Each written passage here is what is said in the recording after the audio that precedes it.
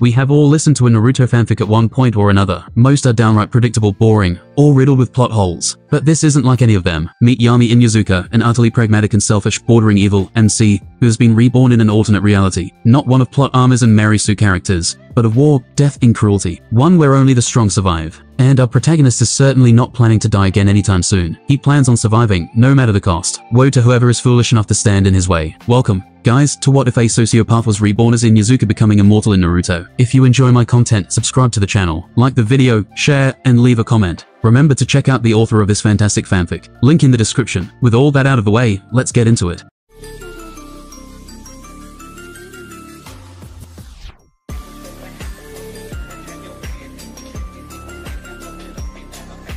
I don't know where I am. I'm only sure of one thing. I got here after I died. I have been stuck in this black void, this hell purgatory, or whatever it's damn called, for what seemed to be an eternity. I have lost track of time, and in this ocean of emptiness, there are only my thoughts. And my memories. Flashback, look out. Flashback end. I got run over by an asshole in a sports car. No truck come for me I guess. That was probably DUI as I walk down a boulevard. I look around this bit of darkness. Then I think I see something moving. There are some hands made out of darkness. I don't know what they are, but they are freaky. So I move the opposite side I don't look behind me. I just keep moving. I keep thinking, you've got to move. I've got to keep moving. I keep moving until I see a light. I run towards the light. After I reach it I black out. Next time I wake up I hear someone speaking. I can't move at all. Time skip. 42 seconds old. I woke up again, and this time I try to open my eyes, but I can't. I can only hear, it's a boy Masoon-san then I can faintly hear another voice say, he is so cute you have your father's eyes and my hair. I assess the situation. I have no doubt about it. I have read fanfics to know what happened to me and where I am now. I immediately started crying. It's quite easy to cry like a baby. I don't know where or when I am, so I got to act like a baby in order not to be suspicious.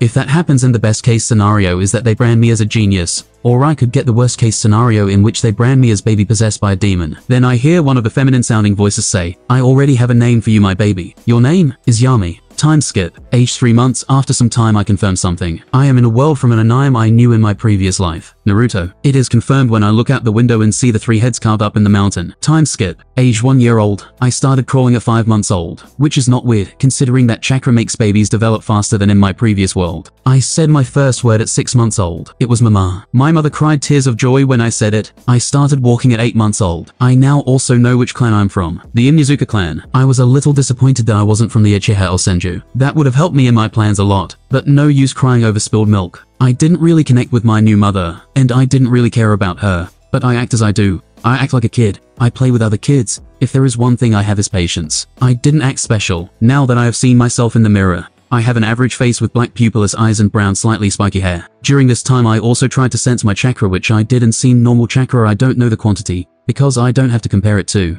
I also developed a new technique I don't know if you could call it that, but I tried to sense someone's chakra of course. I couldn't, but if I touch someone I can tell their chakra amount. I have tried this with my mother, I have the same amount as her maybe a little smaller. My birthday wasn't anything special. There were a couple of mom's friends over with some of their kids a little bit older than me and nothing else. When I tried my sensing technique on the kids I had higher chakra than them. Then I also discovered that I had a bigger than average chakra pool. At least for children my age, since my mom who I think has a bigger chakra than me is a civilian. It's either that or she is a medic ninja. I don't think that's the case though, given that at my birthday there were only civilians and just a couple of Inuzuka ninja, literally only two. Time skip. Age 2 years old. I started talking more fluently. I also started training my chakra control with the leaf sticking exercise from a couple of leaves from a small backyard. I was sure nobody was watching me as I was doing the exercise in the bathroom. I can stick up to five leaves in my forehead. One day out of curiosity I asked my mother with a curious voice like any child, Mommy where is my daddy? Everyone else has a daddy. Don't I have a daddy? My mother gets an uncomfortable look on her face as she said, Well, honey, she's so easy to read. I hit a sensitive matter, and I got her nervous. I've got to tread carefully so as to not raise any eyebrows. I really don't want any dangerous situation to develop, but I also need to know about my father if he was also an Inuzuka, or did he have some other heritage? That could help me advance in strength faster. My mother Misoon sits down on the couch, makes a sad smile, and says with a broken voice and tears almost out of her eyes, Well, honey, About your father. He was a ninja of Konohagaka. I immediately put on the mask of an amazed child as I say, wow that sounds cool. What's a ninja mommy? I acted like I didn't know. My knowledge mustn't be known to anyone else except me. She looked extremely uncomfortable and made no effort to hide it, taking a risk here. But let's see if it pays off. Sniff tears started appearing as she said in a sad voice. Well, a ninja is a great hero who protects the village. She handled it better than I thought. She does love me good. It'll make it so much easier to move forward with my plans. A difficult relationship with her would suppose a much unwanted hindrance in the beginning, and for my plan the first years are critical. Was daddy a strong hero? Sniff sniff while trying to keep herself from crying in front of her child, Misoon just says. He she is too saddened to answer me. She still isn't giving me the information I want. And I'm growing tired of her sobbing, to be honest, using a faked enthusiasm, the kind used to fool children. She has a very fake smile on her face as she continues saying, Yes, he was strong. He was a Chunin, a middle-ranked ninja. His name was Yami Inuzuka. I named you after him to honor his memory. Then she continued, He died protecting everyone in the village. You weren't born yet. When she said that it was hard to keep the disappointment out of my face.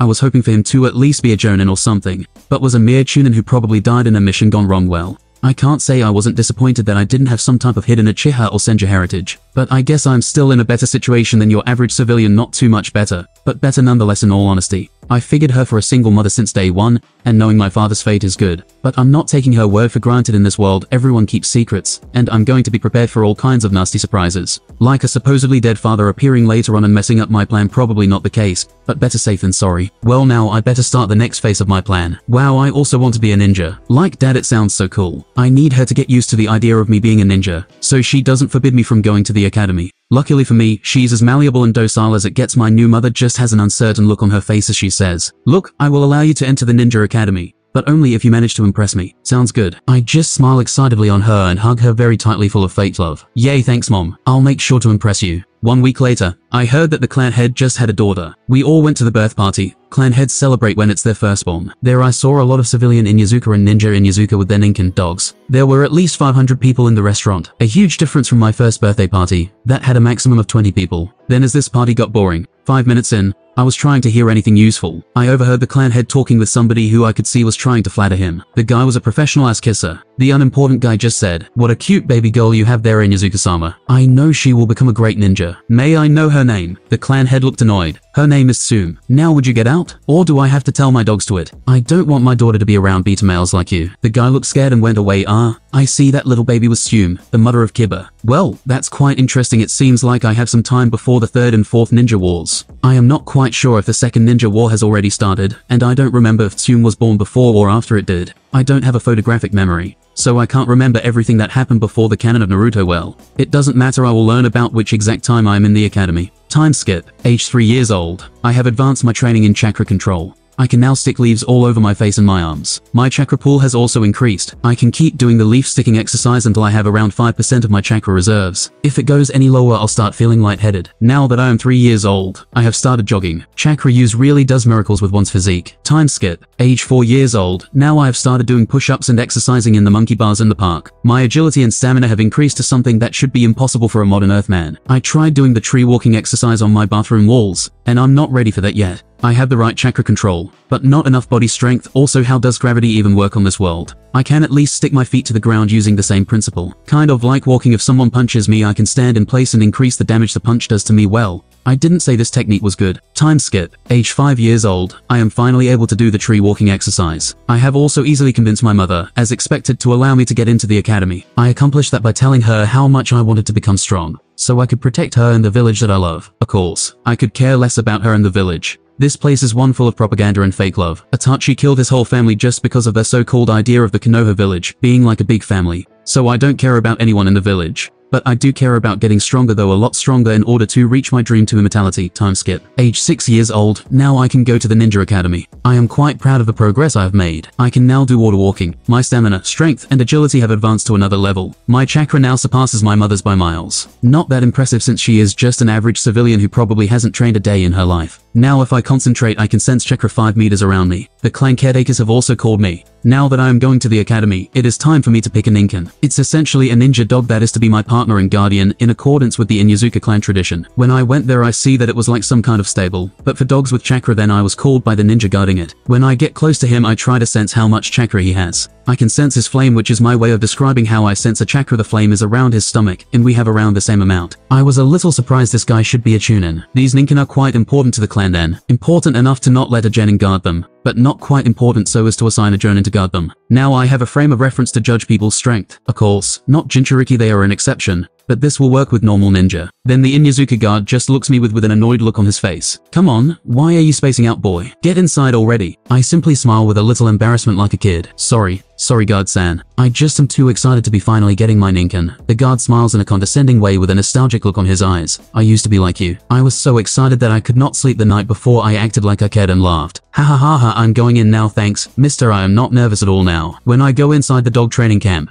I see so many puppies of all colors. Red, blue, white, black, orange, etc. I start looking for a dog trying to find the strongest puppy. Then I have an idea and use my chakra sense, and try to sense the one with most chakra. After some time I sense one with strong chakra it was a white fur with red eyes. I went to pet him and he licked my hand. Well your name will be Shiro well. I was never good at naming, so I just named him after his fur color. Apparently, it is common for clan members to do the same, so I guess I'm not the only one that lacks the creativity for this. After going outside and registering my dog with the guard, I went back home. As I got close I see my small one-story house. Time skip. Academy entrance. I wake up in the morning. Go to the bathroom, look in the mirror. I look with black, slightly spiky black hair like Kiba and black pupilless eyes, and formed with a baby fat face. I wear a hoodie and black ambi pants, and normal ninja sandals. I was accompanied by my mother to the academy which was quite far away from my home in the Inuzuka district. My mother looks quite sad to accompany me here, then she says, Don't worry honey, even if you decide that being a ninja is not for you, you must know that there are a lot of careers out there, and that I'll always be there to support you. I just smile excitedly and wave my arms around while saying, Don't worry mom I am going to be a strong ninja so I can protect you. She looks a little bit sad.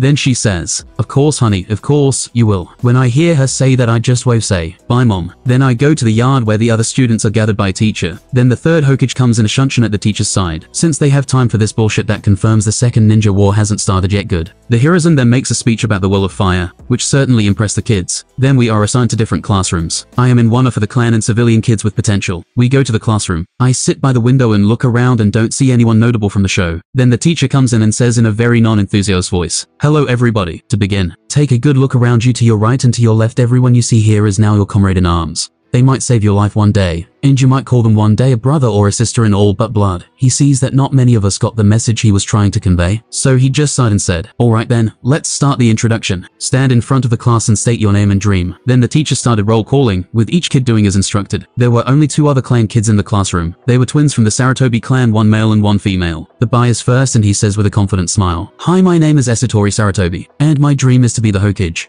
The children looked impressed like they saw the next Hokage or something. He was definitely the Naruto of this generation I sense his chakra and he only has an academy student amount. Well he will definitely die an early death, since he doesn't have the rage power, plot armor, that comes with having a nine-tailed beast inside of you. Also he really is a dumbus. He probably doesn't train and is arrogant just because the current Hokage is a Sarutobi. Then his twin sister's turn came. She was a little more reserved than her brother, so she said with a normal voice, Hi all, my name is Assume Sarutobi, and my dream is to help my brother achieve his. What a sheep she probably has no dream and just follows her brother around. Meh not my problem. She will also probably not go very far in life either. She doesn't have the drive for it. True she is still a kid, but if she doesn't have talent like Kakashi or Itachi, she will die an early death too. Then my turn comes. I put on a smile that I trained a lot during my first life to not worry my mother after father died. Then I said with a fake cheerful voice, Hi my name is Yami Inuzuka. My dream is to be a strong ninja, so that I can protect my mother and the village that I love. Yeah, right my dream, huh? As if I care about such trivialities after all the introductions it's time for the lunch break. I go out to the schoolyard. Then I see someone I'm able to identify as a character from the anime.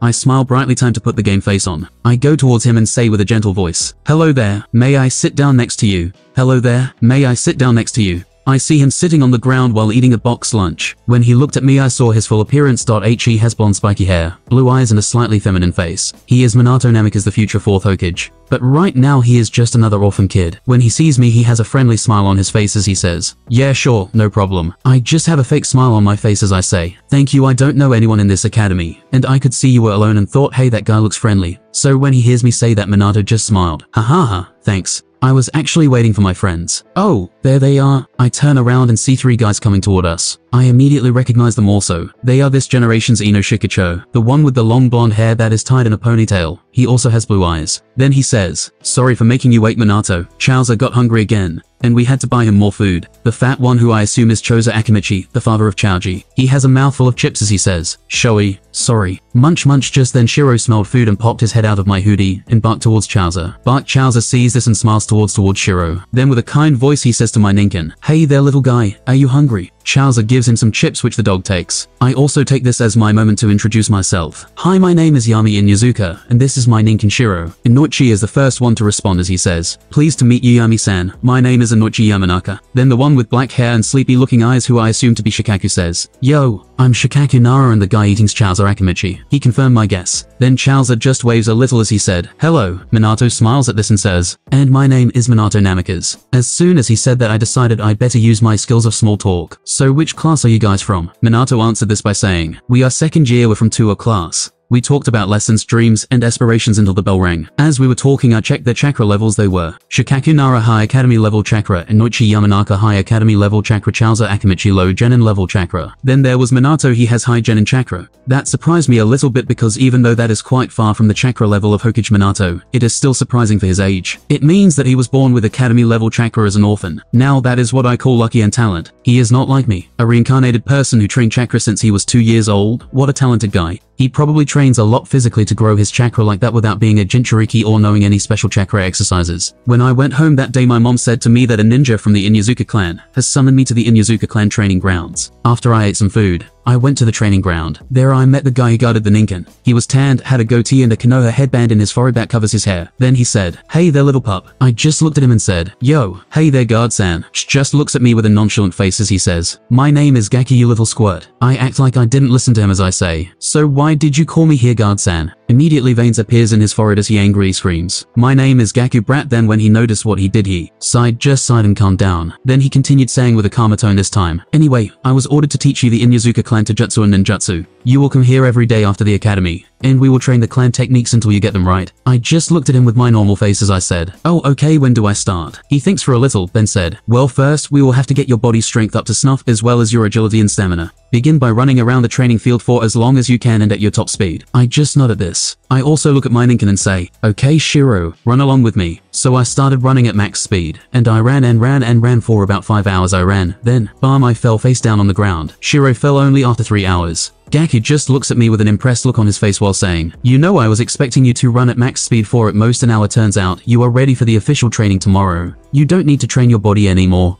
and you'll start with the techniques right away. Your physical stats are already at Genin level. Then I decide to ask him with, we'll still do normal body training right? Gaku just shrugged and said nonchalantly, not with me, you'll have to do it by yourself. I am only here to teach you the clan techniques. He turned around and started walking away. Anyway, see you tomorrow. Oh, and don't forget to bring your Ninken for tomorrow's training. He then used Shunshin and went away. After resting for a bit I went home and immediately slept like a lord. I was just simply too tired. Time skip. Three weeks later, I have learned a lot of Taijutsu in the Inuzuka Ninjutsu, four-legged technique and its variants. Also every day at lunch break, I would hang out with Minato and the Ino Shikacho trio. I heard a lot of things from Shikaku, since his father is the head of intelligence. He told me that Konoha is attacking a village called the Dragonfly Village. I realize the situation around the world is tense. I am pretty sure that the second ninja war is going to start soon. Well, in any case, today is Taijutsu sparring class in the academy, time skip. Sparring class, the teacher just said with his usual nonchalant voice. Well then, class today as you know we are going to have a sparring class. I have explained to you the basics of Taijutsu in these three weeks. So no need to be afraid I will match you fairly, okay? He explained the rules of a spar which were, no ninjutsu or genjutsu, only taijutsu. When one of us is down or out of the circle we lose.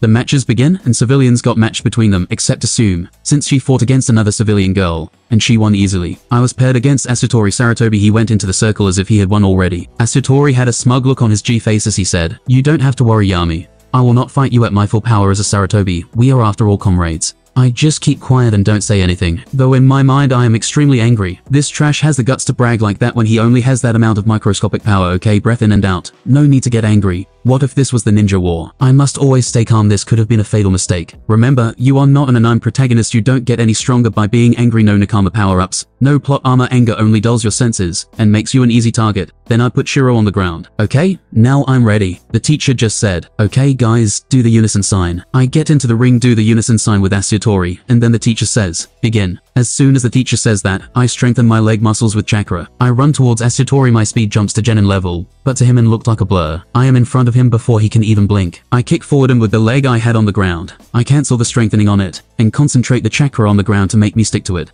I then kick forward with all my strength, and even twist my leg at the point of impact to do extra damage. I can see his eyes widen he doesn't have time to block, so I kicked him directly in the stomach. He spits some blood and flies out of the circle, crashing on the ground 20 meters away needless to say. All of the students are shocked. His sister launches herself toward me, looking like she's ready to kill me at a moment's notice. The teacher stops her with a firm hand in her shoulder and brings her down to one knee. He then goes to the side of Asutori, suddenly shunshuns away with him and then comes back alone, all within seconds. He looks at me with a bit of anger and slight killing intent, not enough to terrify the normal academy student me but just enough to make him uncomfortable and nervous. Though I don't even feel uncomfortable at all. The teacher then said with a slight judgmental tone in his voice, Why did you use so much power against Asutori? Well, time to play innocent I think. I make a shocked and sad face as I say with an uncertain voice. Sorry sensei, I didn't mean to use so much strength against him. I have never sparred against someone before, and I just used all of my strength I am so sorry I didn't mean for this to happen. When the teacher hears this he lightens up a bit, and his killing intent goes away completely as he says, I understand. But don't ever use this much strength against a fellow classmate in the future am I understood. I immediately nod and say with a resolute voice, Hi sensei, time skip. Age 7 years old, the second great ninja war has finally started. I am not planning to graduate for at least another year year until I'm ready, because I know I will be going into war as soon as I graduate. During this year I have trained my body to the ground, and have learned most Inuzuka techniques. I've already mastered the three academy jutsus, especially the replacement jutsu I trained with it until I could do it without any hand seals after all.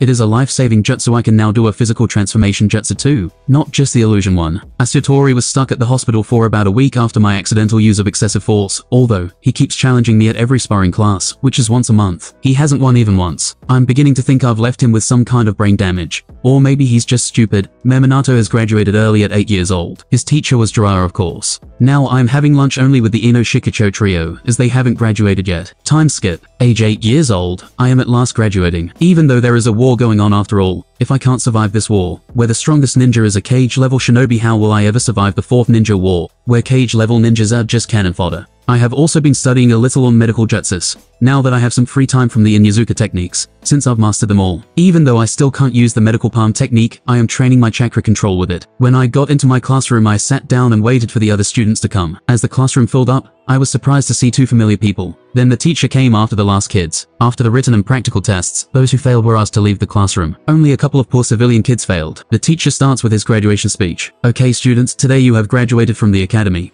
It's have been an honor to form you into the next generation of shinobi that shall protect our beloved Konoha and its citizens. And now the moment all you have been waiting for, it's time to call the team placements. Team 1 Team 3. Yami Inuzuka assume Sarutobi and Asutori Sarutobi. I was afraid of this result, but it doesn't come as a surprise either guess that'll have to do for now. Asutori has only been concentrating on training, and has practically abandoned his studies. He only had finally beating me on his petty mind, so his written test results were probably bad. The sister is just a sheep, so no comment there the teacher continued. Team 3. Your Jonin sensei will be the teacher says. Your team's Jonin sensei will be Tsunade Senju. She said for you guys to meet her at the hospital. When we hear that we just go forward, get our headbands. As me and my team leave the classroom, it got awkward. Even though this is unfortunate I need these guys at least not to kill me in my sleep after all it is war. Quite an easy way to kill somebody without blame. You could just say that an enemy ninja sneak attacked, and no one would really even investigate it too deeply. After all, they don't have the time to do that. They have a war to fight. So while thinking for a while I come up with an idea on how to handle this situation. Then with a confident but also serious voice I say, I am glad to at least have you guys on my team. Asutori looks scared of me even though he hides behind a mask of confidence he was probably traumatized from our first fight. But Assume was the one who responded with a snark on her voice. What's that supposed to mean? Ah, so the sheep finally got some backbone, probably from me beating her brother. I just answer to her, you guys are better than all those guys in the room put together. Even though I beat Asutori in every Taijutsu match, he still improves by leaps and bounds. Well, that is a lie. In all these years his Taijutsu is only about high Genin and Chakra amount average Genin, and his Genjutsu is probably non-existent. But about Genjutsu, even I only know some useless ones that were taught in the academy.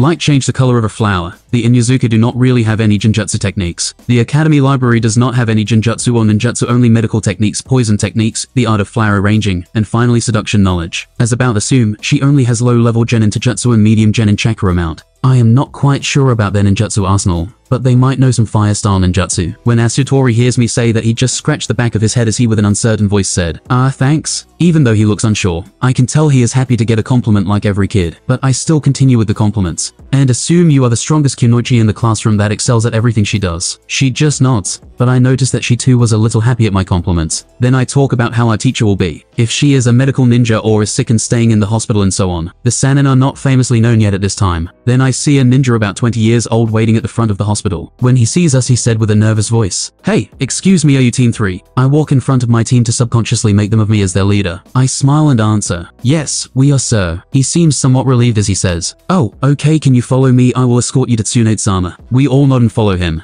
I analyze him a bit. He has Genin Chakra amount. He does not have a team, and is doing chore missions. He is not a medic nin, because they have too much value in war to be used as a chore boy. He is probably a Genin from the Genin Corps. Then we reach a door white door in the third floor. The door had a simple only personal allowed sign on it. Then our little tour guide open it. Inside there is a simple wooden table. One simple wooden chair had two windows, a bookshelf with medical knowledge. And there she is, sitting in the chair reading some medical reports probably. I notice that she has the necklace, so her brother is dead. But damn probably not, she probably only just has met him. Then she looks up and then throws a small scroll to the Genin Chore boy while saying, You finished your mission ninja you can retrieve your pay in the mission building. The Genin just nods and goes away while closes the door. Tsunade interlocks her fingers and looks at us. She released a sigh and said, Okay now, I don't have a lot of time. So, go say your names, likes, dislikes and dreams. Asutori is the first to talk. My name is Asutori Sarutobi. I like my sister and barbecue meat. I dislike smoke from cigars, and my dream is to become Hokage. Then he looks at me and said, but first I have to surpass a certain someone. Tsunade looks at him with frowned eyebrows and simply says, dumb.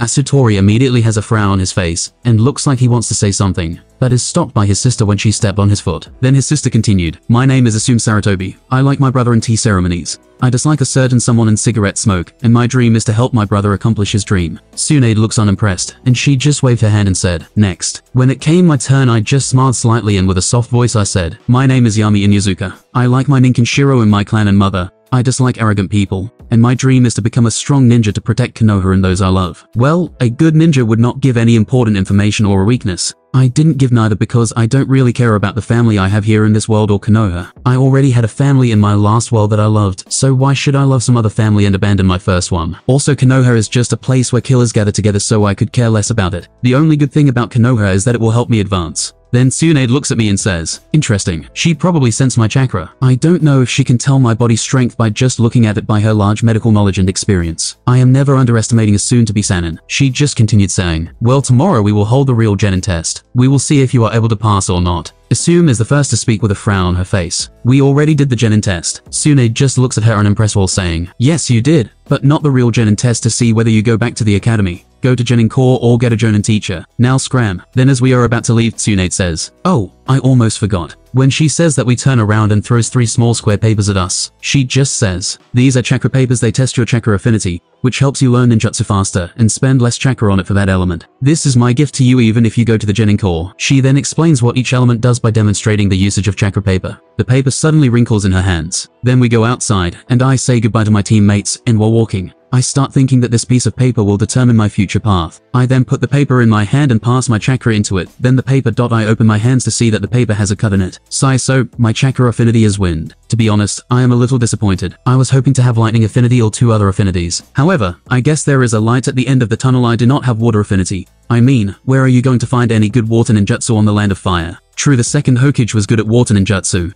but he was also the type of genius who figured out how to bring the dead back to life, so I don't think I would find myself a teacher, and neither would I have the ability to reach a higher level in water style, like the second Hokage did. Anyway, I will have to prepare for tomorrow and think of a plan. I am sure what the test is going to be, so I will plan for it. If it is not the bell test, I will still prepare to the best of my ability. Tsunade POV. As I see the kids go out of the door, I think about their answers. The twins have straight black hair. The one that has short hair is the guy, and the one with long hair is the girl. They both have brown eyes and oval faces. The Sarutobi boy? He is a dreamer and not skilled enough to have that kind of dream just like Nawaki. As I think of my brother who died in a mission before the war, I almost cry. Sigh the Sarutobi girl she is average and only has dreams of helping her brother. I see a little hate inside the girl the hate was directed at the Inuzuka kid. That might be her downfall in the war and in the Genin test tomorrow. Then there is the Inuzuka kid. The kid is not a Jinchuriki, but to have the chakra of an average Jonin and the control of a low-level Jonin combined with the stability of his chakra. That kid is a monster even his body is strong but he doesn't have the experience to capitalize on his strength. His tell is by the way he walks, it just reeks of inexperience. Most Chunin level and higher ninja have a certain way of walking. This is so medic nin can't estimate their body strength. In ninja battles, it is best to not give away even the smallest amount of information. Anyway, his body strength is around Chunin level. That kid really is something even his wolf puppy is high Genin level. I only took this team in favor of Sarutobi-sensei. Also, I am the only one of his students who hasn't had a Genin team yet. But now it looks like it will be interesting having Genin students. Well, I should get going now I don't want to keep my new friend Dan waiting. Time skip tomorrow, at POV me and Dan. Had a nice date yesterday. I think as I get up, I wake up, shower, wear my Jonin uniform and go to the hospital, and notify the nurses there to tell my Genins to tell them to go to training ground 3. Anyway, as I wait for those kids to show up, I hide in my surroundings. This is to see if they have any spatial awareness. However, I keep my chakra signals up, so I'm not completely hidden. I see the Sarutobi kids coming 30 minutes before the appointed time, and the Inuzuka coming 5 minutes before the appointed time. Then I hear them talking. Assume is the first that I hear just say, Hey you are late, what if the teacher was here you would have failed. Yami had a completely uninterested look on his face as he said, A black cat crossed my path, so I had to take the scenic route, and I am still 5 minutes earlier than the appointed time. Plus, if the teacher had a problem with it, she would have already told me. He then looks in my direction and says, Right Tsunade-sensei. Well, the Inuzuka are not a tracking clan for nothing. Quash I just shunshin in front of them. I clasp my hands and say, Alright then Genins I will explain the test see these two bells the one to get one before lunch passes. That means that one of you or all of you will have to go back to the academy or will have to join the Genin Corps. Now begin. The two Sarutobi go into hiding. The Inuzuka still has not moved from his place. I just ask him with a questioning look on my face. What are you waiting for? He looks at me and puts the puppy down. Then Yami nods at the dog. After looking at me he just says with a certain glimmer in his eyes, I want to see for myself the distance between us. Ash General POV four-legged technique. Yami's eyes become slits, his fingernails become claw-like, and his canonous teeth lengthen. This guy is quite arrogant, thinks Tsunade. He rushes towards her on all fours at about low jonin speed. She sees this and scoffs as he is about an arm's length away from her. She punches him in the stomach and bam, he crashes in a tree. That should teach him a lesson. Ash thought Tsunade when she looks at the tree, there is only a log. Substitution thinks Tsunade.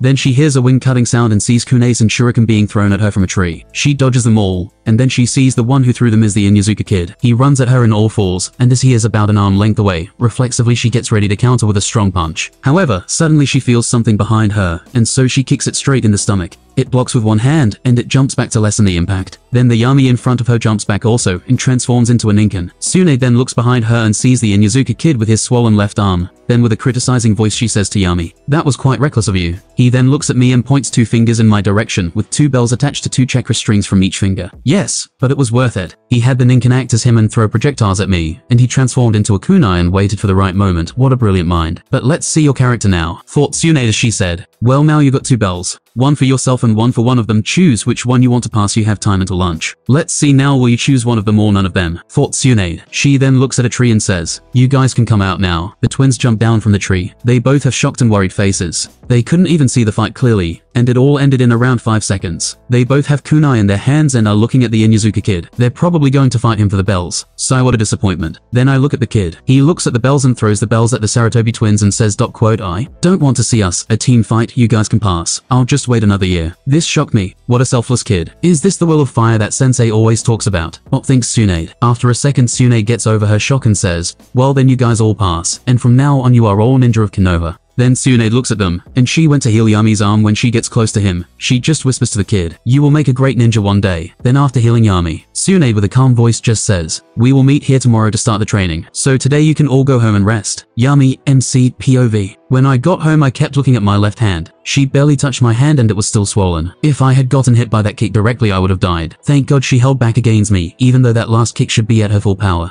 And this is the monster that Madara toyed with. I had it all planned, but not quite the last part it didn't go as planned. The plan was I would have gotten the bells with the chakra strings, and I would have jumped back immediately not harmed at all, while Shiro distracted her. I also bought some explosive tags, I am glad I didn't have to go for plan C well at least I put on a good act in front of them. The twins at least won't kill me in my sleep now. I just went home took a shower and went to sleep to tired. Time skip tomorrow. I got up went to wear my clothes and took my Ninken and we ate a full breakfast. And we went out to the training ground. The siblings are here again early. I wait in a tree until it is exactly the meeting time. I walk as if I just arrived. Assume just like yesterday she berated me. Hey, you are late. I just shrugged my shoulders. I saw an old man on the road and I had to help him. Plus I'm not late I'm exactly on time. She just pouts and turns her head away. Honestly kids these days then I start talking what sensei is going to teach us today and she lightens up and we start talking with Asutori, exaggerating the things that she might teach us today. After three minutes Tsunade shows up. Then immediately she says, Today is the only day that I am able to take you directly I am busy in the hospital. So for a week you will be taught by my clone after that we are going to the land of rivers to the front lines against the village hidden in the sand. Then Asutori said something extremely dumb. Why are we going to the land of rivers if we are going to fight the sand village? Sune then looked at him as if he was dumb. Why would a great village fight in their own lands, when they could fight in the land of a minor village in the middle of them? It's not like a minor village is going to hold two great villages at bay. Sigh she just sighed with a little disappointment from Asutori after that she just continued saying, Well anyway first I will get you a scroll from the library of a jutsu of C rank from your elemental affinity. So tell me your chakra nature and I will get a jutsu that you know about. Immediately I say, Wind style great breakthrough. Asutori is next. Fire style great fireball. Assume is last. Fire style phoenix flower. Sun nods then does a hand sign, and a shadow clone pops up. Go get me the Jutsu scrolls from the Chunin library. The clone nods and shunshins away. Tsunade looks back at us and says, Okay then let's start with chakra control Asutori. Assume you come with me to the pond. Yami you start with chakra strings. Try to make them longer, make more of them, and try to lift heavier things with them. I keep doing that for about 30 minutes. Dot I can make my two strings about 3 inches longer. Tsunade's clone comes back gives me my scroll, and goes to give the twins their scrolls. Then I think it is Tsunade's clone comes back. Then she says, Well then let's start I will supervise your proges. I just look at her with a calm face, and I just calmly say to her, Actually sensei can we talk about medical ninjutsu I feel that this is more beneficial for me. She looks at me and frowns why. Do you think you can do the chakra control even alone? I put my innocent face on and say, No, no, no, I just want to know more medical jutsu. What if someone important to me gets hurt? By important I mean me what if I get hurt in the middle of a battle? I have another plan how to train chakra control fast in a week. Tsunade's clone just narrows her eyes at me and says, Okay, I hope you don't regret this later. We then talk about medical knowledge and the theoretical knowledge of the mystical palm technique and chakra scalpel technique, how to detoxify poison etc.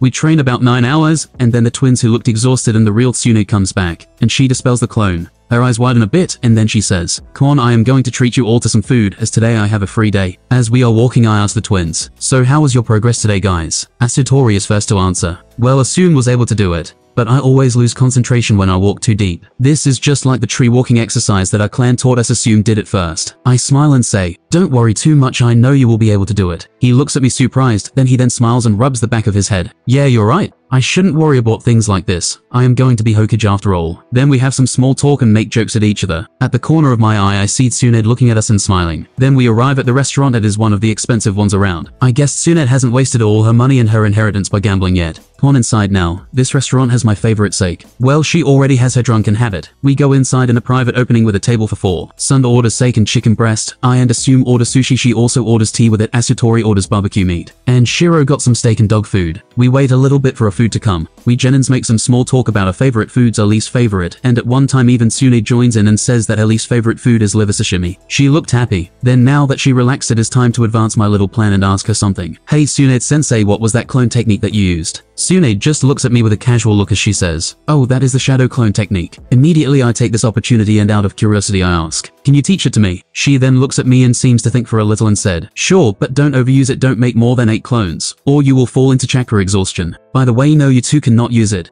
You don't have the chakra. She then explains to me the working of the shadow clone. She says that when the shadow clone is used, it takes 50% of the chakra. But if the clone pops itself, it returns some of the chakra. How much it returns it depends on how long it's been active, or if it has unsaid any jutsu. If the clone is destroyed, it does not return any chakra. She showed me the hand signs. She then told me to be careful with my training. After we ate, she then invited us all to a bathhouse to relax. As we were walking to the bathhouse I thought, I am not sure if she intentionally left out the returning memory or not. But from what she says that every time I use the shadow clone technique, it takes 50% of my chakra, so if I create 5 at once, each will take about 10% of my chakra. If I try to create 20 clones and my 50% is not enough to make them, so they will take from my other 50%, and I will suffer extreme chakra exhaustion, and might even cripple myself by halving my original chakra amount. Ah, I wish I had a giant fox in my belly to not worry about that. As we arrived in the bathhouse, I got to the men's changing room and got rid of all my clothes, and only had a towel around my waist. Take Shiro and go to the men's side. Asutori also comes in also with a towel around his waist. After some time we hear the girls get in their own side, which is separated by a bamboo wall. Then Asutori says to me, hey push me up the wall I wanna get a peek. The idiot probably doesn't think walking up the wall with chakra, well anyway it does sound fun, but I don't want to get punched by Tsunade, so I will find another way of entertainment. I look at him like he is trash and say, you want to peek at your own sister you creep. Immediately he gained a panicked look and said, what? No, I meant peek at. Boom the wall crashes down, and an angry Tsunade comes through with only a towel around her and punches him repeatedly. I only enjoy the view for a couple of seconds before making a stealthy tactical retreat. Then I go home and learn the Shadow Clone Jutsu and go to sleep. Time skip, one week later. This week I train to the maximum about 16 hours a day plus my shadow clones. I made 5 each day, and they had their own tasks. Clone 1 trained the Great Breakthrough Jutsu until I could do it without hand signs I couldn't do it, but I got it from 5 hand signs to 3. Clone 2 he trained the Shunshin technique that I got from the Genin library. I mastered it by Tsunade's guidance comma get it to use only used for short distance travel, but I did get an idea for Jutsu which I will try when I have time. Clone 3 this one trained chakra strings it was able to get one for each finger to 2 METERS 65, and it got my chakra control up. Clone 4 learned medical ninjutsu from Tsunade's clone, and was able to use the mystical palms to heal small cuts and scrapes. Clone 5 trained my Ninken to low Chunin level. I always dispelled them in the evening one by one. And finally I was doing the wall walking while holding a boulder bigger than me up a mountain which increased all my aspects. My training speed was monstrous with shadow clones. As for my teammates, Asutori now is low Chunin to Jutsu, High Genin Chakra, and learned both the Fireball and Phoenix Flower Jutsu and Water Walking. Assume also has the same stats as her brother except to Jutsu as High Genin, and Chakra control is better than his she also learned both Fire Jutsus. They didn't train even as half as hard as me, and I had shadow clones, so I left an unsurpassable distance between us. Then Sune came to congratulate us in a well-spent training week and told us quote you have all come very far during this week. She took a glance at me, then continued, but you must pass one last trial before going to the front lines of the war. After Tsunade said that she told us to follow her, we followed her and we went towards the T and our department building. We go there the Anbu in front nods towards Tsunade and opens the door we go in and take the stairs and go down. When we go to the last level we hear screaming from .THE prisoners all around us. Won't help US. Please get US out. I already told you everything please let me go. And other stuff some were angry, some sad, some were begging. The twins get pale-faced. Even I am not used to this. But I just keep thinking about the trial that Tsunade sensei told us I think I know what it is going to be. Tsunade leads us toward a cell there seemed to be three people with tied and broken limbs, even their mouths were covered they had tears in their eyes. Tsunade looks at them with a cooled face and says, We would have done a bandit extermination, but we are at war, so we can't exactly waste a ninja like that. These guys were Genin from the Cloud Village. They were spies and a Craven, and they were caught. She gives each one of us a kunai and simply says, Kill them. Strangely there was no emotion in her voice like usual. Her voice was cold and without love or anger in it. The twins were frozen in shock with the kunai in their hands. But I did it and went towards one of them and sliced the guy's throat with a swab of the kunai, efficient and without pain. I looked at his face. I wasn't even seeing him clearly. What I saw was myself with the cut throat. No, no way am I letting myself die. My view clears again, and I see him dead lying there lifeless. I see my reflection in his eyes, and look at my own cold face and Black Sal's eyes. Then Tsunade-sensei looks at me and says, You can go home if you want. But don't forget tomorrow we will go to the front line meet us at the village gate at 7 o'clock. Her voice wasn't proud or anything like that. She simply stated a fact. Okay? That was my answer to her. I don't directly go home I go to the weapon shops, and they let me buy exclusive ninja weapons when they see my headband. I spend almost all my money in savings in buying different weapons like paper bombs, comma, more kunai, comma, more shuriken, a gas mask, two storage scrolls, one of them for food and basic medical stuff, just to be safe, and the other one full of extra weapons. I go home and greet my mother, talk with her a bit and go to sleep. Time skip tomorrow. When I wake up, I go to the bathroom, take a shower, eat breakfast. My mother looks worried for me. She is probably afraid that I will die in the war. I go outside, give mother a hug and start walking out of my house. She waves at me with tears in her eyes. I also wave back and start going toward the gate. I arrive there about 5 minutes earlier, and see that the twins are already there with black rings under their eyes, like they didn't sleep at all last night. They don't even say anything to me. We wait for Tsunade to show up.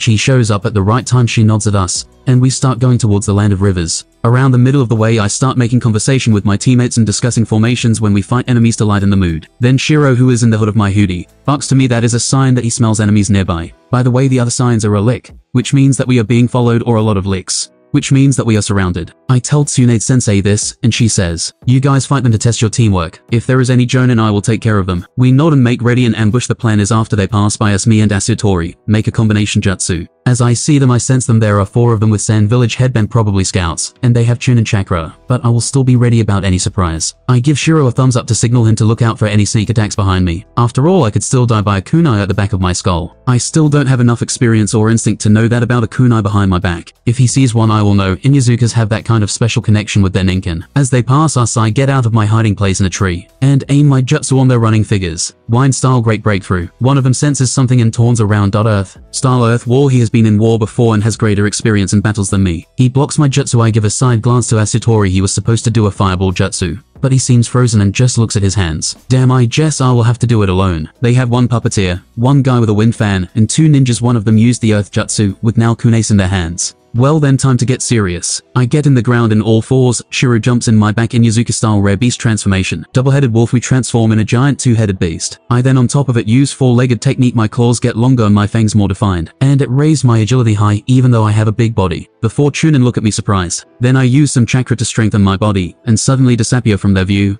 and appear behind them behind the ninja with the fan and swipe my claws at him and one-shot him. Then the two ninjutsu guys use Earth-style Earth gun at me. I don't even attempt to block I just simply dodge use a substitution jutsu with a giant log and appear bang them swipe at the pubic guy, kill him and then bite at the two other ninjas who use Zen substitution and both do a Earth-style Earth wall and try to trap me inside an Earth dome. Ah, this is the weakness of a big body against one-on-one. -on -one. It is an ultimate technique, but in group fights, it becomes a burden. The ninjas look tired I cancel my jutsu, and then immediately me and Shiro do the wolf fang technique. We spin in high speeds towards them, and I injure my target heavily but the other guy dodges Shiro's attack. I immediately use four-legged technique again to get Bedge on the guy, and with a kunai stab it behind his skull. He falls dead on the ground. I am still on guard. I feel something behind me and immediately swing my kunai behind me, then someone catches my hand by the wrist. Relax Yami. Hero 03. I slump my shoulders and breathe a heavy sigh. That is our code to not have somebody impersonate us with a transformation. I look at my chakra and see I have about 80% left. The substitution took about 10%, great breakthrough about 6%, and the others about 4%.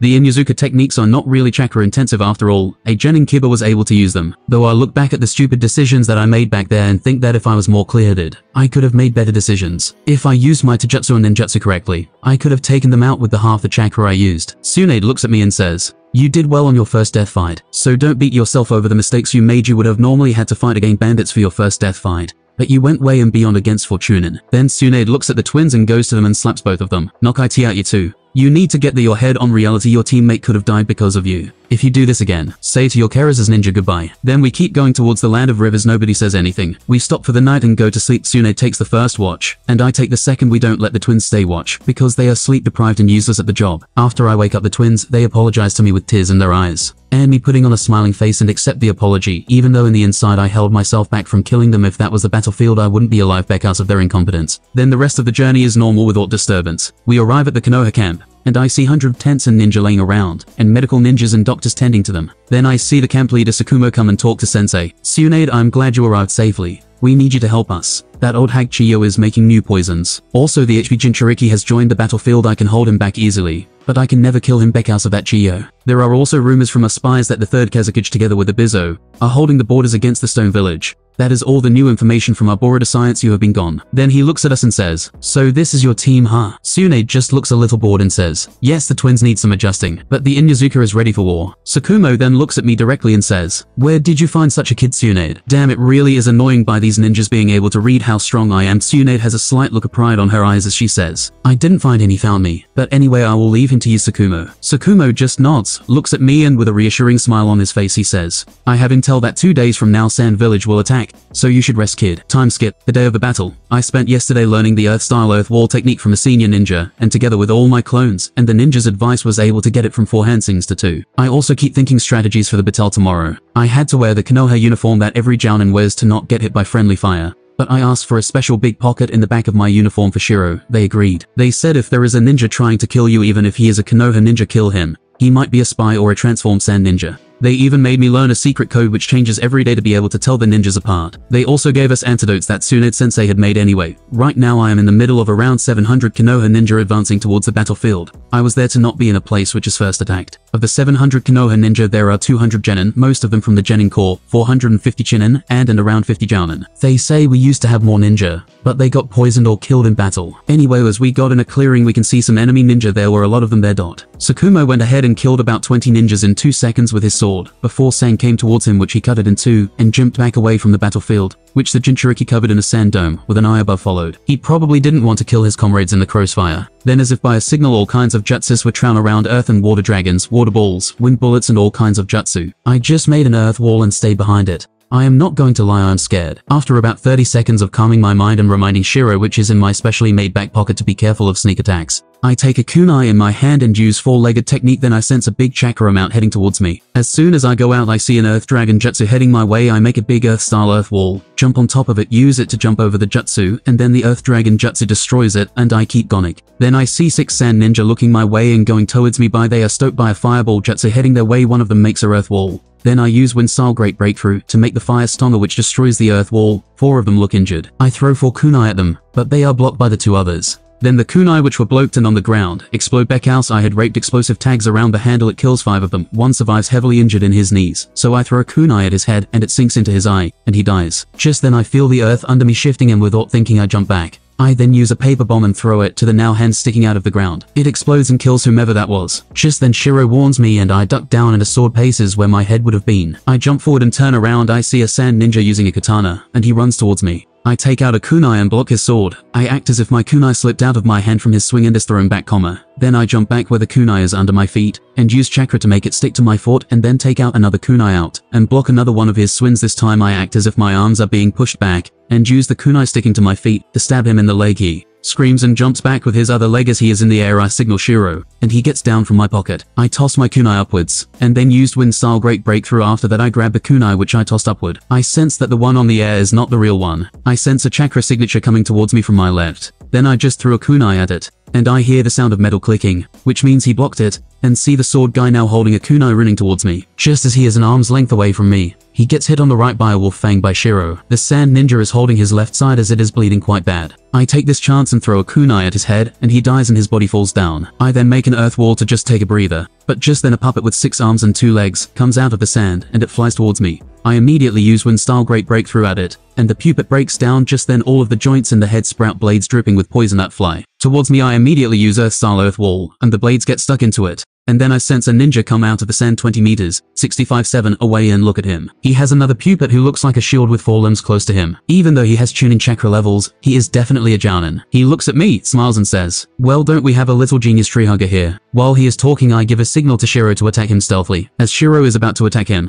I also attack him with Wind Style Great Breakthrough which he blocks with the shield puppet, and as Shiro also attacks at the same time from the other side, he is stabbed with another joint blade of the first puppet with poison. He whimpers and falls to the ground with blood around him. The puppeteer looks at me with a sadistic smirk, only to get shocked by my calmness he thought I was some angry kid. But I am not going to die for Shiro. He is after all only a dog I look at him and see the shield puppet he has in control with one of his hands, and the other hand controls some puppet parts, with blades covered in poison. This is going to be hard I only have around 35% of my chakra. Just as I was thinking that a guy comes out of the earth with a sword and cuts the puppeteer's arm off. HHHH. The puppeteer just screamed. I look at him and he is a Konoha ninja and has Jonin chakra amount. You sand ninja sure are good ninja to not be aware of your surroundings. The Konoha Jonin taunts the puppeteer. Then the Konoha Jonin stabs the sword on the ground and easily weaves through Hansein's fire style fire missile. The puppeteer puts the shield puppet in front and it gets destroyed, but it gave him enough time to use substitution. I sense his chakra where he has substituted, so I use wind style great breakthrough in his direction. The Jonin sees this and runs in that direction. I go towards Shiro Earth style earth wall put up an earth wall around us and give him the antidote that Tsunade made. He starts to get better. I then pull out the blade and start sewing his wound. I also make a shadow clone to use mystical palm to try to fix the internal damage. This is the first time that I've tried this, and I keep lookout but just then, boom I hear a giant explosion and look towards it, and see a giant tanuki about 3 kilometers,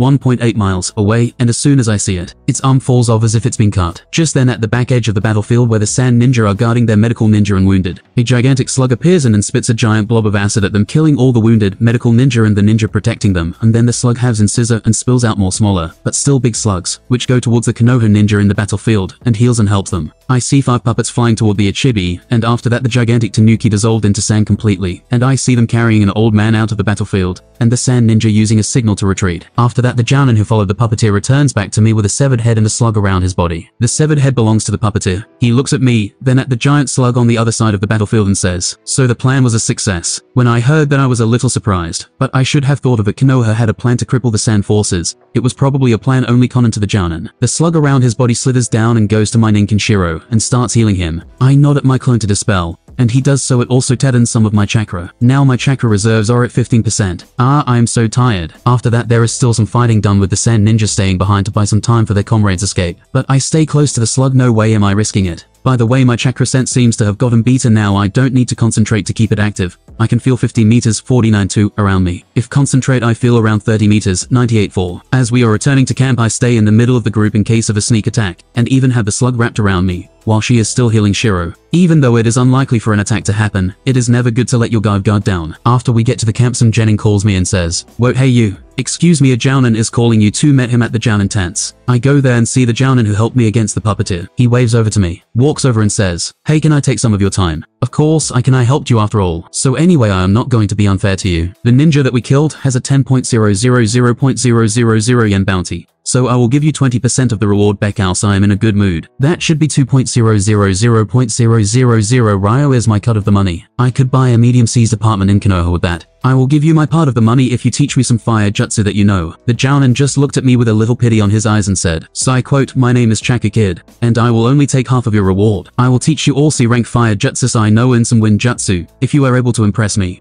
I might even put a B rank in there. By the way kid you are bad at haggling. I wasn't even trying to haggle. I don't really care about money. If it ensures my survival I will burn all of it. He then gives me a check of 1.000.000 Ryo to cash in when I go to Konoha.he, then smiles and says, Well since I am in a good mood I will explain how things work around here. He then starts explaining things such as battles like yesterday don't happen very often it only happens once in two or three months. And now that the Sand suffered so many losers, it might take even longer. Most of the battles are skirmishes between scouts trying to cut supply lines. And if such a big attack force moves even if they are ninja we will notice them from spies, the summons placed around or even the scouts. So most battles are fought between scouts which are usually Chunin or a Jounin leading a Chunin squad. Genin usually only take part in the big battles as cannon fodder, usually they do chores around the camp for D-rank missions, and around 1.000 to 5.000 Ryo pay a chore. He even explained the bounties to me 5 million 15 million Ryo, is Jounin 15 million 50 million Ryo is Elite Jounin 50 million, and higher is S-Class Ninja. Tsunade Sensei has a 57 mil Ryo bounty, which will probably be raised after the fight with Hanzo.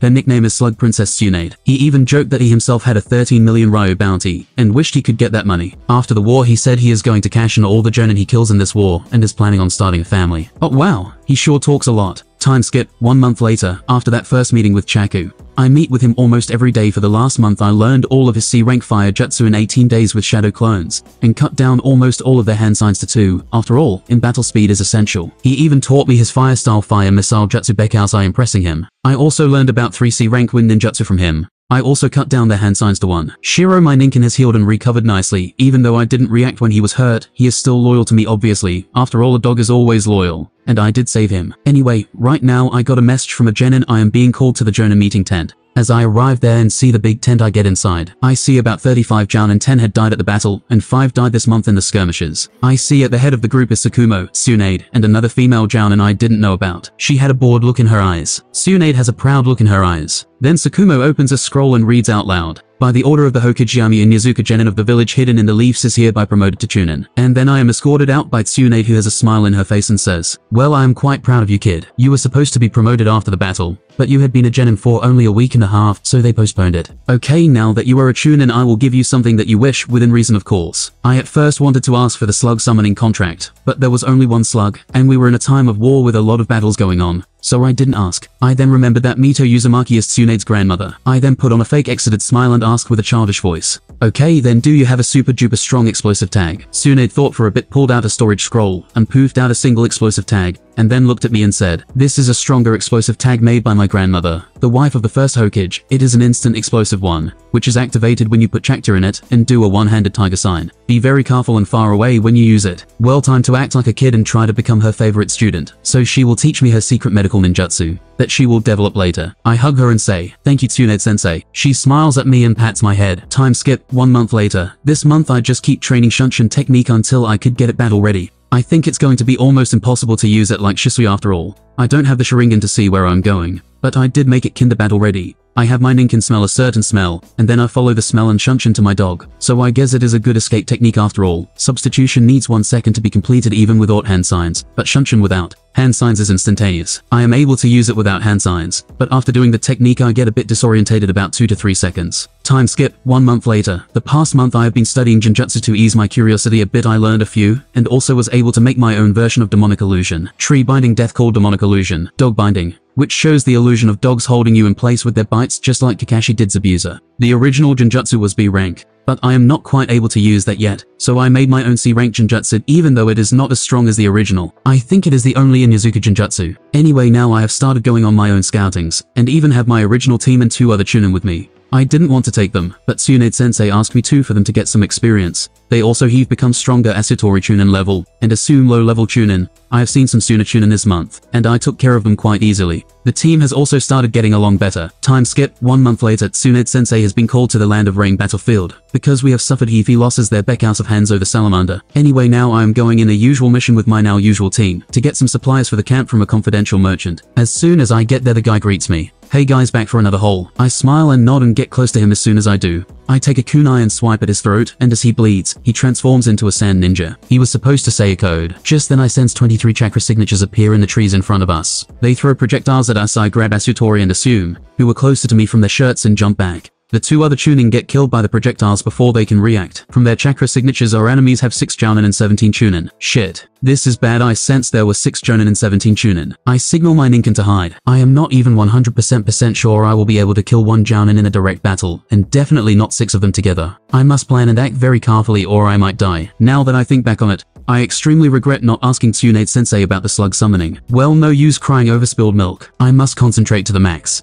Among the Jounin there are two puppeteers one with a round pupet with a head and four short limbs. It is able to shoot poison senbon from the holes in his round body. He also has a cockroach Lucine puppet as big as his body. The other one has a shield pupet and a round pupet like the first guy. About the others two are fan users and the last of them one of them uses a sword and the last one is probably a ninjutsu oriented ninja Beckhouse. He doesn't have anything in his hands but that might be deception so I will be ready. The Chunin are also mixed with different type of ninjas and puppeteers, some with swords etc. I then say out loud, Formation 1 Asutori did a fire-style fireball, and I did a wind-style great breakthrough towards the enemy's direction. Then the Jounin which I suspected is jutsu-orientated, comes forward and does earth-style mud wall, which is the upgrade of the earth wall jutsu to B rank. That makes a gigantic earth wall that blocks our jutsu completely, then Asutori looks at me, and Assume says, Guys you run away leave me behind I will hold them back. Just as Asutori looks in other section the sand ninjas take this moment to throw projectiles, so I use Earth Style Earth Wall, and grab them both by the back of their shirts, and jump into a tree and throw Assume behind me, and with the same hand grab something out of my kunai pouch, and put it under Asutori's shirt he doesn't notice. I then think oh I would gladly leave you buddy, but you won't be able to hold them back for even a second. So I just say to Assume, Assume you go and inform the camp we will hold them back. Assume looks conflicted for a second before saying, okay, don't die guys or I will beat up your ghosts to death. Asutori just reassured her by saying, don't worry sis I will become Hokage one day so I can't die now. She then turns around with tears in her eyes and runs towards the camp. I hope a Jounin follows her to stop her from going to the camp, so I can get at least have less pre-sure. Then I hear a Jounin say, Wo Aki, Borakoma, tether kill her and come back immediately. Three Chunin follow her I am disappointed a Jounin didn't follow her, but I was hoping for far too much what person in their right mind would send a Jounin to kill a low-level Chunin when you have plenty of Chunin around you. Asutori is about to stop them, but I say, don't worry they will probably meet a Konoha scout, and they will help her and assume is a strong girl trust in her. We need to concentrate here. He then nods with hope in his eyes. I then think that was a lie, she has a low chance of surviving against three Chunin, and an even more impossible chance to meet any Konoha ninja they don't patrol this way almost at all. This is way too far from the battlefield, and they don't want to leave any traces for the sand village to find our supplies merchant. Then five Chunin surround us and try to attack us. I use four-legged technique. I have the body strength of a low Jounin and agility of average Jounin. Because of my age, I am unable to raise it higher.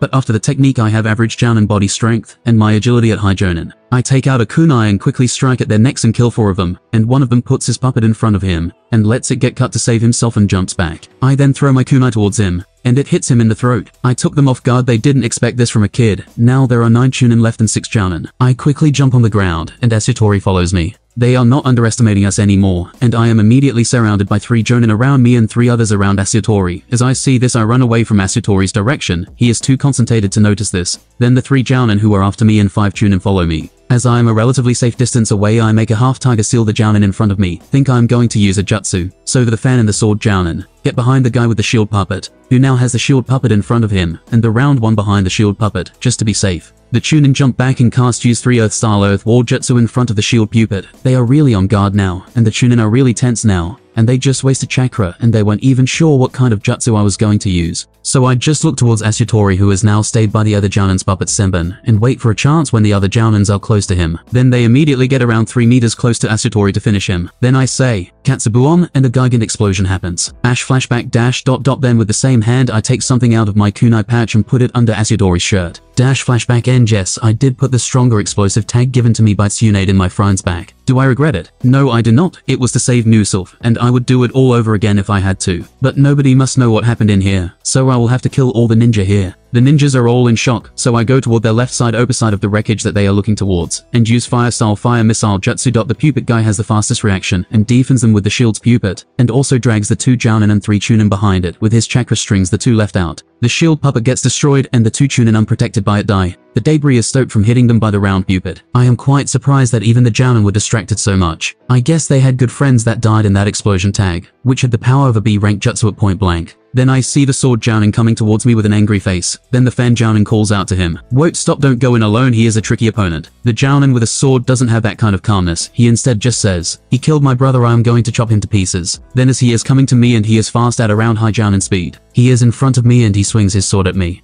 I try to block it with my kunai, then I feel something wrong, and as soon as my kunai touches his sword, the kunai gets cut. I jump back immediately and dodge, but I still got a large cut in my torso. At least it's not too deep of a cut. As I am still in air I look at him. I see so the sword is covered in wind chakra. As soon as I jump the fan Jounin does a jutsu at me wind release. Great task of the dragon and then a tornado is coming towards me and the puppet guy shoots poison senbon at the tornado. Combination jutsu. Great poison senbon dragon and as soon as I step on a tree, a dragon made out of senbon comes towards me. I then make a signal to Shiro my Ninken. I then use Shunshin and a pair beside my dog and behind the puppeteer and wind Jounin and tell my dog to hide behind the puppeteer. I then make two shadow clones and one hides close to the three Chunin for them to not interfere and one goes to attack the wind Jounin from behind, but he blocks it with his fan. The fan Jounin then looks at my clone and says, that was the wrong move kid. And then I see the sword Jounin coming bang him. Then the sword pointed behind the clone ready to stab him as soon as the clone is stabbed. I go behind the sword Jounin and try to kill him immediately. But as soon as I am about to stab him, he puts the katana right where my kunai was going to cut and stops the kunai I immediately use Shunshin and leave the kunai there. As soon as I appeared where my dog was behind the puppeteer, the kunai I had left behind exploded because of the explosive tag around the handle and then even though I am disorientated,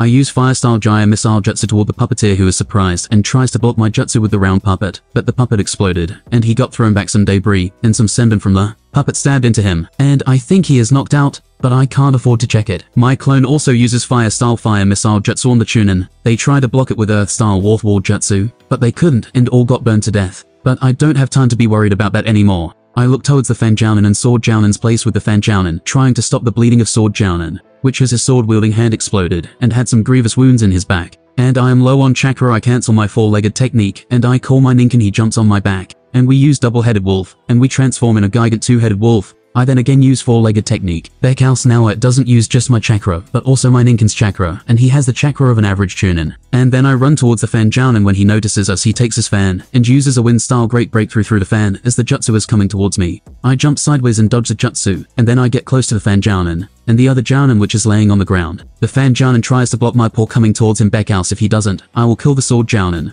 but I still push the fan Jounin on the ground and break his ribsage, and he spits out a glob of blood. Just to be sure I stab my claw off his chest, and repeat this with the sword Jounin and the puppeteer Jounin who both die. Then I try to sense anyone else around before I cancel the jutsu, and then I surprisingly feel two Chunin chakra and go toward them they were towards the paper tag explosion site. I then see two Chunin who were probably the farthest from the explosion, one of them was without an arm and leg the other was without legs. I then killed them both, and I cancelled the jutsu. Then went to the three Jounin and cut their heads off and stab a Senbon in their brain. Just to be sure I am quite positive the Yamanaka can't read the memories of dead people, but just to be sure. I was super low on chakra I had about 9% left. I got all the body together, took out my storage scroll, got some alcohol for disinfecting wounds, poured it on their bodies, and did a C-rank ninjutsu to burn any trace of them, to stop anybody from using the Edo Tensei on them. Made sure that there wasn't any body pieces at the explosion site, of course there wasn't. I really don't want anyone learning I killed my teammate even though I went overboard to take measures against it better safe than sorry. I then opened the emergency food scroll, and pulled out a cooling bag with a bunch of ice in it put the heads in and close it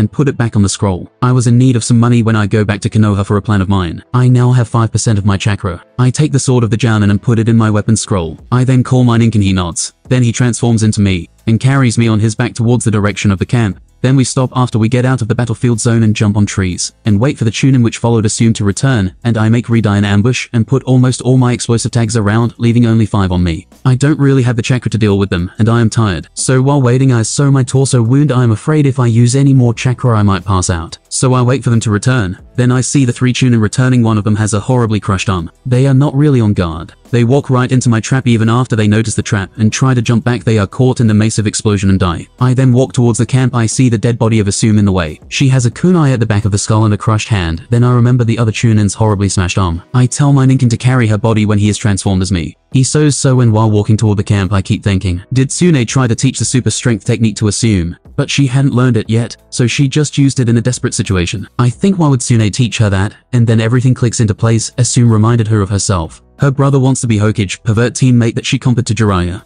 and my supposed genius to Orochimaru. Then I see the camp and use a medical jutsu to knock me out and make me look even more exhausted, and I have my dog to carry me to the camp. Even though unlikely if the Yamanaka tried to search his memory, he has only been observing my battles, and they can't check mine back else I'm wounded and knocked out. After all, they can't check the memories of a comrade without asking. I then open my eyes slowly, and the first thing I see is a female medical ninja is cheeking on me and says, call Sakumo-sama. When I woke up and then as soon as I do so, the medical ninja says, Woke please stay down, Hatake-sama will come ask about the dittles, and how you got injured. By the way your dog refused to leave your side. Then she seemed a little sad and regretful as she said, Your torso might feel a little numb from the wound I am sorry but we couldn't heal it to leave no scar. I looked at my bandaged torso and look around and act like I'm confused, so I just ask with a hoarse voice, Where am I? The medical ninja softly answered, You are in the hospital. Then I widen my eyes and act shocked cover my eyes with my hand and start crying. Damn this used to be easier when I was younger. I just screamed full of despair as I said, Damn it I was too weak too weak to even protect those I care about. Why the hell did I even become a ninja if I can't protect those I love? It was not your fault. A child shouldn't take responsibility for the actions of an adult. I then look at who said that and see it was Sakumo. He then looks at the medic nin and tells her to leave. It was our fault we were not able to secure a territory to not let an enemy pass. When you feel ready you can tell me what happened. And he starts to walk away I say, wait I'm ready right now I don't want anyone else to die back else I didn't say this information. He looks impressed and nods. Then I start talking a story I had made up after all I was expecting this question. I tell him a story of how we met the ninja when they had killed and impersonated the merchant, how me and Asutori were planning to hold the ninja back while Assume gets reinforcement, but some ninja followed her stealthy, and we didn't notice. Of how Asutori killed three Jounin with a suicide-type jutsu, and I killed two Jounin and all of the Chunin with my explosive tag from Tsunade, and how a Jounin survived. I fought him to the death and won, but got injured and tired, so I surround my resting place with explosive tags, and how coincidentally, the Chunin ran into my trap. Seeing this, I returning to the camp saw Assume's body and paced out in front of the camp. I then started crying again. He just looks at me sadly and says, You had good teammates ready to sacrifice themselves for you, and I am sure they are glad they had you as a teammate. They wouldn't want you to be sad so be happy. They are always watching over you. Wow this guy is a great motivational speaker. Anyway I look at him make a sad smile and say, I guess so, but with some newfound fake determined eyes I say, I will become a legendary ninja a ninja so strong that I won't ever lose anyone. That is a promise to myself and them. He looks at me and nods and then gets a serious look in his eyes and says, The Sand Ninja were probably sent to make traps and kill our scouts to weaken us. We also have news that in a week and four days, the Sand Ninja will attack us with Chiyo of the White Troop leading them. But this time we will attack them first in a week's time. I look at him and nod. This time after this battle I am going to ask for a short leave to go to Konoha. I won't ask right now because it would be probably refused. Anyway, I need to train harder this week and need to learn more wind ninjutsu and wind nature transformation. I check my reserves, and they are 60% full. I then start using the mystical palm technique to get rid of the numb feeling. Then I look for my things I find them in a counter close to me look at my dog. Then he nods at me. That means that they haven't checked my memories. Then I look at my hand there are no bite scars. I also told my dog to bite me really hard at my arm to leave a scar, if they are going to check his memory, and they then erased it. I see nothing in my hand, neither do I feel the numb feeling that comes with healing and using my medical knowledge to see if they tried to ease the feeling. I guess I was too paranoid. They wouldn't really suspect a child to do what I did, and the Yamanaka are more focused on dealing with enemy ninja information. Anyway, I get dressed and I put Shiro on my head and go towards the Jounin tense look around trying to find Chaku the Jounin who taught me ninjutsu. I found him trying to flirt with another female Jounin who he looked like begging her for something and hugging her leg. Hey come on marry me please I plan to start a family when I return to Konoha. The woman just looks at him like he is trash. Then she scolds Chaku. What the hell Chaku you have been asking every female Jounin like this for the past months. You already asked me four times. Even more tears come out of his eyes, and his snot starts to flow from his nose like a child. Please, the woman Jounin just looks at this with a disgusted look on her face. She gets angry and screamed, I said stop it damn it. Then the other Jounin steps on his face and starts kicking him, and then she walks away. This is really embarrassing to even watch. How can a Jounin be so pathetic? Anyway, I get close to him and am about to ask him something, but he interrupts. Ah, Yami my favorite student. I just looked at him with an emotionless face as I said to him, I am your only student. But he ignores what I said and kept talking. I need you to be with me next time I ask a girl out. Your childish charms may help me. When I heard that my face scrunched like I just swallowed a lemon. No way am I helping you with that. Anyway, I will give you 1 million Ryo if you teach me all that you know about Kenjutsu. When he helped me against the puppeteer ninja in the war, he used a sword, so I thought he might be skilled at using it. Yes, I will help you. But you don't need to pay me. Do I look like the kind of guy that would take money from kid? Asked Chaku while trying to act cool and noble. Dot dot yes. I answered with an emotionless face. He then squats to the ground to press drawing circles on it, and with tears coming out of his eyes. What a mentally unstable Jounin. I think. Time skip left parenthesis one week later. I have learned Kenjutsu from Chaku and his clones teaching my clones. I also did the wind training exercise of cutting a leaf using wind chakra I did it in two days. I have gotten quite skilled at using a sword, but not quite at Chaku's level even with shadow clones. He told me not to worry about it, and that you get way more training and experience by using it on the battlefield. That's where I'm going right now we are going to attack the Suna camp immediately, even though they might know by now we are attacking them they might not know. Because in our camp, the others got word today in the morning that we are attacking Suna camp, and only the Jounin knew science. A week ago and me who is a Jounin in all but name. I also have the sword Jounin sword in my back, it was a chakra metal sword that lets you channel chakra easier in it. It is good because I have a short reach because of my age. Even though I feel uncomfortable I am in front of the formation of the formation as a Jounin strength ninja it is my duty but I'm sure I can look out for myself now. I then see the Sand Ninja army in the field. Well then time to go to war and make a name for myself. I see the Suna Ninja in a little of a disarray they probably prepared in a hurry. Then as the rest of the Jounin go forward I go forward in a slower speed, and then I see a mud dragon coming toward my direction. I then sense some of the rookie tuning get behind me for me to protect them. I act like I don't notice them signal my dog to stay a little far away from the main skirmishes, and to be careful of an attack. I have him separate from me in case of an emergency I can shunch into him my sense of smell is quite good, and I also can even turn it off with my medical jutsu, not to be like Kiba who got defeated by Fard. Then the mud dragon was getting closer, I just simply did a substitution after all it was from the other side of the battlefield. I then see some Suna Chunin in a group working together, and I use fire style fireball jutsu, and while I'm spewing fire off my mouth, I do the wind style great breakthrough, and the fire cuts off and is pushed by wind. The Chunin all get burned. Then I look towards the Suna forces and use fire style dragon flame bomb towards them, and 40 Chunin and Genin get caught off guard and are killed. I then take out my sword and pump my chakra sense to the maximum, and use four-legged technique, and now my senses are at maximum capacity. I jump in the middle of a field of Chunin and start cutting up. I need to make a name for myself for my short leave to be allowed. They don't allow just anybody to take a leave. I then see four Chunin in a row and swing my sword towards them. One of them tries to block it with a kunai, but just before they clash, I use wind chakra and cut through the kunai and the four Chunin. I sense a guy behind me I sidestep to dodge, and then cut his head off two people are coming towards me from both sides. But then I sense something underground, and I jump two hands come from the ground, pull my nest to my chest, and kick both the ninjas from my sides and stab the sword in the ground. I feel the wind cutting sound behind me. I tilt sideways to dodge grab the kunai and throw it at the throat of someone. Then some ninja come towards me with a kunai and swords. As soon as they are in my range, I cut their throat and then some ninja throw projectiles at me, and I use one of their bodies as a shield and jump back and ninja again comes towards me with a puppet.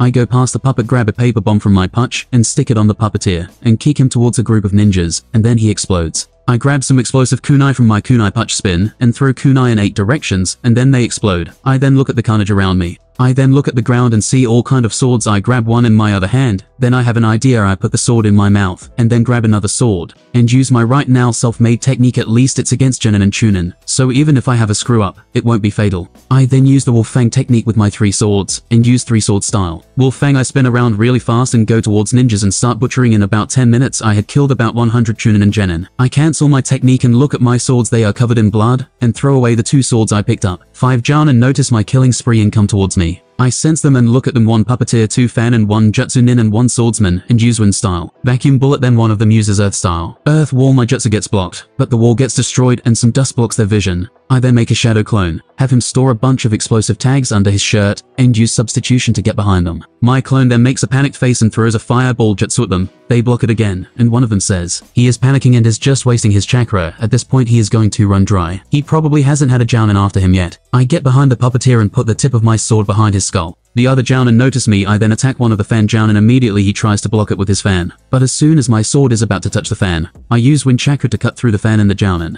I then immediately jump back and use Fire Style Dragon Flame Bomb at them, and then Anusta Jounin is about to do a Mud Wall to block at my clone behind them. Goes toward the Jutsu Nin who is about to use the Mud Wall Jutsu with his wind-coated sword. The one fan Jounin, and one Swordsman Nin, goes to block him. But as soon as they do the clone explodes and kills them, and heavily injuring the ninjutsu ninja, and then my jutsu kills him. I was expecting some more to survive killing and is getting easier and easier. I think it is because my planning and fighting experience growing. But also Becky's they always underestimate me. Wow being a kid is so useful. I alone gave the Sand forces a heavy blow I have taken 11 Jounin out of their forces, and that is a lot they used to have a Jounin number advantage, but now they don't. I look towards Tsukumo who is fighting Chiyo and Ichibi Jinchuriki, which has covered both of himself and Chiyo with sand. Tsukumo can't quite get close to them with the sand and puppets. I look at this fight and think apostrophe I have a plan what is a better way to get my name out than fighting legends. I have 45% chakra that shadow clone got me low, but I'm sure of my chances in escaping. I saw Tsukumo getting close to the duo in the sand sphere, and cutting through the sand being thrown at him, and some projectiles thrown at him by the 10 puppets which belong to Chiyo. Two puppets look towards me and come towards me the two touch one of their hands together with the other's hand, and when they separate their hands and are coming towards me. As soon as I see that I use substitution to appear someplace behind the sand sphere. Even though I couldn't see it from the distance where I was from I am sure that they had wire between their hands that could cut through thick wood like it is nothing.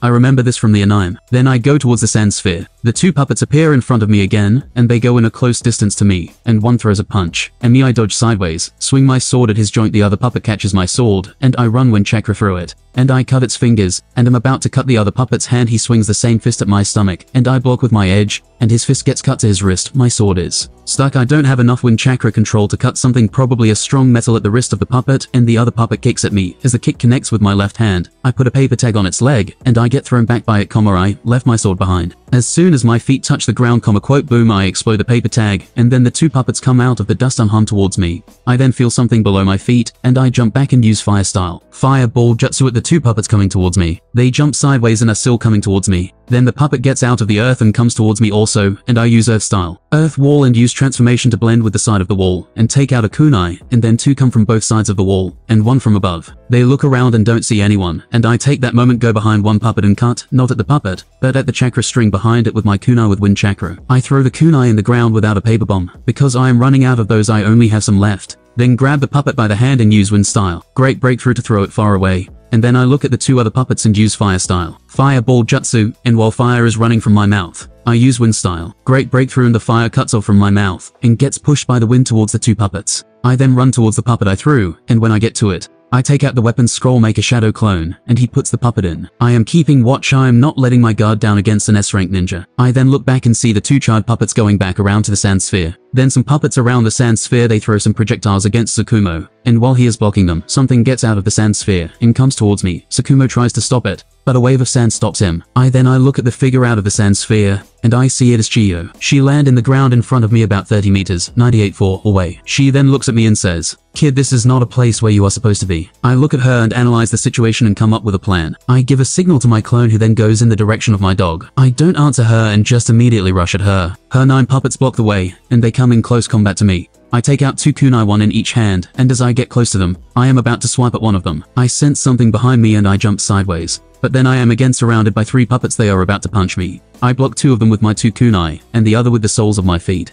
Then they open their mouths and spit out Senbon I have just enough time to position my body to not hit anything vital. But still, I have Senbon sticking out of my body, and I think that they are obviously poisoned. I then jump up from the fist of the puppet and do a substitution. Immediately after it my substitution is skewered by projectiles. Then Chiyo looks at me and says, Kid just return the puppet, and I will let you live. I obviously didn't trust her if I gave her the puppet she would become stronger, and I am not sure she would keep her word. Even if I knew her from the anime this is war, so I absolutely don't trust her. I first take out the Senbon out of me, then I take out from my belt an antidote from Tsunade and inject it. Chiyo looks at me and says, Kid that is not a poison from the one Mars produced for the army. It is a special poison made by me with some rare ingredients in about a minute you will start throwing up your own guts. Give me the puppet, and I will give you the antidote. I look at her and ask, how about you give me the antidote first, then I give you the puppet. She seems to think a little at first, and then nods and says, okay kid but no tricks. She then throws me a vial. I catch it and just open the lid and go on as if about to drink it. But I put chakra in my nose to make my sense of smell even stronger. Then I take a sniff without her noticing, and I cover the vial with my hand, and act as if I drunk it. I also made it look real with some genjutsu. I already know what was in it from my medical knowledge. Just more anti-pain with paralysis poison, to make me feel like I'm getting better.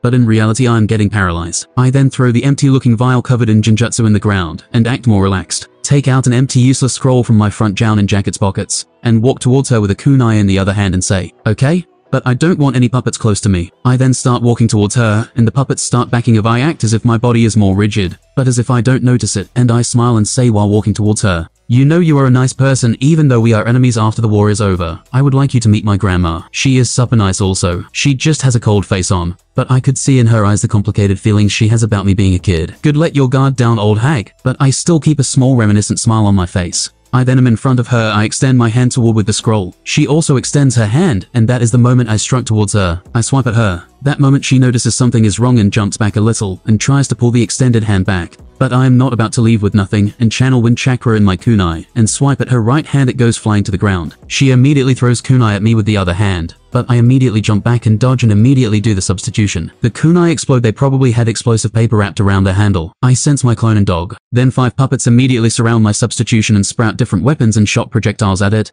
and then they get close to it and hit him with different weapons. I then immediately use Shunshin and appear at the side of my dog, and my clone is there too. This is a little far from the battlefield. I look at them and then say to my clone and dog, make earth walls all around me. Shiro you keep watch around it and stay hidden and kill anyone who comes close. They nod, and while my clone is doing his job, I take some anti-venom to give me more time against the poison. After my clone does so I dispel him to get some chakra back, and then make another clone. He knows what to do. I give him the scroll with medical supplies in it. He opens it and summons all the medical supplies in it, and then he puts a sleeping bag on the ground I lie in it. He opens a bottle, and puts the liquid in a bucket. He fills about 10 buckets. With that kind of liquid, there are bottles all around the ground. He brings the 10 buckets close to me. He makes hand signs, and then uses chakra scalpel. Technique on two of his fingers, and he starts to make cuts above my heart, stomach, kidneys and one small cut at my intestines. He stabs a senbon on my neck to temporarily stop all feeling from my neck and down. Then he puts the hands on the bucket with liquid and pulls out a blob of liquid and starts putting it inside my body through the cuts after some seconds he pulls out the liquid with some brown spots on it. It was the poison he keeps doing this about 8 times, and 8 buckets are now with used liquids with poison. He pulls out the senbon, and I feel kind of sluggish he then uses mystical palm to ease it. I get up and pull out the food scroll and summon water bottles and start drinking them. I then dispel the clone pack my stuff back and go outside the dome and see my dog fighting a chunin, and my dog seems to be whining. But I interrupt the fight and get behind the chunin, and with a swipe of my kunai I cut his neck and he dies. I also see another body on the ground he looks to be a genin he has a chunk of his neck missing. I look at my Ninken and tell him to follow me. I go back to the battlefield and go towards the Battle of Tsukumo, and the Ichibi Jinchuriki while going there. I kill a couple of Sand Chunin and Genin with pure Taijutsu. I don't have the leisure of wasting chakra on them as I get close to the battle. I signal my dog to go behind the Jinchuriki and stay hidden there. When I arrive there I also see Chiyo, but she now has a puppet arm, and she is not accustomed enough with it to use chakra strings from the puppet arm. So right now she is only controlling 5 puppets in the fight against Tsukumo. I get in the battle by throwing a kunai with an explosive tag towards her. A puppet comes in front of her and blocks it. She then comes behind he puppet without any harm, and the puppet is also okay, and she tells me, Kid you are going to die now I won't make the same mistake again. Bunpuku throws some sand towards the kid, but nobody answers and she says again, Bunpuku we are at war we don't have the luxury to go easy on enemies, especially on the kid. Then Jinchuriki uses sand tsunami. As soon as I feel the Mars amount of chakra on the sand around, and the Jinchurikis large drooping in chakra level, I was ready to retreat immediately, but then it all goes towards Sakumo which cuts the tsunami in half, but he still gets pushed far away. Then an old bald man with a long beard comes out of the sand sphere and says, No matter what I won't kill a kid. Even if the order comes from the Kazekage himself. My deal with the Kazekage was that I must hold Sakumo Hatake back not become a child killer. And I am not a killer like Ichiyo I am a monk. Chiyo looks at him and then frowns and says, How about just capturing him with me? I promise I won't kill him. He seems to think a bit. Then I look at both of them and think apostrophe I am going to execute the plan, and if it fails I will immediately escape. As the Jinchuriki is thinking I use substitution and appear in a tree and throw shuriken and kunai, with all the explosion tags I have at them, the Jinchuriki gets out of thinking, and the projectiles are blocked all by sound. But that is the view blocker and noise I needed, and I also noticed something small but significant. He needed to concentrate to use the sand. I use Shunshin and appear beside my dog and behind them, and throw Senbon at the Jinchurikis neck. Let's see if my theory is correct if he does or doesn't have the sand that protects him automatically like Gaara. As the Senbon are thrown at his neck, they don't make much when cutting noise, but that is their speciality. But they are also not lethal if you don't have good aim, and don't know lethal points in the human body. Then the Senbon. The Senbon pierce his neck, and he is knocked out and in a fake death state. Chiyo sees and looks at me with anger, and she is about to get close to the Jinchuriki to get the Senbon out of his neck, and I am about to stop her. But then I sense someone with enormous chakra get in front of the Jinchuriki. It was Tsukumo Hatake. Chiyo sees this, backs off and runs away in the back of her puppets. Smart, if she had started she would have gotten killed or captured by Tsukumo. As she is retreating she gives out a signal for all the sand ninjas to retreat. Tsukumo makes a shadow clone gives it a paper, and then says to me, I am going to take care of some Suna ninja look after the Jinchuriki. He then runs off to probably try to save as much Konoha ninja as he can. He really is dedicated to his comrades. His clone looks at me and with a calm voice says, You know kid you helped me a lot today. We just gave Suna a devastating blow. Not only did we take one of their elite soldiers Bunpuku, but also their tailed beast. I then look at him and act like I feel the same too, and say, Wote I am just glad that I could help my comrades. He looks at me with a kind smile and says, You did more than just help. My battle science after the first battle in the war that I fought against the third Kazakh and it ended in a stalemate. But Konoha suffered against Ebizo, Chiyo's brother that killed hundreds of our shinobi. Tsunade held against Chiyo at that time. Sahi then continues, after that battle every battle that came after that, the Ichibi Jinchuriki held me back even when I was about to kill him. He would get saved by Chiyo. By the way, I was surprised seeing that old hag with a cut arm um, I thought she killed you. But you were able to take her arm off. I then looked at the ground seemingly distracted, but I was actually in full alert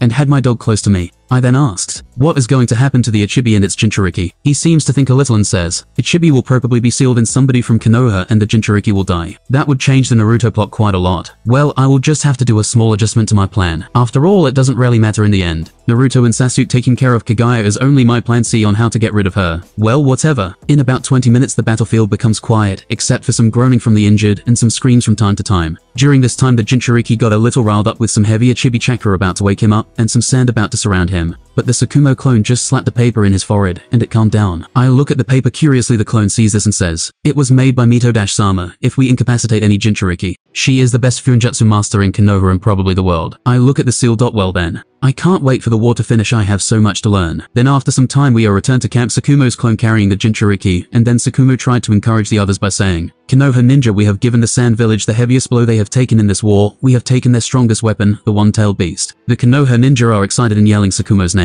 They are really yelling. How un-ninja-like. Well whatever I am about to return to my tent, but I am stopped by Tsukumo who comes towards me and puts a hand in my shoulder and says, I am not responsible for the capture of the Ichibi. This young ninja, a true talent of Konoha, didn't want to see his comrades die and made a reckless, almost suicidal attack on the Jinchuriki, and it worked. His name is Yami Inuzuka, a true hero that saved hundreds of lives today and thousands that would have followed. The ninja around me grab me and throw me in the air. What a bother. I wasn't even risking my life I had so many ways to escape it wasn't even funny. Anyway I make a childish smile and act like a child. Then after some time, Tsukumo called me to the meeting tent. Well then this should be a perfect time to ask for the break. I go inside and see about 20 Jounin and Tsukumo who has a scroll in his hand. He looks at me and with a serious voice he said, I need you to send this to Konoha and deliver it to the Hokage it explains the situation here, and the last battle situation. I send this every month, and after every battle it is usually sent by Chunin. But this time you with three other Jounin will send it back else the Sand might try to intercept it. You will go tomorrow after you have recuperated. Three Jounin stand up. He throws the scroll at me, I catch it and then ask, after this mission can I take a small break I haven't seen my family in a long time. Tsukumo looks at me and nods. Of course you will get a one month break. I don't believe the sand will attack us for a long time. Now that they don't have a Jinchuriki. I nod at him and get out of the tent. Time skip tomorrow. I look at my team two of them look like Hyuga with headbands in their foreheads.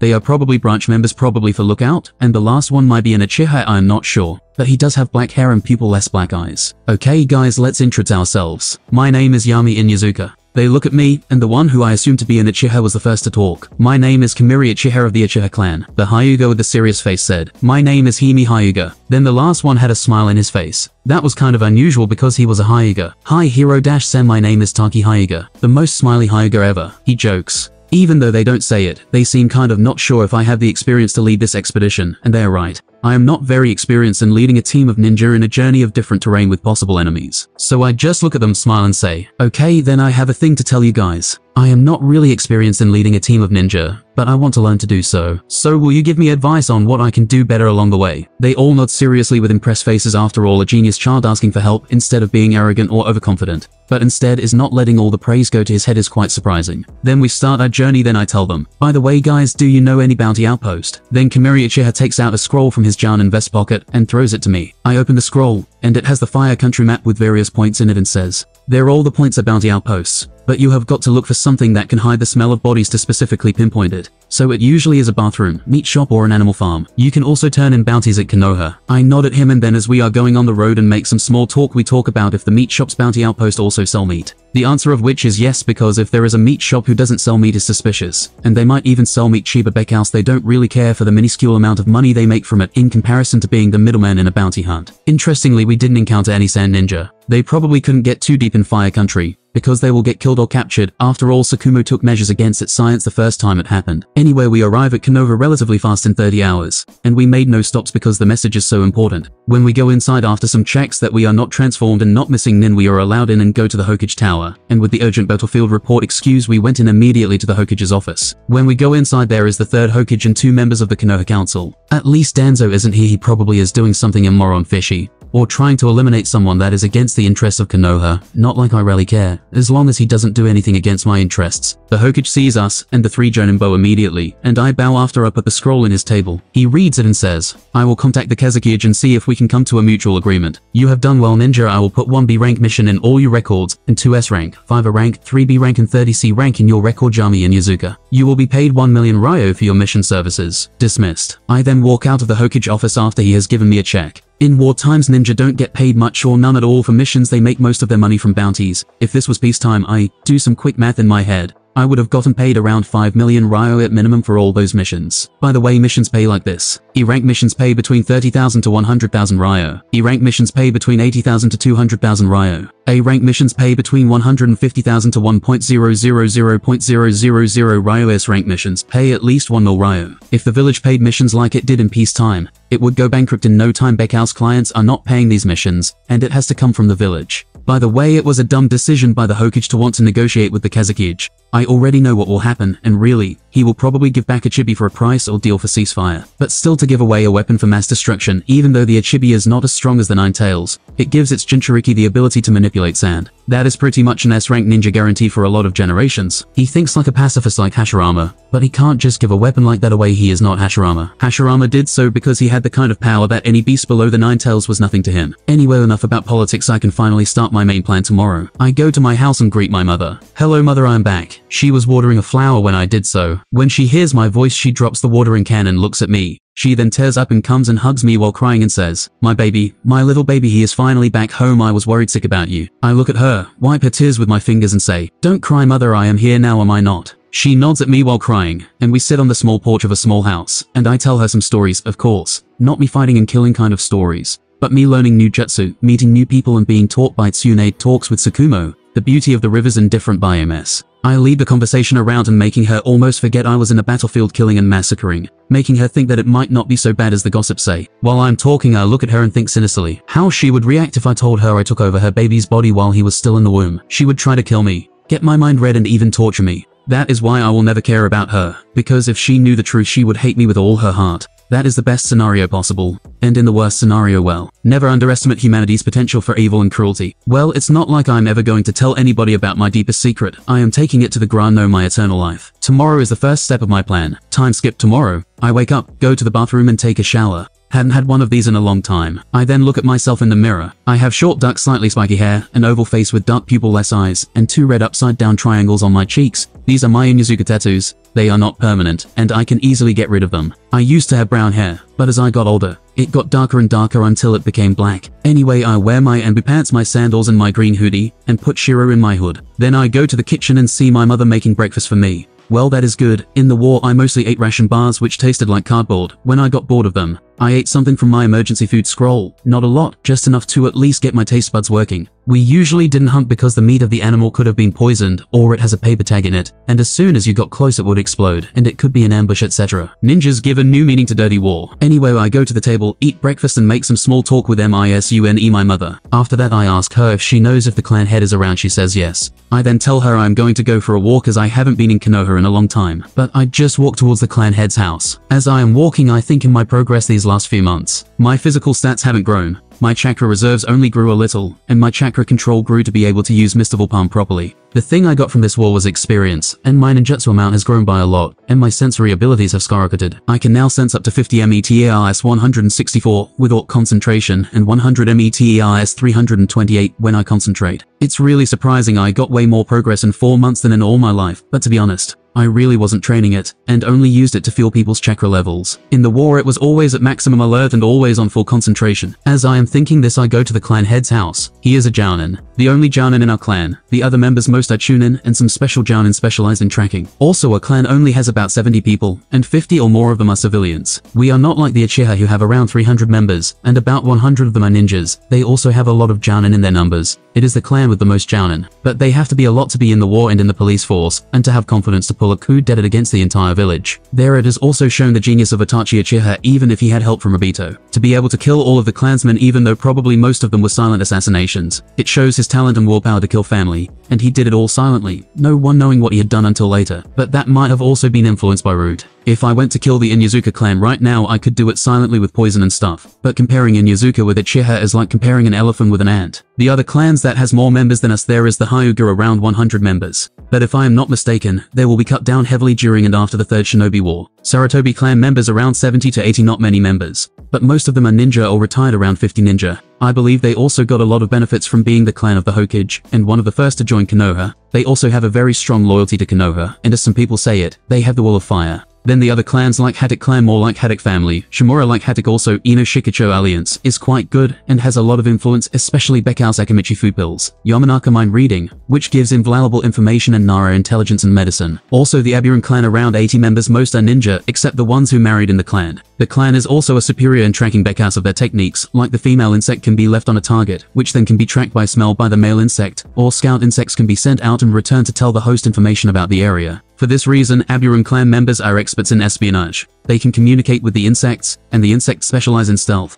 because they make no noise or motion during combat. And on top of it, the clan is a noble clan in Konoha, one of the four in it together with Akimichi, Hyuga and Uchiha. There are also some clans that aren't even worth mentioning because of their small numbers, and also their non-big name shinobi. So yeah, a clan is really trashy. But then there is also the Senju clan it was the greatest clan in Konoha on its glory days. But now I can count its members in one hand, and by the time canon comes with one finger. There were a lot of Senju deaths on the First War, and a lot of assassinations on them as soon as Hashirama died. They didn't want the power of a man who was able to capture the tailed beast to be passed on. After all, what Hashirama did was shocking at the time, so the Uchiha were overlooked even though Madara fought Hashirama, Madara had the Nine Tails, and he still lost, so the Senju were primary targets during any mission. Anyway, I now am in front of clan leader's house a big house with a big yard. I go through the gate inside without knocking and go to the front door and say, I am coming in. I then go towards the chakras that I am sensing one Jounin and three High Chunin, and go towards an open area looks like a sparring dojo like area and there is the clan head surrounded by three big wolves, which probably are his Ninken. He seems to be relaxing on top of them and reading a book. When I arrive there the three Ninken open their eyes and look at me, but I simply ignore them and look directly at the clan head and say, I am here to become the new clan head, and I immediately start concentrating chakra in my throat after that and start to prepare something. His body jolts, he drops the book down and looks at me gets up, and the wolves get up and start growling at me. The clan head looks at me and looks angry and starts growling and says, you are quite arrogant little brat, you think that you can just barge in and say things like that. I guess I'll have to teach a lesson to a pup WHO became arrogant just because he made a name for himself. Well, the Inuzuka clan are a bit more primal than the other clans, and a clan member can take the clan head position by challenging him. If anyone has a problem they have to just sort it through violence, though killings are not allowed. That is how the current clan head took his title he even took the previous one's data. Truly a clan of savages and unintelligent people. As he looks ready to pounce at me, but as he is about to do so I release the technique in my throat, and it comes out as a loud growl of a beast. Demonic illusion, dog binding and as soon as that happens the clan head's eyes become unfocused, and he stays in his place even the dogs seem out of it.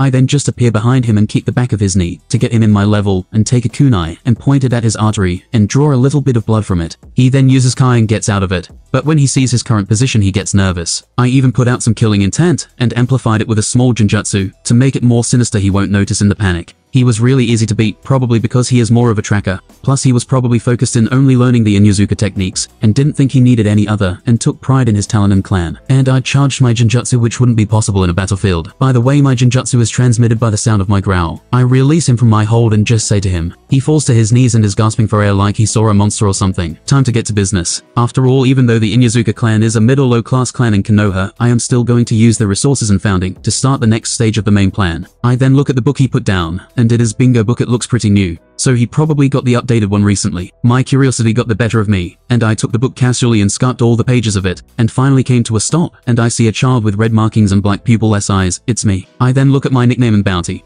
Yami Inuzuka code name, Red Fang H, 8 bounty, 13.000.000, Ryo rank, E-class ninja proficient in Taijutsu, has large amount of chakra for his age, and his strong point is ninjutsu. Be aware the ninja is a scheming type ninja who uses his young age to do sneak attacks and misdirection. He usually strikes when the enemy think they have got him, best known for taking out the Ichibi Jinchuriki. Wanted in by Wind Country for his part in the capture of the Jinchuriki and multiple kill counts of Sand Ninja. Dot dot. The page was filled with information about me after the first few lines. It was all useless information of how I was an Inuzuka, when I entered academy etc. The bingo books require information to fill a page. It usually puts your most noteworthy actions in there, but I don't have that many, so they just put my academy graduation age, my usual clothing etc. If you really want more information you got to go find an info broker. By the way the nickname is truly unoriginal Red Fang. It kind of makes sense Inuzuka and all, but they probably did it back else I fought besides Sakumo the White Fang. Well anyway, I could still get a new nickname from another country like Kakashi did copy Ninja Kakashi and Kakashi of the Sharingan. By the way the bounties are not put up by the village, but by the country. Anyway I look at the clan head now he is standing, and I then ask, how much money is in the clan bank account? He looks at me unsure, and I just immediately realize my killing intent. And then he stands more straight as he says, there are 53 million Ryo in the clan account. It is all the clan head savings, plus the 10% we take from every Inuzuka individual's mission. I nod at him. It's true every mission you do 10% is taken by the village from the payer, and 10% from the clan if you are in any. The clan budget is of course for maintaining the clan stables, roads, etc. The clan takes 10% of the profit also if you have an establishment like a restaurant, clinic, etc. I then tell him, okay then, where is your office where you keep all your paperwork? The clan head tells me the directions and I make a clone, and it nods at me and goes away. I then look at the clan head without saying nothing. He starts getting nervous and then looks uncertain and finally asks, are you going to take my daughter as your wife? If you are I guarantee you your children will be strong, especially with the Inuzuka secret breeding technique. That was how Tsume was conceived. I just narrow my eyes, signal my dog to get down from my hoodie and do something, and I then say, the best your daughter can be is a concubine of mine. After all if I'm going to marry someone it's going to be a political marriage, not some weakling's daughter. He looks angry and just grinds his teeth together and immediately uses four-legged technique. His brown long spiky hair stand up his claws lengthen, and his fangs become more defined. I just look at him and simply use Shunshin and appear beside my dog, and behind him, I also use four-legged technique, and just simply jump up catch the back of his head with my hand and smash it down on the floor, and the floor cracks he is unconscious, and I cancel my technique, and I then use medical ninjutsu to wake him up. He wakes up and looks around confused. I then calmly say to him, did you see now, you lost without even knowing how. If this was a real battle you would have been dead. He looks afraid and unsure of something. Well then I need to get rid of him fast and silently, or he will become a thorn on my side. After all a pack doesn't need two leaders. I keep acting like the definition of an alpha of the pack, and he still is unsure about something. Well anyways I then tell him, show me the way to the clan head's library. He nods fearfully. Just then the clone comes in with a one finger thick stack of papers. I take it and put it under my hoodie to check later the status of the clan, and how to make it better. Then the clone dispels. Then I tell the previous clan head to lead me to the clan head's library immediately. He does so and as we are walking I think, he has gotten really submissive all of a sudden, probably when he saw our difference in strength. He probably thinks of me as a monster or something, but who cares I will get rid of him silently in the coming days, and make up a story about it. Anyway as I go into the library I see only a shelf in a small room I go inside, and then I made my decision known. From now on I will be living in this house. The clan head looked shocked at this. What? No you can't do that where will me and my daughter live. I just wave him off. I don't truly care, but since I am merciful you can stay here with your daughter. I am not cruel to do like what you did to the clan head before you, because I am way crueler. I then look at him and ask, by the way what's your name? He looks perplexed and then says, you didn't know your clan head's name. My name is Akira by the way. I just shrug my shoulders. Huh, I never really cared about it. Anyway, Akira spent 25 million Ryo from the clan's money in building me a medical lab in the dojo thing. I then take out a paper and write everything that I need on it. If you need more take it from the clan's money by the way if I see you are stealing money from me. I again use demonic illusion. Dog binding and he is in the Genjutsu again this time he gets out of it in 5 seconds. While he was in that I used some useless Genjutsu I learned in the academy to make my eyes shine red, and then I coldly say, I will kill you. His face pales and his body started shaking, but I still just simply said, anyway for the things I need to buy, you could send someone to go do the chore themselves. Then I continued, by the way where is your daughter? Akira seems uncomfortable as he said, Well, ah, uh, she is learning the Inuzuka techniques in the Inuzuka training ground. I just looked at him like he was insignificant. Okay then anyway I am going to bring my stuff in this house. I then make a clone and tell it to bring my stuff here. Well then time for some manipulation. I just smiled a little. You know what, don't tell anyone that I am now the clan leader. Akira just frowned a little. And why would I do that? I just look at him and narrow my eyes. Do you know why I don't want the glory of being the youngest clan head? And that I took down one of the strongest people in the village. He now looks confused and flattered. What a dumbus. I then try to put the idea in his skull by saying, when I took you down I didn't do it to take the clan head title from you even if I barged in like that. I did it to prove to you that I am able to do so. Now, do you know what the other clans would do with that knowledge? He still looks even more confused. What an unintelligent person. They would rip us apart try to make us fight each other. We must keep this a secret after all me and you we could rise this clan to the top. No dream can be too big with the two of us working together you as the light and me as the darkness. We will be making history together. He looks proud and happy for the future he has their anticipating face like he can't wait for the future to come. Then I put the final nail in the coffin to my little scheme as I said. You could just say that I am your successor to any person who asks about me. And the most important of all we are family no matter what don't forget that. After all, even if you are erased from history, or Shun the only ones who will stay forever truthful to you as family. He nods. He really is an idiot and really easy to manipulate. He might not even notice it yet, but he already sees me as his leader after all. I just use force to make him submit, and then flattery and fake promises to make him feel important, also to make him think that after all is over, we are still going to be family and a strong one at that. Anyway my clone comes back and I then dispel it. I get some memories from it. It was me explaining my mother that the clan head told me that he will train me to be the clan head. She looked super happy and told me to come visit her sometimes. I really need this rumor to spread out as much as I can. I need to be known as the successor after Akira dies. And then I go to his office and break the wall that connects to the next room with a punch to make a passage to it. It's not really a strong wall it's made out of cheap wood. I then tell him, I will be taking the room next to the office bring a bed in here, and I or a clone of mine will manage the clan. By the way I don't believe I have to tell you. But don't talk to anyone about me in a bad light, because they will use it against us. Not even your daughter or she might tell someone. Akira just nods as he said, Okay don't worry I will become a great figurehead for the clan. He seemed happy probably that he won't have to do paperwork, and he is getting rewarded, and is going to get praised by doing nothing. I then sit on the office chair and say, by the way be careful of everyone, trust no one, think of all the people as your enemies, and think of every outcome possible. Think about everything, never show any weakness to anyone. He gulps and says, of course I will. I didn't really try to warn him. I said that to make him paranoid and not trust anyone. He will see everyone around him as an enemy and all that. Sometimes I wonder how I would have fared if I was reborn in Game of Thrones universe. But in there I would have to use softer power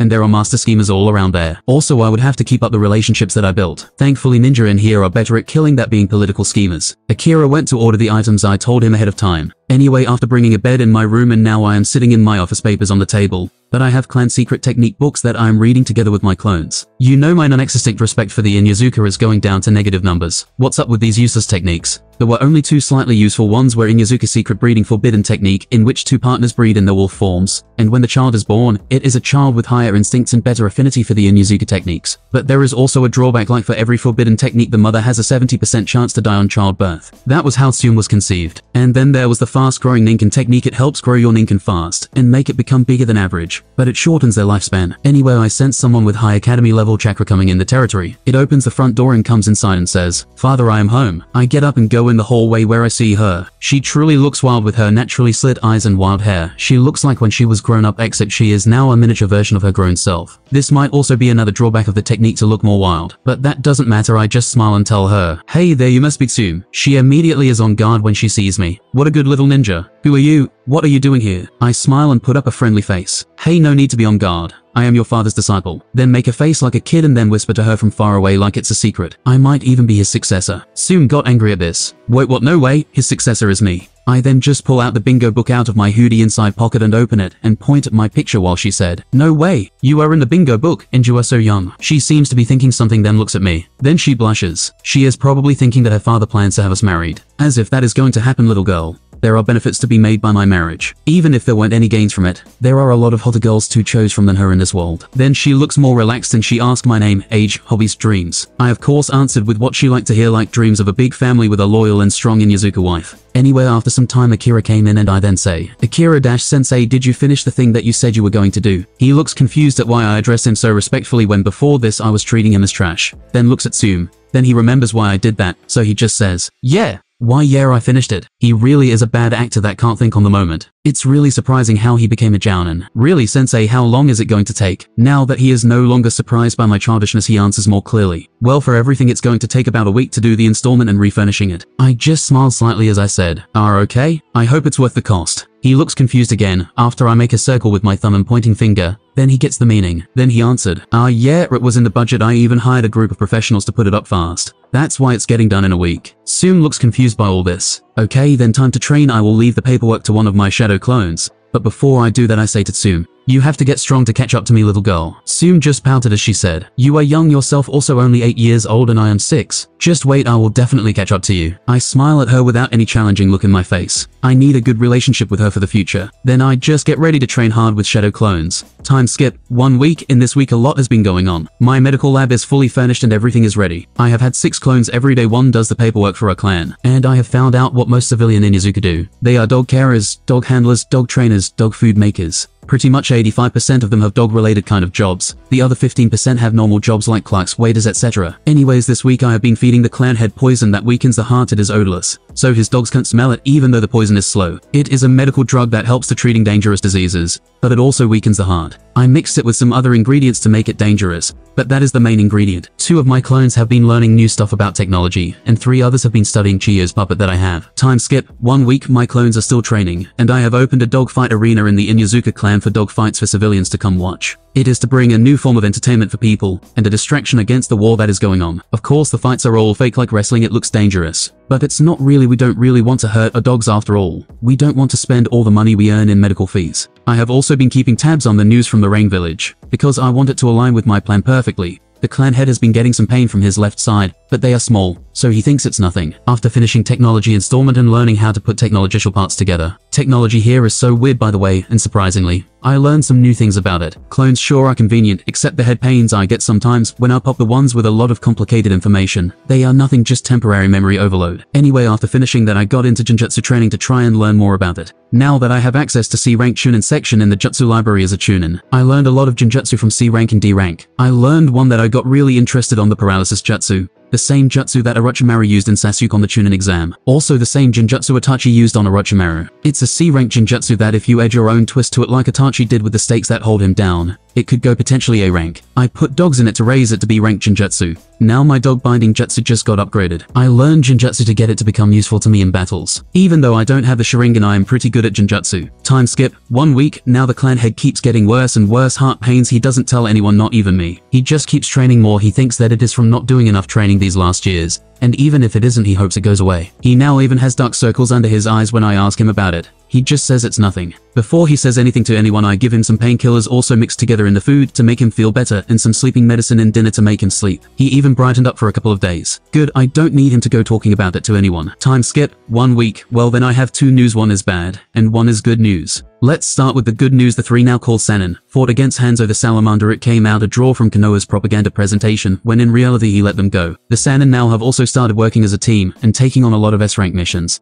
that keep getting the residents of Konoha pumped up. Also most of the missions are being made public after completion with confidential details hidden to keep the morale up. I even studied the basics for Fuinjutsu of what different seals mean. This is truly complicated even with my clone after a week of studying. I can't make even a good explosive tag. I can only make a firework explosive tag which is pretty much for pranks, and it is an E-rank seal. And now the bad news the clan head Akira has died in his bed his daughter was there when he died. I remember it like it was yesterday. Flashback to his day of death, Akira POV. Clan head, how? I can't move, damn it. I thought I started getting better. Then my daughter comes in the room because I was knocked down for breakfast and sees me in pain and clutching my chest and not moving. The pain is truly unbearable. She seems panicked and does the first thing that comes to mind. Yami, Yami come here father is not feeling good. I hear him say, okay come with me to him you might be able to help me. Then I feel a feeling of relief wash over me even through the pain. After all, he is a student of a famous medical Kunoichi, which is the first Hokage's granddaughter. I am thankful that he doesn't want to be in the light, or I would have been seen as a weakling, if everyone knew I was defeated by child. I even had a bad feeling about him at first. He really is a true family when I beat the old clan head I couldn't wait for him to die. Now that I think about it, the pains they started immediately after Yami came to live with us.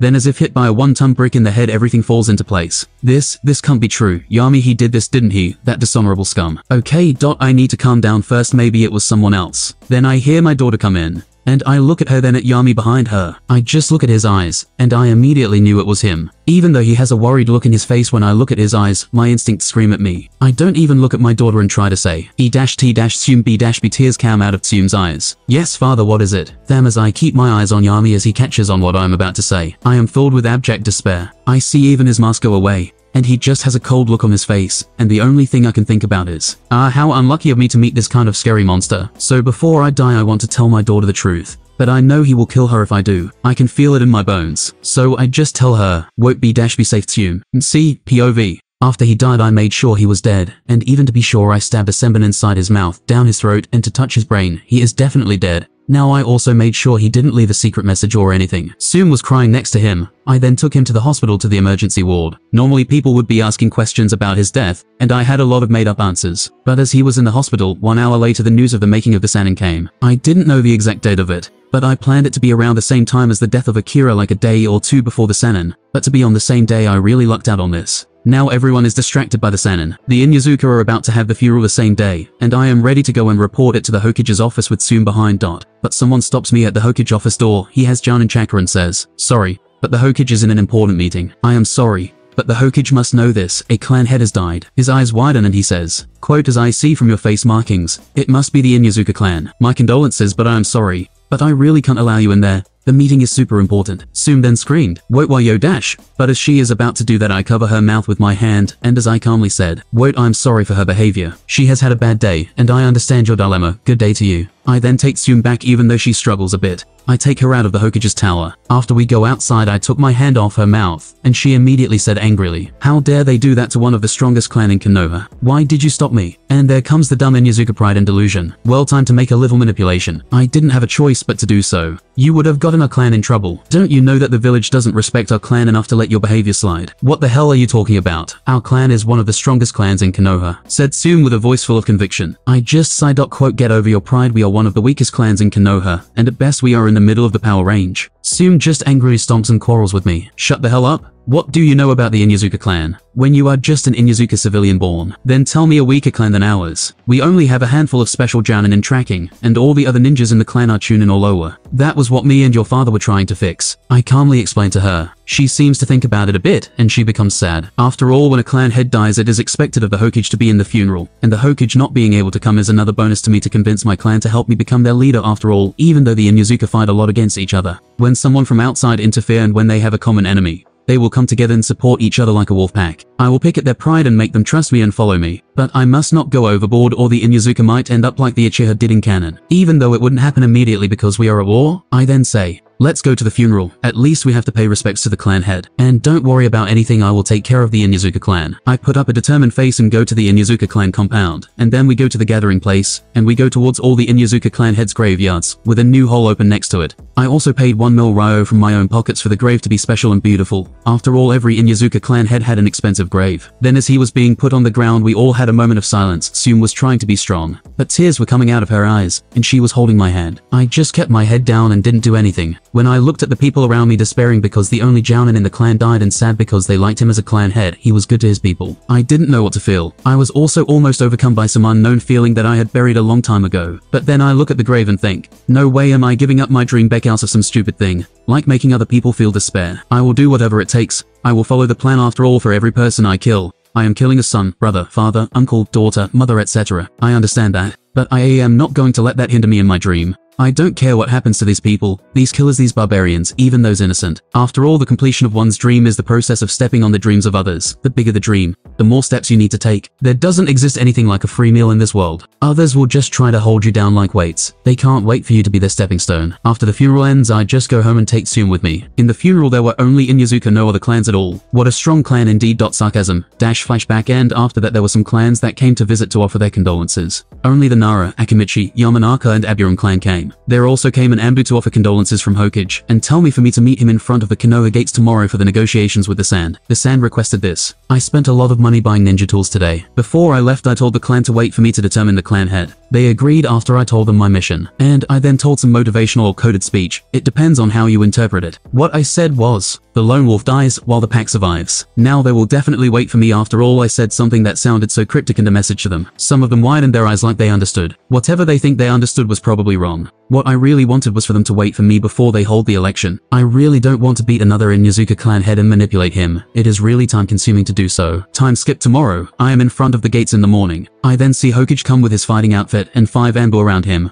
I can sense another five on the trees. After all, the Sand are still our enemies. I have a couple ideas why the Sand requested me, but I was ready even if Konoha wanted to sell me to the Sand. I had a lot of ways to escape as soon as I saw something suspicious. Even though it is unlikely for Konoha to do that because 1. Konoha doesn't give up its ninja 2. I am the student of Tsune 3. I am a clan member 4. I am well known. 5 if it did so, the morale would go down ek, etc. There are many reasons. But it doesn't hurt to be prepared. Anyway then we start going towards the land of rivers, and as we are going in about 10 minutes on the road, Hiruzen says, My condolences about the clan head's death. I am sorry I couldn't be there. I look at the ground to seem sad. No need to worry Hokage-sama. You had to deal with the Sannin situation and the peace talks with the Sen village. The Hokage then sighs in relief. He looks at me and says, Thank you for your understanding. By the way, how did the clan head specifically die? I look around and see the Anbu. I even see the one Anbu with a cocoon of paper and a sealing tag on it with lines all across the cocoon the Ichibi Jinchuriki is there. I then look sad like almost crying. It was an internal disease he didn't tell anybody except me. The reason he trained me was because he wanted me to succeed him. But there is also another reason, he wanted me to try to cure his disease. He did so because he didn't want to appear weak. He even built a whole laboratory in his house to assist me on the procedure. I started trying to make a cure for his disease.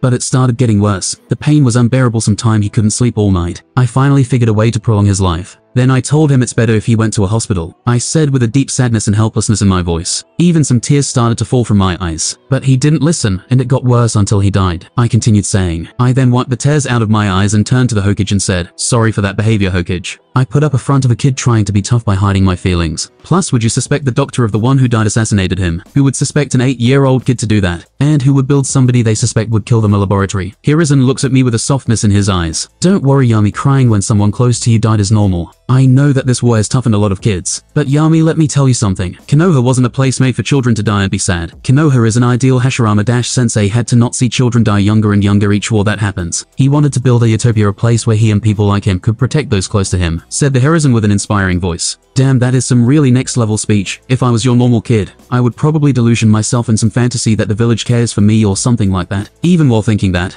I just look at the Hokage calmly and nod. After walking for a bit more, I decided to thank him. Thank you for the advice and wisdom Hokage-sama. Hiruzen just looks at me, and a small smile appeared on his face as with a melancholic voice he just said, That is the least I could do after all you have been through. Akira-Sen must have died happily to know that there is you to look after his family. If only you knew, if only you knew. I look decided to look down like I was contemplating something when in reality I did this. So the Hokage can't look at my face and read me, with my face down. I acted sad. I really hope so. I hope that he is looking over the Inuzuka. I said to Hiruzen with a sad voice. Then I continued saying, After all he can't expect a kid to do all that work without supervision, now can he? Hiruzen looks at me sadly and looks a little down at what I said. He was proud of you also, because of you we might be able to stop the war with sand, then we could concentrate on the other nations. Said Hiruzen while he tried to cheer me up a little. I look at him hopefully and say, Won't I really hope it ends. I hope this war ends soon. It took so many things from me. Well, that is a half-truth at least. Let's see if he can find anything wrong with my expression. After all, I need to learn how to act better. Hiruzen just looks at me with the same look that he had before as he says, I knew your teammates Asutori and Assume. He wanted to be Hokage, and she wanted to help him be so. He would always get in trouble and play pranks on the other kids, and Assume would always reprimand him. That seemed to work then we keep talking about different things. And we stop for the night and make camp we are still in Fire Country. We camp besides a lake called Fire Lake, and we set up camp there. The Anbu were taking turns keeping watch. But I still kept my dog up, I even make a shadow clone to keep watch over my tent. Then as I am sleeping my clone touches me on the shoulder. I wake up immediately and have my senses on full alert. I then sense 19 Jounin chakra around our camp. We are surrounded. I signal my dog to stay out of the battlefield, and I dosple my clone. And as soon as I go outside I see a barrage of projectiles being thrown at us. Some even had paper bombs attached to them. Then I see the Hokage go in front, and use Earth-style Earth Dome, and a dome of Earth surrounds our camp, and all I then hear explosions all around us. Hiruzen then undoes the jutsu and all the Jounin surround us. They all have Sand Ninja headbands. You know as Jounin of ability hidden in the rocks, you are really bad at impersonating Sand Ninja, says the Hokage with a nonchalant look on his face. Some of them widen their eyes. And then 10 of them get in the back and start making hand signs 8 of them use Earth-style Great Mud River and one of them uses a Fire-style ninjutsu to light the Earth River on fire. That is coming to us like a wave the Hokage just says to the Anbu and me. Stay close to me and don't fight to the death against them. I can take care of them without losing anyone. Said Hiruzen with a certain confidence in his voice. We go around him and he uses Earth-style mobile core and a platform rises us into the air like a pillar. Then the Anbu throws some fire jutsu towards the enemies, but they block with earth walls. Then we hear the 10 ninjas that have been using hand signs and concentrating chakra until now use. Earth-style Earth Golem Jutsu and a gigantic golem appears, and their chakra drop to about 85%. Hokage-sama if you want to keep your life, give up. I promise we will give you back to Konoha after they have surrendered, says one of the enemy ninja. Hokage just looks at them frowns his brows and uses, does some hand signs and slams his palm on the ground, summoning Jutsu. And the monkey Enma comes out, Enma adamantine staff, ordered Hiruzen. Then the Earth Golem immediately attacks. Hiruzen just looked at the attack calmly without a trace of worry on his face as he just simply said, lengthen. Fwash the staff lengthens and easily pierces through the stone golem. Widen. And with that word the battle is over, the staff widens and completely destroys the earth golem. An S-rank jutsu gone just like that. Ten Jounin died they were crushed by the debris, and the staff just like that the other nine see this, and immediately throw some jutsu at us, the Anbu use earth wall to block it. But after it clears out it seems they used that as a diversion to try to escape. The Hokage sees this, and then uses Shadow Clone 9 clones are made Hiruzen throws a scroll at them, then they nod and give chase immediately. Then we finally have some time to take a breather. Three minutes later a clone returns with a scroll on his hands, and gives it to the Hokage. Probably a storage scroll with all their bodies. Let's get out of here our tents were destroyed anyway. Let's just keep going at the meeting point, said Hiruzen, like he didn't just completely decimate a Jonin squad especially made to battle a Kage. After that there were no more interruptions in our journey. The me made some small talk about stuff, then he went into full professor mode and started teaching me how he knew they were stone ninja, etc. We then arrived at the Konoha camp. I haven't been here in quite some time. Sakumo comes to greet us and then sees me. Hey kid, how was your vacation? I just look down and seem sad and don't say anything. And Anbu then does some hand signs to explain what happened. Then Sakumo looks sad at me and says, my condolences for your loss. I am here if you need someone to talk to. Then we go to the battlefield, and there we see one big tent with Sand Ninja in one side, and Konoha Ninja on the other ready for war at any time. Then me, Sakumo and the Hokage go inside in there, and the Konoha Ninja stand aside and open a path for us to go in the tent. Then two Konoha Ninja open the tent's entrance flap inside. I see I look inside, and I see Chiyo with the third Kazekage sitting in chairs with their hands on the desk that they have there with a map of the all five nations. Then the we look at them and we sit in our chairs. Hokage in the middle, Sakumo and right and I in the left. The Kazekage looks at me with cold eyes and says, Kazekage, so you are the brat that was able to take out Orochibi. You sure don't look like much. I see what he is trying to do. I just smile and say, me. How how how thanks Kazekage dash Sama. That was what Chiyo thought before I cut her arm off. Then I make a vile smile and continue saying, me. That is also what your Jinchuriki thought before I took him out. Of course some other Sand Jounin had the same idea as them, but of course they had it. How should I say it more critical? The Kazekage looks angrily at me and releases his chakra with killing intent towards me, but then the Hokage releases his before it gets to me and says, Hiruzen, you know Kazekage attempting to attack a ninja of a village you are trying to make peace with doesn't send the message of peace quite clearly. Chiyo looks at the Kazekage with disappointed eyes because he just got angry and led on by a kid. Sakumo looks at Kazekage and frowns. I just look at them with my usual smile like I didn't notice anything. They already were in a lower position than us by being the weaker village they had to wait for us, so that puts them lower, and with what I did right now, they got even lower the only people in the room who get this are Chiyo and Hokage, the others aren't quite experienced in politics. Even I am not quite like them in political knowledge. But the Hokage has a weakness he wants peace so bad, and the others know, because they know this. That puts us in a kind of stalemate with them for now. Then the Hokage tries to defuse the situation. Hiruzen, come on now we are going to be allies soon no need to bicker amongst each other. The Kazekage sees this and follows. Kazekage, okay but for us to sing this treaty, I need the puppet that the kid took from Chiyo and the Jinchuriki. Hiruzen, I can give you the Jinchuriki for 500 mil Ryo. After all this is cheap, the first Hokage sold the one tail for 1 billion Ryo per tail for tail beasts. Then they started negotiating for it with the end price 100 mil Ryo. Wow the Hokage really is a bad negotiator that is where his wish for peace weakened him, and lowered the price exponentially. They also signed a 5-year peace treaty if they want to continue it they will meet again in 5 years. They can't exactly break this contract because it was signed by the two daimyo. Then Chiyo looks at me and says, Chiyo, okay kid now that we are allies return the puppet you took from me. Yeah right you old hag as if I will do that. I know that I can't keep it Beckhouse this puppets are precious to Suna, but there is no way I am giving those for free. I then smile and say, me, sorry Chiyo-san, but I can't exactly turn it in for free. I am studying it. You can come take it after the war is over. She looks at me frowns her eyebrows and says, Chiyo, well I will give you 1 mil Ryo for it. Me, I will accept if you give me 20 million. Chiyo, are you crazy kid I can make two of those with that amount of money. Me, yeah, but the ingredients aren't quite easy to come by, especially in a wartime. And I know that those puppets were made by the first puppeteer from the Anime. If they were so easy to make Suna would have more of them. Chiyo, I will give you 5 mil for it. Me, since we are allies I will give it to you for 17 million. Chiyo, kid don't joke with me 7 mil is the final price. Me, then you will have to pay me when the war is over. Chiyo is sweating a bit and the says, Chiyo, 9 million. I act like I'm fed up with this and say, me, okay, okay no need to beg for it.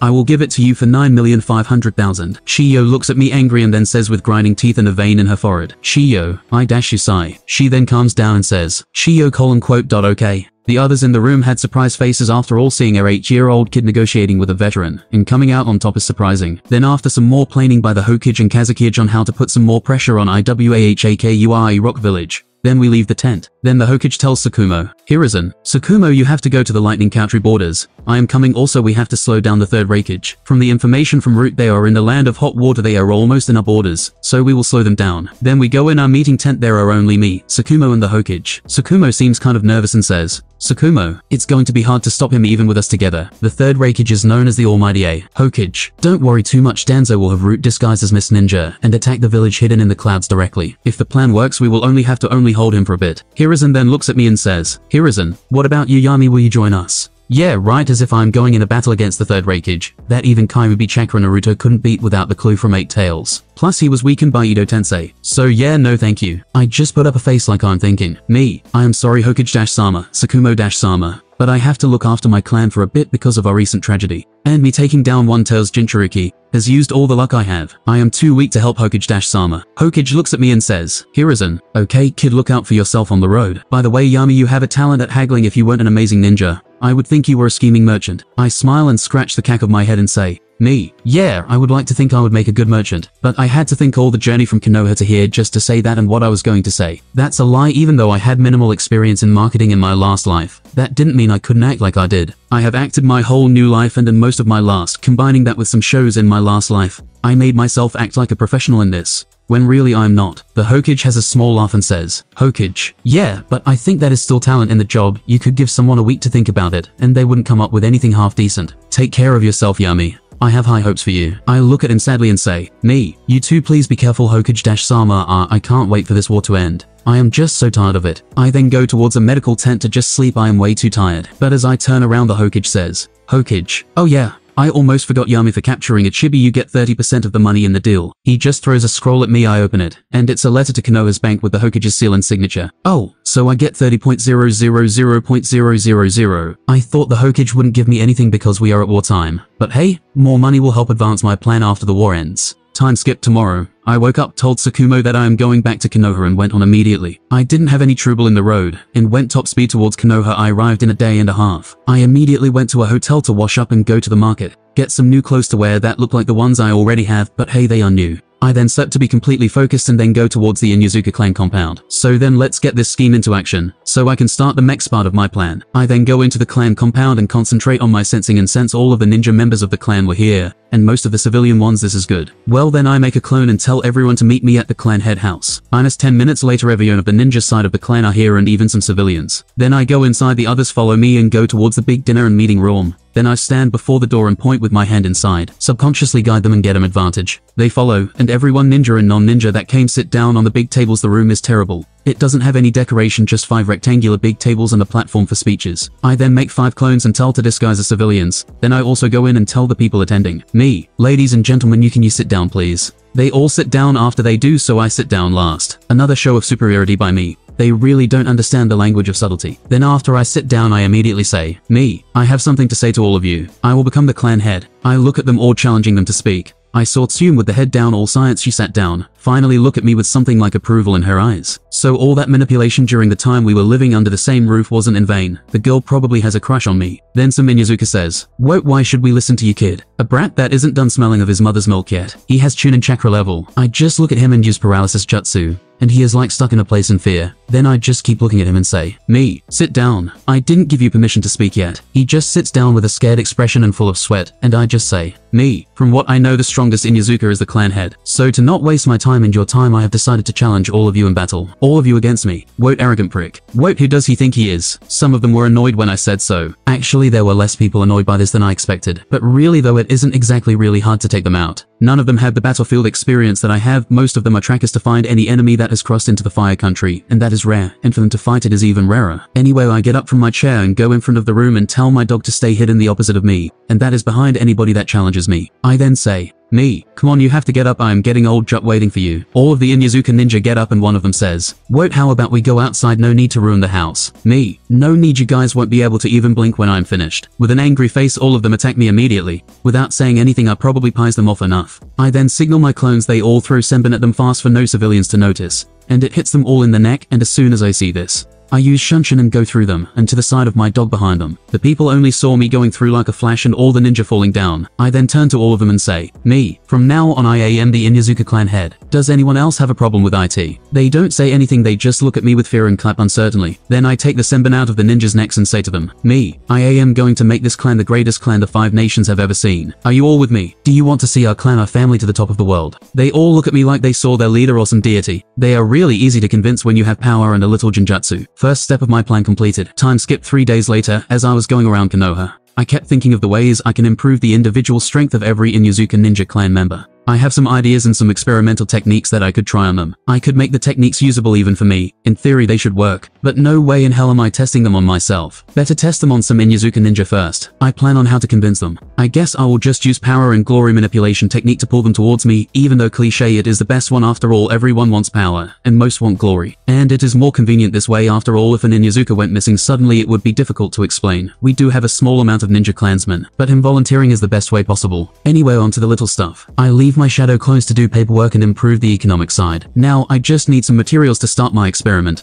I had my clone do that. Then as I am walking I see a ramen stand. Ah, that is the Ichiraku ramen. It is really small ramen stand that probably just opened I see a teenager working there. And I see two familiar people eating in there one of them I know from the academy. And one from the anime. I smile and go to talk to them. Me. Hey. Me. Hey Minato long time no see. He looks in my direction and I wave and start jogging towards him, and when I am close, I sit in a chair to the left of him, and he sees me, smiles and says, Minato, hey Yami long time no see. So you graduated early also huh? Me. Yeah, I was to the sand battlefield also. Have you been in any missions I heard that your Jonin sensei and my Jounin sensei were teammates. He just smiles at me and says, Minato, really that is cool my Jounin sensei talked about his teammates when he drinks a lot. So which one is your Jounin sensei Tsunade or Orochimaru? Me. Tsunade, she is a medic ninja. Anyway have you been in the battlefield? Minato. Yeah, I was in the Mist Country battlefield. But when Jiraiya Dash sensei went to the land of rain to fight there he sent me back to Konoha with my teammates. I act a little sad and like I'm trying to hide it. Me. Really so do you do any D rank missions with them anymore? Minato. Yeah, we do, usually 3 D ranks a week. Because we are training most of the time we don't do anymore. Yeah and in wartime Genin can't go out of the village without permission or being escorted by someone of a higher rank into the battlefield, because they could meet any Chunin or Jounin spy that would kill them or kidnap them. The area around Fire Country is patrolled a lot, but any ninja could slip in and it's dangerous. So you need to be Chunin or Jounin to go outside of the village. So Genin if they are not cannon fodder they are chore boys in time of war. I make a ridiculing smirk at him and say, Me, did you know that I have no D ranks in my record? Minato then looks at me and says, Minato, oh good for you. You have no idea how boring they get after some time. I just look at him and think, I was trying to annoy him a bit, any normal 9 year old would have been annoyed. He really doesn't have an evil bone in his body. Well that is an expression Beckhouse I'm pretty sure he has killed. Then I notice the girl that was next to him, that had somehow eaten 6 bowls of ramen by herself, get annoyed at being ignored by us and says, Kushina, hey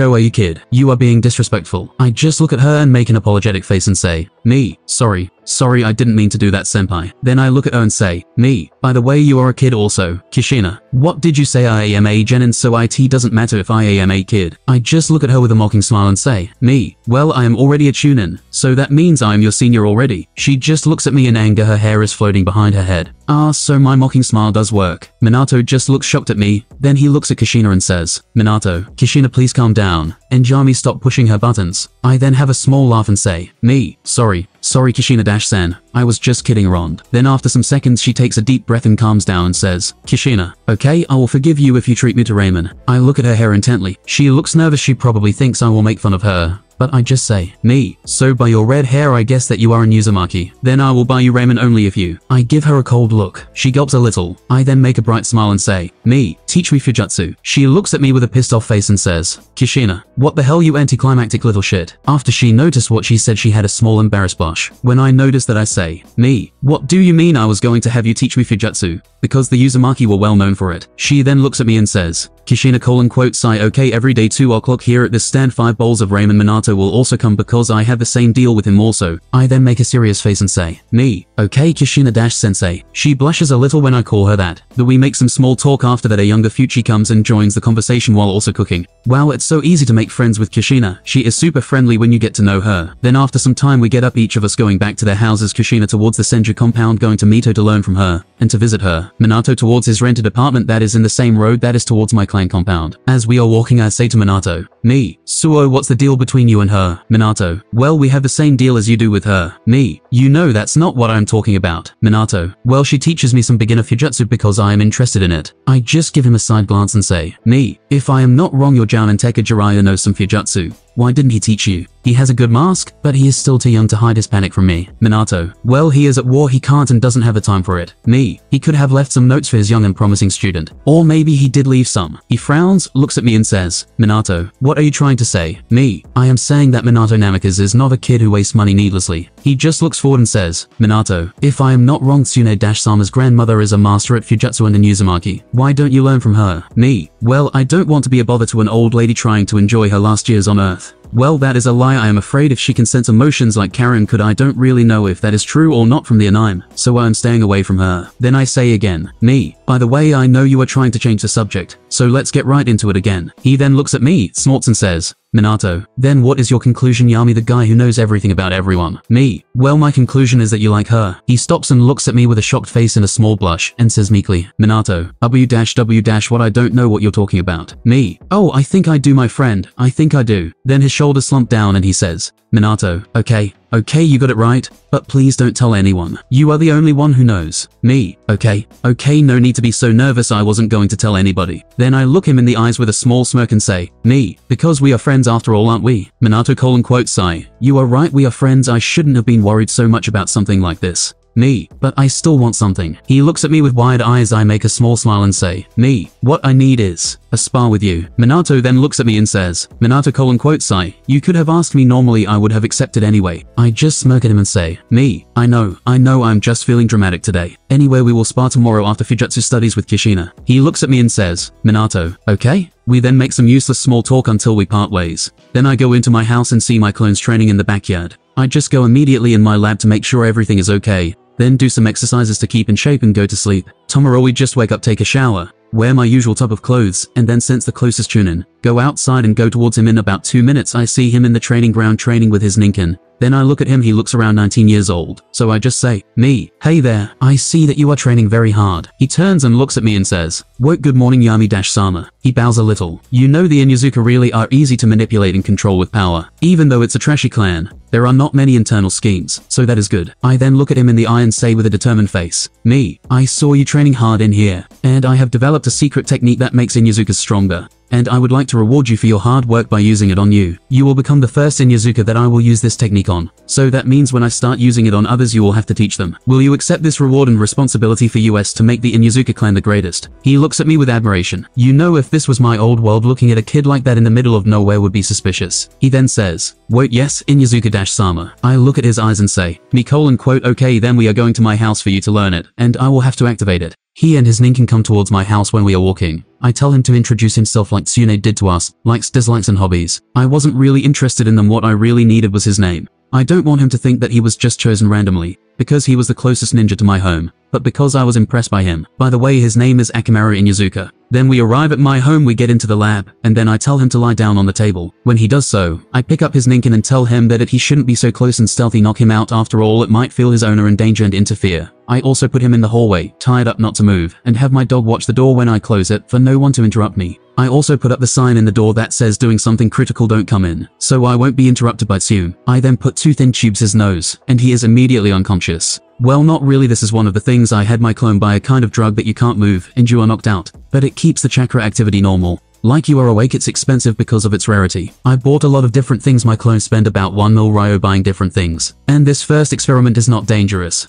The worst he can get is memory loss or something trivial like that. I can just bash his head on a tree and leave him there on the training ground, and most would think that he got injured while training. I wrap him in the table tight with belts and ropes all over his body and the table, leaving only the upper part of his head open and above his heart. Then I took out an extra thin senbon-like needle run chakra through it, and stabbed it into his brain. His body jolted a little after the stab. I immediately took it out. I just punctured a hole into the first gate gate of opening. I run a full scan on his body. His body didn't have any injuries. The punctured hole in the gate closed, and gave him a small increase on strength and speed for 3 seconds. That experiment was just to check if the gates can be punctured by someone else from outside. Now starts the big experiment. If he dies I will have to make it seem like a training accident or assassinations or something, but it's not really that important nobody is going to thoroughly investigate a Chunin death in wartime. Well the head of the clan might make further investigations, but I'm the clan head so yeah. I take another needle like the first one and run chakra through it. Then I look towards his heart and I make a small hole in it, his body immediately starts heating up, and now he is jolting violently. I then immediately pull out the needle the hole on the gate is not closing itself, but it's starting to become bigger.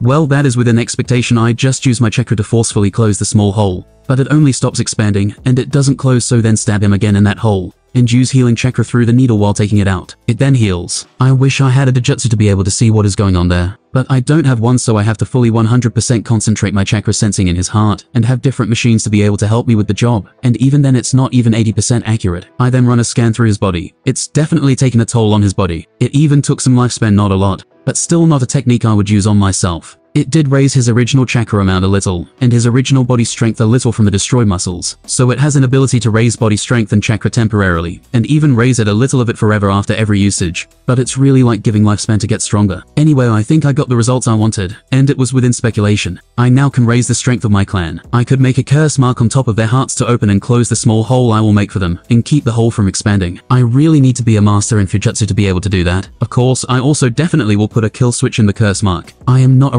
Married to let my pawns kill the king themselves. Then I wake the guy up and dose him on pain relievers to not feel the pain that his body is in. He seems confused and tired. I tell him that now I will call him after some time to get the final treatment. I even give him 500.000 Ryo and tell him to go get something to eat, and not to push himself. Then he goes away. After some time of putting everything back in place and writing this method in a book of course, I wrote it in English, not in the same language as the Naruto world. I think it's Japanese. I don't want anyone to be able to read it. After some rest it is time to go to Kushina's lessons, and after that, I can't wait to fight Minato, to truly see his talent and how much he has grown after all he now does have the chakra levels of. After all he does have the chakra level of a Pete Chunin a step away from Jounin level, not really surprising because of his talent. He experienced a metamorphosis from advanced chakra exercises, even thought to grow his chakra so fast in just a year and a half science graduation. Of course don't compare his chakra levels with mine, which is almost high Jounin. I have been training chakra science I was 2 years old, and I even had higher that average chakra at birth. The higher the chakra level gets the harder it gets to train it. I think his speed will slow down exponentially when he goes to Jounin level, and it will be turtle speed, when you get the chakra to the level of Kage, There is also the problem of chakra limit everyone has a chakra limit. It is how much the chakra can grow. Of course there are some methods to extend that limit. I still haven't reached my limit so I don't have worry about it yet.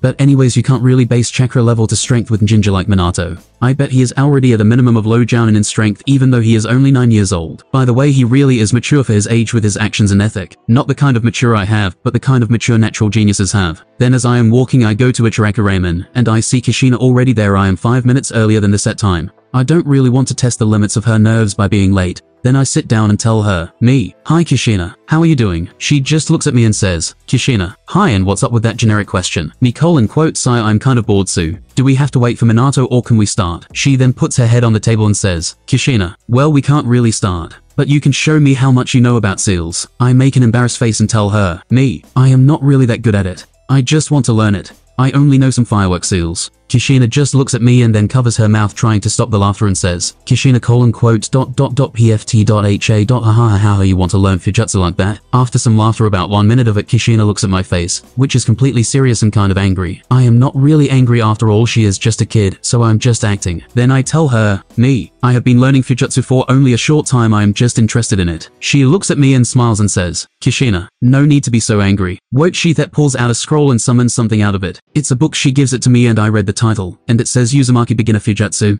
I immediately start reading it, and it's amazing it has all kinds of seals in it. It has from the finger carving seal which Jiraiya used to draw the code on the back of the toad when he died. This is the introduction to Fuinjutsu in this book. And at the end of the book is the three barrier seal, which is similar to the five seal barrier technique. Instead the user places three sealing tags around their location. If anyone manages to enter through a secret entrance of the protected hideout, a deep mist is created, and the only way to get rid of it is remove the tags around the protected area. This is so good, this is a gold mine. If I'm able to learn all the Fuinjutsu Kushina is able to teach me, I will become one of the best Fuinjutsu masters in Konoha or possibly the Five Nations. When canon starts after all the Uzumaki at that time are almost all exterminated, and almost all their knowledge is lost. In the beginner Fuinjutsu in Konoha library, they taught firework seal as an introduction to Fuinjutsu and the small explosion seal at the end, which it's not really good against ninja, because of its long fuse time and small explosion. This Uzumaki book introduces the normal explosive seals that ninjas use on the battlefield in the beginner version. I can't wait about the advanced version. Finally something new and exiting. Anyway as I am reading this book I sense Minato coming towards us, and I then look towards him and say to him hello, and then Kushina starts explaining and teaching him the intermediate book that they have started to learn, and Kushina explains him while eating ramen, that I and Minato bought her,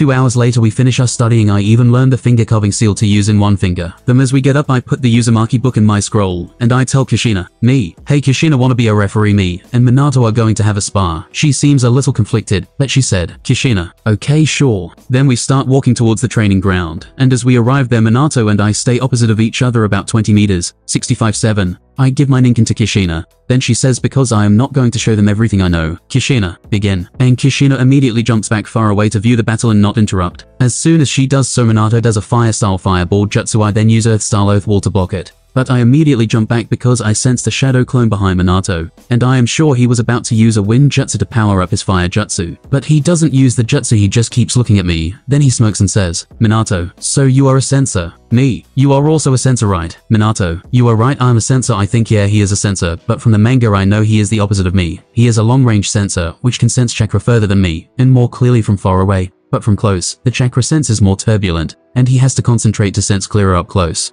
But I know in the anime he learned a technique to sense chakra nearby. I don't think he has learned that technique yet. Then Minato comes to me in a Taijutsu fight up close, and we are warming up fighting leisurely while talking. I still keep an eye on his clone also. Minato, you knew when I sensed your chakra when we first met. It was quite surprising seeing a kid younger than me with more chakra. The only other person my age that has more chakra than me is Kushina. He is right Kushina has about the same amount of chakra as me maybe a little higher but I know that when she becomes a Jinchuriki, she will leave me behind a lot by chakra amount. After all, being a Jinchuriki on top of an Uzumaki, you are asking for a monstrous amount of chakra. Anyway, as we are fighting in Taijutsu, I get serious as he is about to punch me. I activate four-legged technique, swipe his hand sideways, and then swipe his legs under him, and kick him in the stomach, and he flies away. As he is flying away I see him do hand signs, and I immediately jump backwards, and as soon as I step in the ground, I feel the ground moving I jump up and throw a kunai, when a hand comes out of the earth, and it pops in a smoke cloud that obscures my vision. I also sense that Minato's chakra has disappeared, but I can still smell him, but he was somehow able to suppress his chakra. Then I smell him and kick behind me, he blocks with a kunai pointed at my foot, but I still kick him away. My sandals are after all ninja sandals with light metal inside the core of it. I just look at him and ask him, Me, how were you able to suppress your chakra like that? He looks at me and smirks. Minato, it was from a seal you will learn in the intermediate Uzumaki Fuinjutsu book. But it has a drawback you can't use ninjutsu while you have it on you. He shows me his wrist with a rip tag on it. Oh I see now. Well then I need to make countermeasures against that. Minato, how about you? How were able to find me? I just point towards my nose. Minato, ah I see I didn't take that in account I forgot about it. He then uses lightning style, spider net and the lightning spider net starts spreading on the ground I jump back on a tree. Then Minato looks at me and throws a kunai.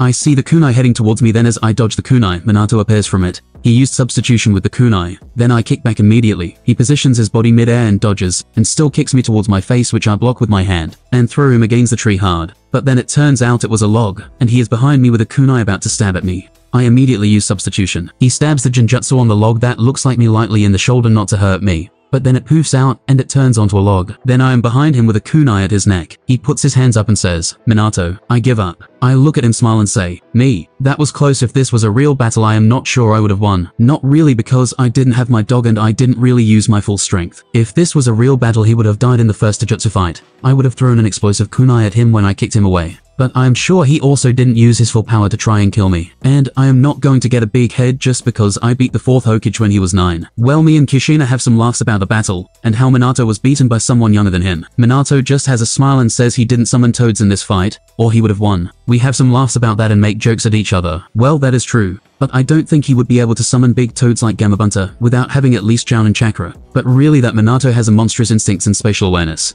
I did notice that when I got behind him, he had to stop himself from trying to stab me automatically and that immediate repositioning after a substitution. The Flying Thunder God technique is strong, but what makes it overpowered is Minato. After all, if you gave someone random the ability to teleport to a kunai, but he could teleport to a kunai and get a projectile in his skull thrown by a random ninja. Minato beat 1000 ninja like that, and he didn't do even the slightest mistake with it, or he would have died. But I still won because I had a kunai at his throat, and could have killed before he could react. Time skip. Some months later age 9. I am in the shower right now as I am thinking of what happened in the past months. In the war side of things Hiruzen and Sakumo were able to hold the third Raikage back. Then of course Kumogakure, Cloud Village, was mysteriously attacked by Mist Ninja, which were actually Danzo's Root they also died in that mission, so Raikage had to return back to his village. But the same plan won't work again, because now the third Raikage left Blue B the current 8-tailed Jinchuriki to defend Kumogakure. So now the Raikage is currently attacking towards Land of Fire again. He'd probably discovered they were from Konoha. But it will be a long time before he succeeds, because now he doesn't have the same momentum as before, because the Hokage and Sakumo are there to fight him. I haven't been to the battlefield anymore because of me being the clan leader, and using that as an excuse. I don't know how long that excuse will work, but I will use it until it doesn't work anymore. Also I had my birthday I celebrated it by eating ramen with Kushina and Minato. I learned all the seals in the basic Uzumaki Fuinjutsu, and I am now in the in the intermediate book, which the introduction seal is the paralysis seal. That is a B rank, supplementary Fuinjutsu technique. The user writes a seal on a scroll, or something comparable to a scroll, but the seal itself is a trap. As soon as a person looks upon this seal, the technique activates and sends the target into paralysis. This technique's weakness is that the paralysis can only hold for a short period of time, and so long as the target is looking at the seal, if the seal is removed from the target's line of sight, then the paralysis is broken if a certain amount of time passes. The seal itself will collapse and release the target. Yeah, Fuinjutsu is up as hell. Well, the Uzumaki one anyway. Then the end of the book seal is the chakra draining seal. The user places a seal on a person that will drain the latter's chakra, so that the user can use it for themselves. I also have a theory that if this seal is applied to a person gathering natural energy, it will upset the balance, and then the person will begin to turn into stone. Well, I have almost finished the intermediate book, but I know that Kushina won't teach me or Minato more than the intermediate book because only the Uzumaki are allowed to learn the advanced and master books of Uzumaki Fuinjutsu. Even though Minato still buys her ramen and hangs out with us while Kushina teaches me Fuinjutsu. Poor guy he sucks at seducing a girl. Kushina has totally friend-zoned him. I even saw him once reading a book on love or something like that about girls' feelings etc. I then get out of the shower and go towards my room. I remember how shocked Kushina was when I learned beginner Uzumaki Fuinjutsu in a month and a half. She called me a genius like her in Fuinjutsu. Minato learned it in one month she told me he would be a genius amongst geniuses, even by the Uzumaki standards. I then open the door to my room which has a no entry sign in it. I look inside my room and think, genius huh?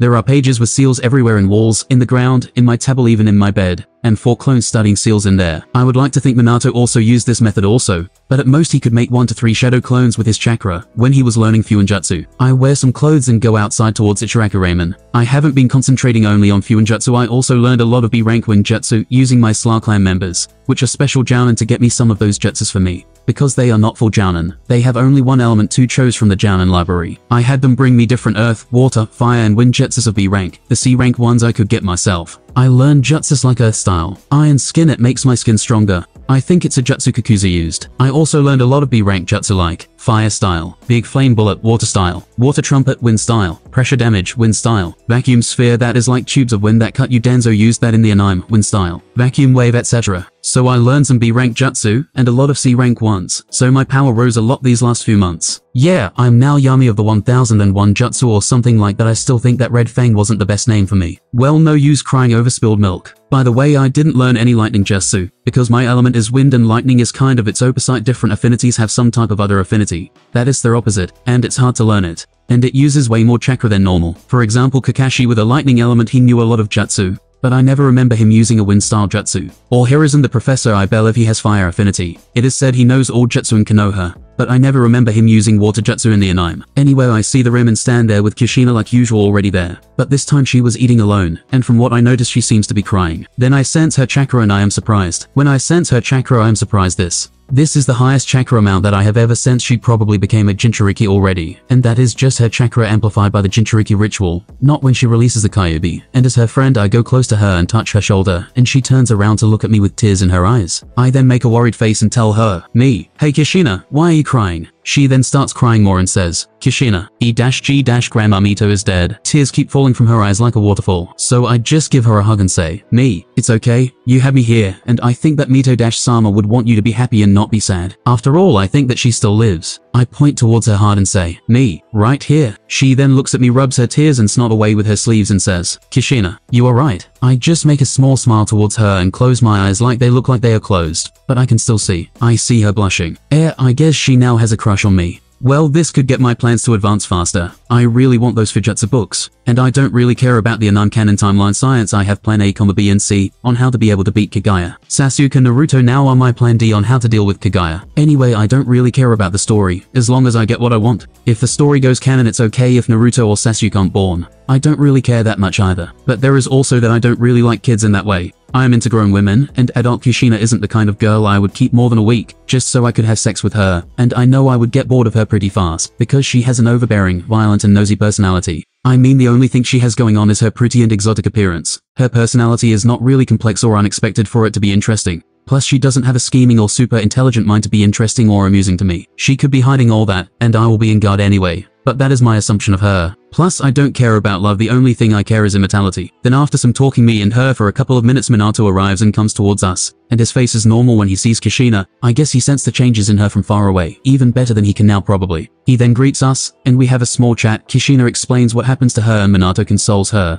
But it doesn't have the same impact as my speech did. But she was grateful and happy to have someone else to relay on. I still keep my head in the book about intermediate seals, and while I'm memorizing some of them, I think back to my first life and the first death I experienced. I still remember that day so clearly. Ash flashback dash 12 years old. I was in my room reading a school book, specifically it was the biology book. Then I hear my father say, Father, hey Andy wanna come fishing with me? He loves fishing, he grew up in a fishing village, and now he goes fishing for old time's sake, and he loves fishing. I also like it a bit Becuse when we get bored of it. We go for a swim in the lake. But I still have homework and a lot to learn I want to be a doctor. I want to go to medical school like my mom. She has a medical degree. But she doesn't work because father works as the head manager at a close by big store and has a good and big wage. When I was younger we used to have money problems because I always got sick all of the time, but not anymore we even have a nice house now. And our family has a new 4-year-old kid to take care of, and my mother is very protective of us. She won't let any nanny take care of her little baby boy, she doesn't trust them. Then I hear a knock on the door of my room and my father comes in and says, Father, heying Andy did you hear me I said do you want to come fishing with me? He then pauses a little bit and then says to me, Father, when I didn't hear you answer I thought you were masturbating or something you know. Nothing to be ashamed of I used to do it too when I was your age. I then turn away from my book and look at him, smoke and say, Me, yeah, used to old man cows your thing doesn't work anymore. He then looks at me and says, Father, you don't know Brad.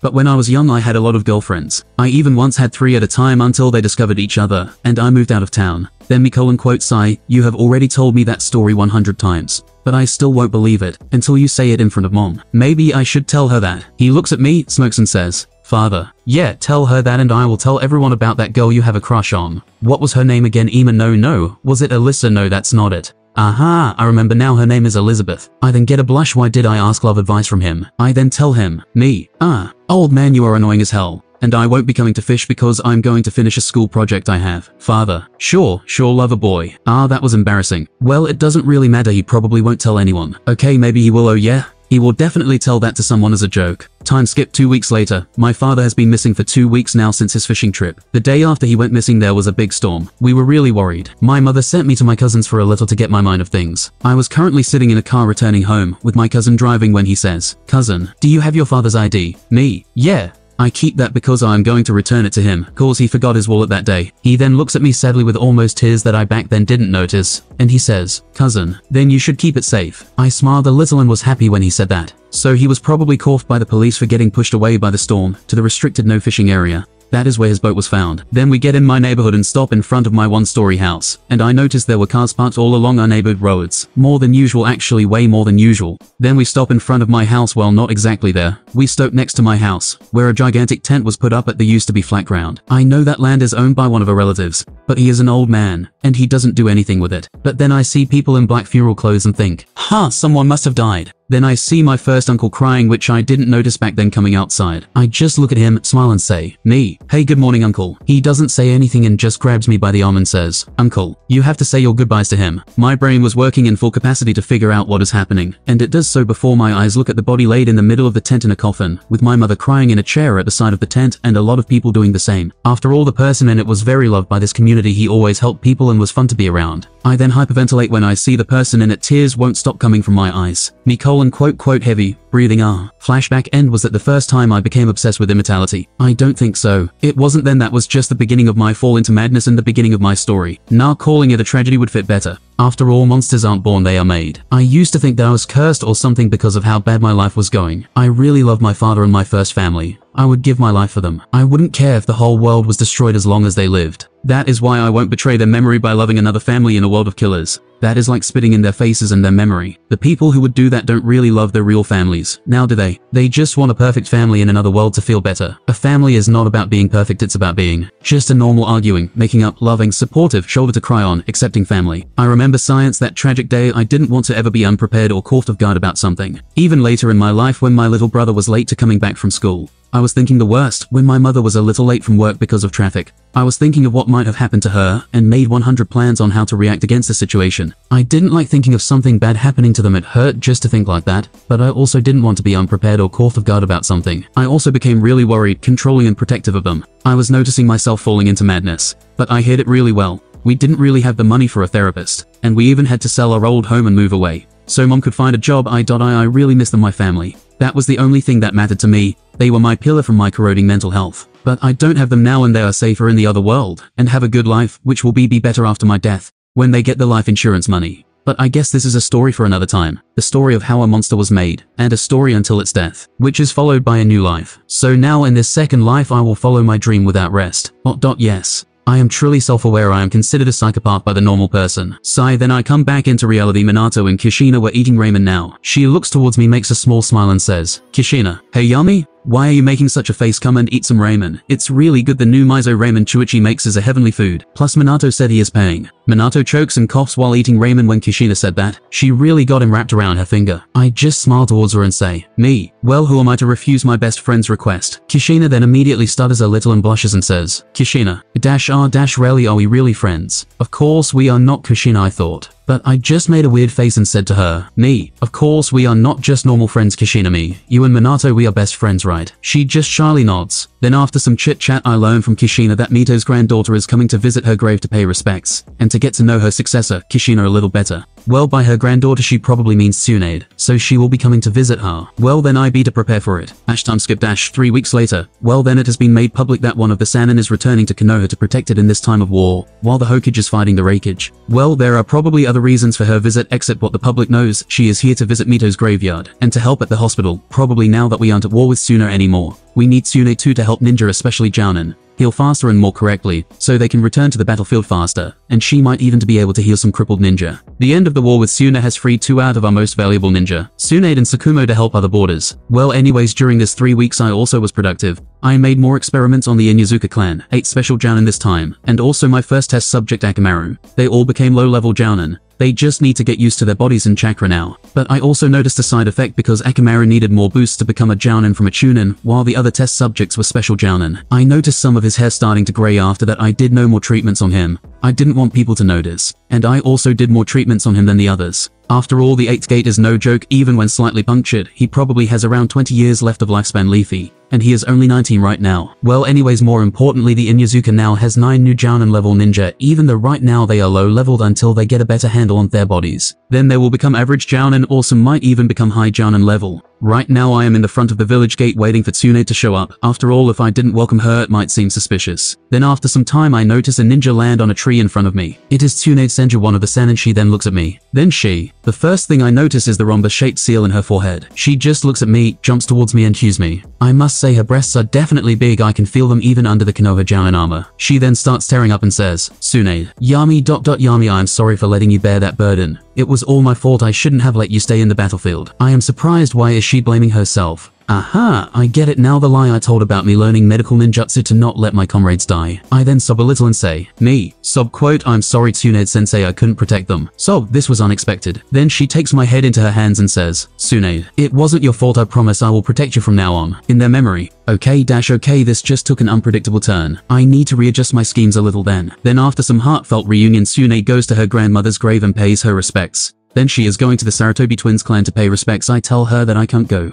because I am not ready to face the guilt of my actions, and that I will go when I am ready. In reality it's just going to be a waste of time. Currently I need all the time I can get to become stronger after all there is a war going on. I then go home to my lab. I think I need to go to the battlefields to get more test subjects after all I can't really take Konoha citizens. Because now that we are a war and a citizen goes missing, they are definitely going to investigate, and I am not strong yet to live freely outside of Konoha. I then draw seals all around my lab to not let anyone come inside, and if people try to use force, it will self-destroy the lab of course I have taken care of all the evidence in the lab, but you can never be too sure. By the way I also burned the heads of the three San and I had in my cool box. I don't really need the money, because I have a small fortune. Now there is no evidence left of what really happened that day from the peace meeting with Suna. Time skip left parenthesis tomorrow right parenthesis Tsunade has finished paying respects, now she is emotionally calmer than yesterday, and finished all her work for today also. So there she is sitting in my backyard laying down in the grass in casual clothing. A short white kimono and black gym short pants she just looks at me and says, Tsunade, you know we are at war and I might die one day, so I want you to be my successor. I look at her this was within expectation, so the Sannin already had the emotional talk about successors. She then says, Tsunade, do you know my trick to my massive strength? Yes, I do from the anime. But I will act like I don't. I make a thinking pose and say, me. Well, I guess it is kind of like the tree walking exercise where you put too much chakra in your leg and the place in the tree explodes. Tsunade smiles towards me and says, Tsunade, you are right it is kind of like that but, she gets up and punches the air I felt something with then she says, Tsunade, I did use my technique right now, but nothing happened to the air like a current or small explosion. Aha, I see so that is how it works I get it now. I smirk towards her and say, me, I think your technique has three parts to it. One when you punch, it uses chakra control to strengthen yourself. So that means you aren't using the only the chakra explosion, but also chakra strengthening. 2. You also cause a ripple effect when you punch to spread your explosion and make higher widespread damage, and the chakra explosion is unnoticeable. 3. You also use some chakra to protect your limb from getting completely crushed from the pressure on it. Her eyes widen to be able to tell this much just from close to no hints is a genius at observation, almost like the Sharingan. That is what you are thinking isn't it Tsunade-sensei? When I explain the process like that it sounds simple, but it is nowhere near as simple as it sounds.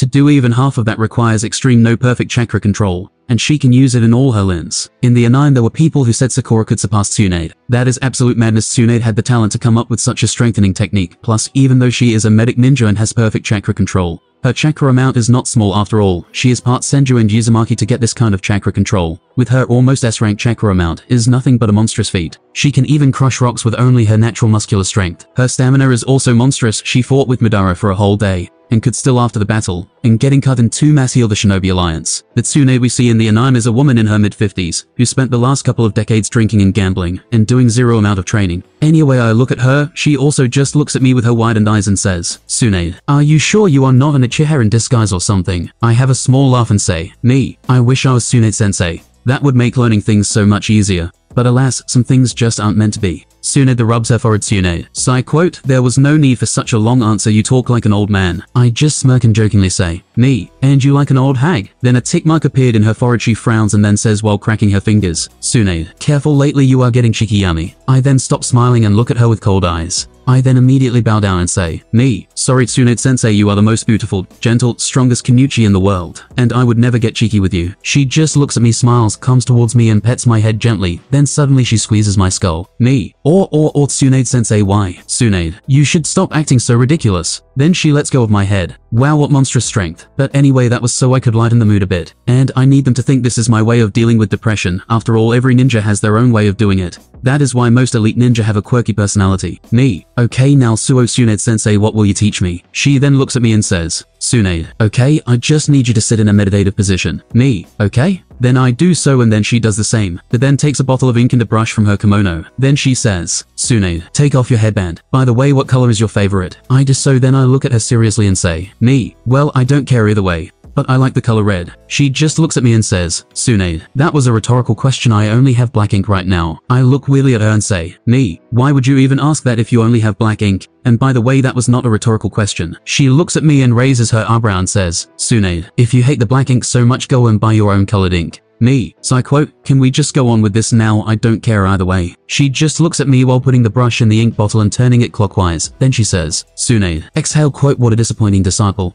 I always said you should have patience my pupil. Especially now because having patience is the key of this technique I'm about to teach you. I look at her and say, Hung, how should I have some fun while she is dodging the answer I want? Then I come up with an idea. Me. Why are you acting like a wise teacher all of a sudden? Then I look at her make a serious face and say, while secretly preparing to use substitution. Me. Do you want to have a full forbidden relationship with me or something. Tsunade then stops in shock and is frozen in place, but I just continue. Me, I understand you want to have the forbidden fruit. After all, the forbidden is more exciting and tastier. Then I still ramble on while Tsunade is still in shock and say, me, blush quote I dash I dash I am also okay with this Tsunade sensei, a dash after all if I'm going in the battlefield. I also want to try the forbidden fruit, don't worry. I won't tell anyone about this. I will take this to the grave. I then make a dark, scummy smirk and say, me, this can be a little secret. As soon as I say that she gets an enraged face and punches me in the face while saying, Tsunade, I said don't be so scummy you brat. Then my figure crashes into a tree. After the dust clears out there is a log where I was supposed to be. Then I come out from behind a tree and say, me, ah Tsunade sensei if only you were 10 years younger. I like strong-willed women like you. She then looks even more pissed and says, Tsunade, what's that supposed to mean brat that I'm too old or something? It's so easy controlling the flow of the conversation after you know someone as well as I do Tsunade from both the anime and reality. I should have become a politician in my last life. I then make a tragic face and say, me, Tsunade sensei it's quite hard for me to say this,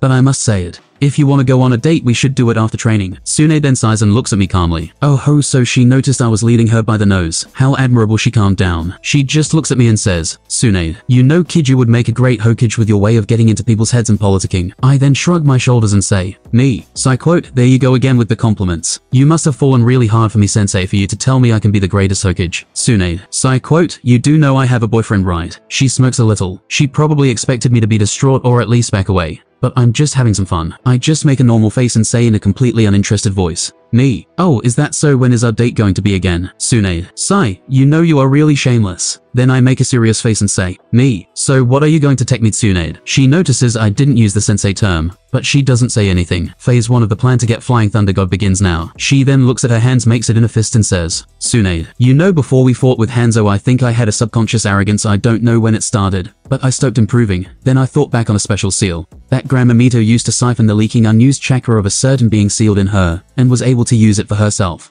I know you are going to ask, but no, I can't tell you what it was. It's an S-rank secret. She is probably talking about the Kyuubi. Tsunade. I then thought why can't I use this seal to cipher my chakra, when I'm not doing anything to get some of that stored up that I don't use. Well this an obvious but smart idea of her. Tsunade. It was quite hard I had to learn my granduncle's mind palace technique that he got from the Yamanakas, and then make a place for the chakra, and all that it took me six months to fill this seal while holding the chakra control even while sleeping and fighting, and it was hard to find the specific amount of chakra siphoning, because I could get tired fast or suffer chakra exhaustion. Ah, uh, it used to be so hard, but now it has become an automatic process. Then she makes her angry face and says, Tsunade, if I fought Hanzo now well he would be in for a big surprise. Then she smiles and says, Tsunade, work the self-made technique I will teach you. The technique that has made me the strongest Sannin at the moment is named Creation Rebirth. Then she starts explaining how it works and how forces cell division, and the risk it has of using your lifespan to work. Yeah, I am not using that technique unless I am at death's door which I won't because I would sacrifice everyone around me to not use even an ounce of lifespan. That sounds like a better deal to me. I also would Reathia use Kabuto's Yin Healing Wound Destruction, which the user analyzes an opponent's facial expression, movements, and the properties of their jutsu to anticipate where and how he will be attacked. He then gathers chakra to the area of his body,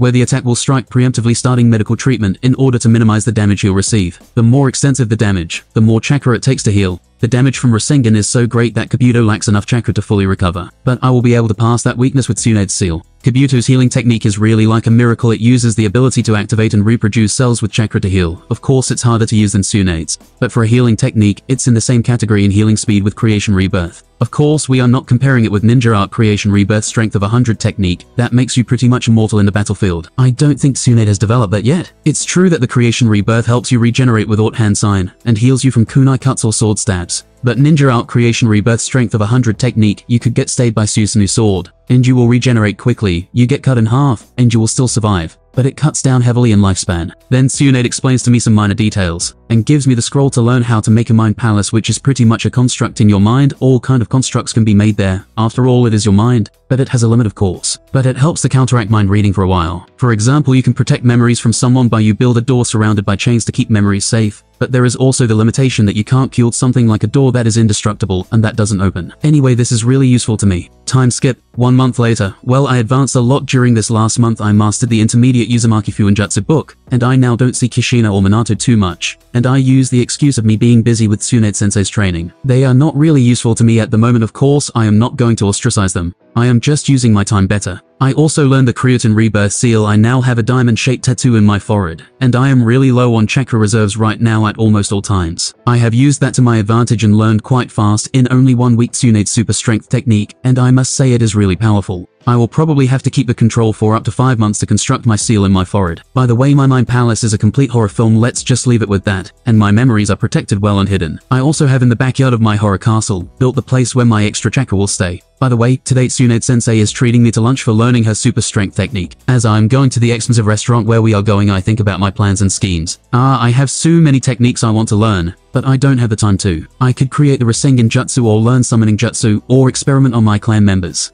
I have so much I want to do, but I have so little time. I then keep thinking about my plan to make Kushina give me the advance and Master Scrolls of Uzumaki Fuinjutsu, but I need to wait a little more for the opportunity to present itself, and for everything to be in place. I keep supplying 80% of my chakra to the seal every day, but I don't have Tsunade's chakra amount who was able to do it in 6 months in the middle of the battlefield, where chakra usage was at max every day. With this pace I have I should be done in 5 months, pretty much the same as Tsunade Sensei. But I am in the village and don't have to fight and waste chakra every day. Then I arrive at the restaurant open the door, and I see Tsunade in a table waiting for me. I then have a genius idea. I smirk go outside again and make a shadow clone. Okay for today I can't make any more shadow clones. But if this works, it will definitely be worth it. Then I go towards Tsunade sit down order my food, then smirk at her and say, me, well hello there beautiful. She just looks at me bored playing with her drink with a straw and says, Tsunade, where did you read that in some cheesy how to pick up girls book? I still keep smiling and say, me, there it goes again my hard work doesn't pay off. She then smirks herself and says, Tsunade, yeah sometimes it really doesn't pay off. I then see an opportunity and ask with a worried face,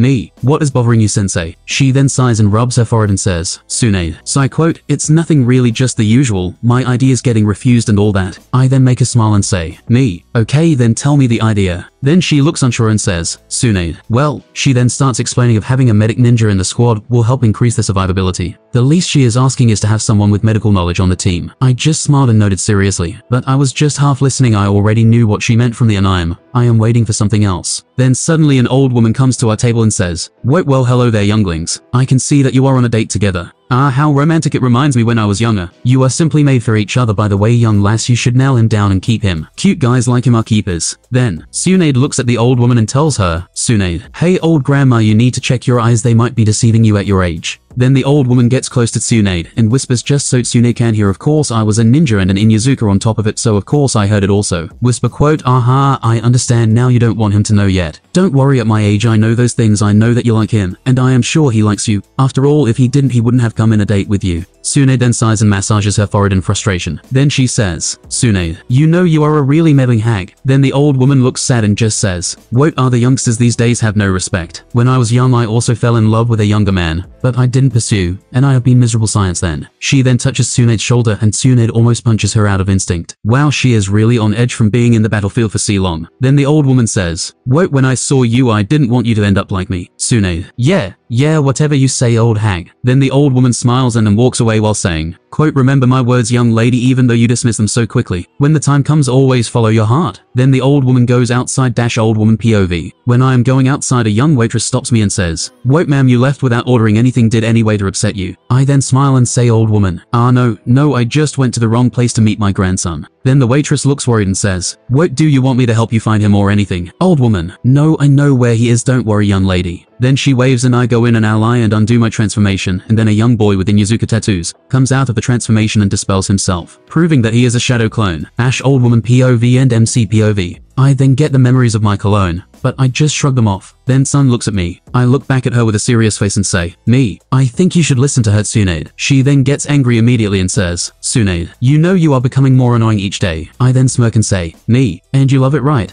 Tsunade then sighs and then after some more small talk the food comes when we are eating. I can't help but stare at her chest when she doesn't notice. I then keep thinking how did she get from a flat chest from her childhood to this 106 centimeters 3-4 chest. I am quite curious does she store the chakra from the 100 strength seal in her chest and Sakura in her forehead? Is that why Tsunade has such a big rack and Sakura such a big forehead? No, no Tsunade also stores her chakra in her forehead. Anyway as me and Tsunade are eating we make some small talk and I ask her, me, Tsunade sensei are you going to go to the battlefield soon? She just looks at me and says, Tsunade, no not really, I am going to be here for at least three months. I smile at her and say, me, that's good we have a lot of time to catch up. Tsunade looks at me suspiciously like I'm planning something and says, Tsunade, what's that supposed to mean kid? I don't know whether you want to spend time with your beautiful teacher, or are you scheming something? Me, Psy quote, cut a student Mrs. Teacher, why are you so suspicious? But I do want to learn all your clan has to offer. Tsunade then looks at me and says, Tsunade, maybe because you are trying to seduce your own teacher. I then tell her in a ridiculous poetic voice, me, what no, no I am not going to seduce you. I am going to make you fall in love. And we are already on our first date, so I am very effective. She then she finishes her chicken breast and looks at me and says, Tsunade, Psy quote, okay then I will humor you brat. Kid you are young you don't know what love is. You don't even know anything about me. Oh I beg to differ Tsunade, I even know your future. I smile at her and say,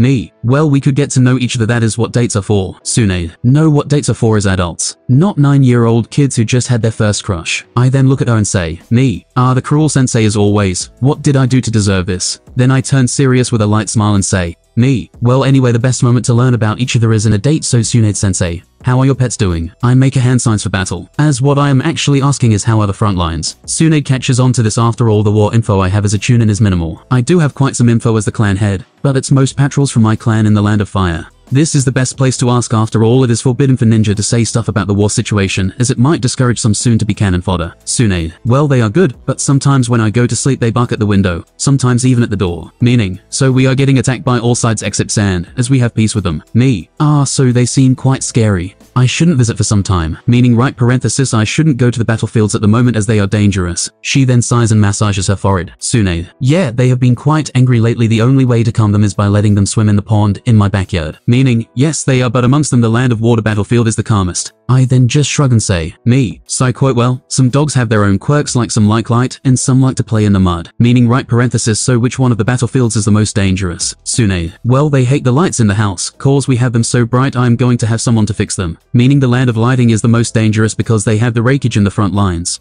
But we also have someone holding him back. Me. What about them playing in the yard outside like normal animals in the dirt? She then smiles and says, Tsunade. Well yeah, they play happily in there. But do you know something interesting? Sometimes I see a squirrel just sitting in the fence watching the dogs. My eyes widen at what she just said, meaning, there have been rumors from our spies, that the fence sitter Onoki is going to join the battlefield. Me. Aha, uh -huh, okay then. By the way, I can come fix your pond to make it more pleasant for the dogs. Meaning, is it good to go to the mist battlefield then I make a flirtatious face and continue. Me. Maybe you could join me for a swim. Meaning, are you going to be there? She just looks at me while drinking a cup of sake and says, Tsunade. Well, I will just be watching from far. If I want to go swim I will go alone. Meaning apostrophe, yes I will be there but I will be healing and hitting the important points alone. Don't worry though I will keep an eye on you. Then I smile and say, me, oh if you will be looking at me swimming, then I must visit your pond. Meaning, well if you are there I will feel much safer. She then makes a mocking smile and says, Tsunade, yeah, but I hope you know how to swim and don't drown. Meaning, why would you take a risk to go there you might die? Then I answer seriously. Me colon quote don't worry I am an amazing swimmer. And well I want to help your dogs. And I am an Inuzuka I will help any dog in need. Meaning, don't worry about me I can take care of myself. I want to help Konoha lessen the number of casualties. And I will help any Konoha ninja. Tsunade. Yeah,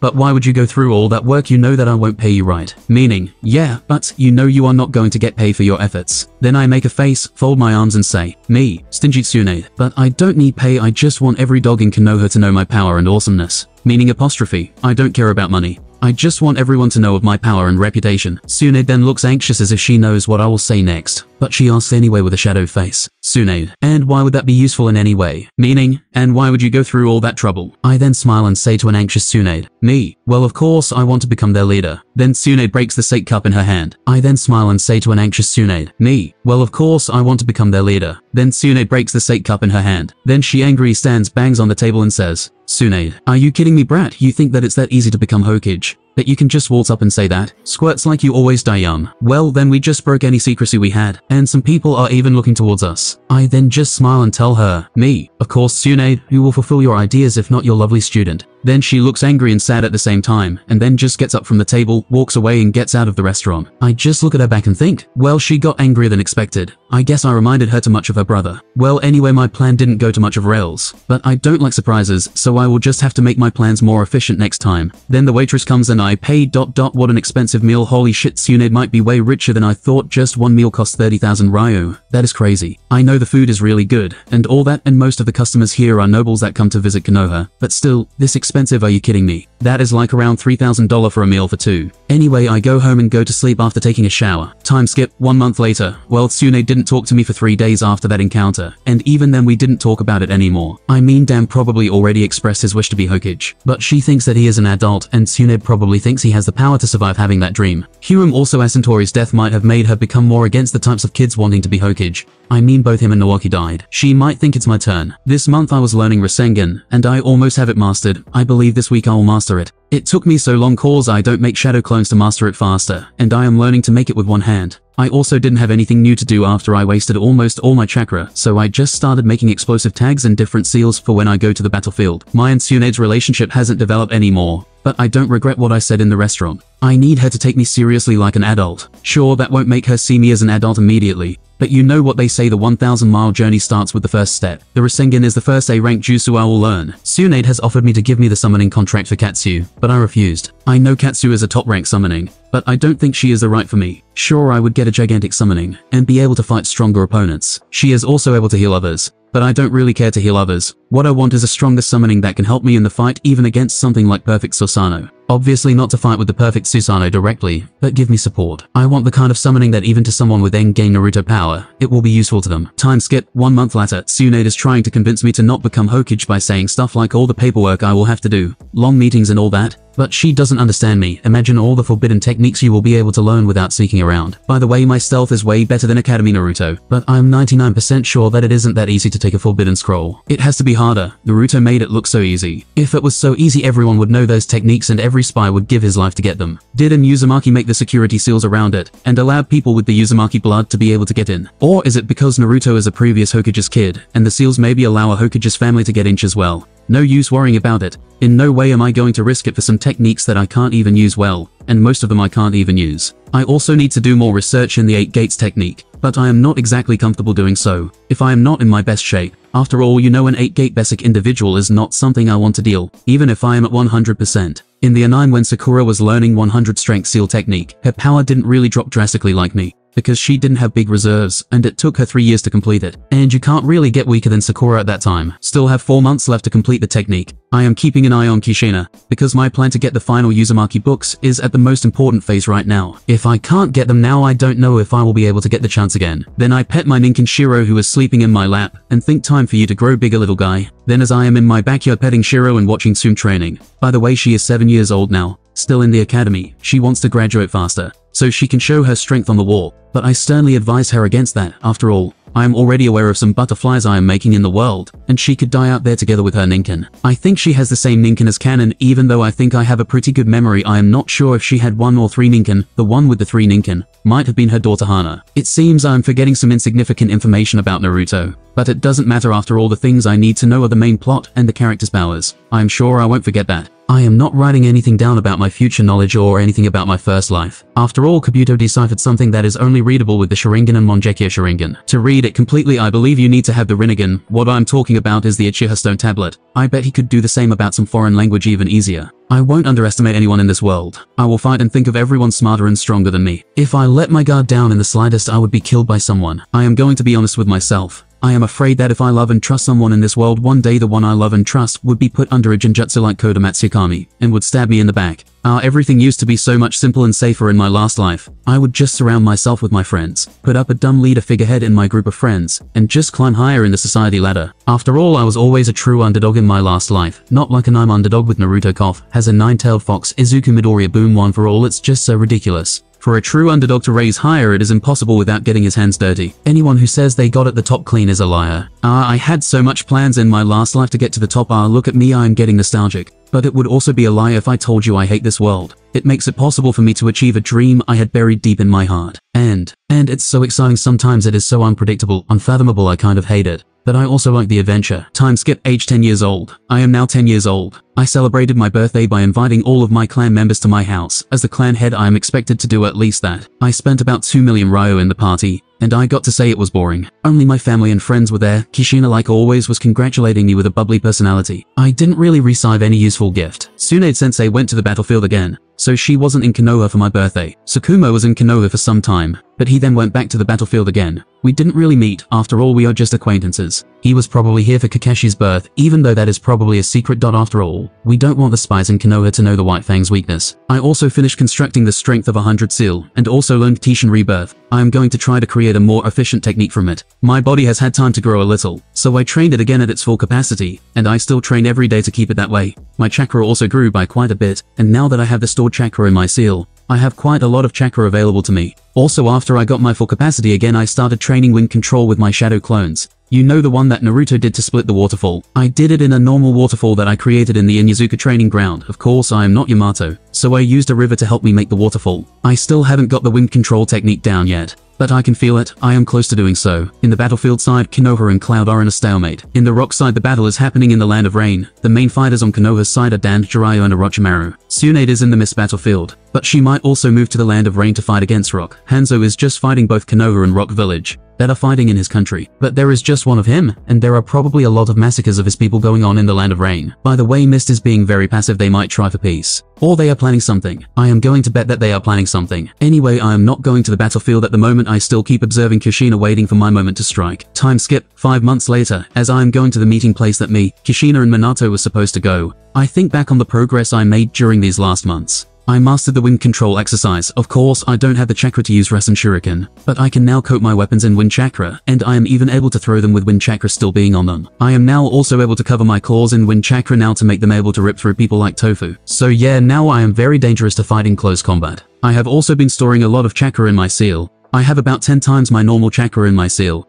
so yeah, it's like having 11 low elite Jounin chakra in one person, which is a lot. Then as I arrive at the meeting place which is in a training ground, then I see something in the ground my eyes widen, and I think finally, there is some red hair left in that place. Well then time to start the plan. I then sense all around me and stay in there just holding the hair for about 15 seconds, and then Minato comes. And then he says, Minato, hey Yami where is Kushina? It's not like her to be late. I just look at him and show him the hair. He just looks at it confused and says, Minato, Kushina's hair. Then I point in another direction, in which there is another patch of hair he takes it in his hands, and then I say, Me, why would she leave her hair like this? But then my eyes widen and I say, Me, impossible. Minato follow me. He looks at my serious face, and he then follows me. I then tell him my speculation that something happened to her, and then we keep following the trail for hours, until we are in the land of hot water, which is Between the land of fear and the land of frost. In the land of frost is where the battlefield between Konoha and Kumo Cloud Village. It takes us some hours to catch up to the ninja it even becomes nighttime, but me and Minato just keep following the trail. Then we see the three cloud ninjas just walking with Kushina also walking tied with a rope around her upper body. They think they are in a safe right now. They didn't notice that Kushina left a trail of hair for any enemy ninja to follow. I sense their chakra and tell with hand signs to Minato that they are Anbu level. Then me and Minato put on a chakra suppressing seal and attack them immediately. Minato takes out one with a chop to the neck, and I take mine out by slicing a kunai behind his neck. The last one notices and jumps back. I immediately undo the chakra suppressing seal. Me. Growl. Demonic illusion. Paralysis dog binding his eyes then get unfocused. I just throw my kunai towards him with wind chakra and it paces right through his throat and spine. Kushina is still walking absent-mindedly. Then me and Minato get in front of Kushina and then both say at the same time. Me slash Minato. Are you hurt Kushina? We came to save you. Then she looks at us and she smiles before starting to fall down. Me and Minato catch her and untie the ropes. I smile towards her and tell her, me, you will be alright now. Then I nudge Minato, who blushes a little but carries her like a princess. Then Kushina comes to her senses and says, Kushina, hey wait a minute. Then Minato jumps up, and Kushina looks at Minato's hand and sees her hair. Kushina, E dash that's Minato colon quote your hair is beautiful. So I notice it right away. I also jump right behind them, and then think ah this is so weird seeing kids doing that Romeo and Juliet thing. Then Kushina looks away with red cheeks and says, Kushina, but you always ignored me. She is probably talking about him not helping her with the bullies in the academy. Minato, because I knew you were strong in body and spirit. Then he lands on the top of a tree I lay so land on top of a tree next to them. Minato then says, Minato, but this is a fight between villages. It's different from your other fights so Kushina while looking at his face says, Kushina. So, Minato then smiles towards her and says, Minato, I didn't want to lose you. Kushina blushes and says, Kushina, even if I am an outsider Minato, why do you say that? You live in Konoha so you are one of us. Yeah, this got boring real fast better do something useful. Then I put all the bodies in a scroll, and after some time we started returning to Konoha. When we arrived in Konoha we got questioned a lot by the Konoha Council. Then we showed them the evidence of 3 class ninja, and they checked the bingo books one was worth 14 mil Ryo, another 2 mil Ryo, and the last 17 mil Ryo. The 2 million Ryo guy was probably some hidden agent or spy, because he definitely was stronger than 2 million Ryo. The council which the members are Homura, Koharu and Danzo all gave us the ninjas bounties and told us to decide amongst ourselves how to split it. Then we go outside of the Hokage Tower and we split it 11 mil for each even though Kushina didn't want to accept her part so I said, me, Kushina we are friends right? She nods shyly. Then I smile and say, me, then I want you to have it. Imagine, you could buy so much ramen with that money. Now, are you really sure you want to give that up? She seems tempted but says, Kushina, yes, I am sure I want you guys to have it. I then look at her seriously and say, me, I will throw it in the garbage or burn the money that you give me. She looks determined and says, Kushina, I don't care, you can do whatever you want with it. How goddamn headstrong can she be well then I will show you. She then gives me her bag of Ryo I then take it put it in the ground and start doing hand signs. Fire style. Furthen as I am about to use a fire jutsu she takes the money from the ground very fast. She then looks at me angry and says, Kushina, what the hell? Are you crazy? Are you out of your mind? I just smirk and say, me. Well then will you accept the money now? Kushina, vote yes? I will accept it. Minato just laughs while looking at our interaction. We then look at him also and have a small laugh together. Time skip left parenthesis one week and three days later, morning. I hear a knock on the door while I am reading the advanced Uzumaki Fuinjutsu book that Kushina gave me. Because we are family and friends, she also gave it to Minato, and probably didn't want to make me feel left out, after I just saved her, plus she trusts me. Now I also know why this book is not given to outsiders.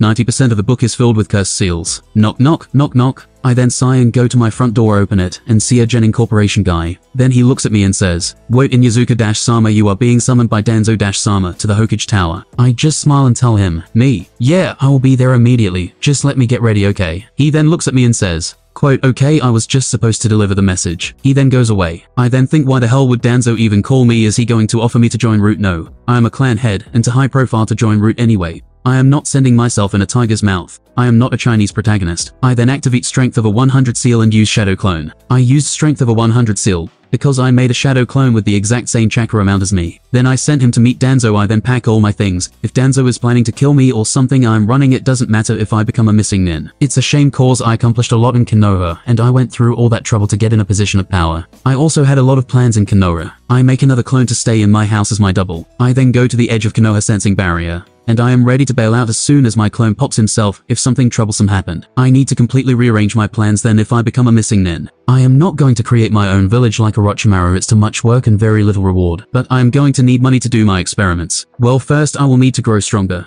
Then I will impersonate a Kage. I guess I will go with the Hidden Grass Village, an unimportant village and well hidden, and it still has enough riches. Or maybe go to the land of snow and take over after all that is quite far, and as the war is going on, none of the five great nations is going to notice, and after the war ends, it will be too late, because I will have eight gate suicide pawns, that I will manipulate to work for me. Or if I can't do that threaten them with their families from far away, while my clone leads them. Then I would join Akatsuki with a different persona, I would also need a Byakugan if I am going to always be followed or attacked. I will take a main branch mook, or if I can't find one which is unlikely, I will wait until canon and rip Hinata's eyes, she is weak, and on top of it has a weak Jounin sensei. 30 minutes later. It has been half an hour. Did they use a special method to not let me receive memories from my clone? I then am about to create another clone to go for scoutings, but then, oh the clone in my houseboat the other clone came and told me to come back to the house. I am still suspicious, so I make another clone and tell him to go to the house while I follow him. I then go to the house my clone that was waiting sees my other clone, which he thinks is the real me, and he then pops himself. I get some memories. Aha, I see so I was paranoid about nothing false alarm. Then I laugh a little at myself, but still always be prepared that is my motto. I made that up while in this world. Then I think back to the conversation. Dash flashback clone pov. I go inside the Hokage's office I see Danzo, and the other female council member the last one seems to be somewhere else. I then look at them and I say, me, good morning council members may I know the reason I was called here. I was going to call them by name each. But except Danzo,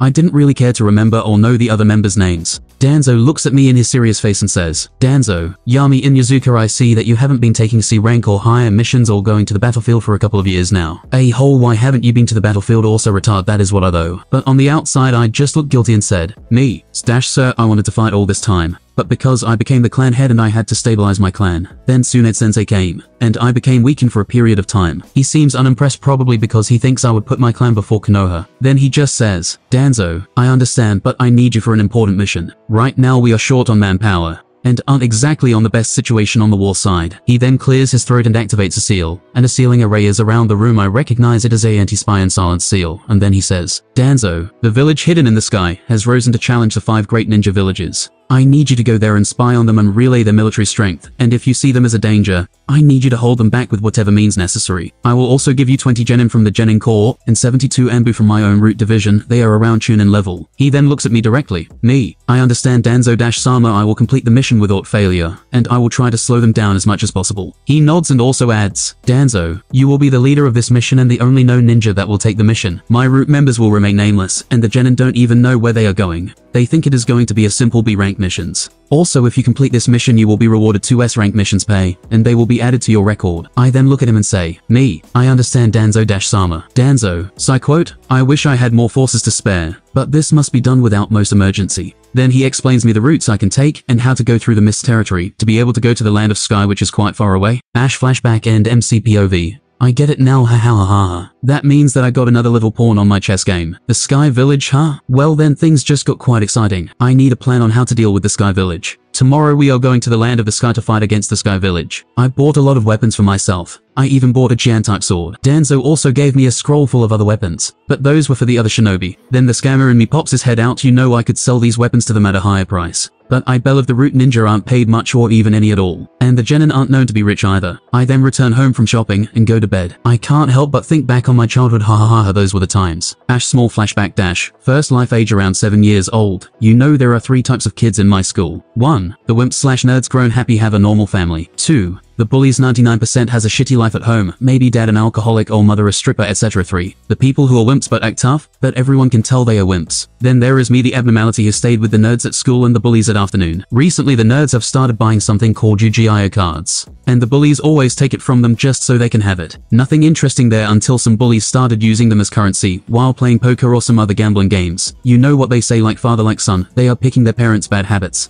I have a friend with the bullies squad, of course I stay with the nerds also, they are the ones with more chances of accomplishing something in their lives. Anyway my friend's name is Addy. His story is that his father registered him as a mentally challenged kid to get some money to pay for his alcoholism. Dash flashback and so yeah, I got some Yu-Gi-Oh cards and started cheating at every gambling card game I played. It was so easy to cheat against those kids they were so dumb. Then I sold most of the cards to the nerds 10 cards for $1, then the bullies took the cards again, and the cycle continued. I was making a little money, until out of curiosity I started watching Yu-Gi-Oh! And that is the time I started knowing the rare cards, and started selling them to the highest bidder. I was making a lot of cash at that time. Then I started dueling with the nerds the winner gets the other's deck. I got them addicted to it. I was going to cheat to get more cards from them. But surprisingly I was good at Yu-Gi-Oh! dueling. No I was very good at it. No one in my school could beat me at one point. I even had the three god cards and Exodia. Until the principal caught me. But that is a story for another time. I wonder what happened to Addy. Last I heard about him was in high school. The news was that he got into drugs and had an overdose. A. I had more important things at that time like how to deal with my stalker. I mean we only flirted once. That doesn't mean I love you. Time skip tomorrow. I make sure everything is ready and I go to the meeting place. The journey to the land of skies is going to take around three days. Then after some time I arrived there I arrived about 20 minutes early, and I only saw 3 Ninja 2 which looked emotionless probably Root Ninja, and the last was a character I recognized that was Might Duy the father of Might Guy. This is really surprising he isn't really useful to me, except his 8 gates technique, which he probably won't tell me about. But he is the father of someone who will be a great ninja at True Underdog Rising. He is warming up while trying to socialize with the Root Ninja, which they weirdly enough are applying to him and trying to understand him and they are being very polite. Anyway I go there and greet them. Me. Hey good morning my name is Yami Inuzuka. I will be your leader for this mission. Then they introduced themselves. When the others arrived I told them I was the leader. The Root Chunin were emotionless, so they weren't weirded out when a kid was giving them orders and the Genin they were all from the Genin Corps and I had a higher position than them, plus in this time of war, if someone questions the orders of their commanding superior, well a trip to the T&I department on suspicion of desertion or spying will maybe make them think better. They know that, they know I know that, so we are all good. Then we start the journey. Time skip three days later, in the journey nothing remarkable happened. We took the way I made to reach the land of the sky it goes to the land of waves. There I find a big boat that could fit us all, and order the root ninja to kill all the sailors even the captain. We take the big boat to also not alarm any mist ninja that might be patrolling, and because most ninja might not be able to water walk if any big wave hits. Then we go to the land of Whirlpool to rest and check if everything is okay. I leave a clone with a lot of chakra there to check for any hidden treasure, of course I did so without anyone noticing. Then we take the boat and started sailing towards the land of the sky which took about two days. On we landed right now I ordered the Earth Style users to make camp for us underground. I also gave codes and fake codes to stop any spying. Well then time to start to search for the Sky Village time skip. Six days later. Okay we found the Sky Village. And yes, it is flying just like the Anime Suo. It is going to be hard to get there. I then think of a plan on how to get up there on. Then I will do this at night I will go there alone. Cause no one else will be able to follow me. I go to camp and organize two Chunin to stay guard the Genin who maintain the camp. The others will be patrolling, and by that I mean stealthily massacring every village they come across. We need to get those Sky Ninja in the ground, even though they will know of our arrival when we start massacres. But it doesn't matter at that point, because I will be in the Sky Village killing them from the inside. Dash evening I gave orders to all of them on how things should be handled. I also gave them protocols on if they are discovered. I also took Shiro my Ninken with me. I stealthily go towards the Sky Village alone. Then I put a lot of boulders in my storage wristbands, which were full of projectiles and explosive tags. I still have pouches with kunai and shuriken, but I keep most weapons in my wristbands. I made them myself. I then go just below the Flying Sky Village. It's flying around 37 meters, 121 feet, so yeah, not exactly low, but also not high like above the clouds. I then prepare and get up on a tree pump my legs with chakra and together with my super strength technique, I jump high and destroy the tree I was standing on. I jump about halfway then I summon a boulder below my feet and jump again. I am almost there and then use chakra strings to attach myself there. As soon as I my feet touch the structure I stuck to it. This is weird I am upside down on a flying city. Well anyway, I put about 56 explosive tags at the bottom of the city I made these myself and made them stronger than normal. I also hid all of them well, like in cracks and places where no one will notice. I then put my Ninken under my hoodie. so no one will notice. I transform into a normal looking person, and just to be sure I make a shadow clone which will transform as someone else and follow me in case I'm followed. I then get in the city and look around. There seem to be a lot of civilians living here. I just wander around first and make a mental map. I then went towards the red light district which wasn't weird. Now Kaos I was transformed into an adult. After going in there I call the most beautiful looking lady over, and I make a scumbag perverted face. Me. Hey there whore, wanna have some fun? Don't worry I will pay you handsomely. She looks at me like I'm scum. Then we go to a motel that I pay for. We go to a room as soon as we go inside it I knock her out. Close the door tightly tied her to the bed and take out some torture tools, and put silencing seals all over the room. I then look at her, she has brown eyes, oval face and beautiful bulk hair. I must say she looks good for a whore. I wake her up and she sees me with the torture tools she looks surprisingly calm, but I can tell she is terrified well. This is mostly an intimidating method after all I don't bell if I have to torture her use. She isn't a ninja trained to withstand torture. What are you some creep or something? You know if you leave a scar in my body, the ninja will kill you. I am their favorite. I then make a serious face and say, Me, oh who aren't you a brave little whore? I don't really care about the ninja,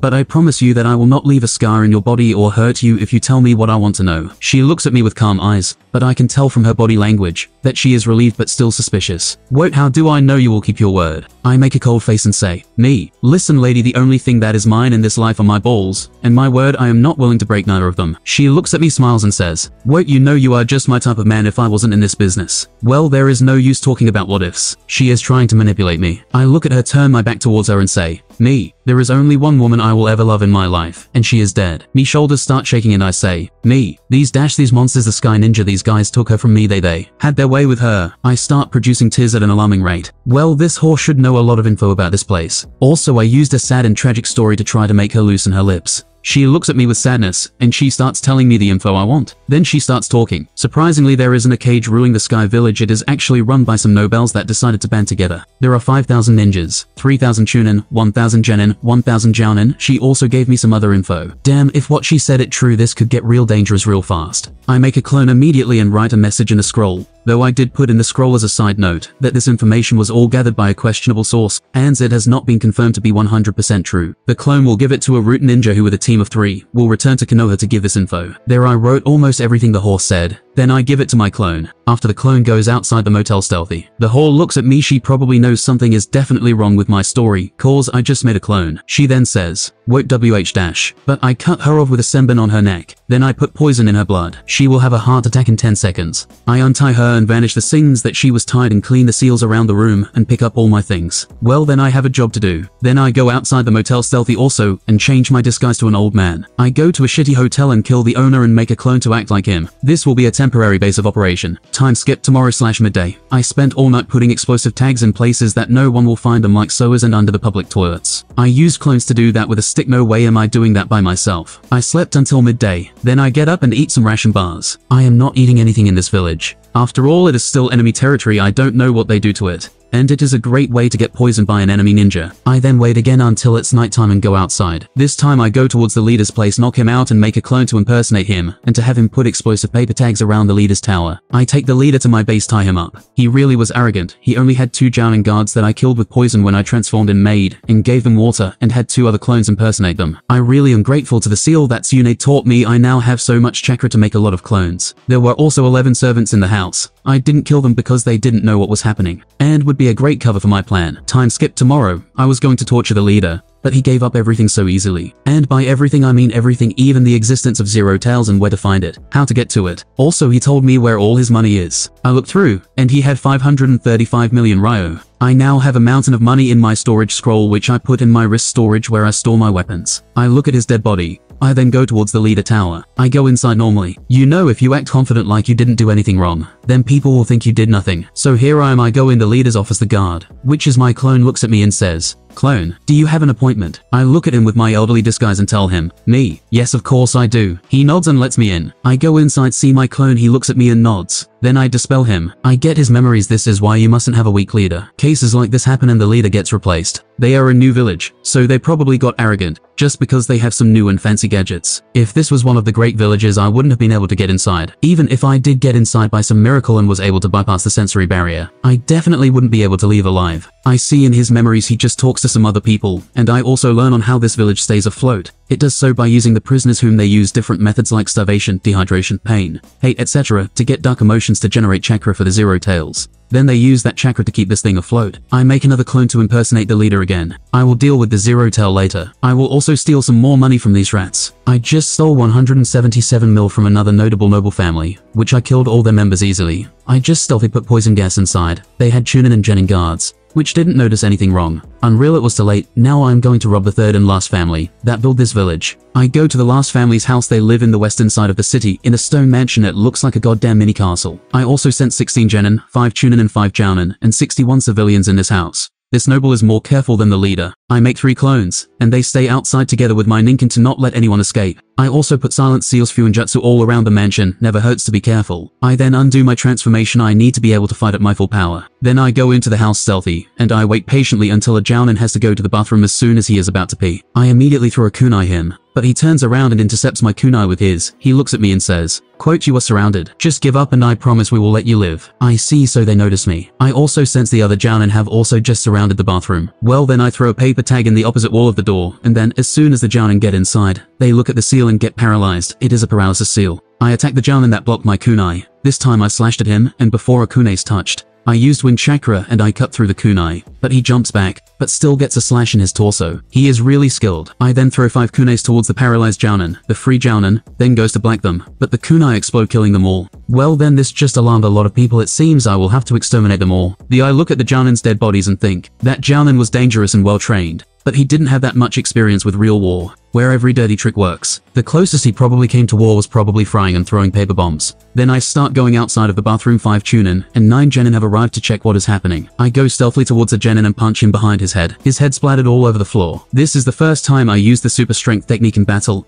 I must say it is remarkably strong. I then use all of my power and punch the ground. The mansion starts collapsing. I use earth style. Hiding like a mole technique I go underground while the mansion is collapsing. I know this isn't a good idea. People are definitely going to notice this, even though no noise was made outside. Because of the silent seals thank god I am way too paranoid. And I did that or else I would have been surrounded by a couple hundred Jounin by now. I go around and tell my clones that we're outside to search for any treasure or anything important. I return to my base no one heard anything about what I did yet. I was going to take them all out stealthy. But I saw that it was impossible when the Jounin noticed me. I also know I am stronger than some Chunin, but in a closed space like that, if any of them used a wide-range jutsu, I would be at best injured or at worst dead. I don't know how the Jounin noticed me, but I suspect that it was because they had a sensor I would have used a chakra suppressing seal, but that is too dangerous in enemy territory. But still did they really sense me or was it something else? I guess we will never know after all, even if you are a ninja if a couple of tons fall on you you'll die. Also I checked and confirmed with my chakra sense, that there was no one alive. I didn't sleep all night, and my clones returned with 174 mil Ryo. I don't think I will have money problems for a long time. I have taken 886 mil just from robbing the three noble families who rule the Sky Village. I make a clone and tell him to go meet my clone which is impersonating the leader. Minus 20 minutes later clone comes in and dispels himself. I get the memories and what I wanted. It was my clone which was the leader for some time they changed places. I also learn all the things I needed to do and then I make 10 clones again, and they nod and spread out. I dispel all the other unnecessary clones that I have in the land of the sky. I only keep the leader clone, his two bodyguards and the 10 clones that I gave a duty to. I go to the market and buy the best bronze urn that money can buy. I then go to the leader's tower I am allowed inside immediately. I see my clone there sitting in the throne, and he opens a hidden compartment and I run down there. Then I see a cocoon zero tails giving off dark chakra. I look at my Ninken and knock him out to not have him get possessed or something. I then look around at the cylinder-shaped room, and see the seals used in here all around the room. What bad sealing all of this to seal the Zero Tails, who is not really even a real-tailed beast, because it wasn't made from the Ten Tails. Then the Zero Tails seems to wake up and look at me. Is it really worth it, sacrificing all just so you can maybe reach a dream in which tragedy lies? Um so this is the Zero Tails influence speaking in a weird way, like a whisper in my head. What about your friend that you killed just so you could stay alive? He had a family, a sibling he was someone's child, someone's brother. What would you say if someone killed your own little brother after all you aren't there to protect him? You left them your family, you left them behind. I look at the Zero Tails, my face contorted in pure anger and I say, me, why you little worm? Ash POV change dash, clones POV who is posing as the leader. I have my own part to play in the boss's plan. Then the Sky Ninja comes in panicked and out of breath and says, Wote Shimu dash Sama there has been an attack on the two noble families. I look arrogant like a noble and seem distracted. I then say, me. Who was it? Was he captured or killed? Wote that is the thing Shimu dash Sama we don't know who was it, and all the people who in the buildings were killed. I look at him with rage and say, Nicole and quote what? You imbeciles you trash how couldn't you notice? Call all the Sky Ninjas as soon as possible. I also want 100 Jounin around me at all times. I want all the ninjas to gather all the people in the village at the tower I am going to make a speech in 6 hours. Well then I hope everything goes as boss's plan if it doesn't we will all die. Then I also say, Me, call the guards guarding the door. I want them with me here at all times. We might have a traitor amongst us. That is the only way this type of assassination can happen. Then the ninja goes outside, and the two clones disguised as guards come inside. They look at me and say, ELONE1. So what is going on? I was made during the Plan A phase. Did it go wrong? ELONE2. I am the same, but I don't really care neither way. I am sure boss will take care of it. I look at them and start explaining what happened. CLONE2. Ah, we are in deep trouble. Now that the security is increased, it will be a bitch and a half just to be able to escape alive. ELONE1. Yeah, I wonder how boss will do it. Me. I also checked for any secret exits. But there were none man they were arrogant and made our job easier. But they didn't build any secret exits in their arrogance. Damn it, how will we get outside? I know this place is going to be surrounded with ninja, but even though I asked for 100 Jounin ninja around me there will be 895 other Jounin looking for the assassin together with 3000 Chunin and 1000 Genin. Shit, damn IT. That is a circle impossible to escape from. There will also be a complete lockdown. If I order the lockdown to stop, I will blow my cover. What will boss do? What about your friend that you killed just so you could stay alive? He had a family, a sibling, he was someone's child, someone's brother. What would you so? If someone killed your own little brother after all you aren't there to protect him, you left them your family, you left them behind. I look at the zero tails, my face contorted in pure anger and I say, me, why you little worm, this shitty worm, I will show him what pain means. I clasp my hands together, five small yellow orbs with skinny tails emerge from between my clasped hands and move above my head, before forming a circle of five. Raising my clasped hands above my head, I slam them downward, sending the orbs into the ground. As a bright light is generated in the sky above the Zero Tails cocoon, five tall and thick pillars, which are connected to each other by chains, drop on the Zero Tails and pin it to the ground. Five pillared iron weight seal this will definitely hold it down. It could theoretically hold down a four-tailed chakra cloak Naruto, so it will definitely hold the Zero Tails without problem. Yeah, the Uzumaki Advanced book is no joke.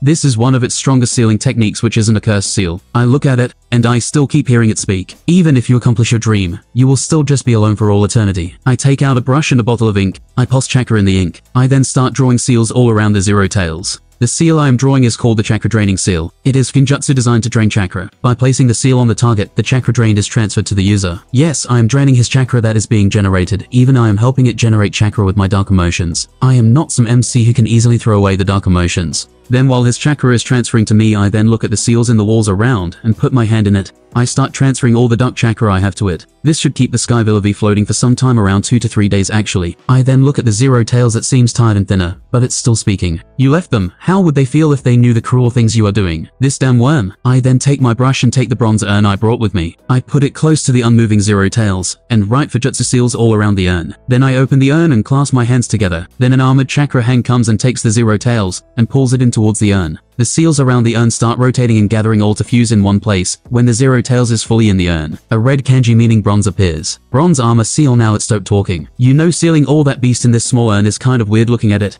I guess Fuinjutsu for the win then. Now that the sealing is done I release the 5-pillared iron weight seal, which now is just in the ground. It then just turns into chakra and dissolves. Well then the bronze armor seal is a kind of weak seal, which could technically seal one tails aka a Shukaku and a Jinchuriki no problem, and it would hold him pretty good. But if it sealed the two tails, the Jinchuriki wouldn't be able to sleep because of the two tails. In the three tails it will hold it for a while before it breaks out. For the other tail beasts, it won't be able to seal them. But for a zero tail it will keep him easily, it also has a weakness. The seal is easily broken even from something like the 5 elements unseal technique. I wake my Ninken and make a shadow clone to guard me. Well then time to start the real battle with the zero tails I then sit cross-legged close to the urn, and start meditating to recover chakra faster. I still have around 6 elite Jhan and chakra left in my seal. But I am not going to waste chakra needlessly, and in no way am I underestimating the zero tails. Around one hour later I am at full capacity. Then I touch the urn with my palm and transfer my consciousness into it. I then go inside I look around and see a field of red dirt surrounded with bronze walls all around, and I see some gears of beefy seem to be turning. I then look at the zero tails which is coiled it looks at me and says, Won't I see that you came here?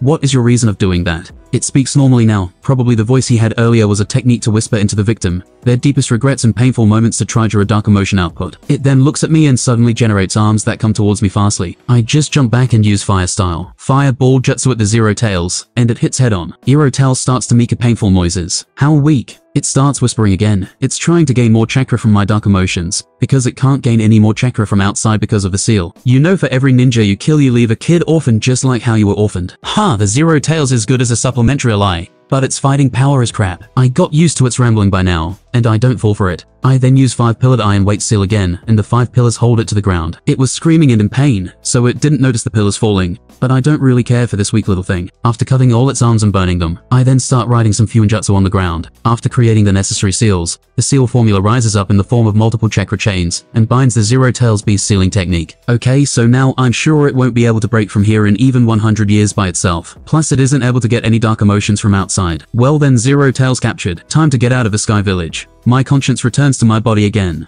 and I see the urn and think, I will keep the Zero Tails in that urn until I learn a way to erase its memories. I know the memory erasing seal, but the seal erases the memories of the caster and the victim of a certain event. But still though I am not using a seal that erases my memories also. I then get up and dispel my clone, and my Ninken then goes under my hoodie. I get up and start walking up the wall of the room. I arrive at the top and give a small, almost unnoticeable chakra signal. Ash 1 hour Laterium still in the same position. Then the secret entrance opened. My clone looks at me and says, Sorry boss I couldn't open it at the moment I had some people in the room. Anyway, how are you going to get out of here, boss? I then dispel him, get his memories, and make a new clone which will know what to do. Ash clone POV, leader clone. Well then I just have to follow the boss's plan. I then call a Jounin captain over and tell him, Wait, I will give you one of my bodyguards I said quote, because he will help you find the culprit sooner. By the way, are all the people gathered already? The guard looks at me and says, Yes, sir, they are all gathered. I look at him and say, Okay, then we are rushing a little. I'm going to give the speech in 10 minutes. Am I understood? The guard widens his eyes and says, Wait, why dash yes, leader, we will be ready then. I look indifferent and say, What of course you will. Also take my guard, he will operate in stealth and alone to be able to find the culprit. Also listen to all his orders. He has the authority only second to mine at the moment. The guard looks kind of nervous and says, Word of course. One of my two personal guards, with an urn tied on his waist and goes forward. 10 minutes later,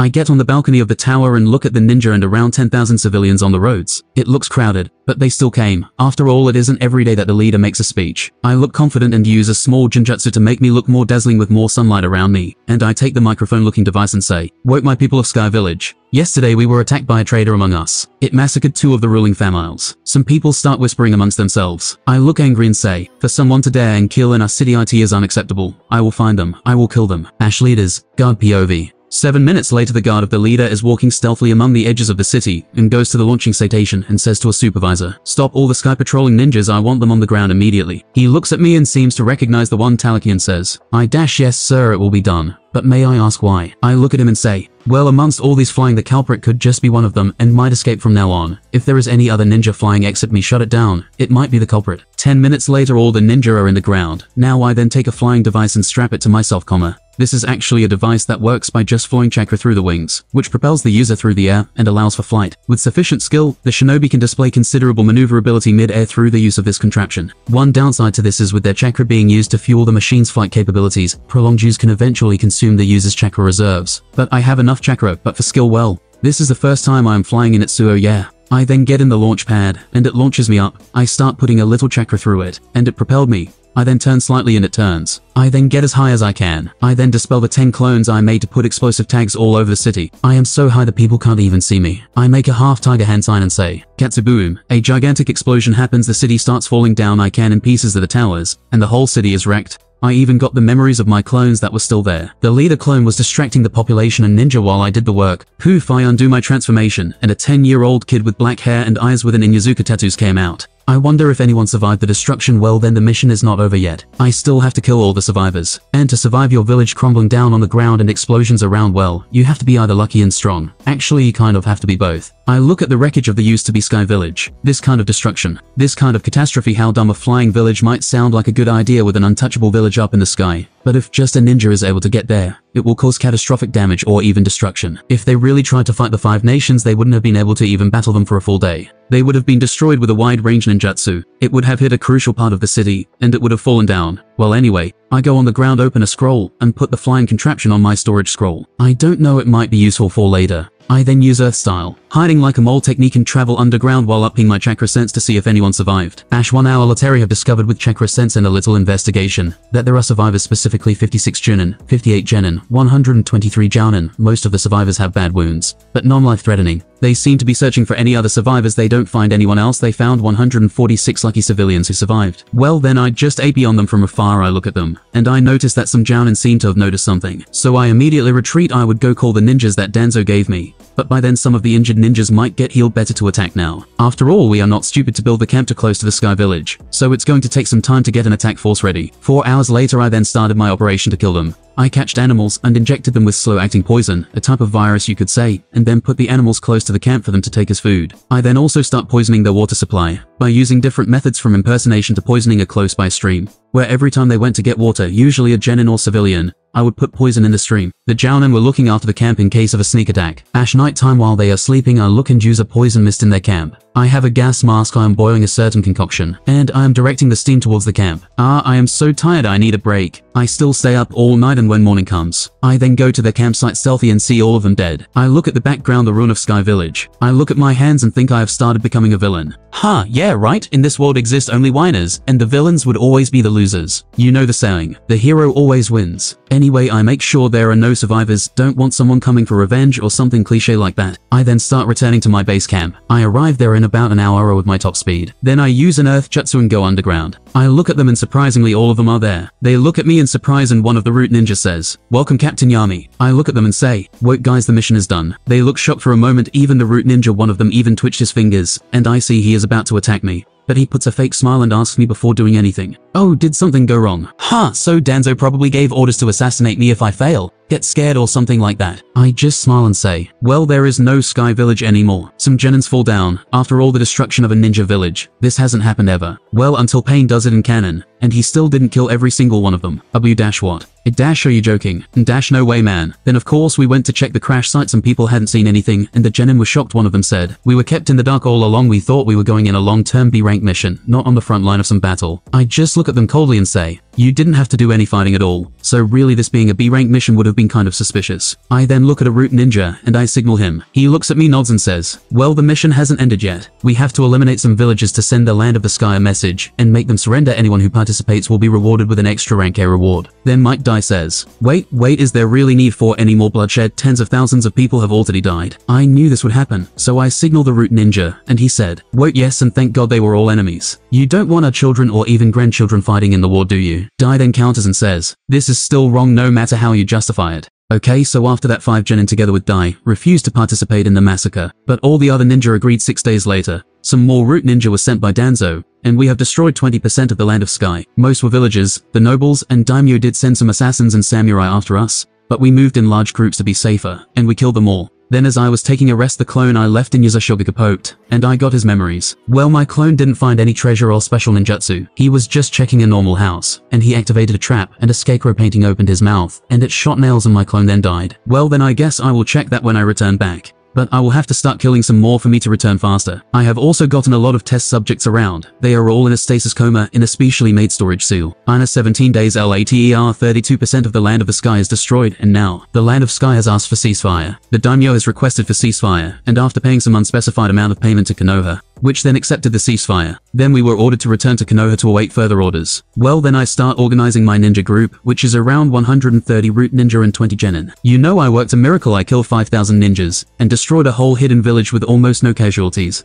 The only casualties were a couple of the root ninja that I sent to send information to Konoha. By the way, only one of them survived, and was able to deliver the message. Well as we are sailing in a boat towards Yuzashogaka the same boat that we came with. Then as we are in the boat I look towards Might Dai who was with the other genin who didn't participate in the massacre. I just look look at him sitting in the ground and looking at the floor absent-mindedly I then say, Wait so Dai Dash San how are you feeling you seem sad. You can tell me if anything is going on. He still keeps looking at the ground and says, Nothing is really going on. I then sit in front of him and say, Can I ask you something Dai Dash San? He turns and looks at me seriously and says, Sure then he looks at the ground again. I don't mind that and just say, Wait when I was asked to do this mission I didn't want to accept, but I did it anyway. I have a girl which is like my little sister, and I thought I didn't want her to see war or be a part of it. He just looks at me and smiles slightly and says, sometimes I forget you are a kid, but I also have someone special I want to protect. I have a kid you know he is just 3 months old, and I really needed the money that comes with the mission. Because I am a single father I know I am a killer. I am a ninja after all. But I will never kill innocents and civilians who have nothing to do with the ninja wars, they are only the victims of our war. I just look at him with an emotionless mask and say, Wait this is where me and you differ I will do anything to protect my loved ones. I then get up and go towards some root ninja, and make some pointless conversation to pass time. I am still putting 94% of my chakra in my seal. I want to try and understand more about the 8 gates. I have an idea for a medical procedure related to it. I will use it on myself. I look at my small childish hands, and make them in a fist. I first need my body to grow, and then train it to 100% before I do the procedure. Ash two days later arrive at Yuzashogaka. I tell them, you guys rest a bit, but don't leave your guard down. I am going to scout the island. I will check if anyone got wind of our mission yet, and if there are any ambushes or traps in here. If I don't come back in 6 hours max you must assume something happened to me. They nod and start setting up a perimeter. Wow this world really respects personal strength. I mean they take orders from a 10 year old. In my first life not only we didn't take orders from a 10 year old, but we don't even listen to what they say most of the time. The only way we listen to them is if we are at court, and the kid is saying where his weirdo uncle touched him. Well then I go towards the place where my clone died and see a normal wrecked house. I then send another clone inside, and not even three minutes later he comes outside with a scroll in his hands. Then I dispel him and catch the scroll. I also got his memories, and apparently there were no more traps actually. And at the end of the tunnel was nothing. But if you move the picture of the scarecrow that shoots needles out of his mouth inside the wall is a safe, and there is a scroll inside it. The safe didn't have any trap seals only a locking seal, and a destruction seal to destroy everything inside the safe if the seal is opened forcefully. I solved this quite easily it was mostly made to not be opened by those of not Uzumaki origins. And the best way to do that is to put seals that only Uzumaki know, and I obviously know because of the books about Uzumaki Fuinjutsu. I make another clone and make him open the scroll to see if it was a trap or something. He opens it and it was not a trap and after two minutes just to make sure there was no trap, I then dispel the clone and get his memories of what he saw. And then my eyes widen, and I go to take the scroll and see for myself. As I open the scroll I read the technique and think, the technique's name is Chain Jail. It is an inferior variation of the adamantine sealing chain that the Uzumaki use. It was made for those Uzumaki without the talent to be able to produce the adamantine chains, which would be able to hold the Nine Tails for a very long period of time. Kushina wasn't able to hold the Nine Tails down for as long as she would have been able to if she was in top condition during the Nine Tails attack. But still this technique could hold down the six tails for a long period of time and seven tails for some time. How the technique works is that you write the specific seal in a part of your body, and the seal will generate a sealing chain made out of your chakra. The max that can be inscribed in the body is four seals, so that means four chains can be made at max. The chakra requirement is extreme for the average ninja to make even one chain I should be able to generate three chains at max with my natural chakra amount. But I probably will only generate one chain to fight efficiently. I could generate all the four chains with the chakra in my seal, but if I am not fighting a tailed beast, then one chain would be more efficient.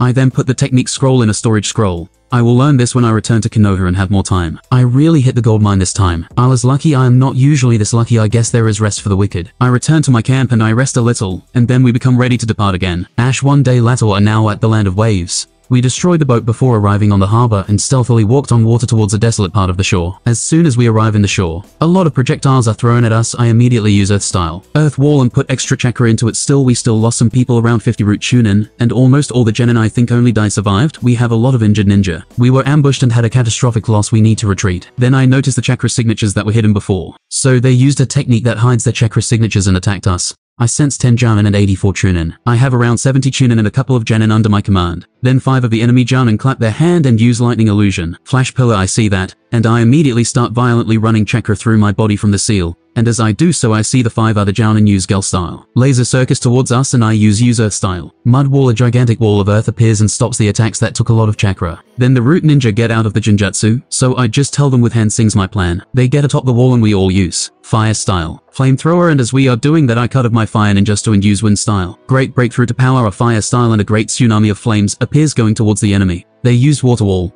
but it wasn't able to handle a jutsu completely. 51 enemy chakra signatures disappear. They let their guard down for a moment they seem like they are fighting in unnatural territory. They probably aren't Mist Ninja even though they have Mist Village headbands, some of them seem kind of tan. If they were Mist Ninja they would have used more water walls together to defend against a jutsu. I think they are Cloud Ninja after all they even use lightning techniques. What they are doing here I don't know but I will think about that later. The root ninja retreat and take the injured with them. I that signal my ninja and we all disperse in different directions while I leave a couple of shadow clones to distract them. Minus 1 hour and 30 minutes later have all regrouped in a specified location. It was in a cave under a small bridge. We retreated because even though we took them by surprise with a fire technique we were still at a disadvantage. They had 10 Jounin, and we only have me. If we fought the battle we would have had a 30% chance of winning, and I don't like odds like that. I look at our survivors there are only 82 root Chunin, with 13 of them injured and 7 of them critically injured. I am treating them right now, and by tomorrow all of them should be able to fight again. I am not Tsunade's student for nothing you know. Actually even Tsunade would need about a week to completely heal the critically injured ones I used their lifespans to make them heal faster.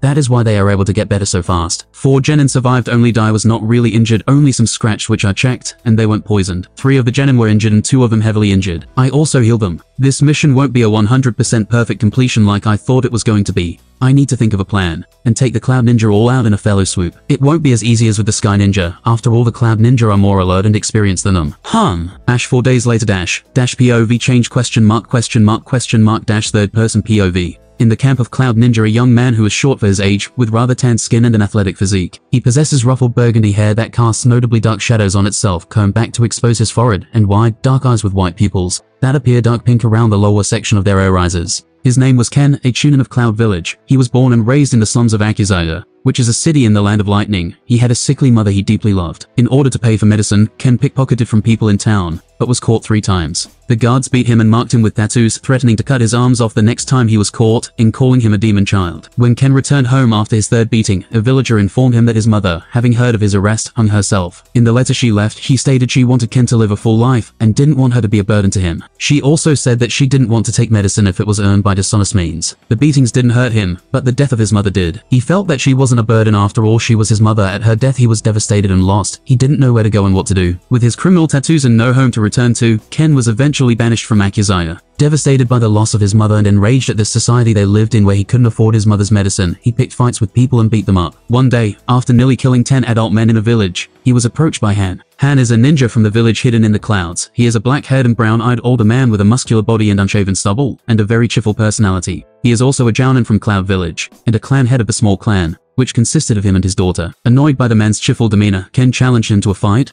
but was defeated with ease. Han took him in so he could nurse Izuno, Han's sickly daughter. Her mother, her previous caretaker, drowned herself due to stress, and Han had to do a lot of missions to keep them afloat and pay for Izuno's medicine. So Ken was tasked with tending to her already accustomed to tending to his mother. He had little trouble tending to her, though he found it awkward whenever she burst into tears. One of those times, unbeknownst to him, he had indirectly motivated her by telling her that there will be a next year, to see the Lightning Festival, which celebrates the first defeat of the Octopus Ball Demon. Han also started training Ken to be a ninja. Three years later, Izuno was in good health and could stand and do chores. Ken continued training with Han to become a ninja. One day, Han offered Ken to take over the small clan and take Izuno as his bride to Ken's surprise and embarrassment. He agreed, silently vowing to protect both of them even at the cost of his own life. At the Lightning Festival, Izuno told him of her past, asking if he was really okay with the proposal, to which he reaffirmed his vows to her, promising to protect her for the rest of his life. He went and prayed to the grave of his mother before going to war, and told her of his latest experiences at the age of 17. He was a Chunin almost a Jonin in about a year. He should be able to become one he still remembers the ambush that happened against the Konoha ninja. That was really just a coincidence they were supposed to deliver a message to the Mizukage that was their mission. But they already stealthy sent two Chunin and one Jounin to deliver the message, while they distracted the Konoha ninja at least if the Konoha ninja were planning to attack us, and they haven't returned to Konoha yet. He went to war together with Han, who is now his father-in-law. He is actually one of the Jounin. At that time Han came towards Ken and smiled and said casually, Hey Ken, how you doing? He then immediately goes alert.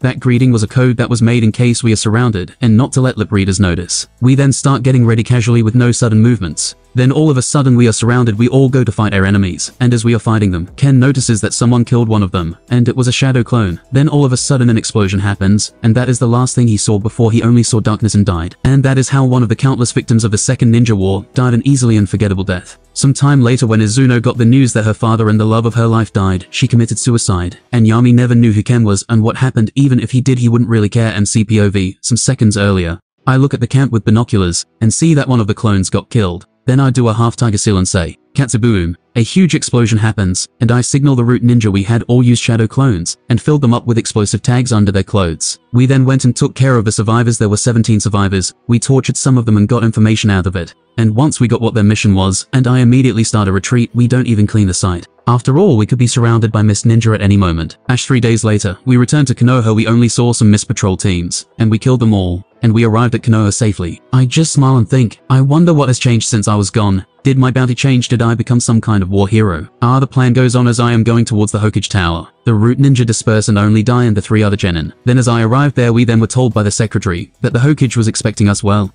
I guess he already knew we were coming. He probably saw us in his crystal ball or an amber reported to him. Then as I go inside I see the Hokage, and all the village elders are there even Danzo. The Hokage looks at me and can't keep a smile from forming of his face, and he then says, Work Yami Inuzuka I congratulate you. I keep a serious face to mask my depression slash trauma from killing all the people I did. This is what you call a double layered mask. I then answer seriously, for what Hokage dash Sama. He noticed my mood and says seriously, you are promoted to Jounin. The Genin's eyes widen after all a 10 year old Jounin is the youngest Jounin ever recorded. This is literally witnessing history. But the Hokage continues and says, and also he picks a book from his desk and throws it to me. I catch the book and read it. Aha, so my bingo book page got refreshed. Yami Inuzuka codename, Red Fang slash Sky Slayer Yami Bounty, 73.000.000 Ryo rank. Description. He is believed to be good at Taijutsu. Tsunade Senju the Slug Princess was his Jounin teacher, and he might have her freakish super strength. He has big chakra reserves. His strong point is ninjutsu. He is also believed to be good at genjutsu. Be aware the ninja is a schemer. IT has suggested he is dealt with quickly and with no time to prepare. Do not underestimate him because of his age. He used that to overcome Chiyo of the White Troop when he was younger. Wanted for the destruction of the village hidden in the sky. The land of the sky also offers a noble status to anyone who brings him in. He is known for single-handedly destroying the village hidden in the sky, capturing the one-tailed Jinchuriki, cutting of the arm of Chiyo of the White Troop, massacring the defenseless land of the sky civilians, numerous killings in the battle against the village hidden in the sand. He is the only student of Tsunade Senju who is still living. He graduated at Apostrophe there were a whole lot of information about me critical and important information. No one is going to underestimate me now. This is a big disadvantage to me. True the reputation will help me get high paying S rank missions even in peacetime. But I don't really care about that, after all. I am only going to do a minimal amount of missions in peacetime, it is better to train or experiment. And I know my power best I am not S-rank material then, as I am about to put the book down on the Hokage's desk. He looks at me smiles and says, Wait you can keep the book. No need to get a new one for yourself, you just returned. So it's some reading material while you rest. He then says seriously again, Anyways your reward will be 12 S-rank and 7 emissions to your record, the rank of Jounin as I already said. And he then takes a check and gives it to me. 6 million Ryo. I just look at the money and say, Hokage-sama I don't want the money. His political senses go off, and he notices where I'm going with this. He narrows his eyes and brings his hands together to his chin. He then says, Then what is it that you want? Oh, that means that he is ready to pay a big reward to me. Well then let's continue this acting in front of the Genin and the councilman. In the battlefield I noticed how I was unable to protect myself, and I want an S-rank technique as my reward, except the Hokage all the others widen their eyes. But no one refuses after all it is a fair trade, and I didn't ask for an S-rank forbidden technique, just an S-rank. Then the Hokage makes a signal and Anbu comes down he then says, the Anbu will guide you where we keep their strength Ninjutsu, but first you will have to give me a report for your mission. I then do so and of course I hide some details like the zero tails or my half-truth of me torturing someone I dodged, saying it was a prostitute to keep my image cleared. Then after I do so I am escorted out by an Anbu and him taking me to the Anbu base. Then as we are walking I ask him, Sue I have been gone for a long time what happened around here? He just looks at me with his mask which I can't see the eyes. But he says sure, and he starts explaining what happened. Hokage returned to Konoha and Orochimaru withdrew from the Land of Rain, and took his place in the war against Cloud Village. Tsunade returned to the Mist battlefield. The Spectre Dan is now holding the Rain front lines against Rock together with Sand which are temporarily our ally. Jiraiya asked for a break, and because of his contributions he was given one. If my estimation is correct he should be training Konan, Yahiko and Nagato at this time period. He then starts explaining me some of the alliances we made with Waterfall and Grass Village. Then we arrived at our destination. The Anbu base is actually located surprisingly in a run-down apartment complex. Then when we arrive there we go inside, the Anbu escorting me does a secret hand sign to the man in front, who then opens the door for us. But the Anbu says, wait here. Then as I am waiting I open the bingo book and look at the bounties in there. I open the book and read my bounty 73 million Ryo 60 mil, came from the land of the sky, and 13 mil from the land of wind. Then I look at other bounties Tune the Slug Princess, had 103 million Ryo bounty, Orochimaru the Snake Master 118 million Ryo bounty, Jiraiya the Toad Sage, had an 113 million Ryo bounty, Hanzo the Salamander 134 million, Hiruzen the Professor Slash, the God of Shinobi 171 million, Chiyo of the White Troop 82 million, Almighty A the Third Raikage, had a bounty of 181 million, the White Fang Sakumo 150 million Ryo, Third Kazekage the Iron Wasteland has a bounty of 133 million Ryo Chiyo's brother, Ebizo of the White Shroud, has a bounty of 84 million O. I found an interesting one. Heartless Kakuzu 147 million Ryo, Inoki of both scales slash fence Inoki, has a bounty of 142 million. Of course these were only the characters that we see in the main story there were other people in their rank like. Form Little Toroi from Cloud Village 55 million Ryo bounty, has the ability of magnet release. When he shoots a metal projectile if it touches you, it will follow you like a homing missile not the magnet release which has the ability of sand control like those of the Sand Village. There is also the third Mizukage nicknamed the Dragon with 101 million Ryo bounty. He hasn't really done anything noticeable in this war, yet there also isn't a lot known about his abilities even from the bingo book. The only thing that the bingo book mention is that he is the Mizukage obviously, and that he accompanied Thephis Mizukage to the first ever 5 Kage summit in Konoha during Thephis Shinobi War. There is also Dodo the Rubberman 89 million Ryo bounty he uses rubber that he makes from his lava style. I believe he is the guy that helped Naruto against Edo Tensei 3rd Raikage. Oh look there is Blue B. The current 8-tailed Jinchuriki 131 million Ryo. There are also a dozen more S-rank ninja, they weren't in the main story, but I will still memorize their info just to be sure. After an hour of reading and memorizing the bingo book, the Anbu comes out with a paper in his hand. He gives me the paper and says, These are all the S-rank techniques which aren't forbidden. You will be able to choose one, and I will then go to the Hokage get a confirmation. Then I will deliver the technique scroll to you. I take the paper and read all the techniques names and their short descriptions. There are 98 techniques. The Anbu looks at me and he says, There are 98 S-rank techniques. And do you want to know the best part? 39 of those S-rank jutsus were created by the second Hokage. I then read some of the ninjutsu in there. Water release, Rising Blast Rank. Description. Ash using large amounts of chakra. The user creates water from thin air and forms so much that it creates a mini tidal wave. The water then does not dissipate for the duration of the battle, thus creating an arena where the user has a large advantage. If the climate is exceptionally arid, such as a desert, the water only lasts for a short while before draining into the sand. The depth of the water once the wave has settled is anywhere between 3 to 4 meters. 9-8-13-1 Water Style. Tidal Wave Jutsu Rank. Description colon an even better and more devastating water technique than the Shishalha technique. This technique can drown a large village, but requires enormous amounts of chakra and stamina. Usually an all-or-nothing technique as it is not used under normal circumstances due to the widespread and indiscriminate destruction that it wreaks.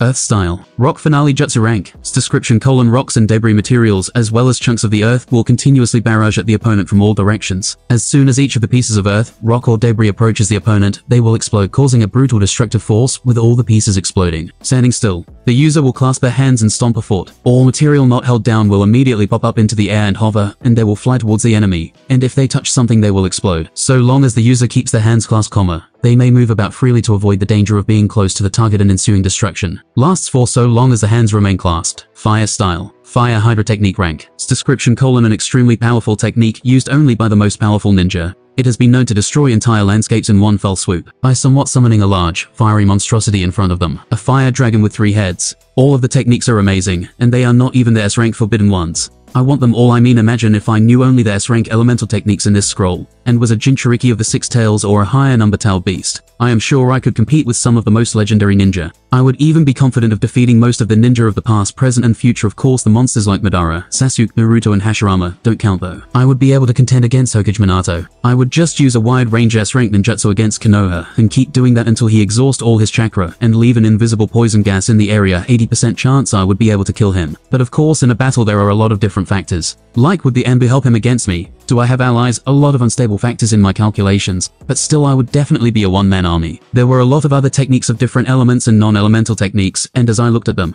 I looked at the one I was most interested. There were a lot of other techniques of different elements and non-elemental techniques, and as I looked at them, I looked at the one I was most interested, Flying Thunder God rank. So the user needs to be a Grandmaster in Fuinjutsu to be able to use it and make his personal seal. Needs great chakra reserves. It is mostly used as a transportation method. The use in battle is almost impossible because of the teleportation the user might be teleported in front of a kunai. The teleportation is almost instantaneous. To be usable in battle, it depends on the thinking process and analytical speed of a person to be able to teleport fast and efficiently. Well then I mean there are all kinds of techniques, but the Flying Thunder God is definitely the best non-forbidden S-rank technique no questions asked. I mean another S-rank blood-bending jutsu that Tobirama has invented sounded good was able to manipulate those weaker than you, and paralyze those of the same level for a couple of seconds. I mean for an average Jounin in a couple of seconds, he can pretty much slice you around 30 times. I mean the impure world reincarnation is one of the techniques that I think could surpass it. But the technique is an S-rank forbidden one, and it's not in the list. I then point towards the technique I want and say to the Anbu, Whoa this is the technique I want the Flying Thunder God. He just looks at me and says, Whoa you crazy.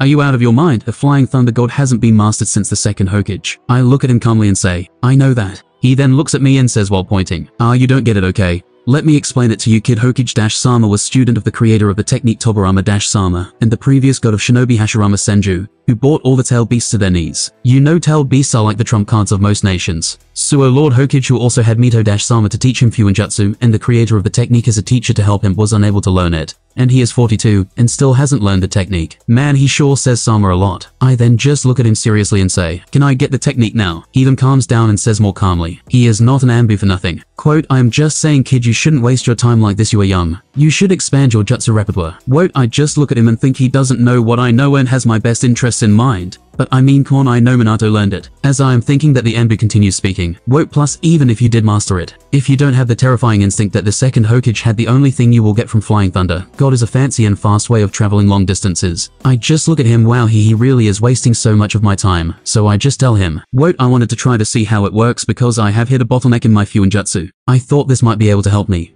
Plus the other techniques are way too chakra intensive and would be difficult to use in a situation. Plus I am not ready for a wide destruction S rank techniques. Get the hint you piece of shit, you are just wasting so much of my time. He looks at me and says, yeah, even though your chakra amount is very large dot dot. An elemental S-rank ninjutsu isn't the best idea you could get hurt and even crippled. He is right with my chakra I would be able to use an elemental S-rank technique only once. Well, more like 1.5 times. But still it would not be very efficient. He then continues and says smiling this time. Okay then I will take your decision to the Hokage if he will allow it. And then I will deliver the technique scroll to you. By the way don't get discouraged. If you aren't able to learn it, I mean I had 16 years, and I still haven't learned it. He then shunshins away. What did he mean when he said that he had 16 years to learn the technique I start walking home? I keep thinking, do Anbu have access to S-rank ninjutsu at least the ones which are not forbidden hum? Should I become an Anbu when the war ends? No. That would be a waste of time. Just patrolling and protecting important people. Better get an Inuzuka in there. But I need to ensure who will be loyal too though, cause if they aren't then I will have a problem in my hands. I mean someone telling the Hokage that I ask S-rank techniques from Anbu is a big red flag. They might also become double agents against me. I don't need a retarded version of Itachi who likes dogs, and is generally less cooler and way weaker than him as my clan's Anbu though who would be a good person to become an Anbu. I need someone young so I can mold Anne's brainwash easily, and someone who is close to me then as I arrive at my house. I see Tsume training in the yard. When she sees me a smile takes form on her face, then she runs towards me happily and says, Wote Yami Oni-chan you are back. I look at Tsume smile and say to her, Hey there Tsume-chan I see that you are training hard again. She looks at me and says, Yes, I want to graduate soon I am 9 I am going to war and be the strongest ninja ever. I just look at her and smile on the outside. But in the inside I am thinking well she would die fast. How she survived up until canon in the story is nothing short of a miracle. This kind of personality unless you are the reincarnation of Jesus of the Naruto world, Indra and Asura, then there is no way you will survive with her shitty talent. I mean if she met a high chunin, then who is going to save her, hum? I mean if she died, it wouldn't be that much of a big deal in my plans. But what about the timeline? I don't really care about the timeline, but I need certain events to happen for my plan to go smoothly. Hum, her death would also be kind of suspicious. I mean first the father then the daughter I would be the number one suspect. Plus I don't have anything to gain from killing her. I look at her and say, Wotsum Dash Chang you mustn't graduate until you are 10 years old, or I give you permission. She just pouts and goes back to training. I then go towards my room for some rest. I note Tsum has tried graduating early behind my back. But you know me as a Sannin student, my words have some pull. Plus the teachers understand me, and what I am doing is for her own good. I go to my bed and lie down. Time skip, 5 months later MC age 11 well. I am glad they let me take such a long vacation. I mean I have a lot of merits, and I kind of pushed it with the vacation, but who cares in the war side of things Orochimaru and Sakumo are still holding the lightning front lines, though the Raikage has been pushing them back a lot. On the rain side of things Jiraiya is still probably teaching the rain kids, and a new name has appeared in the battlefield against Rock Village. People have even started calling him a hero yeah. My fame from destroying a whole village, single-handedly is kind of dwindling. I would take care of him if he was a threat to my plans. If I was a guy who really cared about a dead guy starting to catch up to my fame, his name is Dan Kato, also known as Dan of the Spectre. Before he appeared even all the S-rank Sand Ninja were barely able to hold back the Tsuchikage, but then Dan came, and he used his technique to possess people close to the Tsuchikage and attacks him randomly. It is said that he was able to make the Tsuchikage suffer one loss after another, and that hasn't happened in a long time. Tsunade is easily holding the water battlefield pretty successfully. She is probably the biggest legend formed in this war. If she wasn't here the casualties on Konoha's side would have been twice as much. She has saved so many lives it is pretty much impossible to count. I think she is 50% of the reason that Konoha will win the second ninja war. Anyways, I have mastered the chain gel Fuinjutsu in two months. I also made my own technique the Rasengan is able to be made with one hand and is perfect for future Minato, because he will hold the Horatian kunai in the other hand. But for me at best it is just a way to be able to beat people with high defense, and not really my trump card so to say. I then make some hand signs. Tiger apostrophe horse apostrophe rabbit apostrophe rat apostrophe dog and then blue chakra comes towards my hands chakra scalpel. Then I start infusing wind chakra through my hands wind style. Chakra scalpel the cutting power is through the roof. I haven't tried it yet, but I believe that it has the ability to cut through the Susanoo ribcage. Rasen Shuriken is an S-rank monstrous technique, but my technique is monstrous in its own way. Still the chakra control to do this is needed to be perfect.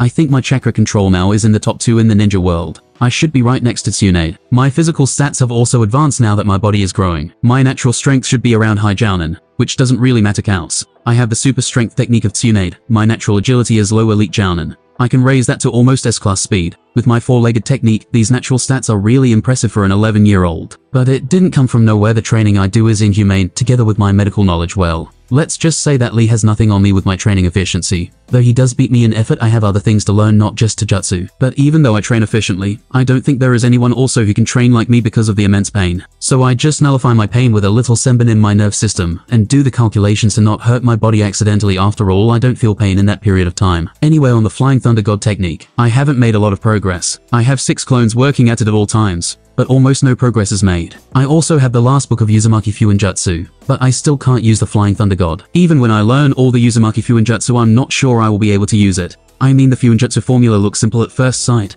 but I feel like a kid who just learned 2 plus 2 equals 4, and then he gets a math exercise with 4 unknown factors. How the hell did the second Hokage come up with it? I have a whole different perspective of him now. How did a guy like that get killed by Ginkaku and Kinkaku I don't know. But anyway, I look at a note in my hand, it was left by an Ember yesterday. To meet with the Hokage I am important enough now, and can't get summoned at the whims of other people. They need to send me an appointment first. I wear the usual green hoodie and Anbu pants with sandals. They are like the only clothes I have they are efficient and good for camouflage. I am not really trying to look good anyway. I wonder what the Hokage is calling me for. It isn't a clan head meeting. They aren't held in wartime unless a Sharingan is stolen, a clan member is a spy or something like that. I wonder what is the reason I am being summoned, though I have a good idea what it is, for I then go to the Hokage's tower, and as I enter I see the receptionist, she looks at me and says, Wait the Hokage is waiting for you Inuzuka-sama. I arrived exactly on time. I go inside the office and I see Hiruzen and Danzo in there the other two council members are missing. But there is a Shikamaru looking guy probably a Nara. They are usually the strategists of a battlefield, then the Hokage looks at me, smiles and says, I see that you are getting stronger every time we meet. Wow, I feel like he starts every conversation with a smile I just say to him, well hard work never betrayed anyone. He looks at me and says humorously, yeah you're right.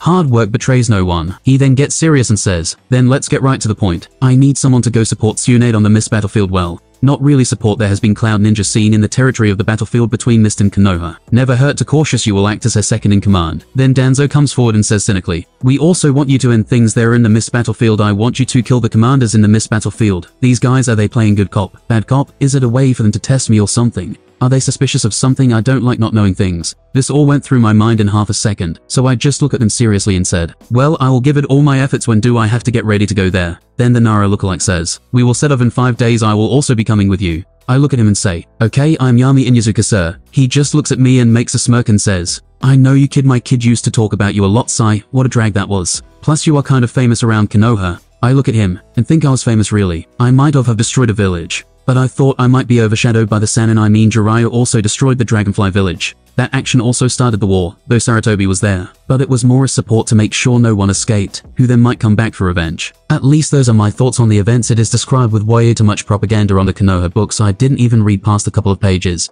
I mean they accused them of stealing a very benevolent noble or something like that, when in reality Fire Country just wanted to expand their territory. Well as they say history is written by the winners. But in the other countries they say that Konoha massacred the small ninja village, and the other countries wanted justice. But in reality, they were afraid of the Fire Country getting more land, so they also started attacking their small neighbors to also get more land to be able to keep up with Konoha, and then Konoha was like why are you massacring weak villages? Because Konoha was now afraid of them. Then they were like apostrophe well you started it. They started with small conflicts amongst each other, and Konoha said to stop attacking the small villages they didn't, and then boom war comes with Konoha in the middle of all the ninja villages. So it became a very disadvantaged situation for Konoha since the beginning. But Konoha was able to survive thanks to many legendary ninja like the Sannin, White Fang, the Scepter, the Professor, the Darkness of Shinobi etc.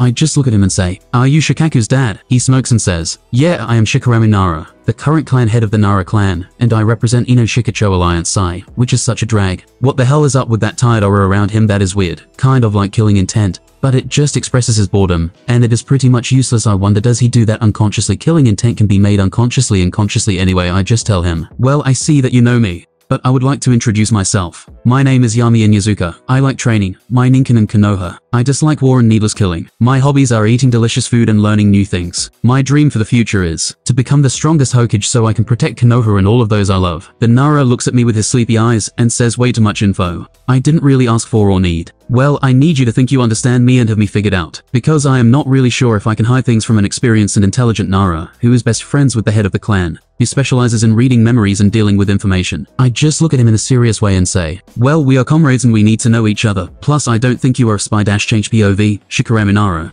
I look at Yami Inuzuka this kid. He is definitely wearing a mask. You notice these kind of things. When you are always on guard against spies in our midst. Even though I wasn't sure in the beginning that he was wearing a mask, his body language is perfect. Not surprising since he is a medic. But that is also what made me suspicious in the beginning. It was too perfect even with Tsunade. You are able to notice how she is feeling from her body language and slight face twitch. Though if I was an enemy and she was on guard, there is no way I would be able to notice it in the midst of battle even though sometimes she is very expressive of her feelings. But this kid, he is too guarded even against the Konoha ninja he is hiding something I can count the people who would be able to notice his mask in one hand and three of them are in this room me included. I then say to the kid, wait sure, sure kid Sai, this is such a drag anyway my name is Shikaramu Nara. I like cloud watching and playing shogi with my friends. I dislike dishonest people. He doesn't even flinch slightly when I say that. This control over his body's natural reactions are scary, even for ninja especially ninja his age. But I continue saying, dot, dot, and people who go out of their way to disrupt my cloud watching. My dream is to live until this war ends so I can be lazy and play shogi all day. He just looks at me without an even trace of anger and just says, You know old man you are really lazy. This is the thing that makes me suspicious of him. His teammates died because some ninja were lazy or didn't look hard enough and let a big group of ninja with Jounin and Chunin pass. I thought he would criticize me, but he is so calm like. Well anyway, the Hokage then says, Yami is the second in command. If Tsunade is ever fighting against an opponent, I need you to lead the ninja. If you want to just go and help Tsunade, I need you to give command to Shikaramu, because he will be your second in command, and will be a critical part in planning strategies. He looks at us and then says, I understand Hokage-sama quote then the Hokage says, I won't keep you any longer I am sure you need to prepare for the journey. He gets the hint and goes out of the office. When he is gone there is silence for a couple of seconds and I say, Sue, I am sure you noticed that the kid is wearing a good mask. Then the Hokage looks at me and says, that kid he lost two of his teammates in a mission. In the reports from the medic they say it was a miracle he was able to stay conscious and come back alive after the battle against San. I then say to them, that is true he doesn't like to show weakness. And he has a mask we don't know what is hidden behind the mask. But what I believe from all of the information that I have about his life is that he hides his so-called weakness, or as he proceeds his emotions behind a mask. I believe for his mask to be so good he started wearing it young, probably when he learned that his father was dead quote, then Danzo is also looking at Hokage-sama then he says, if we weren't at war, he would have been perfect for my root program. The Hokage frowns, looks at Danzo and says, no, you aren't allowed to take clan children or ninja with talent in your root program, we need them to be the light. I look at them and think Hokage-sama really hates the root program. I mean 99.9% who know of it hate it. But still the Hokage knows that Root Ninja are efficient and very useful. A Root Chunin could assassinate a Jounin with a suicide technique, or just simply attacking and having paper bombs wrapped around him. Not even the most devoted ninja will do that. We have thousands of Chunin, but only a handful of Jounin if even one is taken out, it is a great loss. They are after all the best ninja in their generation there is a saying that there is no weak Jounin. Even though the root missions will never be made public, I hear that they are very gruesome from assassinations of whole bloodlines, from the elderly to the babies torturing nobles, and killing the family one by one in front of them to make them talk. Torture techniques that would make even the most veteran ninja throw up like RPing daughters in front of their families, torturing their kids in front on them, that is why none of the clans even dare to get any smart ideas I am brought out of my thoughts by Danzo's voice who says, I know I wouldn't take him even if you gave him to me. We all know that is not true. I think that while Danzo continues speaking, look at the strategy he did in the Land of the Sky, he is without a doubt an asset to Konoha, if he wasn't so young. I would have even recommended him as a frontline army commander. The Hokage looks at Danzo with a little surprise, then he smiles and says, Are you getting sentimental Danzo? Does he remind you of yourself when you were younger? Wait, how does he get that UIC now the father died in the battlefield of war same with Danzo? Comrades dead same as Danzo well that is pretty much it. But I bet you could match that background with 80% of the Konoha ninja. I am sure the Hokage is just trying to get under his skin. Danzo looks at the Hokage and says calmly, Aren't you too old for these types of games Hiruzen? The Hokage shrugs his shoulders and says, Oh well. Then an signaled us that the next visitor is coming. As change POV, Yami's POV, as I go outside of the office. I think back to the conversation I feel. No, I know I am not getting something that happened in that room, those answers. Those questions with the Nara they were shit, shit shit goddamn IT. He played me he got me that Bartard okay I need to calm down first. How would they think of me obviously they wouldn't jump to the conclusion that I am a reincarnated person. They shouldn't have been able to see through my mask and see my real personality. Even if they did it doesn't matter they think it's just another Orochimaru, and that is not bad. Since he hasn't left Konoha yet that behavior isn't considered bad, since it's only being used against the enemy. Okay, I get my mistake now I wasn't able to understand the game that Nara was playing. Until it was too late what I lack is wisdom that comes with experience. That is true the most I manipulated in my last life was a teacher or a classmate. People who I know their personalities are easier to manipulate and predict. I was able to manipulate people because I knew so much about them from the anime. Hokage and Danzo are dangerous because even if I might be able to manipulate them, I am 50% sure they will notice my intentions after all they have experience in that anyway.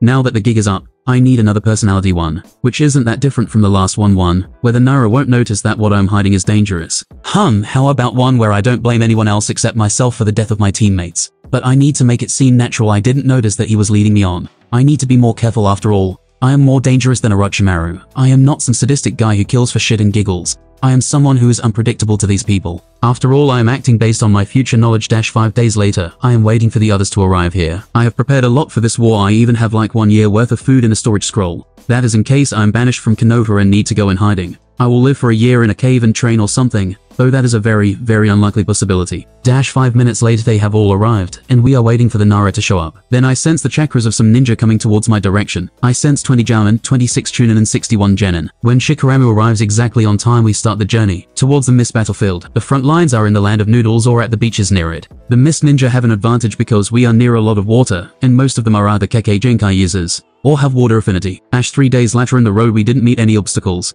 We only meet some genin who had understood their position in the battlefield, and they deserted we of course, noticed them hiding and took care of them. When we arrived at the camp, Jounin came to greet us and ran some tests to see if we were the real ones, and not some disguised enemy. Then Chunin and Genin went to get familiar with the camp, while the Jounin, which also included me, went to meet with the leader in the meeting tent. She then looks at me, smiles and says, So you are my second in command, huh? You sure you are up for the challenge, brat? I just look at her and say amusingly, why of course Tsunade. Then after some more chit-chat between me and Tsunade, we get to the main point, and I start explaining the mission from the Hokage, and how we need to end this war quicker. Then Tsunade started explaining that she would have already ended it if they were in any other battlefield. The terrain gives them an unfair advantage. Plus their camp is in an iceberg made by the Yuki clan of the Mist Village. Our numbers are about the same as them, but we still have the absolute survival advantage with Tsunade here, and she has a high chance of single-handedly with the help of Katsu to kill a huge chunk of them all in land, though it would take some time. But those odds do a 180 degrees turn if we are fighting on water. Their advantage became able to keep Tsunade at bay, and for her to not attack, but they also don't dare attack us on land recklessly, or else they would be annihilated by Tsunade. Then Sun says with a small smile, Well since you are here Yami, or should I call you now Sky Slayer Yami or Yami of the Red Fang? I just say humorously, well you could call my honey or darling. If you want the ninja look surprised at our humorous relationship,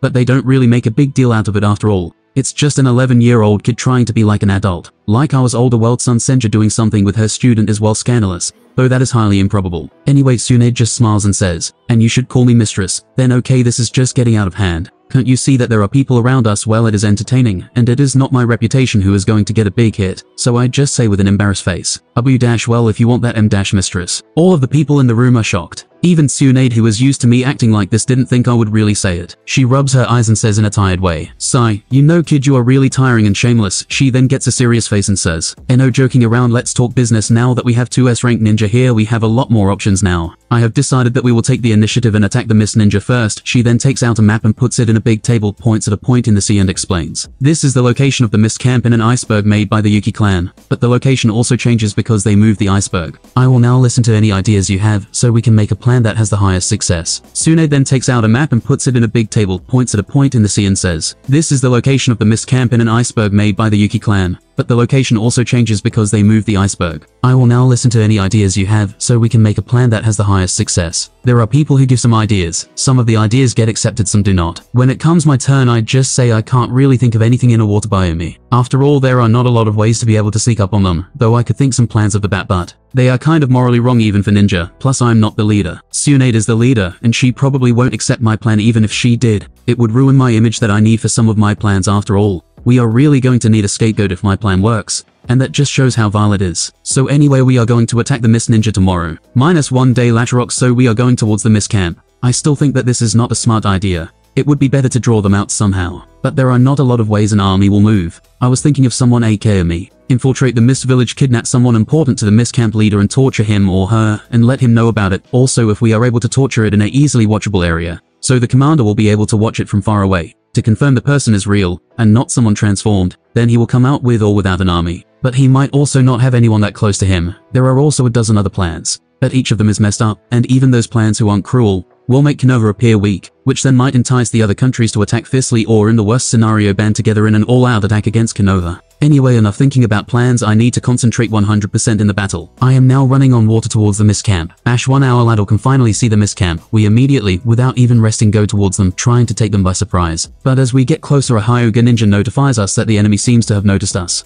Well, that is not really a surprise, since it's hard to sneak an army of almost 2,000 even if they are ninja, plus we are in the sea, and not exactly a lot of places to hide. Anyway, as we get closer we see some ninja form a line and start doing hand signs. Then as we get closer I see that they are still not coming to clash with us in the middle of the battlefield, and I immediately stealthily made a shadow clone and go underwater following my clone. Then as it seemed like the ninjutsu of the enemy ninja was over, we were close enough to them, and we threw some projectiles towards them. But then some other mist ninja came in the front line. They used water style. Water wall jutsu and the projectiles were blocked, though some did go through. Then suddenly snow starts falling. Then Sun throws a kunai which touches a snow faki, and the snowflake blossoms like a flower but with ice spikes all around it. Then I hear Tsunade shouts loudly, everyone underwater now. All of the other ninja go underwater even my clone. I just pop my head above water to get some air and go underwater immediately. Then some snowflakes touch the water and start freezing the water all around us. They are obviously trying to suffocate us. Then Sun goes touches the ice, then brings his fist back and throws a punch at it, and it immediately starts to crack, and it then gets destroyed. Then we all go above water and the battle starts. Tsunade goes after a feminine looking guy.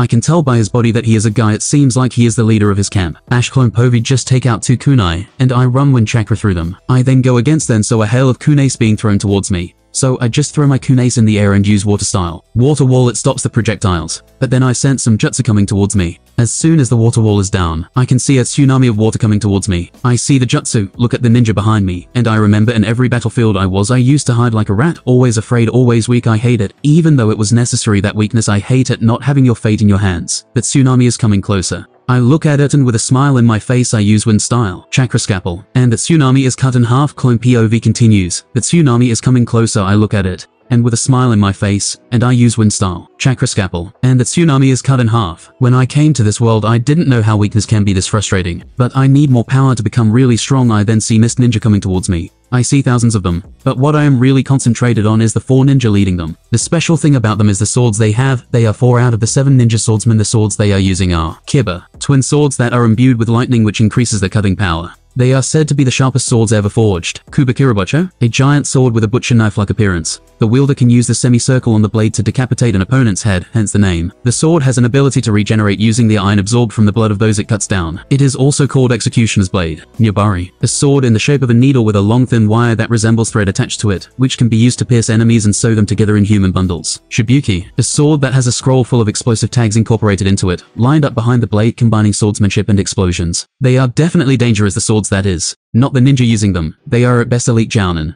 but they have become too dependent on a weapon I can tell that much, but still I will not underestimate them. In the bingo book they all have a bounty between 50 million and 65 million ryo, mostly because of their swords, but that still makes them S-rank ninja. As they get closer I give a signal to Shikaramu Nara to take command and go to battle. As I do so I stealthily put explosive bombs all around my body. As soon as they see me they signal each other and immediately start attacking me, not leaving me time to think. As soon as they are close I boom, Yami POV. I see the clone explode, but I can still feel the ninja swordsman. I make another clone, but this one I order to go and order Shikaramu to do something for me. I then go outside of the underwater and go towards the four ninja swordsmen I look at them, and as soon as the smoke clears out, I see them unhunt how. Aha, I see so they use the explosion blade to cancel out my explosion, and the executioner's blade as a shield to propel them backwards. They are experienced and work good as a team I will give them that I take out two kunai, and then go towards them. As soon as I get close the guy with the executioner's blade comes slashing towards me. As soon as it does I act like I'm going to block it. As soon as my kunai touches his sword, it cuts right through it. Because I ran wind chakra through my kunai as soon as our blades touched. He jumped back. But I knew my wind chakra will still cut him, but my kunai is stopped by the guy with the lightning swords. I am about to slash with my other kunai. Then I feel a thread wrapped around my other hand. Then as I am trapped I see the guy with the explosion sword slashing towards me. She yet I use my super strength technique and force my arm to get cut off in the wire as I then grab my cut off arm with my teeth and jump back. I see the four ninja swordsmen stare at me with a little surprise after all. An 11-year-old kid had the willpower to cut off his own arm. I understand something now. I look back at them and say to them with, with gratitude while smiling. I am really grateful to you guys you made me learn something. The one with the explosion blade looks at me and says bewildered, have you gone crazy kid? I came so close to death today I then put my cut off arm towards my stump and think I was really a fool to think that I could achieve my dream without giving IT my all. Strength of a 100 seals activate. As soon as I do that tattoos start spreading all over my small 11 year old body. When it is finished I look at my detached arm and see that it has connected with the stump. I squeeze my hand in a fist to test it and everything feels normal. What amazing power. I just activated creation rebirth to heal myself and the process is so quick it really is bizarre. Though I should end this fast after all I am spending chakra that I have in my seal, plus my lifespan to reattach my arm. But I should also take this more seriously now no joking around and getting drunk on this microscopic power of mine. I run towards the four ninja swordsmen and as soon as I get close the explosion sword guy attempts to blast me apart. But as soon as he does that I jump on top of his sword and use Earth style. Iron skin to protect myself from the explosion and any internal damage is healed by creation rebirth. I then take out a kunai and am about to stab it in his eye. But it is stopped by the lightning swords guy and the executioner's blade swordsman is about to cut me and I don't see them. But I know there are some wires around me by the needle swordsman, even though it seems I'm in a pinch. It was all according to plan. Chain jail then a huge amount of chakra condenses in my back, and a chain comes out of it. Then I swing the heavy looking chain around their heads. Crunch crunch crunch three necks broken twisted in weird ways I surprisingly took out all three of them as expected of a technique able to hold down the six tails. Though it is very chakra intensive even with my chakra stored in the seal, now it is only the needle swordsman he looks towards me, and I thought he would be angry that I killed his comrades but he just turned around and ran. Well, I am definitely not letting my enemies escape and come back for revenge. He knows my trump cards. He knows too much about me already he is too dangerous. He needs to die I pick up the three ninja swords and the corpses and put them all in a storage scroll and ran after him carefully. Not to get myself trapped, these are the times I wish I had a Sharingan or Byakugan to see this stuff as I chase after him. I keep my chain jail active, just in case there are also some missed ninja who try to get in my way but they are quickly killed. After some time the needle swordsman turned around, and he raised his hand towards me with his palm open, and then squeezed it into a fist. So in Cocoon, all of a sudden thousands of wires come out from underwater, and make a sphere of strings all around me, and they are getting closer. She, this guy is the trickiest opponent I have ever fought. Then I just wrap my chain around myself. Chain jail. Cocoon I am able to protect myself like this from the wires well. Then let's test the strength of these wires. I start forcing my chain to rip the wire, and it does so quite easily. When I rip out of the cocoon I see that I am surrounded by Mist Ninja. I knew this would be a trap, but common you don't need to take me so seriously after all I'm just a kid. I sense around 109 chakra signatures who have surrounded me, most of them are Chunin, with, with some Genin in them and a couple of Jounin. This is really bad their numbers are too big I will run out of stamina if I fight them all. That is if I don't get my head cut off first by a surprise attack. I don't have a giant summon to help me take care of big numbers of ninja. I just look at them and I'm about to use a wide-range genjutsu on them all and run away. But then I get the memories of my clone who went to order Shikaramu and to tell him my strategy. Well then it seems like my luck just turned around a little. I just look at my enemies and think sinisterly, well then time to take care of some of you. I continue acting worried to not give off anything, then I start howling. Howl, demonic illusion, dog binding, even though it is a low chakra cost genjutsu, it is still takes a lot of chakra to use as an AoE attack. If I didn't have Tsunade seal that stores chakra I would be exhausted already. As soon as I see that my genjutsu takes effect I throw a smoke bomb and make a run for it. I sense a couple of them break out of my genjutsu, but there are still almost 100 ninjas stuck in it. As I am making a run I notice the people who broke out of the genjutsu are not chasing me. I was going to stealthily take them out, and then join Shikaramu to complete my plan. Damn it I am really having a bad day. I need to kill the Needle Swordman. He has too much information in my skills, and a battle between ninja is a battle between information him spreading information about me in my bingo book page is like him making me weaker because people are going to take countermeasures against my abilities. I don't give a shit how many Konoha ninja die, but me getting weaker is not allowed. I will abandon the plan then I am killing the Needle Swordsman today, no matter what. But I am in a big disadvantage of our battle being in water, and I only know a handful of water ninjutsu. And if I sneak attack them the Needle Swordsman definitely has string traps around himself, so I might end up ambushed instead. I wish I had a Sharingan to be able to see them. Wait,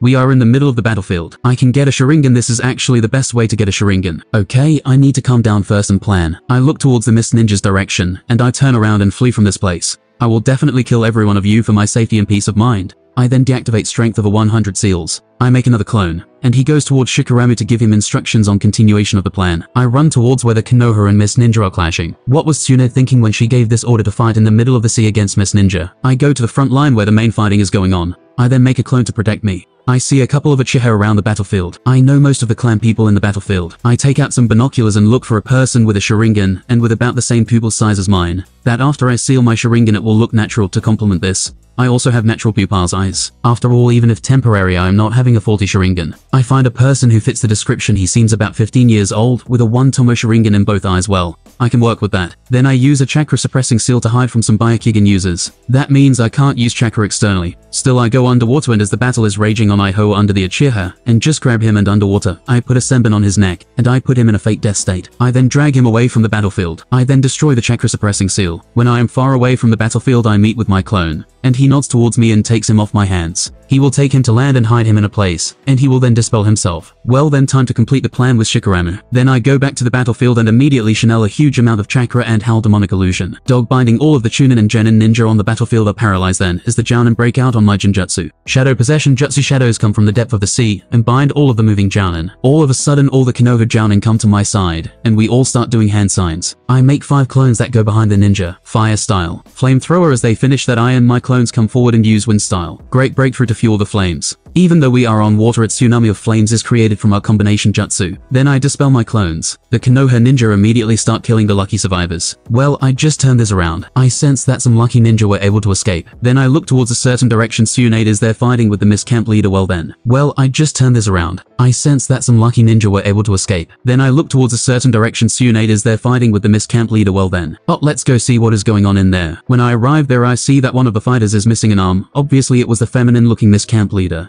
and he seems pretty exhausted too. Well, it seems like Tsunade has this in the bag, but I am not honorable enough to let it slow down my plans for even a second. I stealthily go behind the camp leader who is distracted by Tsunade and his injuries, and I just punch him in the back of his head. Squelch you all gross, his head just popped like a balloon. Well, anyway, I look towards Tsunade. Tsunade just looks back at me and says pointedly, I had that handled, why did you interfere? Well, obviously I need to get something done you blonde bimbo opposite of what I'm thinking. I just say to her, well, if your pride is hurt, walk it off we are ninja we don't need that stuff. She just looks at me, and I don't let her analyze my words further to see if I insulted her or not. I obviously did so I just continue talking. I need your permission to hunt down all the retreating enemies, and obviously get myself some brand new Sharingan. She then looks at me turns around and starts running towards the Konoha camp. I follow her and as I do so she says, No, I need you to help me heal the injured Konoha ninja. Plus it might be a trap. Shit. I knew there was a high chance that she would refuse well. I guess it's time to pull out the big guns. If you let me chase them I can promise you, I will be able to end the war with Mist within the year. She just looks at me without any of her playful attitude and says seriously,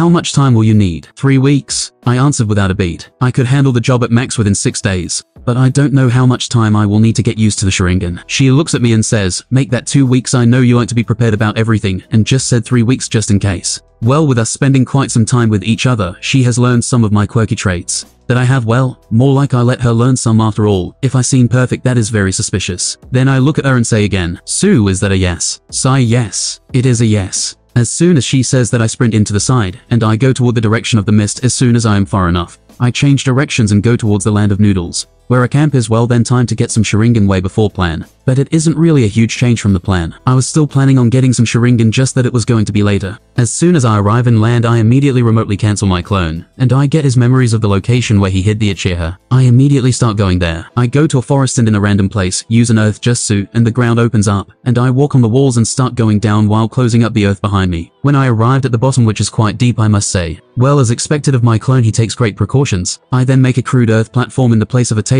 take a white cloth of a storage scroll of mine, together with some surgical equipment. I put the white cloth over the table, and I took out a jar with strange liquid. I then put the Uchiha on the table lying on his back. I made a clone, and he held started tying the Uchiha in the table with earth shackles, and started putting chakra suppressing seals all over the Uchiha's body. Then he closed his eyes and kept running chakra through the seals, to keep them always up, that even if the Uchiha tries to break them, he won't be able to do so, because my clone has higher chakra amount than him. While I take some of my scalpels and put a surgical mask on and order my clone to do the same, I pull out the Senbon and the Uchiha, and he wakes up. I also put another Senbon in his lung area to stop him from making noise. He just looks at me scared with a little Uchiha pride behind his fear. Well, he definitely won't hold that pride after I'm done with him. I don't really know if I can evolve my Sharingan beyond one Tomo after I take it. Kakashi was able to do so, but there were several unsolved and mysterious circumstances involved in that, so I will try to evolve my Sharingan to at least 3 Tomo. How I will do that? Obviously by torturing the Uchiha. I will fully evolve his Sharingan and see if I can make him awaken the Mangekyo Sharingan. I have chakra suppressing seals all over him, so he won't be able to use Amaterasu on me or something like that. Let the procedure begin. Three hours later, the 3 Tomo Sharingan has tears all over it by now. Well he got the 3 Tomo Sharingan he got them during the first hour of the torture TCH well.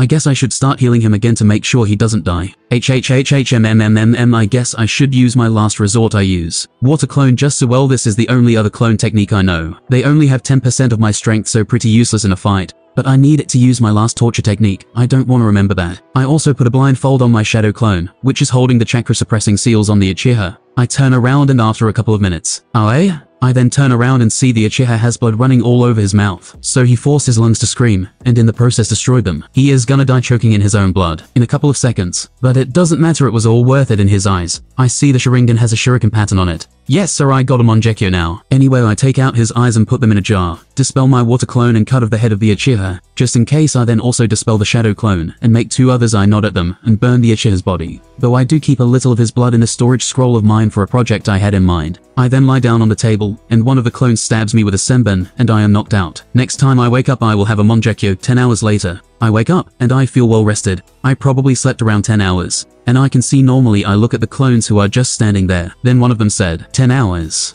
Okay so that confirms it I take out a scroll. And I take out a mirror. I look into it and I see my eyes, I see the weird skin texture around my skin. There is actually a Fuinjutsu seal on my skull around my eye sockets. My eyes have their normal color towards them. I then dispel my clones and make a new one. Then I take my stuff go above ground together with my clone, and then collapse underground room. I don't get the instinctual knowledge about my Mangekyo, so I will have to test it out myself. I look in the mirror again. I run chakra towards my eyes but as my Sharingan activates Fuinjutsu markings appear in my skin well this is unexpected. But I really won't be showing my Sharingan to anyone I won't kill. I look at my slowly rotating Tomo. I then look at my clone everything seems clearer. And I can see the chakra in my clone I move my hand. I see it moves in slow motion. I tell my clone to punch the air with full speed it's still slow. I move towards my clone it seems like I am moving to slow. I now get it why the Uchiha got arrogant. I can copy any ninjutsu into jutsu. I can do genjutsu at only eyesight connection. I can see my enemy's next move. This is quite amazing still I will need some time to get used to it. Let's try the Mangekyo now. I look towards a patch of grass and put a lot of chakra in my right eye. I have my clone with a fire sealing scroll just in case. Then suddenly my field of vision changes ugh. I immediately fall into my knees with a hand over my eye. Wow that is quite some pain I look at my hand with some blood in it. So my eyes did bleed. It seems like my right eye has the ability to teleport me towards the place I am looking at. I then look at someplace else with my left eye, my field of vision changer again. So my left eye has the ability to teleport to a place I look also. So I got one when I purchased two. It definitely feels like I got scanned 10 minutes later, okay? So after some small tests, I discovered that I am only able to use one eye to teleport, then I have a 1 second cooldown, if I want to use the same eye again. But while in the cooldown I am able to use the other eye to teleport, so it kind of covers the other's weakness. Also to heal my Mangekyo from going blind is going to be a pain I can figure out a way and I don't have the blindness problem yet, but still though. Now, I guess it is time to give chase to those Mist Ninja. I'm sure that Needle Swordsman thinks himself lucky to have escaped his latter comrade's fates. How foolish even though they have a 10 hour head start. That is nothing to me now. This race is more like a test run for my newly acquired and evolved Sharingan. I activate my 3-tomed Sharingan Shunshin even though I can see clear as day while performing Shunshin at night and do it with pinpoint precision. There's an imbalance in my previously perfect chakra control. One that prevents me from going full speed as I have to constantly make adjustments. A foreseeable complication nonetheless. Same as with any new skill or power. I still need to get used to it in order to use it effectively in battle. Although thanks to my now perfect chakra control, it shouldn't take more than a few times I knew the Sharingan was good, but not this good. Minus 4 hours Lateri have been traveling at speeds unseeable to the human eye for quite a while now. Their chakra trails start to become clearer by the second they're close, even though I had to stop and track their direction a couple of times. I've finally caught up to them. In water that would have been a little harder, but here in the mainland, I could see their lingering chakra trails with relative ease. Now I've caught their scent too, so I am sure they are pretty close. I am officially in Mist territory now the confrontation is imminent. I start analyzing the field in which I will fight them. One can never be too cautious when the enemy has this level of field advantage, or otherwise for that matter. The water country island closest to the land of noodles is where the battlefield lies. I had prepared for the worst, and this dash luckily for me is not it. I move deep into enemy territory 2 kilometers into the island. There lies the Mist military camp. I take a vantage position on top of a tree and start doing recon. The first thing to catch my attention is a makeshift earth wall surrounding the perimeter, built with justice. Its usefulness being only to alert them in case of a surprise attack and nothing else. A head-on attack anyway. They are expecting an army to come after them I laugh at their stupidity. Without their inexhaustible water sources, they would have been annihilated long before, and the proof lies in front of me. I hear chatter and even some laughter from time to time. They are resting security is nowhere near as tight as one could expect from a military camp this size and so relatively close to the enemy. Though I must say they are still on guard and haven't given up on their lives just yet as I continue scouting. Looking for weaknesses in the perimeter, I barely manage to see something with my Sharingan. I see almost microscopic chakra strings around the camp. WTF so this is how the Mist Ninja always knew when I was going to attack. I didn't think that the Mist Ninja would be able to use chakra strings this way. I was too quick to discard their cognitive abilities, TCH. I must prevent myself from underestimating my enemy again. Underestimating me was the doom of hundreds upon hundreds of poor bastards. Who was to say that I couldn't fall victim to the same mistake? Anyway, I get my head back in the game, looking even more carefully at the strings and HMPH. So that's how it's gonna be how well then, time to move. These ninja won't die from inanition while I wait. Earth style. Hiding like a mole technique I go underground, so as to not be noticed by the Mist Ninja. The perimeter was breached just like that. Their defenses still mean nothing to me in theory, but I can't afford to make that assumption before actually engaging. I made sure to readjust my calculations for this battle accordingly, just in case. I stealthily come out from under the ground. I obviously don't immediately go and try to kill the Needle Swordsman. After all, even with the Sharingan, I am not sure that I can take him out stealthily, and would only get myself surrounded by hundreds of ninja. Not good. I'll do it the right way, the cold-blooded way. I start off killing the weakest genin by the dozens and swiftly get to the tune in some minutes and drop bodies later. I've killed 202 ninja.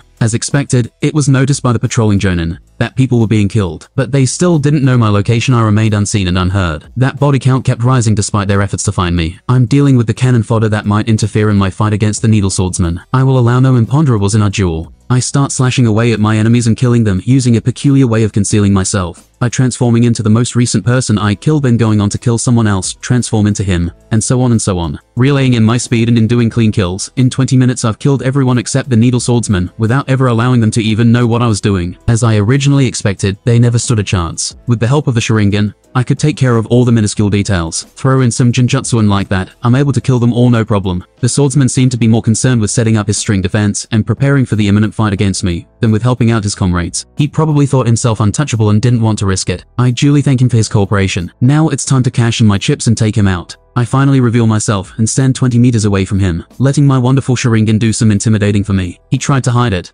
but he was certainly shocked to see I had it. After all, we've already fought and he identified me as Inuzuka. Not that it matters what he thinks to be honest. He'll be dead in a few moments. We keep staring at each other. But this isn't a child's game. This is a battle between elite ninja. Right now the both of us are observing the other's stance, analyzing outcomes and risk planning our next dash and possibly last move. That's what a ninja showdown is. All or nothing. He an advantage in this terrain because he has a wire trap shield all around him. By tying it around the trees, and with the help of his sword, he can control those wires with precision and speed. Terrain advantage. Now that's something new he must also have a greatly developed calculation ability. After all, just a wrong move and he could very well cut himself to pieces but nothing I haven't taken into consideration. I then look at all the threads and calculate a trajectory. This is so easy now I take out a shuriken and slightly blow on its edge to get it infused with a generous amount of wind chakra augmenting its slashing capabilities tenfold. I throw the shuriken towards the needle swordsman and immediately after, I secretly throw something else, keeping it hidden inside the shadow of the shuriken then, as the shuriken is cutting through some of his wires. Suddenly, Swish head flies into the air. Oh well, this certainly was anticlimactic. But this is life I guess, although the simplicity of it is not a problem for me. Thrill and excitement don't matter, only results. Positive results. I had thrown the first shuriken with wind chakra to distract him and prevent him from noticing the second shuriken, the one hidden in the shadow of the first one, which had mangled on the wires and cut his head with his own wires. Turns out he wasn't as good at calculations as he thought he was. Normally the chance of this happening is 0.01%, but with the Sharingan, I can turn most odds in my favor. With its prediction ability together with my knowledge of physics and reactions, I was able to make the probability of this scenario happening a 99.99% outcome. Talk about overpowered bloodlines I take the needle sword, and now I have four of the seven swords of the mist. That's four-fourths of those I've faced. I also take the swordsman's head to claim the bounty on it actually scratch that I burn the head right there. He witnessed I had the Sharingan, and that is a big no-no one of the biggest for me right now. After doing that I just burned down the rest of the camp and disintegrate the earth wall with a couple of wind jutsu. It wasn't even that strong to begin with. Nothing remains. I don't want or need anything from here. I especially make sure to burn the bodies so that not even a single bone gets left behind. No Edo Tensei corpse spilling my secrets now. Knowing the future is so good I mean not only do I know the strengths and weaknesses of some of the most powerful ninja in history, I can plan along with almost 100% accuracy of my plan succeeding as well. The only thing that might mess things up is that infamous butterfly effect I don't really care about it,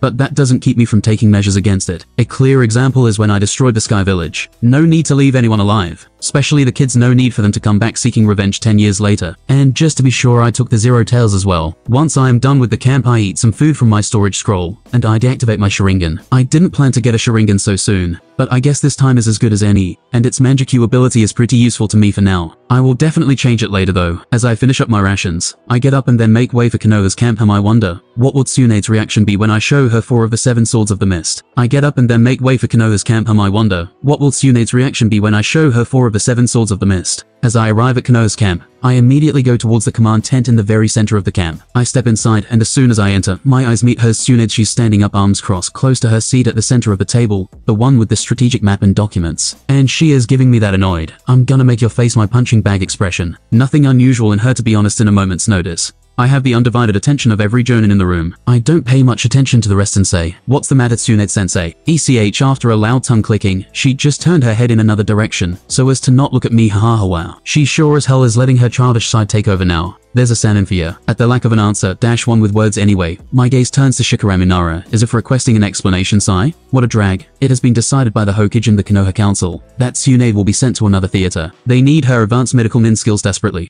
Our front line against the Land of Lightning has suffered increasingly heavy casualties in the camp's infirmaries. Sai therefore was her second in command. Naturally you are appointed as the commanding officer of the forces in the Land of Water. Oh oh oh oh hh's ha ha ha everything is so going according to plan. It almost seems unfair almost. It was hard to keep my grin from showing up in my 11-year-old face finally. I have the authority and power to do some of the more complex bloodline experimentation I've been meaning to for a long time. This will greatly further my plans. But still though, taking Tsunade away from the theater, it will definitely weaken my forces. But they can't exactly let a Senju take orders from an Inuzuka, kid or otherwise even if I am an S-rank ninja, and no matter how they sugarcoat it, I know what they are doing the Land of Lightning division is constantly suffering heavy casualties HMPH, and that is why I love politics. They're putting me to the test, to see if I can replicate the feat I pulled off against the Land of Sky, probably Danzo's idea as I expected, although they seem to trust my abilities, enough to put a child in command of the second largest theater anyway. But the things is, that they're underestimating me just as well not contacting me directly as soon as I arrived at the camp. No summon delivering a message as I was en route even ignoring my clone no doubt. The pretension is to have Shikaramu as the one in actual command. They know I'm not stupid and that I'd figure it out sooner rather than later.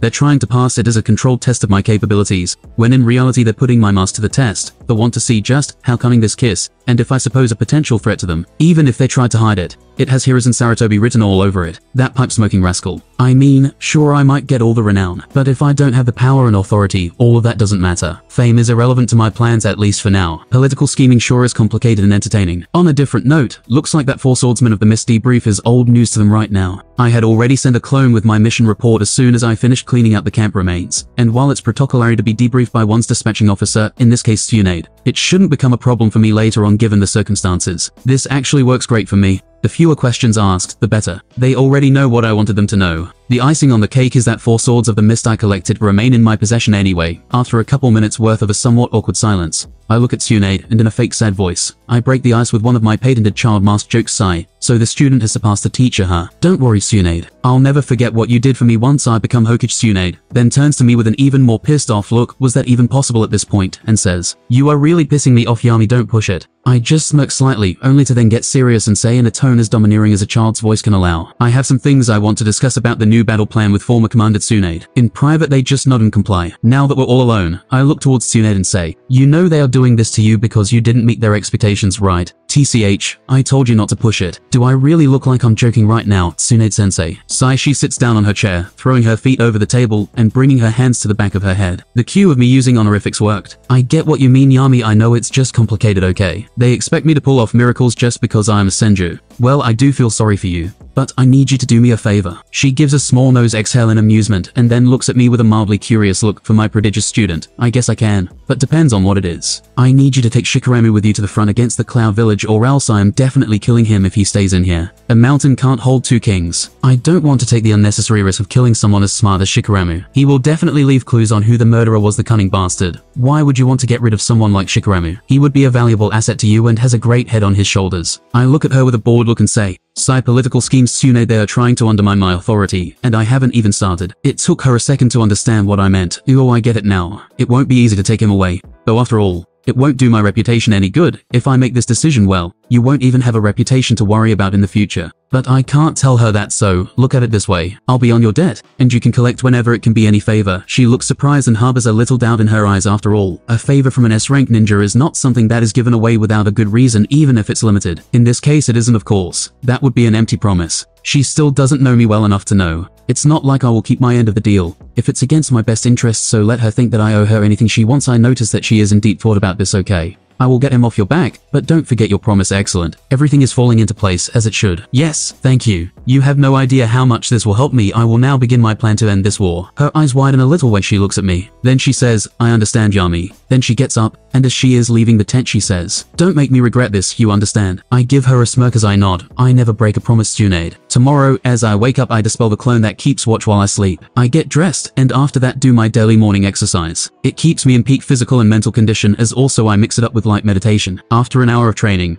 I get out and ready to say goodbye to Tsunade and the squad she's taking with her. I also make a shadow clone and order him stealthily to go back to Konoha and contact a certain Konoha council member with utmost secrecy. After I said goodbye to Tsunade, I waited for five hours just to be sure. I then called someone from the torture and interrogation department and asked him, tell me how many prisoners do we have here? With the characteristic expression of a torturer, one devoid of all emotion and as cold as your ex, he answers dutifully, all of our prisoners were taken to the T&I facility on the outskirts of Konoha. All except six Jonin. The former commander ordered us to hold them in the camp as she pretended to use them as bait to lure in the remaining swordsmen of the mist. However, there have been no signs of enemy movement near the camp, and ever since Inuzuka-sama's assault, they have retreated even further in order to regroup. Those six have been forsaken by Kirigakure, Shin PH, I see anyway, do any of them possess any of the village's special bloodlines? Most notably, there is a Yuki clan member, but he is currently in a dire overall health condition and all valuable intel has already been extracted from him. Therefore, I've scheduled his execution in four hours. That is all Inuzuka-sama. Good job, officer. Dismissed. Hi. Well, that was certainly disappointing. I was hoping for at least a Yoton, lava release, user. But alas, we can't always get what we want now, do we? I go towards my tent and get to work right away. Everything's ready to begin the construction of my own private lab at First Light tomorrow. As the camp's commander, I have available to me all the space and resources necessary to build an underground lab. This way I can safely keep my most sensitive material away from prying eyes. I'll obviously set each and every kind of territory protection for Fuinjutsu I'm able to can't leave my ocean of knowledge open for just anyone to swim in not even an Anbu. This undertaking won't be a secret per se,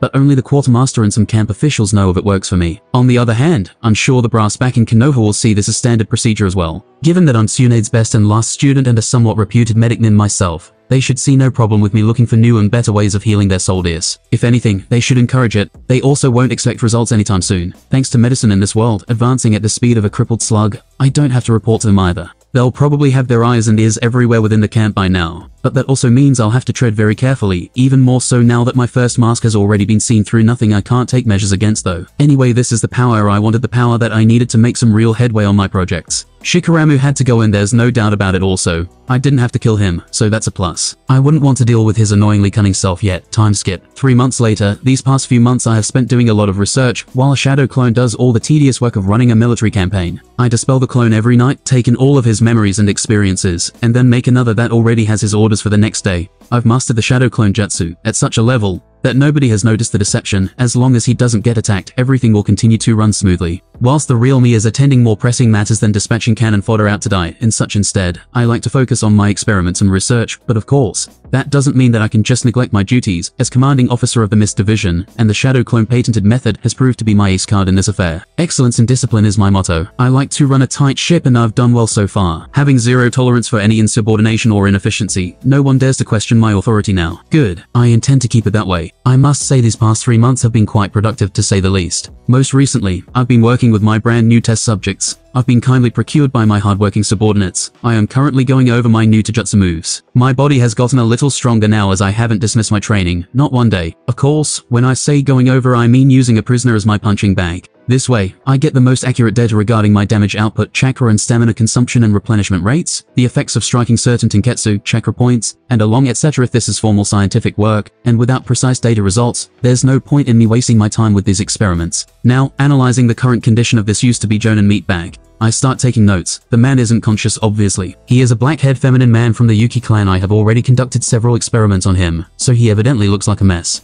23 days of incessant physical and mental strain have rendered his already weak mind completely blank, and at this point is hardly able to process the simplest of my orders. To be expected, since I have been trying different memory manipulation techniques and additionally training my Sharingan's Genjutsu capabilities on him. His body is in an emaciated state with several healed and recent fractures, muscle tears all over bruises, and some organ damage to top it all off. To be honest, he actually went beyond my calculations and managed to stay alive for 7.2 hours longer than I had predicted. I'll make the pertinent modifications. Not my proudest piece of work, dash I'll admit as much, but it was a necessary one. There are many sacrifices to be made if I am to reach the apex, and his life is one that I'm willing to make I go on with my session, putting aside my pen and notebook. Come here number one. He comes towards me in a strange crawling motion fitting a zombie, and as soon as he is two meters away from me, slash I cut his throat so fast that my movements couldn't have been seen by the untrained eye, putting him out of his misery. I didn't do this out of pity though, he simply is no longer useful to me. Afterward, I burn his body until nothing remains as usual. I've implemented a crematory in the lab with an optimized exhaust system, and a chimney that remains hidden between some rocks, well beyond the camp's premises. The remaining Jonin prisoners have also seen the end of their usefulness. Their cause of death was my new Taijutsu style called Death Fist. I secretly used my Sharingan to copy the basics of the Hyuga Taijutsu from a scout, the Gentle Fist. Even though the Gentle Fist itself can't be used without a Byakugan, the main principle for my technique derives from it, along with a combination of the 8 inner gates technique plus my chakra enhanced strength technique. This particularly devastating to just obliterates the Tenketsu of the target with a silent chakra shockwave effectively crippling them in the best case scenario, and killing them in a full-on direct hit. However, it is not yet battle ready. It'll take some more trial and error in order to complete it but the progress I've made so far is to not be disdained either. It's just a matter of time really on another note, I have currently stopped studying the Flying Thunder God Jutsu. The reason being that even though I now possess all of the Uzumaki Fuin Jutsu and made substantial progress on that front as well, I've also inevitably hit a wall. And a quite considerable one at that. This is a technique that needs 100% of my attention to develop from now on dash which I most certainly will eventually dash. I've already grasped the core principles of a technique, but now I need to develop my very own kind of technique formula to be able to teleport. This formula consists of two elements. The fingerprint, that in this case would be the Fuinjutsu, and the ink with which to inscribe it. Chakra, in theory, there wouldn't be a problem. But the thing is that the kind of Fuinjutsu used in it is unlike any other. Anyone who tries to learn the technique has to start by creating their own Fuinjutsu mark one that is tuned precisely to one's chakra flow and vibration at the time of casting it. And chakra is the combination of physical and spiritual energies in other words. That means that each technique formula is unique for each individual that casts it. It's basically tailored to a specific body, at a specific time, under specific conditions. Nigh impossible to replicate, no matter how many tests are run at least with the current technology. So the giant wall that stands in my way is this. Not even my shadow clones have a formula 100% identical to mine. Theirs might be almost 99.99%, but they don't have a physical body that can be hurt or that needs to eat, et al. This becomes a problem when their Fuinjutsu mark dash the fingerprint isn't the same, and in turn, the formula is unequivocally altered. The solution to that dilemma, however, is also the main complication for me right now. I need to study the jutsu on my own. That means no Shadow Clones hack regrettably. Given the aforementioned, I postponed it at least until the second Ninja War ends in order to be able to study it on my own and dedicate myself fully to such endeavor. Going on with my inner monologue, I have completely unveiled the profound truths of the 8 inner gates technique and have been trying to combine it with the creation rebirth technique. That would counteract the 8 gates weakness, the destruction of one's body inside out. Such a dreadful combination could very well become my trump card. Just remembering how Might Guy brought Six Paths Madara to his knees when he unleashed the Eighth Gate is a testament to its undeniable potential. The potential to open the Eighth Gate without dying or crippling my body forever. It certainly puts things into perspective, but there comes the reason why not all ninja learn the 8 gates technique besides the difficulty of learning how to open the gates, when even someone as untalented as Guy was able to do so, when just the first gate would already be able to help any ninja tremendously in a battle, the reason for it couldn't be more judicious. And it is that whenever a gate opens, you can't use even the simplest of ninjutsu or genjutsu. The chakra is literally rampaging all around your body. It is statistically impossible, no matter how good your chakra control is. Plus there's a high chance of it backfiring if the user isn't in top physical shape, potentially leaving the user as a maimed vegetable, and that's just with the first gate open now imagine how it would be in the third or fourth, let alone the seventh, though this method might be impossible. There should be a way to train your body, using the 8 gates finally. About my next course of action during this 3 months. There have been no battles against the Mist as they took huge losses. They lost around 30% of their army last time, and there was even a high number of Jonin casualties indeed. There have been some skirmishes. It's not like they surrendered or anything. I took care of the majority without any remarkable development other than taking some more prisoners. I couldn't pass the opportunity to obtain fresh test subjects. That's something I can never get enough of. They didn't last much though, as their level was at most Chunin in any case. Now that I've got my Sharingan 100% mastered, I am planning on venturing into enemy territory once again. Obviously not with an army at my back, otherwise they'd notice that 100 miles away after all. The Mist still has scouts all around.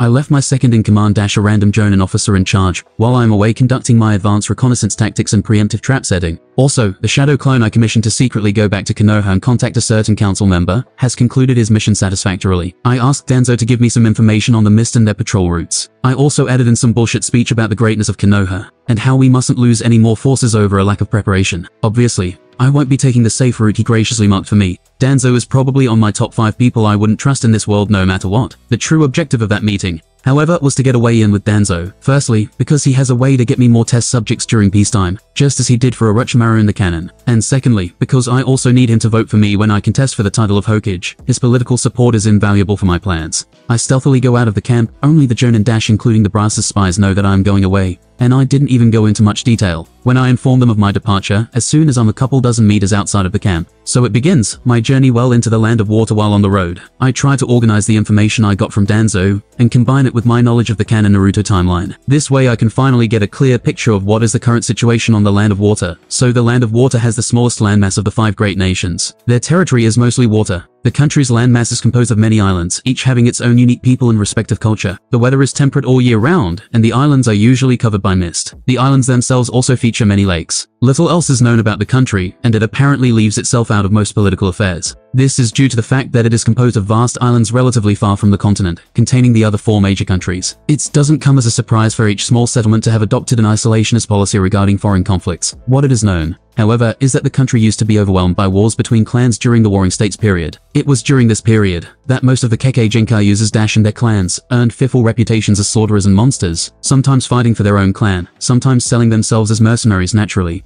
It caused many to view certain clans as harbingers of war and death. It means that Obito didn't start a civil war out of nowhere. He just gave them a little push after all, even if the Mizukage says something like, hey let's kill anyone with a Kekkei Genkai, no one is going to just say, yeah, that sounds like a good idea not without a reason anyway also, the ninja clans who founded Kirigakure have a higher standing than the ones who were integrated after being conquered. Currently, the Mist Village in the brink of civil war Danzo has been trying to make it happen for some time now, but the Mist Village Council and the leaders of the Land of Water are no fools. They have been sending out the clan ninja on consistently hard and even suicidal missions, all of that just to keep civil war from erupting. Though that method is just a time bomb waiting to go off the Land of Water also has a good relationship with the Land of the Sea. Kiri Shinobi take a lot of missions from there. After some time, I have arrived to the heart of the Land of Water, the main island where both Kirigakure and the country's capital are. This is where the daimyo lives. There are going to be a lot of opportunities for me here I think back on the several clan compound locations on the map that Danzo prepared for me. That bastard is really useful. That is probably why the third Hokage kept him around Danzo is not afraid to get his hands dirty, to get what he wants, and doesn't care about his reputation. Anyway, I change my direction towards a certain clan hideout. When I arrive there,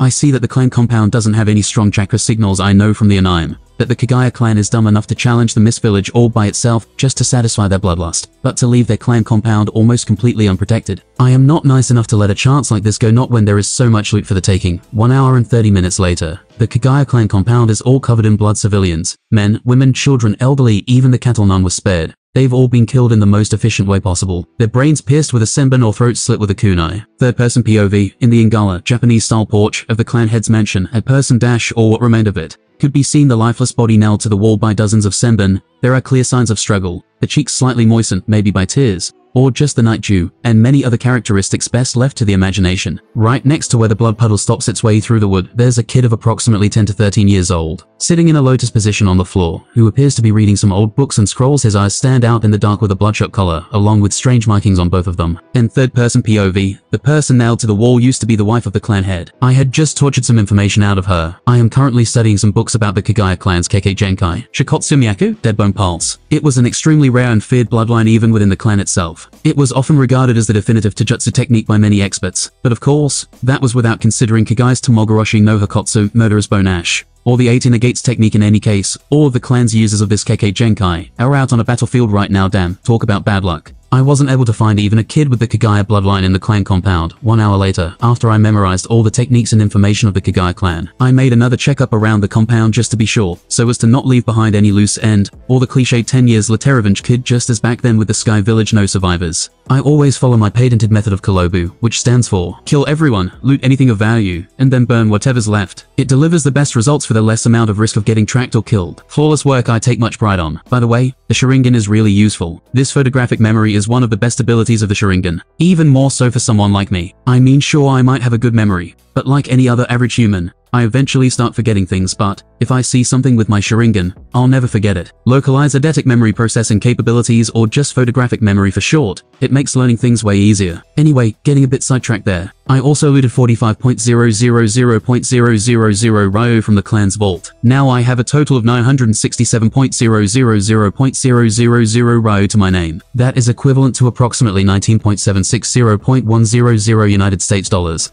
Not bad for a kid, huh? Poof poof poof poof poof. I make five shadow clones. They have to burn everything here while I get away you know I wouldn't have it any other way after that, they will dispel themselves. In other words a perfect mission with no evidence of my activities, except for the massacring of hundreds of people and the destruction of an entire clan compound. Not much really I won't linger here a second longer. After all, a fire for a ninja is just like saying, hey I am here, come kill me please. Oh, one more thing the information I got from the clan head's wife. The whereabouts of her husband and the Kagaya clan army naturally. That is my next destination, after what must have amounted to the same time it used to take me to microwave some popcorn. Oh how I miss popcorn. I finally arrived at my destination, the Kagaya clan military camp and yes, you read that right, I said military. You see, I've been lurking in the shadows for about half an hour, not deactivating my Sharingan for even a moment after fully mastering it. I've managed to drastically optimize its chakra consumption rates to a ridiculous amount, so I could probably use the Sharingan as indiscriminately as Itachi and not feel tired at all, despite not being an Uchiha. Kakashi couldn't do the same simply because he didn't have the second best chakra control of the shinobi world. My Mangekyo remains unaltered in its deteriorating effects on the user's eyes and body. Unless I get myself a pair of EMS. That's how it's gonna be, regrettably anyway.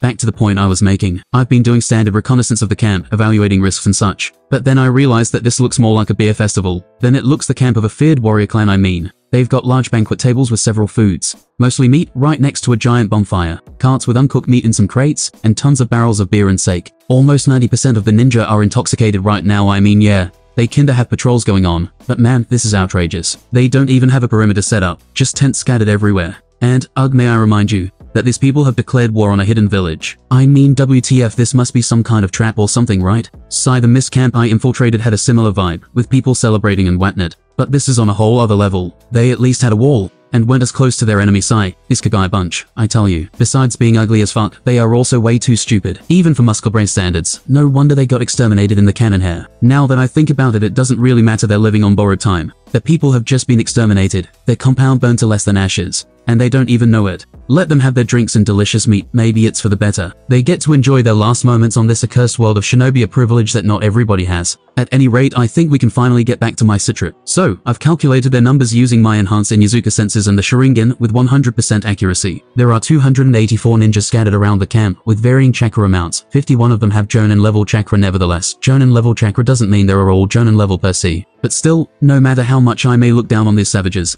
I do a lot. I'm also not willing to compromise the mission for anything. Nope, not happening. I'll make this another flawless mission on my personal record in any case. It's time I go back to what I do best. Hide for indefinite amounts of time while analyzing stuff, calculating stuff and planning even more stuff. That's my ninja way. I guess after another hour of doing what I do best, I have identified the clan head's tent. It's basically the same as any other tent, so it was truly harder to find than your average command tent hum. Maybe they're not so irredeemably stupid after all. I also made sure that this wasn't a trap and memorized their patrolling itinerary, if you could call it that anyway. That was the easy part, seeing as there are so few ninja on actual guard duties. I don't have much nighttime left, and I've got my targets identified not wasting any more time. I proceed to make my move firstly. I sneak close to one of the patrolling ninja. I'm already relatively close to the camp, so it takes me a moment to reach him. Just as he makes a turn around a shadowy corner next to what appears to be the armory, unguarded by the way, I use my patented Senbon to the back of the neck technique with surgical precision. This knocks him out cold and without any noise, as I prudently grab the unconscious body as it collapses. Then I make a shadow clone that instantly transforms into the ninja I just took out. The clone resumes the ninja's patrol in his stead. Following that,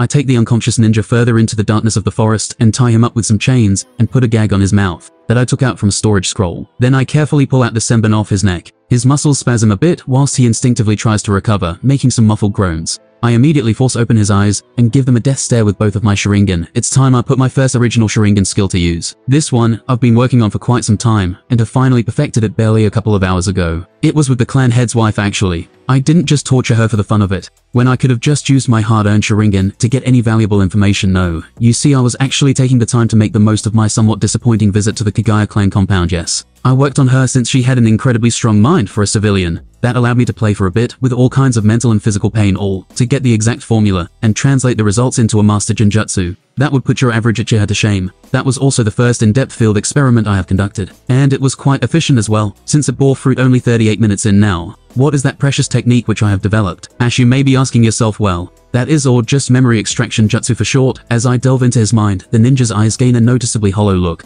That yanda going to kill you look. This genjutsu is used to break the will of the captured target to make them give as much information as possible. And that's where the similarities with other interrogation type genjutsus end. You see this a perfect hybrid of the most powerful interrogation techniques of the shinobi world. The Yamanaka clan's mind probe technique and the Sharingan. Interrogation genjutsu. The first one I learned from a member of the T&I force on my camp, the one that brought me the test subjects. Using my proxy clone as bait, I managed to copy his clan's secret technique when the clone accidentally mentioned having created a new A-rank jutsu, and faked regret after revealing that secret. I knew he wouldn't resist the idea of probing the mind of his superior for his secret technique oh. The irony in the end, what he found was images of me having dinner with Tsunade. While she demanded the waiter to bring her more sake his expression afterward a mix of cringe, anger, and shame for the usually cold as ice T&I agent, it was certainly priceless. As was the technique I obtained, unmistakably the second component technique doesn't really need an explanation, does it? Now onto what this master interrogation technique does. It's basically breaching the target's mind with such a powerful and yet simple genjutsu that its defenses are not able to react in time, giving me full access to my target's mind. It's like shooting a catapult boulder through a gateway before the gates can be closed. Simple in theory but exceedingly effective. I can then freely browse through the target's entire memories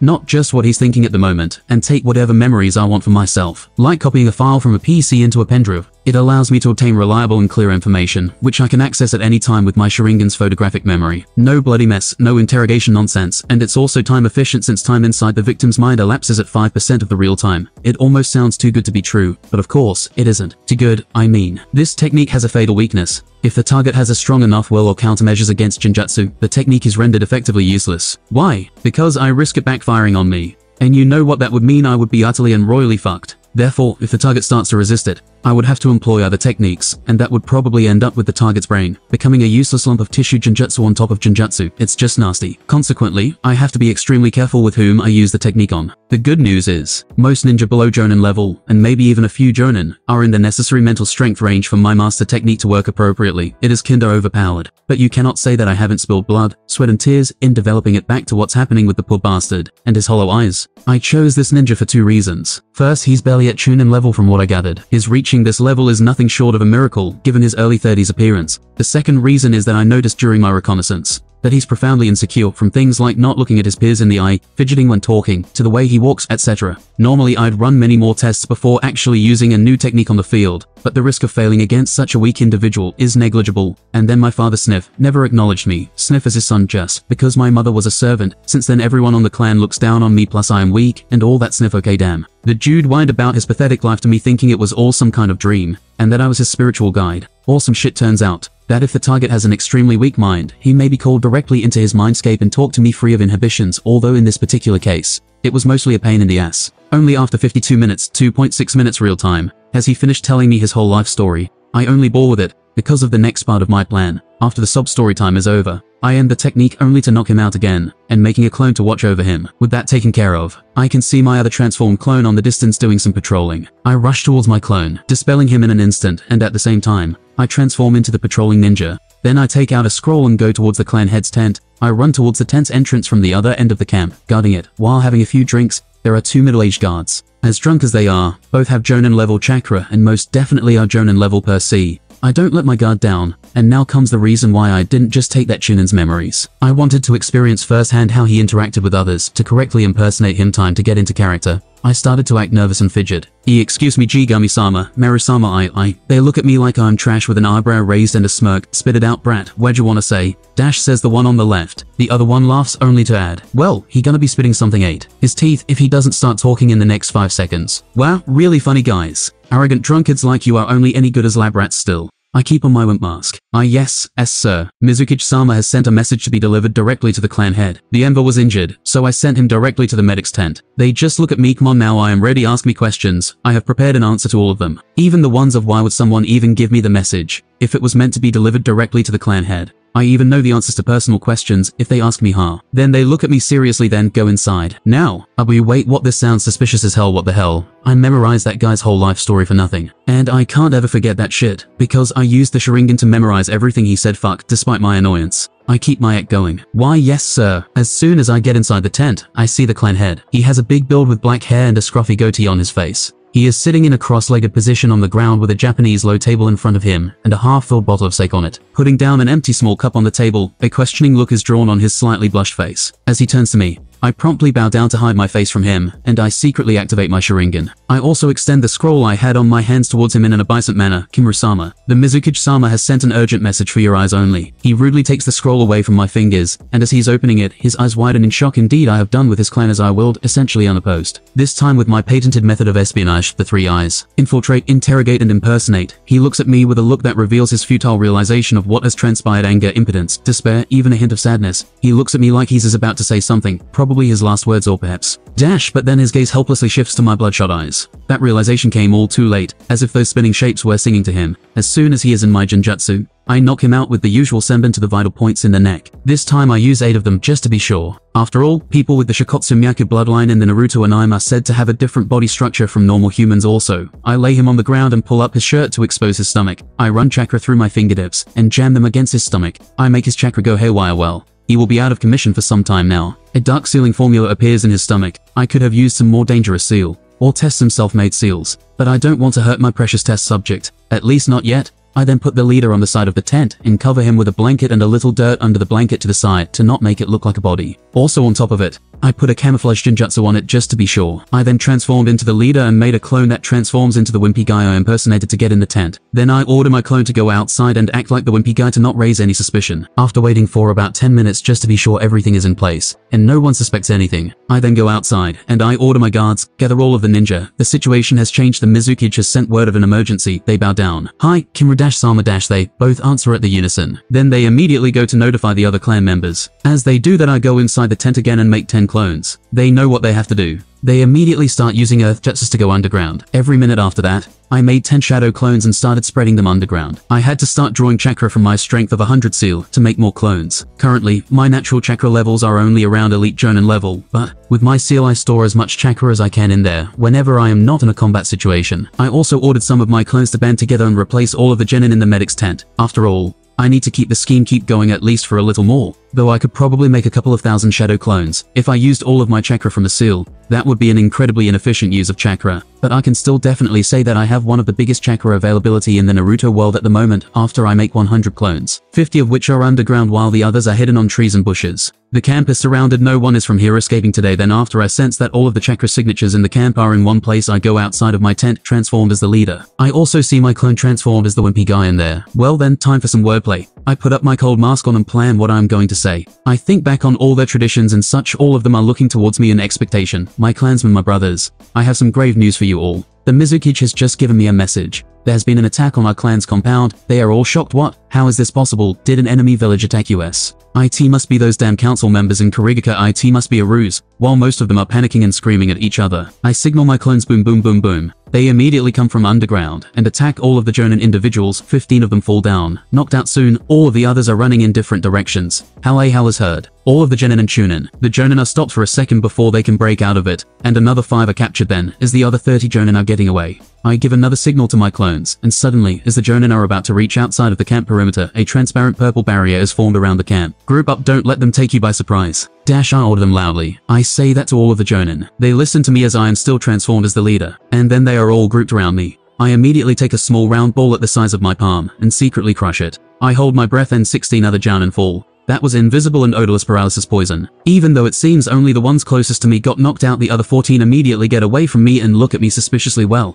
Now they are on their guard still kind of late though. What have you done to a leader? And who are you? I act like I don't even take them seriously. I take out and crush another ball that nullified the poison in the air. Even though I have developed a resistance to this type of poison, this is a poison I made myself in order to take out ninja, especially ones with weird bodies. That means that even with my resistance, I can get dizzy from it. I look at them as if they were just prey. It manages to unnerve them even further, and only the ones close to me got knocked out. The Kigaya clan truly has a peculiar anatomy. They look like rabid beasts ready to strike at any moment. What kind of trash village are you from stranger? I don't even answer. No need to talk with an enemy opponent, if it gives you no advantage. Also, it seems like this identity is no longer useful poof. I undo the transformation, and I show them my real form. An 11 years old kid although. I notice that this time my opponents didn't get distracted. Oh well, they are not jonin for nothing. Four silver chains come from my back. It was instinctual for them to look at my chains for a split second. In that second I activated my Sharingan, and when some of them looked back at my eyes, ten of them are caught into it. The others are about to help them break out of my Genjutsu, but my chains immediately attack them, and they dodge, with only four left now. They are easy prey. They have all got some bone swords on their hands hum. They should be good at Taijutsu then, but I won't fight in their strong point. Even if I know that I could beat them with my super strength, nine clones appear they go to handle the three of them, one of them against three of my clones, and the last of them versus myself. My opponent is also looking at my feet, and no longer looking me in the eyes now HMPH. It doesn't matter I immediately appear behind my opponent. I stab a Senbon on his spine and paralyze him instantly. I look at my other opponents. They are now all taken care of as well good gather all of the bodies, and after we go far enough two of you burn the place to the ground. I want no witnesses no evidence, the clones simply nod. My clones cancel the barrier and seals that stopped any chakra leaking out to signify that a battle was going on in here. I then lifted the Genjutsu that my clones had around here. That made it look like nothing is going on after three hours everything is ready. It seems like even amongst the fighters of the Kagaya clan, only 49 people had the Shikotsu Myaku bloodline. Therefore, I killed the others who had nothing special about them, mainly just denser bones than normal, and put them in storage scrolls. I then killed 24 of the 49 Shikotsu Myaku users. After all 49 of them, should they manage to escape and seek attack me somehow, then they become dangerous. I seal all of the dead bodies of the Shikotsu Myaku users in another scroll, and put the scrolls back in my pouch. Then as I have all of the unconscious Shikotsu Myaku users' bodies ready with my clones, and am about to leave at the edge of my chakra senses, 100 meters,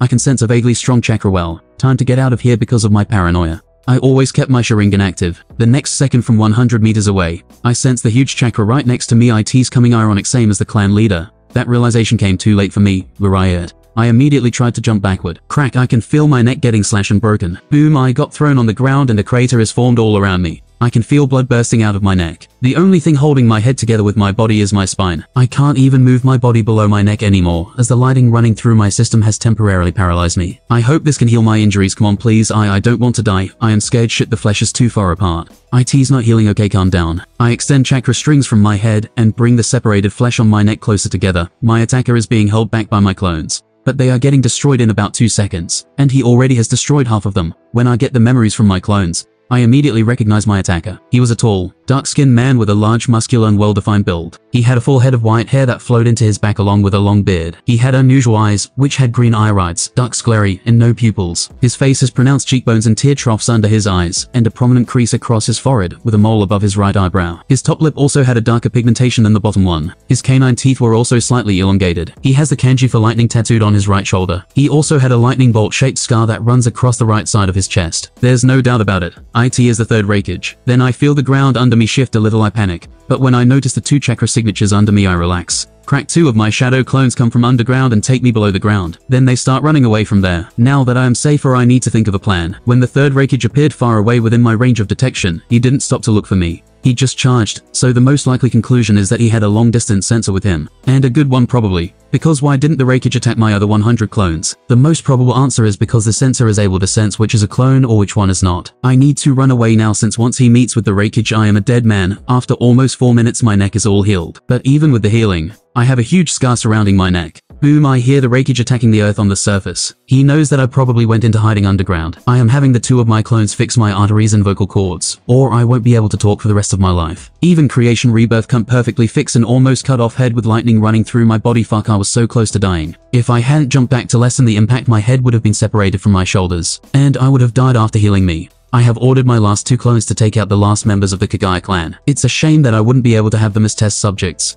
but I can't let that uncertainty in my plan live. No loose ends. Boom the Raikage is still rampaging about, but I need to first wait for the sensor to meet up with the Raikage, and then kill the sensor to escape, because even if I escape now, they would follow me anyhow. After all, even after almost 10 minutes since I disappeared underground, he hasn't entered my chakra sensing range. For a ninja traveling at that speed, it must mean that the sensor has a detection range between 5 to 10 kilometers. That is crazy. I don't know anyone even in Konoha who has that type of range. The longest I know is the Yamanaka clan head, who is said to have a sensing range of 3 kilometers. But I know with the Raikage here the chances of me killing the sensor are almost zero. Also, there might be other ninjas with the sensor then my chances of getting out of this alive become 0% with a 100% chance of death. If I travel underground with an earth jutsu, I will be too slow to escape. I need to get on the surface and somehow run away from the Raikage now. I make 50 clones and they know what to do. It seems like I need to make sure my plan goes 100% accurately in order for me to survive. I wait for about 10 minutes. When I go outside of the hiding spot, I immediately sense the Raikage come for me. I just look towards a mountain nearby. My Sharingan starts to change shape. As soon as I see that my surroundings have changed I sense the Raikage hastily following me. Even with the extreme pain that comes with using the Mangekyo Sharingan, as soon as he is an arm's length away from me, I just mentally smoke all. According to plan, boom silver chains with Fuinjutsu in them come out of the ground. I point my palm towards the Raikage and make it into a fist. A slash N. The chain Fuinjutsu that he found in the ruins of Uzushiogakure. The chains came from his clones. Chains start to trap him. A couple of them are broken, but with so many chains, no matter how strong the Raikage is, unless he is at Madara level, he will be restrained. First, his right foot gets entangled in one chain, and then the other chains swarm up both his legs like serpents. He's in prison now. My clones are still channeling chakra through them, and yet it remains quite hard to hold him for long. Plus he saw my Sharingan already, so I've got to kill him. The only jutsu in my arsenal with even the slightest chance to injure the Raikage is my wind-style chakra scalpels. But that would mean that I would have to beat melee distance to the Raikage to even be able to connect with the jutsu, and that would be a very bad decision, that I am not dumb enough to take besides. That would only deal some moderate cuts to the Raikage. It would take a lot more of those to cause him to bleed out. But I have a better idea I then perform two hand sings quickly. The earth starts to suck in the cocoon of chains in the muddy, watery quicksand. Well then, let's see how long it will take for him to suffocate underground. As soon as I do that,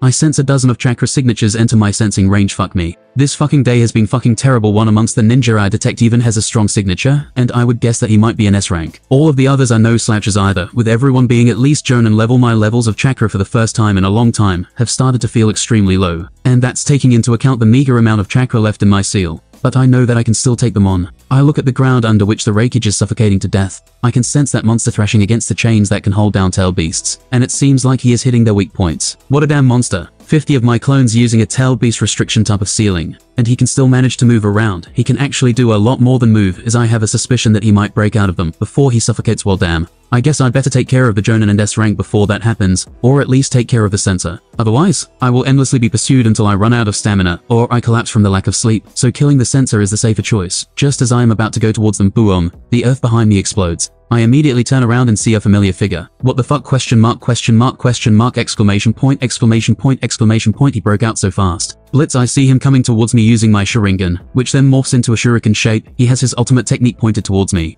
I can see he is aiming for my head, he wants to finish me off, this bastard. I immediately appear below his outstretched arm. I look at his elbow and calculate something with the help of my Sharingan. I slam a Rasengan into his elbow in an uppercut move. His arm changes its trajectory, and just as it's about to hit his lighting scar in his chest suddenly, his hand stops midway and changes direction. He's incredibly strong WTF. How did Naruto made this work fucking plot armor? And it comes back to hit my head damn I it. As a last resort, I have to meet his technique head-on launching a punch with my right hand all the energy, chakra, stamina and whatever the fuck else left in every cell in my body, supercharging it into an attack 10x times stronger than one Tsunade level punch boom. The Raikage gets knocked back with immense speed and is sent flying, crashing into a tree. This might seem like I won the exchange, but I then look down at my right arm, or rather the shallow stump that is in its former place now. My arm was completely obliterated by the power bout I look at my stump. I now have for an arm damn IT. I can't even move from the lighting running through my body. I can feel the cold grip of fear grab my heart. My body is in a state of panic calm down I need to run away now or I am going to die think, my Mangekyo ability is amazing at running away. While the Raikage is momentarily a distance away from me I got IT. I extend one chakra string from my left hand and grab a stone, and like a slingshot, it shoots into the air. My Mangekyo looks at the stone that is shot up. Swish I'm teleported to it. This should be a distance where he probably can't jump to I immediately start to fall together with the stone. I then run wind chakra through my body to repel the lighting that is paralyzing my body. In two seconds wind chakra is a counter to lighting, it repels it. I can feel the pain wreck in my brain like it is being punctured by a hundred needles. I can turn around and look at where I see the Raikage calmly looking at me damn I can see that he was not hurt by my last all-out attack okay.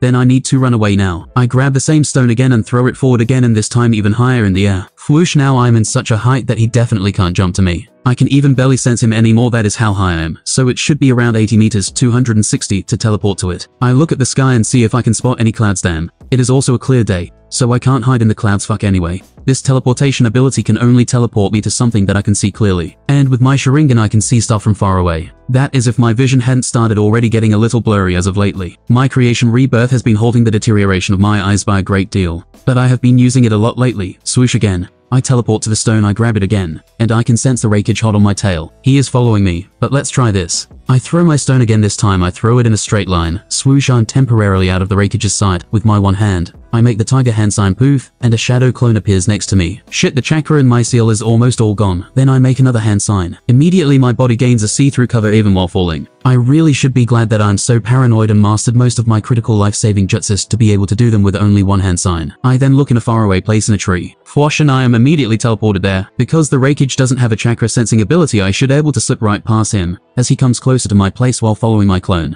Okay, I need to calm my heart I do that by putting chakra pressure in it, and clogging my blood vessels to stop them from moving, and giving out any signs of a living being. I can only hold this state for one minute at most. I can sense the Raikage is getting closer. I can hear lighting crackling swoosh. He doesn't seem to notice, and still goes after my clone. He is 50 meters away. Yes yes yes yes yes yes after he is out of my sensing range sigh. I let out a sigh of relief. I am almost about to cry from happiness. That is if I was dumb enough to waste time doing that. At last, I finally escaped and temporarily that was risky. But the thing paid off. Now I have a little bit of leverage to move around. I can sense that the sensor squad with the 10 Jounin and S-class ninja is coming towards me. I wonder which one of them is the sensor I had my clone run the opposite direction to the sensor team, so they won't be able to catch up with the Raikage's speed. Then they shouldn't be able to meet up until the Raikage destroys my clone. I also know what I did wrong during this exchange fuck. I shouldn't have gotten arrogant, I shouldn't have tried to take on the Raikage. Did my recent power jump to my head? Did I think that I could hold someone who would need to have at least two strong S ranks to hold him back? I should have taken my chances and escaped immediately. I should have taken the risk of being hunted down. That almost cost me my life damn IT. I look at my stump where my arm used to be at least I must get rid of the sensor. If I know one thing about long distance sensors, is that the close distance sensing ability is very blurry. Even Minato who is also a long distance sensor, has to use a technique from the second Hokage. He puts a finger in the ground and sends a chakra pulse, so he can sense any living being in the perimeter. Anyway,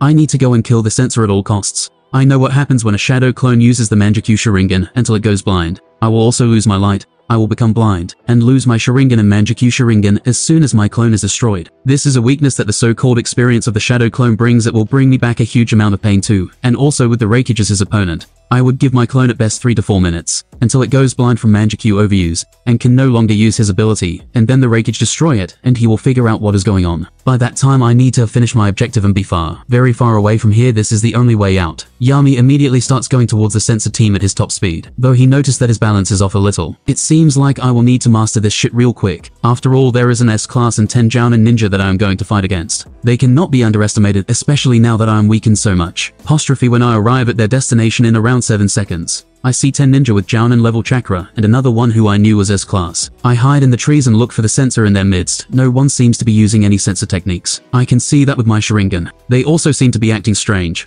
I can pick that up in their body language. Aha, I get it now. They already know that I am here, and are trying to lure me in a false sense of security. Well then I make a tiger hand sign. A shadow clone appears next to me. Now all of my chakra from my seal is gone, so I only have my natural chakra amount. Damn I haven't run out of chakra in a long time. Since I know that I will go blind anyway, then I better use these eyes as much as I can. It's truly a shame I never figured out how to use Susanoo, though I better be careful. Usually I am not worried about the chakra consumption of the Mangekyo ability, but now I still need to not accidentally pass out from chakra exhaustion. As soon as I see that they already have noticed me, I order my clone to stay back while I attack them. I also have an absolute advantage over them. They don't know any of my abilities. Then I take out a scroll, and poof a giant blade comes out. This is the explosion blade, one of the four blades that I stole from the four ninja swordsmen that I killed. I then pick up the huge sword. I bet that I look ridiculous with this sword. A one-armed 11 years old kid with blood all over his clothes, and a huge sword on his remaining hand. I look at the middle of their formation. Immediately I appear in the middle of the formation, and before they have even a chance to be shocked I attack the three Jounin who are closest together. Boom, the explosion hits them. Ah, I immediately sense two chakra signatures disappeared, so they are probably dead. And the last one seems heavily injured. But I didn't stop there with the help of my first explosion. I propelled myself towards another Jounin, and I swing the sword to attack him, lava style. Rubber wall boom my sword then hits something bouncy tch. It was blocked by a rubber-like substance. I look towards the S-class ninja he is the one who used rubber to block my attack and protected his ally from death. I need to end this fast. Raikage POV. Following the kid with the strange ability to teleport wasn't honorable. This war was a mess ever science had begun. Killing such a talented kid is a shame. If only he was born in my village. Well, there is no use trying to think any more about this. It also seems like the teleportation part of his ability comes from his eyes. Third POV. In about 4 minutes later the clone starts falling from the sky. The Raikage immediately follows him. The clone extends some chakra strings from his hands to tie around the trees to stop his fall. And soon the Raikage appears in front of the clone and is about to attack him, but then, the clone bows down with his head touching the ground. Please let me live Raikage-sama. Immediately the Raikage's face morphs into a frown of disappointment. After all he thought that at least the kid would be have a little dignity. But even then he is a ninja, so the third Raikage can only suppress his feelings,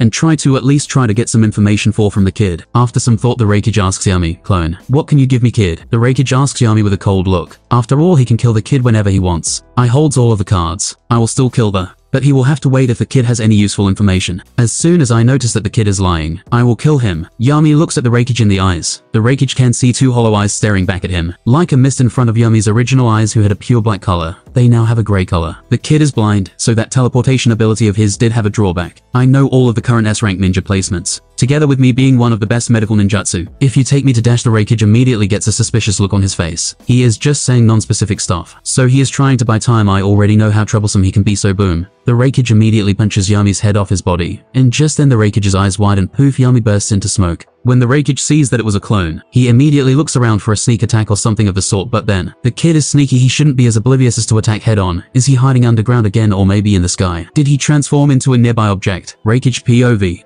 I could use a lighting sensory technique that senses chakra signatures 50 meters around me, but I would have to drop the lighting cloak, and I would have to be a special kind of stupid to make such a fatal mistake against an enemy like this. The kid is young and small but very dangerous. I had heard about him, a true S-class ninja from such a young age. But he is definitely more dangerous, because even science the beginning of the fight I never underestimated him, and went 100% from the beginning. But where is that kid he is a sensor so? Wait don't tell me. Fwash I immediately start retracing my steps and running back where I came from. That little brat, he was after my team all along, after 20 seconds while running back on where I came from. I noticed something in front of me damn. It's he there are mutilated body parts everywhere, some even pissed on the trees. These are my team. Even with all of the rage inside of me, my face does not show any emotion. My brain is 100% alert to my surroundings, waiting for a sneak attack, a trap. I was expecting chains to come from underground and surround me at any second. Those things were dangerous, so I need to be careful. Then after looking at the blood of my comrades, my close friends, they were my chosen squad that I would entrust my life to them. If only I had noticed it earlier then with a calm voice I say, anyone alive when no one answers cough as soon as I heard the cough.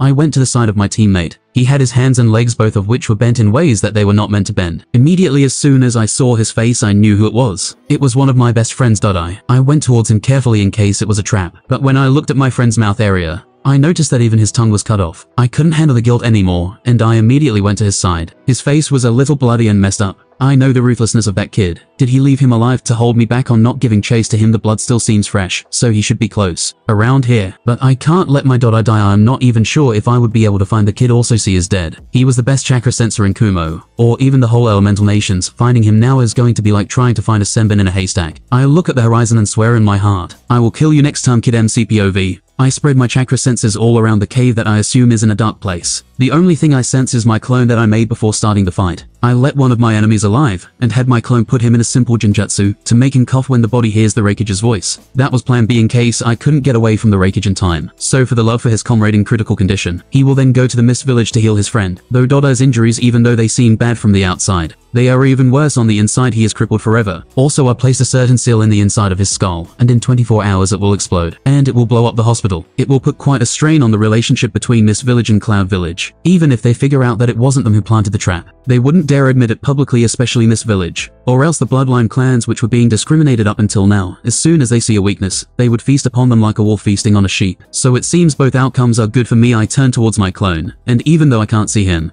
I can sense his chakra. The clone still has the Sharingan because he was created when I still had it. He will only last for some hours with the chakra that he currently has, and I can't even transfer some to him because I am almost to the brink of chakra exhaustion. I just look at him and say calmly, go and Genjutsu a bird and write a warning about the Raikage's change of battlefield. Say in the letter that I can hold him back for some days. Write it in a confident way. Also tell them to recall some S-rank ninja from the other battlefields to prepare for the Raikage. Then I hear the clone say, okay, but you need to calm down. What is he talking about? I'm calm. Your hand is shaking, and you have a childlike happy smile in your face. It is honestly creepy. Wow, what a rude bastard. I try to calm down and touch my face. And I can feel a Joker-like smile in my face. I know I should be in panic, because the Raikage almost killed me. But I am so happy that I am alive. I then try to calm down. Well then since this is over I should relax. I should let my body rest. My body today got wrecked, but still I am so happy that I survived. Ouch. I feel my body calm down and let the adrenaline wear off. After all the battle, I could feel my body begin to rest. When I sensed that my clone came back, I just looked at him with half-closed eyes and asked him, how long do you think you have left? Five hours at best. I am a good medic, so the transplant should be over at worst in two hours.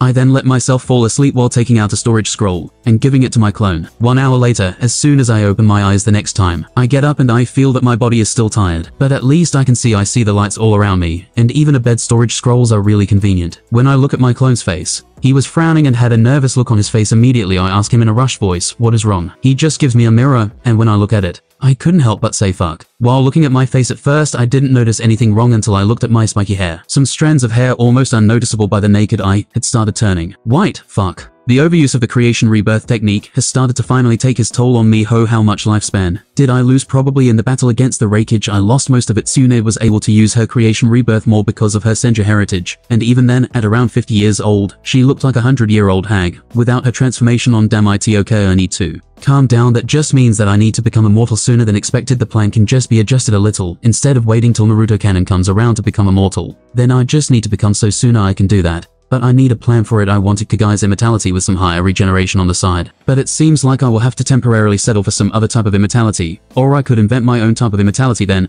after some thinking I finally concoct a plan. Oh yeah, that could work. But that will take some more planning to get the finer details of it worked out. First order of business is to go back to Konoha and not spend any more of my vitality and lifespan on this war, which no longer has any benefits for me. I already exterminated all of the Kaguya clan members. I already have enough dead bodies that have the Shikotsumyaku bloodline limit. I then get up and look at my clone who still has the Sharingan activated. I just dispel him immediately and get his memories. Then I sit down and take out another scroll and poof, a lot of food comes out. From cup ramen, vegetables, dried meat and I immediately start eating. I will just wait in this cave for three days, and then return to the camp, just in case the Raikage decides to take out his anger somewhere. It will be the camp, and if the Raikage doesn't attack, I will take the credit of holding the Raikage back all by myself, so it's a win-win situation for me. If he does attack I'd just say to the higher-ups that I did my best. I even lost an arm and almost died. But the first situation is the better win for me. Ash 3 days Laterium currently still in the cave. I sent a shadow clone to scout out the Konoha camp and see if the Raikage already attacked it. After some hours, I get the memories of my dispelled clone. The camp was okay,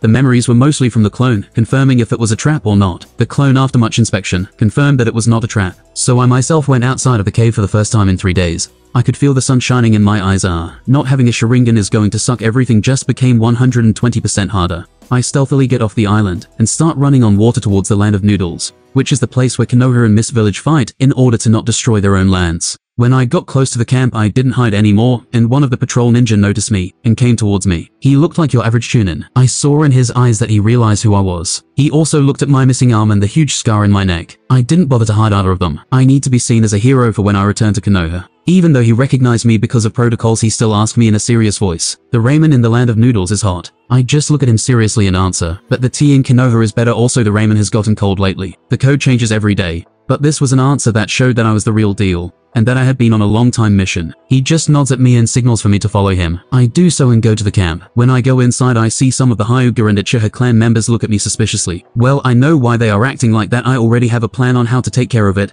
the Jounin that I left to run the camp are still all alive. As soon as they see me they tell me to follow them. They will escort me to the camp leaders. I secretly do a hand sign to them without the Chunin even noticing anything. I ask them with hand signs what is going on. It seems that apparently 2S rank ninja was sent to hold back the Raikage, and while I was away, it seems like me having a Sharingan has become a sensitive situation. Apparently I am under suspicion of killing an Uchiha and taking his eyes. So I confirmed what I already suspected. I knew that making promises that I probably won't keep to these Jounin would pay off one day. I go into the tent and see who it was the first face that I saw has eyes with snake-like pupils with long hair and pale skin. He is wearing a Jounin jacket. As soon as I saw him I was immediately in 100% alert mode. It was a Orochimaru I will need to be very careful around him, especially with what now is the me having a Sharingan situation. Damn, I can never get a break can I? Also the other person is. The other guy beside Orochimaru is Jiraiya, even though he will become Konoha's spy master in the future. I can still somehow handle him. But I need to be extremely careful around Orochimaru, though I will still need to be on guard. Even against Jiraiya Jiraiya is smiling towards me, and says in a cheery voice, Hahaha, it seems like it was true you were able to hold back the Raikage. I just smile at him and point towards my missing arm and the scar in my neck and say with a melancholic tone in my voice, Honestly, I was barely able to get out of this alive. Then while sitting down on the ground, he points at the ground beside him and says, Come sit down and relax, you fought one of the strongest living ninja. A Kage, a leader of a whole ninja village. He then grabs a cup of what it smells like watered down sake, and he drinks it. You should be happy it calls for a celebration so come on let's eat some nice food that I brought directly from Konoha. Then his face scrunched up in disgust. I know how gross the cardboard food can be on the front lines. He takes out a storage scroll and poof, a lot of food and drinks come out of the smoke. I just smile politely and sit down on the ground with the table in front of me, facing Jiraiya and Orochimaru. I look at Orochimaru who still has a cold look on his face.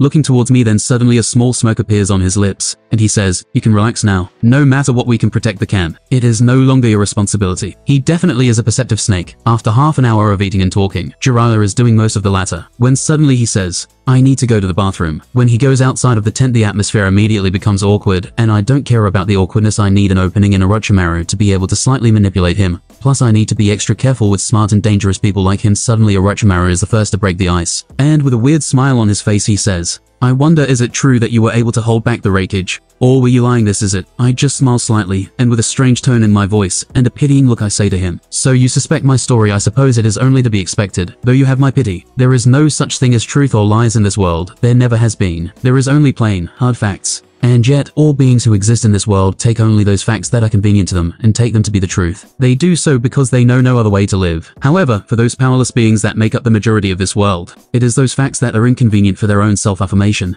that make up the real truth. The more I talk the more his eyes widen and he has a shocked look in his face. It was hard to keep myself from smirking. Sometimes it is easier to trick a genius than an idiot. Also checkmate Orochimaru then after a couple of minutes Jiraiya comes in. Orochimaru now has a calm mask on but I can see it in his eyes, the barely hidden curiosity and contemplation the rest of the day passed like this. Jiraiya messing around as soon as Jiraiya came back from the toilet, Orochimaru excused himself, and he went away. Then I had all night to try and keep an act and a lie going on, always being 100% alert and on guard, to not let anything slip out. Dot. Though I am smiling on the outside, this is a very stressful situation for me I had to describe a whole different battle against the Raikage, which did not even happen. I had thought of what to say, but then Jiraiya kept asking stupidly accurate questions. I had to do a lot of very careful improvising. Tomorrow you know Jiraiya is way more smarter than he seems. I mean even though I tried very hard to give accurate descriptions mixed with a lot of half-lies, and at the end I tried to lead the story on him to think that I am hiding something, and when he mixes the clues together with the story I had cooked up, he will discover what I am trying to hide. The truth is that I used the Raikage's teammates as a hostage and such.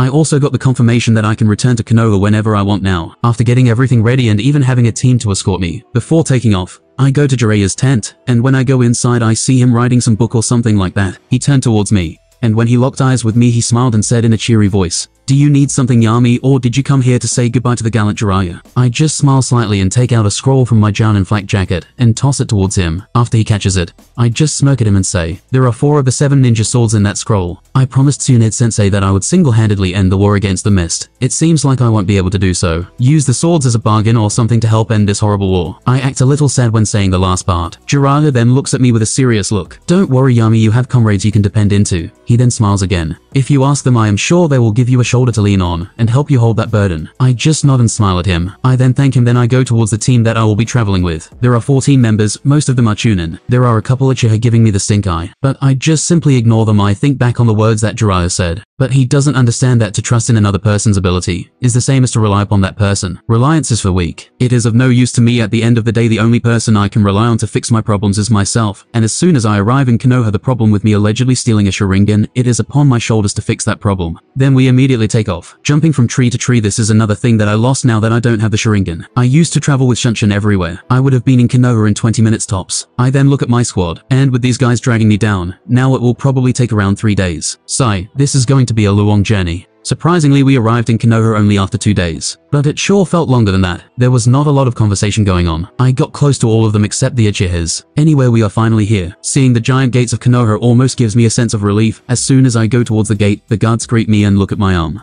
I just nod towards them and the Chunin team splits, and they each go their own way. Then, I am about to go towards the Inuzuka clan compound, but suddenly three Anbu appeared in front of me. They all had masks with animal drawings in them, so that means that they probably are not root ninja. Then one of them with the eagle mask says to me in a calm voice, Jan and Yami you are invited to report your battlefield experiences to the Hokage. Then there will also be a clan hearing after that. I just look at them then I smile and say to them, oh, okay I will remember to do so after I go and greet my family. I haven't seen my mother and Sum in a long time. Then as I am about to walk away the Anbu with the hawk mask touches my shoulder and says in a stern tone like scolding a kid, I would suggest that you go see the Hokage, Yami-san, Anbu POV. This one-armed kid who does he think he is to refuse the Hokage? As soon as I grabbed the kid's shoulder, he turned around and he had a very serious face. His eyes cold and bloodshot that put chills in my back vorm. I could feel a formless pressure from the kid, and then the kid says quietly in a strong voice, I will kill you. Right here, right now. Chirp chirp chirp chirp then a heavy killing intent comes out of the kid, and even birds started running away, as if sensing the danger suddenly the world turned red all around then. I feel like I am being butchered with a dull knife. Pain is ringing all around my body. Blood is flowing like a river from all of my wounds. I could hear the loud scream of a woman in pain right next to my ear. I turn back and see those cold eyes staring at me, and the dull knives start to gently skin me alive ah. In CPOV I look at the guy who is standing in front of me. He has let go of my shoulder, and his Anbu mask fell off. His mouth is open and his eyes are dull. I put him in a Genjutsu as soon as he touched me. The other Anbu are looking at me in shock, and they seem ready to attack. Then I disperse all my bloodlust and smile at them slightly with a ridiculing look in my face. I am just joking. Then the Anbu who touched my shoulder seems like he broke out of my Genjutsu, and as soon as he does so,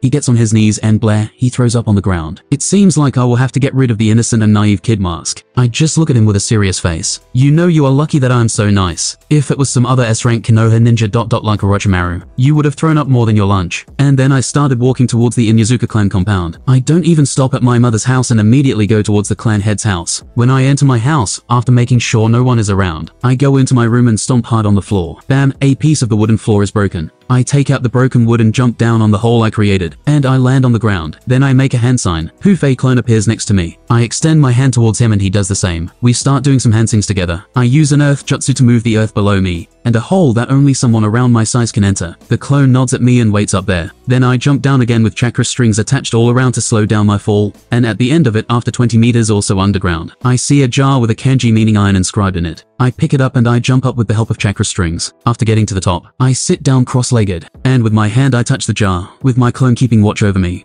I let my conscience go into the jar soon I am in a white space, and I see in the middle of this white space, there is a creature that resembles a dark purple leech with a serpent-like body on its face. It wears a blank white colored mask that has the kanji for zero on it. which is tan in color, and five red hair-like strands sprouting from it, four at the top and one at the bottom. It is surrounded in chains holding it down together with five giant steel pillars connected by chains in a circular way. All of that is holding the creature down. As soon as it sees me, it tries to send some duck chakra towards me, but it is blocked by all the seals. Then a mouth on the mask and the mouth in the mask moves and it says, I see that you only have one arm now I can heal it for you if you want I can give you unimaginable power, power that can strengthen you. The stronger your enemy is, I can make you stronger. So he can talk, huh? I just look at it, smile and say to the Zero Tails in a calm voice. I always assumed that you had some sort of intelligence, but I am surprised to know that it was so low let me explain. Then I make a hand sign, and the pillars shine with lightning around them, and then boom, it started shocking the Zero Tails. Ah, the Zero Tails gets shocked, and his body tries to move because it's in pain, but the seals don't allow him to move at all. His body just shakes a little, and he screams. Ah, I keep the lighting going for 20 seconds, and then stop. I get close to the Zero Tails, who now has smoke come out of his burned flesh. I look at it,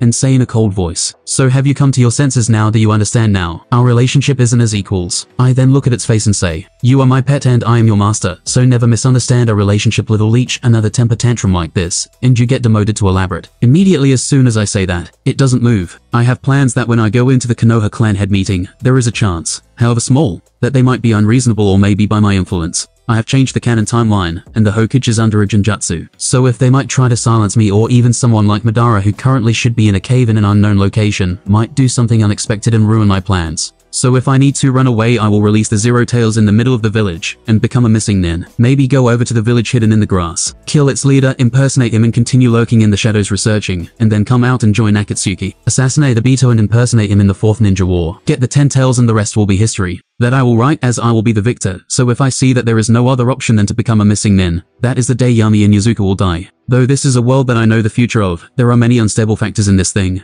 that this has become like a house of cards. If I am not careful enough with some minor details, my knowledge of future events without my careful intervention, everything will fall down also like a house of cards. So I need even my plans to have plans and my secrets to have secrets. I have to keep my mind open to numerous possibilities, and options never let myself get tunnel vision and concentrate on only one enemy. I have enemies everywhere inside and out of Konoha. I look at the leech again and say, have we come to an agreement? Then the leech gives a quiet yes. I immediately make a hand sign and the pillars start flashing again. Then his eyes and his mask widen and it quickly says, Yes, yes master. I then drop my hand down and the flashing pillars go back to normal. I start walking away. But as I do so I turn around towards the Zero Tails and tell him in a mocking tone, Next time don't say it that loud it sounds weird. I don't look at its face, and I make another hand seal and, Wash my conscience is pulled out of the jar, and now I am in front of my clone. I then take the jar in my hand and throw it towards the clone. He catches it. I then take a normal stone from the ground and put some chakra into it. As soon as I do that strange seals start being made on the stone. Another invisible seal appears into my hand. I look at my clone and he nods seriously. He knows what to do. If the stone breaks release the zero tails on the village, and with the negative emotions it has been creating by itself, it will wreak quite a havoc before it stopped giving me a window to escape. Soon I get out of the hole in my floor, and I am back to my room. My clone will move later and get into position. I go take a shower which I haven't had in a long time. The battlefield sure is a nasty place. Then as I am wiping my hair and look at my 11 year old body with one arm countless scars all over my body,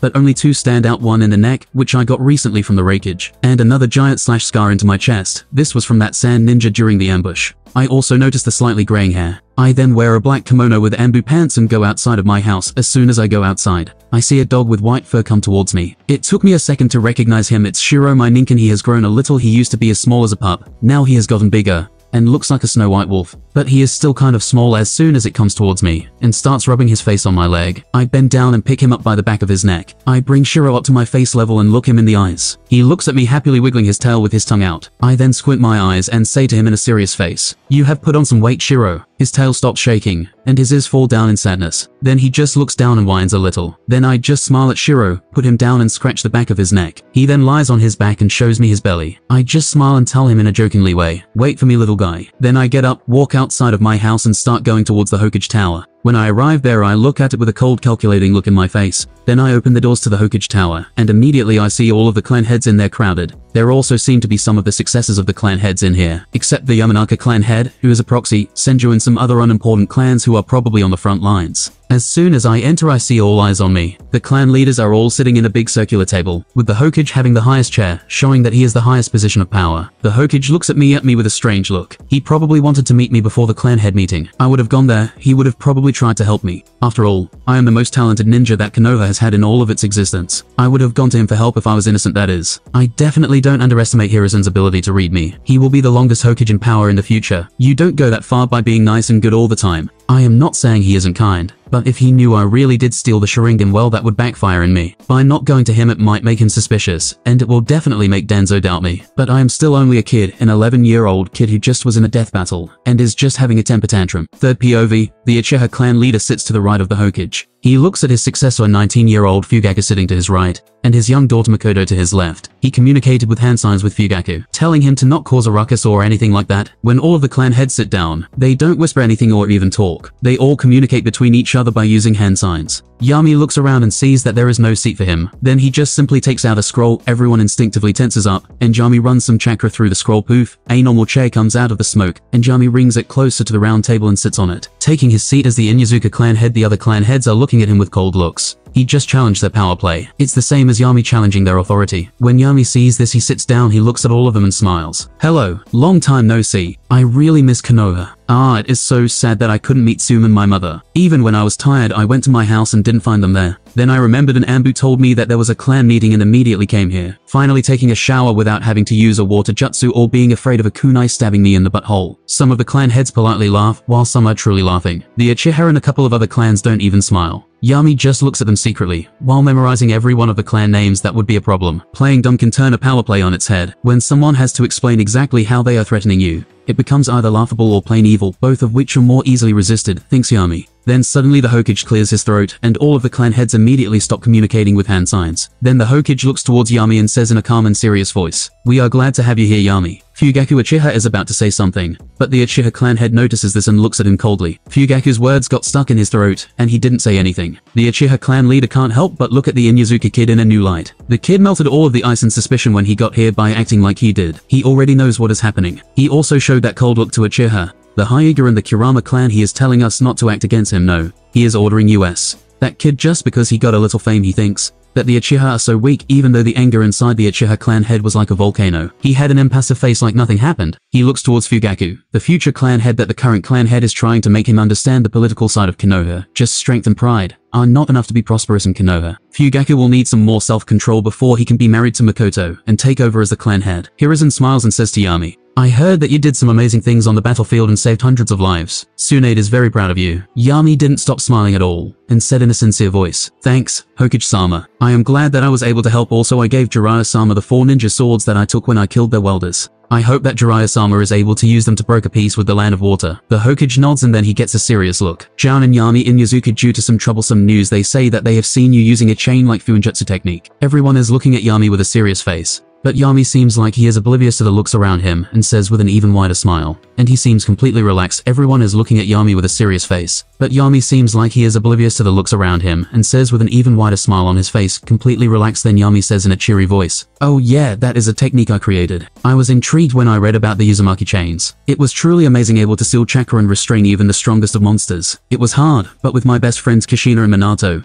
helping me learn some Fuinjutsu, I was able to figure it out. All the clan heads nod. After all, no matter how you look at it, there is no other way that he was able to do so. The only slightly surprising thing was his talent in Fuinjutsu. Then suddenly the Uchiha clan head speaks in a cold voice. What about the Sharingan that you seem to have immediately a cold atmosphere descends on the room? The Hokage looks at the Uchiha clan head for daring to interrupt him, but he let it go after all. A lot of Uchiha did die in the war, even the Uchiha clan head's son did so. So if Yami Inuzuka did take the eyes of an Uchiha that is a very grave crime. It could even be considered treason of the highest level. Then there is the possibility that the mother Yami Inuzuka cheated on her husband with another man, and Uchiha more specifically. That is the thought process of almost everyone in the room. Yami looks a little surprised and shocked at this, his smile vanishes while he says, Wait, what do you mean about Sharingan? I don't think I have the Sharingan I am from the Inuzuka clan Uchiha-san. The clan head frowns and is about to say something but he senses a strong gaze with a little killing intent directed at him. He looks towards the gaze and sees the Hokage's gaze. He stops himself from talking anymore, but he still doesn't apologize to the Hokage. After all, he is the Uchiha clan head, and he won't embarrass himself over something as small as this. The Hokage even though he is a little angry about this, he doesn't show any emotion in his face and says to Yami in a calming voice, due to some secret intelligence, We now know that you somehow were in possession of the Sharingan, and were able to use another secret technique of the Sharingan that only the strongest of Uchiha should know how to use it. Yami looks at the Hokage weirdly, and then Fugaku covers his eyes with his hand as if rubbing them. Yami then says in a serious tone, Is that so-called secret informant the Raikage did the Raikages say of how I killed all of his teammates in front of him, and that he couldn't protect them, and how I escaped him? The people in the room seem confused at something. Then Yami gets up from his chair that he was sitting during the hearing, and he points towards his missing arm. I lost this against the Raikage, but he lost all of his subordinates, and one of them who was a sensor and another was their S-rank Shinobi Dodai, the rubber man. Then Yami dramatically spreads his arm to the side and says, Why? I used a Genjutsu in my eyes that made them look like the Sharingan then there seems to be some dawning realization in all of the people in the room. Then Yami continued with a smile on his face. And that gave me a big advantage over them they were afraid of looking into my eyes. The teleportation was also a clone of mine creating illusions for the Raikage to kill, while I was taking care of his teammates. The Hokage seems to physically relax a little, and he said to Yami, truly an ingenious tactic, though it seems like the Raikage underestimated you for it to work on him. But it truly was a genius plan. Not only did you eliminate some strong enemy ninja, you also were able to hold back the Raikage, and you notified the camp of his presence and to prepare for it. Also you exterminating the mad dog of the Mr. Kaguya clan, and that will give us a huge adventure in the war against Mist though. I know you are hiding something Yami Inuzuka then the Hokage takes a breath and says, Jan and Yami Inuzuka, you are awarded 17 S-rank missions to your record, also another 15, a rank to your record, due to your good leadership on your part, and another 20 B-rank missions will be added to your record, you will also receive pay for the B-rank missions. Yami just nods towards the Hokage. Then the Hokage's eyes look around the room, as if asking for anyone to dare to challenge his decision. Then as a final saying the Hokage says, The accusation against Yami Inuzuka are all dismissed. They were all the lies of an enemy ninja. All of the clan heads nod. Even the Uchiha. They don't dare to challenge the Hokage on his decision. Then after the matter is finished and done all of the clan heads go outside of the room. When they are outside, they go to Yami to make some small talk and get to know the new hero of Konoha and current Inuzuka clan head. The Hyuga are an antisocial bunch, so they immediately left. But the Uchiha also went outside and left soon after the Hyuga the clan head then says to Fugaku, Never again activate the Sharingan in a clan head meeting like that. Mikoto looks surprised when her father said this. Fugaku looks at the clan heads back and says, I apologize Yashiro-sama it will never happen again. But the other clan heads didn't notice me. So I didn't see the harm in it. Yashiro looks at Fugaku and says sternly, All of them noticed you, even those who didn't were secretly notified by the others of what you were doing Fugaku. Let this be the last time you ever do something like this. Fugaku looks at Yashiro, Uchiha clan head, and says seriously, I understand Yashiro-sama. Then Yashiro looks sideways at Fugaku, completely ignoring that Mikoto was here and he said, Well, what is done is done and can't be changed. So what did you see was he lying? Then Fugaku makes a strange face and says, Well, what is done is done and can't be changed. So what did you see was he lying? Then Fugaku makes a strange face and says, No he was not I checked his heartbeat, blood flow, body language and everything else. He didn't lie Yashiro then nods and keeps walking forward. I come then Fugaku. Mikoto you two will need to also learn how sometimes you need to use diplomacy to solve problems. After all Fugaku you are the most talented Uchiha of your age, and the next clan head of the Uchiha. It was true Fugaku's talent with Genjutsu is one of the best the Uchiha has ever had MCPOV, when everyone else dispersed. I invited one of the minor ninja clan heads in Konoha to join me for a walk. After some time I am able to convince the Onokuma clan head. I just smile at the Onokuma clan head and say, thanks Enki-san the Onokuma clan will always be a friend of the Inuzuka. This is one of the minor clans of Konoha. The Onokuma clan who uses a possession type jutsu with their bear summons. We just made an alliance together in case something like this ever happens to any of us I will have his vote, and he will have mine my clan is stronger than his, so I will be the leader in our decisions. The other strong clans like Nara already are in an alliance. The Aburame clan don't need an alliance anyway, since they are one of the four noble ninja clans in Konoha. Then I separate from him and go towards the Inuzuka clan compound. While walking I can't help but think of Fugaku activating the Sharingan. That was a lucky break the Uchiha probably will not question me anymore. After all, with their pride they will never even question if their eyes are wrong. I had the Sharingan of course. I developed some methods on how to lie to it. I also knew that they won't use any mind-reading techniques on an S-rank ninja like me. I can easily stop a mind read with Fuinjutsu, but that would definitely mean that I did something wrong. In the end it all went according to plan. When I go inside my house I sense someone trying to hide from me, and they are doing a very bad job at it. Here I got Yuyami. Soon drops from the ceiling and is trying to dropkick me. Without even looking at her I just dodge her kick and kept walking towards the kitchen. She why why why don't ignore me you bastard. She then tries to punch me. I just dodge out of the way with speed that she can't even see. The whole way to the kitchen she kept attacking me but couldn't even hit me at all. I go into the kitchen and start making some tea Tsume is still attacking me. I just dodge her attacks, and she is punching my after images Tsume looks angrily at me, and gains an evil light in her eyes. How about this Bakayami? Bam she kicked the teapot while it was heating up all of the tears in the air, and the pot is about to fall down. I just calmly look at her grab the teapot almost as it is about to touch the ground. I then use the teapot garb all of the tea in the air. Then I use some weak fire jutsu to continue warming up the tea. I then grab a cup with my chakra string, go to the kitchen table and sit down. I pour some tea for myself and look towards Tsume and say to her in a relaxed voice, Do you want some tea? Then veins appear on her forehead. Wow, that is unhealthy for someone her age. Shut up, you bastard. Says Tsume while she is trying to punch me again. No wonder the future Kiba had such a terrible temperament. It seems like it was an inherited trait from his mother. I have already read her feelings, even though she tried to hide them from me by acting like this. I just smile at her and say, Don't worry Tsume, I am okay. It was just an arm. Then her anger melts away. Her eyes start tearing a little. Then she covers her eyes with her wild hair. She then gets close to me and hugs me. Then I see her face Yami I thought you were dead. While looking at her I can't help but think so being a tsundere really isn't as easy as it seems then I just pet her head and say Suo, you don't want tea. Then she jumps away from the hug and just points her finger at me. Why the hell are you so concentrated on the tea? You ruined a touching moment damn it. I just shrug my shoulders. I sense her Ninken outside of the house running around with Shiro. So where is your Ninken Kuromaru then I widen my eyes for some dramatic effect. Don't tell me you lost him. Or maybe he died a very painful death while sacrificing himself for you to be able to run away. Tsume's body just starts shaking in anger again. Then she screams towards me no he isn't dead. Why are you making up some depressing story all of a sudden? Then I take a sip of hot tea sigh. I get up from the table, get close to the angry Tsume and hug her. I am back home Tsume. While saying that I can't help but think of another home in another world then Tsume tears up again. She hugs me back and says in a quiet voice, Welcome back Yami. I just smile slightly at her I should go visit my mother soon Miss Yoon, Yami's mother POV. While lying here in bed not knowing whether today will be the day that someone comes to the door with the news that my son is dead. My hair is a little disheveled, and I have gotten thinner from the stress. When I was younger I used to consider myself the luckiest woman in the world I was married to a shinobi who made a lot of money, and was very powerful and during the peace times. Death of a Chunin in missions was almost non-existent. Then in a day just like this, the news came of my husband's death I recently heard stories of Yami's achievements. How he ended the war against Sand Village and all that. But he will always be my little baby boy. When he was younger, he was always such a nice kid. He never cried too much, neither was he too naughty. He was just a normal sweet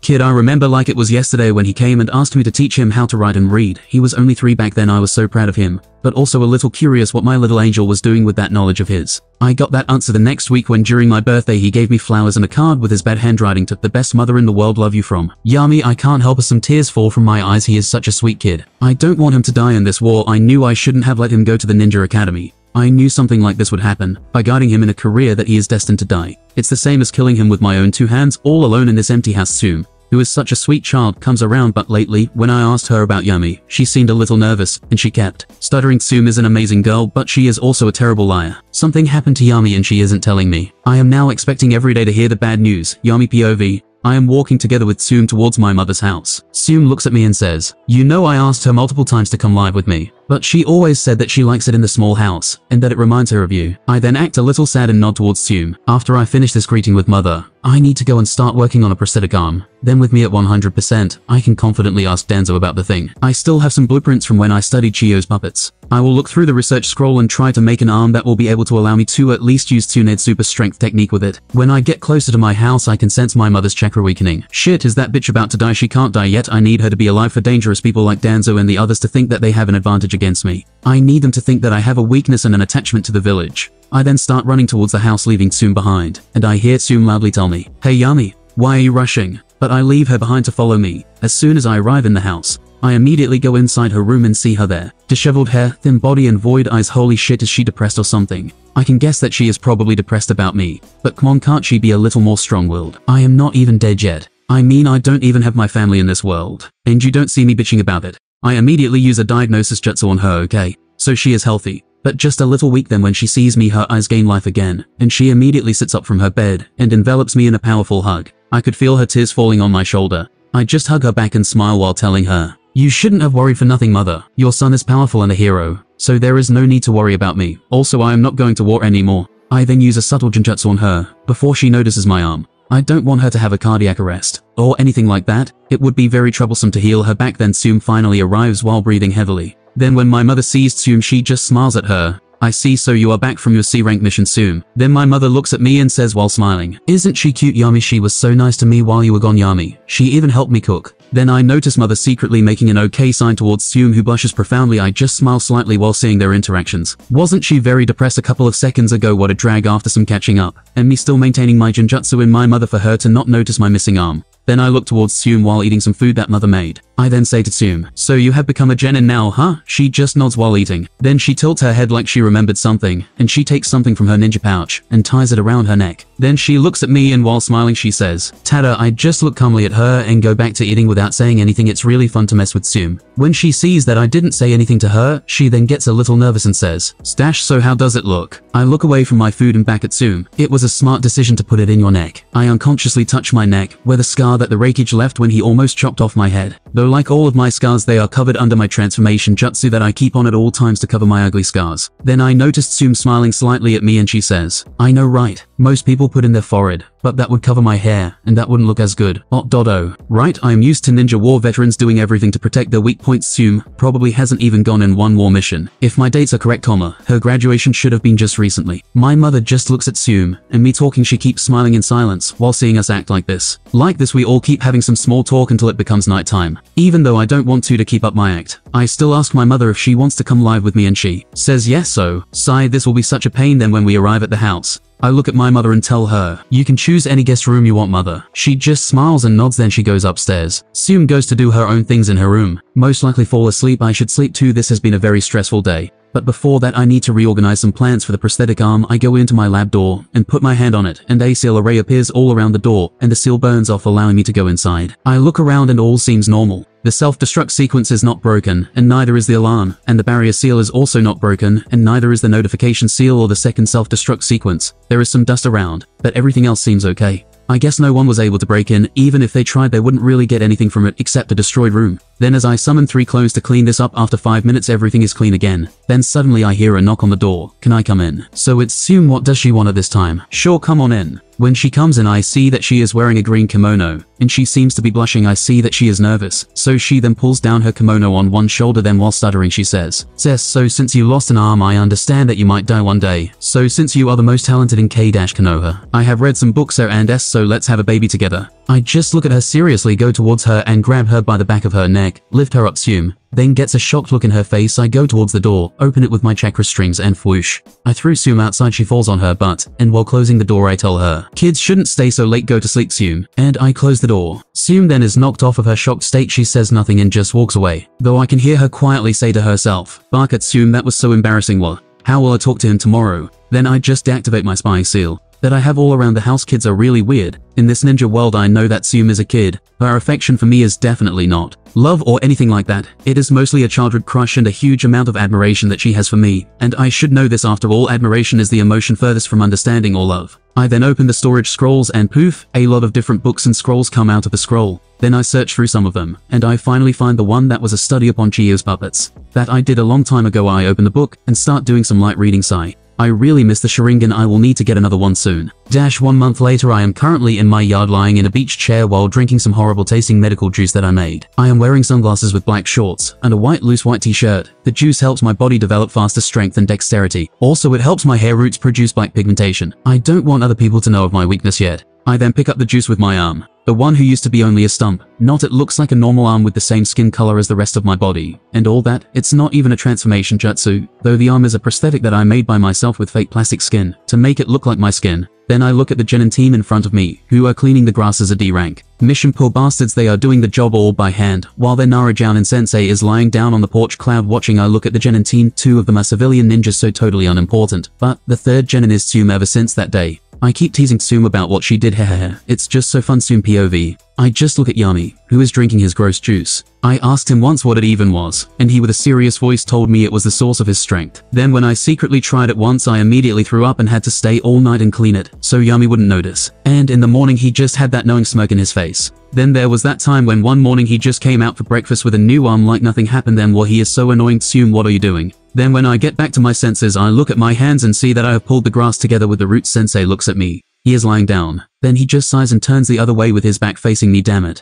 I didn't know Yami was this annoying. I used to admire and think of him as a hero, but now even I see that he is a dork I mean he is only a little older than me, and he is still amazing. Only recently he bought 5 Dango shops, 1 small clinic, 1 veterinary, 10 new shops that make something called Picker, and 5 apartment buildings. Now all of the civilian Inuzuka are employed by the Inuzuka clan. I have even heard Naradash sensei say that he is a genius merchant, and anyone who wants to sell something knows to go to Yami Inuzuka. He will give you the best prices. I don't know where he got the money, but apparently it is all legitimate. I mean I know nothing about money, but even I can sense that he did something very fishy. Nara-sensei says that if Yami continues like this, the Inuzuka clan's wealth will surpass the Uchiha and Senju clans in only 5 years. Also I have only done D-rank missions since I came back. That is also very suspicious, and 99% of those missions are from Yami. Clean his yard, helping Lady Miss Yoon with grocery shopping, entertaining Shiro, giving a full body massage to Shiro, washing Shiro, playing catch with Shiro. He spoils his Ninken Shiro way too much, and the little bastard Shiro as if reading his master's mind. When my Genin team went to buy him his dog food, he just tires us all around Konoha trying to find his favorite food, which changes every three days. I look at Yami, and he as if sensing my gaze looks at me.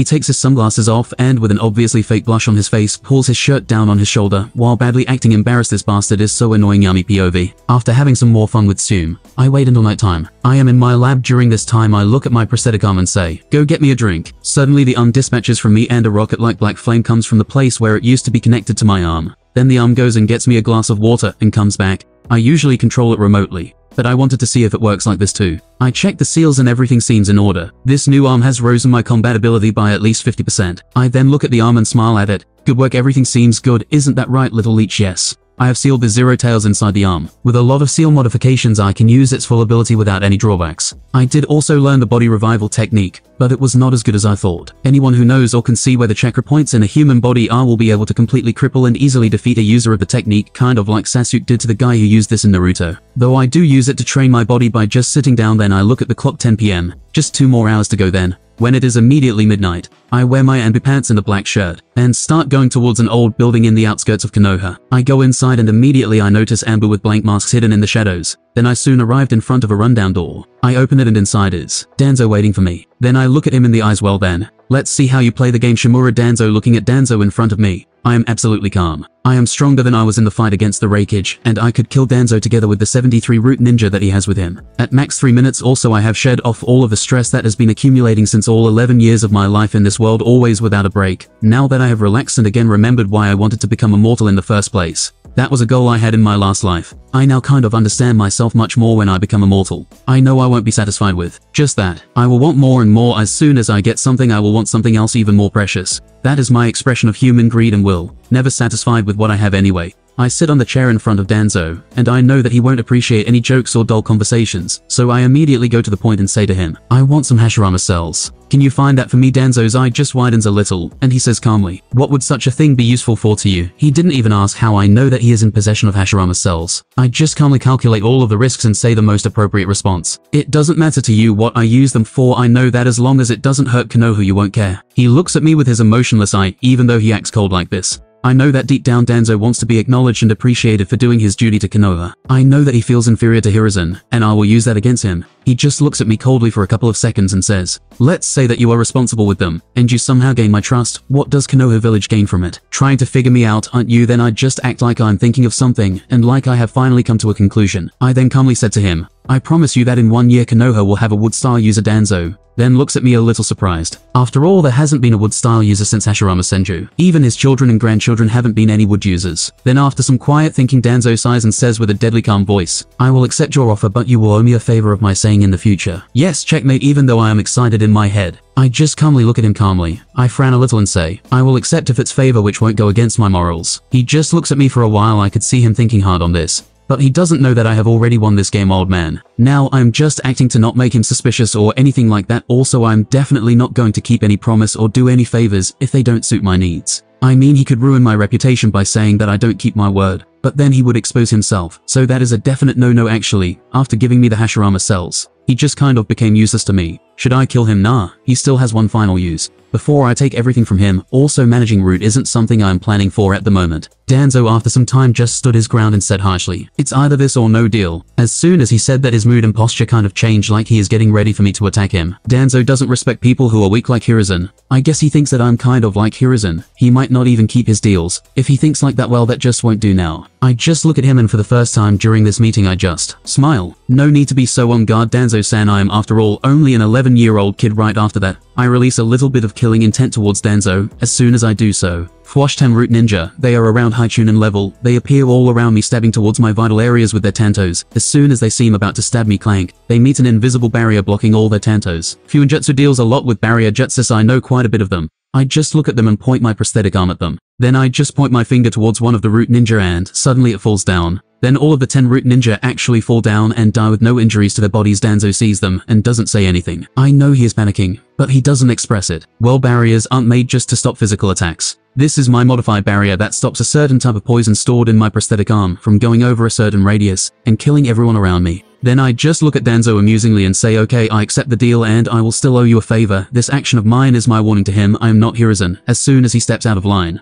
Or does something I will kill him. He won't know when or how, but he will die if he takes any action against me. Then I stop all of the poison and suck it back into my prosthetic arm with the help of another seal then I get up and start walking away while calmly telling him, I will expect one of your root ninja to deliver the package. And then I walk outside. When I am outside of the worn down building, I can't help but think to myself damn the ability of the Zero Tails to sense negative emotions is really useful. After that whole conversation with Danzo I go back home again Tsume and mother are both asleep. I then go into my lab room. There are several unimportant experiments and notes around. Then I go into one part of the wall and run my chakra through it. A hole opens up below me, and I jump inside it. When I arrive at the bottom hundreds of Fuinjutsu seals restrain me then, as soon as I go there, I pass through the hundreds of identification seals and dozens of self-destruct seals. When I enter there, I see the results of hundreds of millions Ryo that I put in it. The room has seals all around the wall, making the walls seem like they are painted black making it impossible for anyone to even enter in here. I am confident that even if Madara Uchiha wanted to enter here, he wouldn't be able to do so. Well, he might be able to brute force his way inside somehow, but as soon as he does so the lab will self-destruct, and will take everything inside it to smithereens. Even future Obito with his ability, won't be able to enter in here. Anyone who is in here except me it will self-destruct. The lab floor is about 300 square meters. There is also another lab one floor down from here, and there are mostly the research material that I have on the Zero Tails, and so-called demons, naturally created from people's chakra and negative emotions. On this floor there are dozens of humans inside capsules filled with green liquids.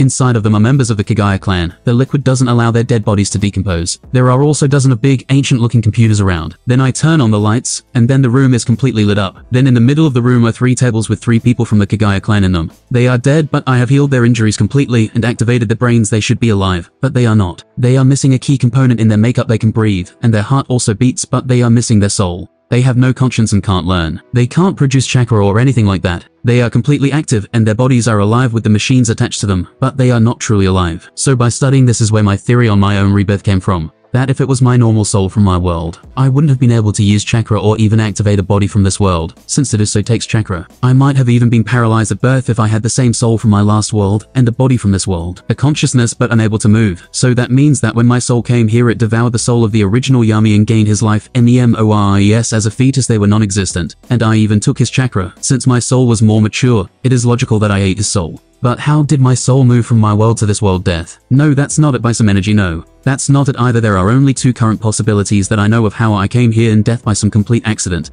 that generated enough energy to create a crack in the multiverse death system. The only thing I know about it is that it exists or I was brought here or more. Specifically someone brought me here I will assume the worst case scenario, which is the second option then I instinctively start biting my nails that means that, okay I need to calm down since this is out of my power. I will just keep getting stronger until I can start getting answers. It's useless to worry about something out of my power. If it was some god or anything else I won't think about it anymore. Everything that exists has a logical explanation to it, so I will just experiment until I discover it. Anyway now I have learned all that there is to know about the Kekkei Genkai of the Kaguya clan the Shikotsu Myaku. Users of Shikotsu Myaku possess three unique skills. The ability to control their osteoblasts, cells responsible for producing bones. The ability to control their osteoclast, cells responsible for breaking down bones. The ability to regulate their bones calcium density. So long as their body does not tire out, users can take advantage of these abilities without limit. Quite a good ability. Then after I check that all the bodies are stable and I go downstairs. This is a totally different room there are different flesh parts from the body of the Zero Tails. They sealed in tubes with green liquid. I have studied that every part that I cut off it creates some type of mini Zero Tails but they die soon after they are cut off and turn into chakra. I keep them always fed with chakra on tubes, so that they can even stay alive a little longer. I have created some techniques that incorporate Fuinjutsu and Dark Chakra they are surprisingly very compatible together. I can't wait to use them against a real opponent. Then I look at the middle of the room where a giant cube made out of glass filled with green liquid on the inside. There is also an animal in it as big as a lion attached with a breathing mask and tubes attached to it. The creature has dark fur damn.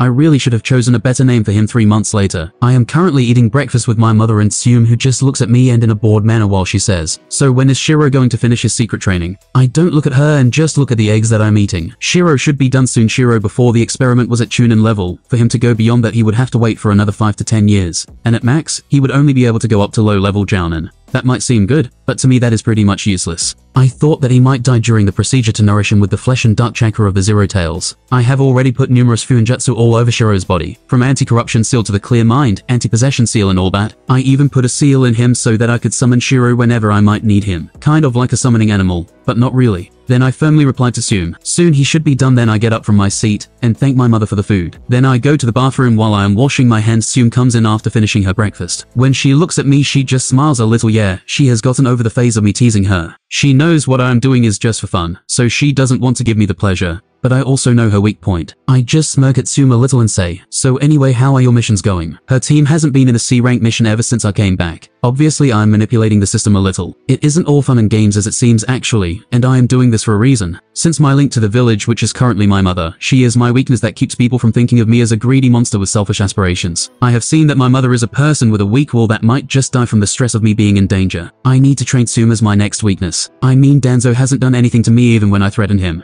Because he thinks that he knows my weaknesses he thinks that he is in control. While they are all dancing in the palm of my hand, the ninja are looking underneath the underneath. But I just keep building more and more layers. Then Tsume just looks at me a little angrily, and she just fumed off and goes away without even washing her hands. I just smile a little and say how unruly she is, and how dumb she doesn't understand that she is being manipulated all along. Although this teasing seems like it is 90% for fun which is true. It is mostly for fun then there is also the other 10% which is for Tsume when she grows up and understands that I teased her, because I had a crush on her, and didn't know how to express my feelings. Also she isn't pretty enough for me to try so hard to get her she is like a 5 tenths, and if she really tries hard, she might be like a 6 tenths. I then take a shower to get ready for a very important procedure today. Then I again go into my underground laboratory in the new third floor. I put 100 mil Ryo in it. This floor is meant for Uchiha and Hashirama cells experiments. I had almost 1 billion Ryo from the stealing during the war, but with all of the expenses I only have about 230 million Ryo left. It isn't bad, but it also isn't good either. My clan treasury, me, has an income of 8.5 million Ryo a month with all of the clan taxes, restaurants, one clinic, and the six apartment buildings that I own. After the first big buyout for me there are no longer enough people that want to sell things in Konoha. Though my clan treasury income is up there with the best of the clans in Konoha but my clan members still aren't as rich as the others, like the Uchiha clan members, since their clan mostly has ninja which is a good paying job, and there are a lot of Jounin in the Uchiha clan. When I enter the third floor there are six capsules with dead Uchihas in them. Of course, I took their eyes and even transplanted a pair of them to myself. How did I even get a Sharingan while I had my clones go out of Konoha from the SOA system, which is the only place where there is a weakness in the barrier, and someone can go out undetected it took me a long time to find that weakness. And a lot of ninjas die in the war, even at Uchihas, and some bodies not being found is a normal thing in this Celtic war. Also in the middle of the room there is a smaller capsule filled with green liquid, and there is an arm in that. The arm has thin wires and tubes attached to it, getting and pumping red blood into it so in about 20 minutes all of the preparations should be completed. I then go to the second floor of the laboratory. There are no stairs so I just chakra walk. There it is my little puppy Shiro. He has full dark fur as black as darkness. His eyes have now become red. Then I press a button at the side of the giant glass cube filled with green liquid. The liquid is all drained from it, and Shiro who is now the size of a horse.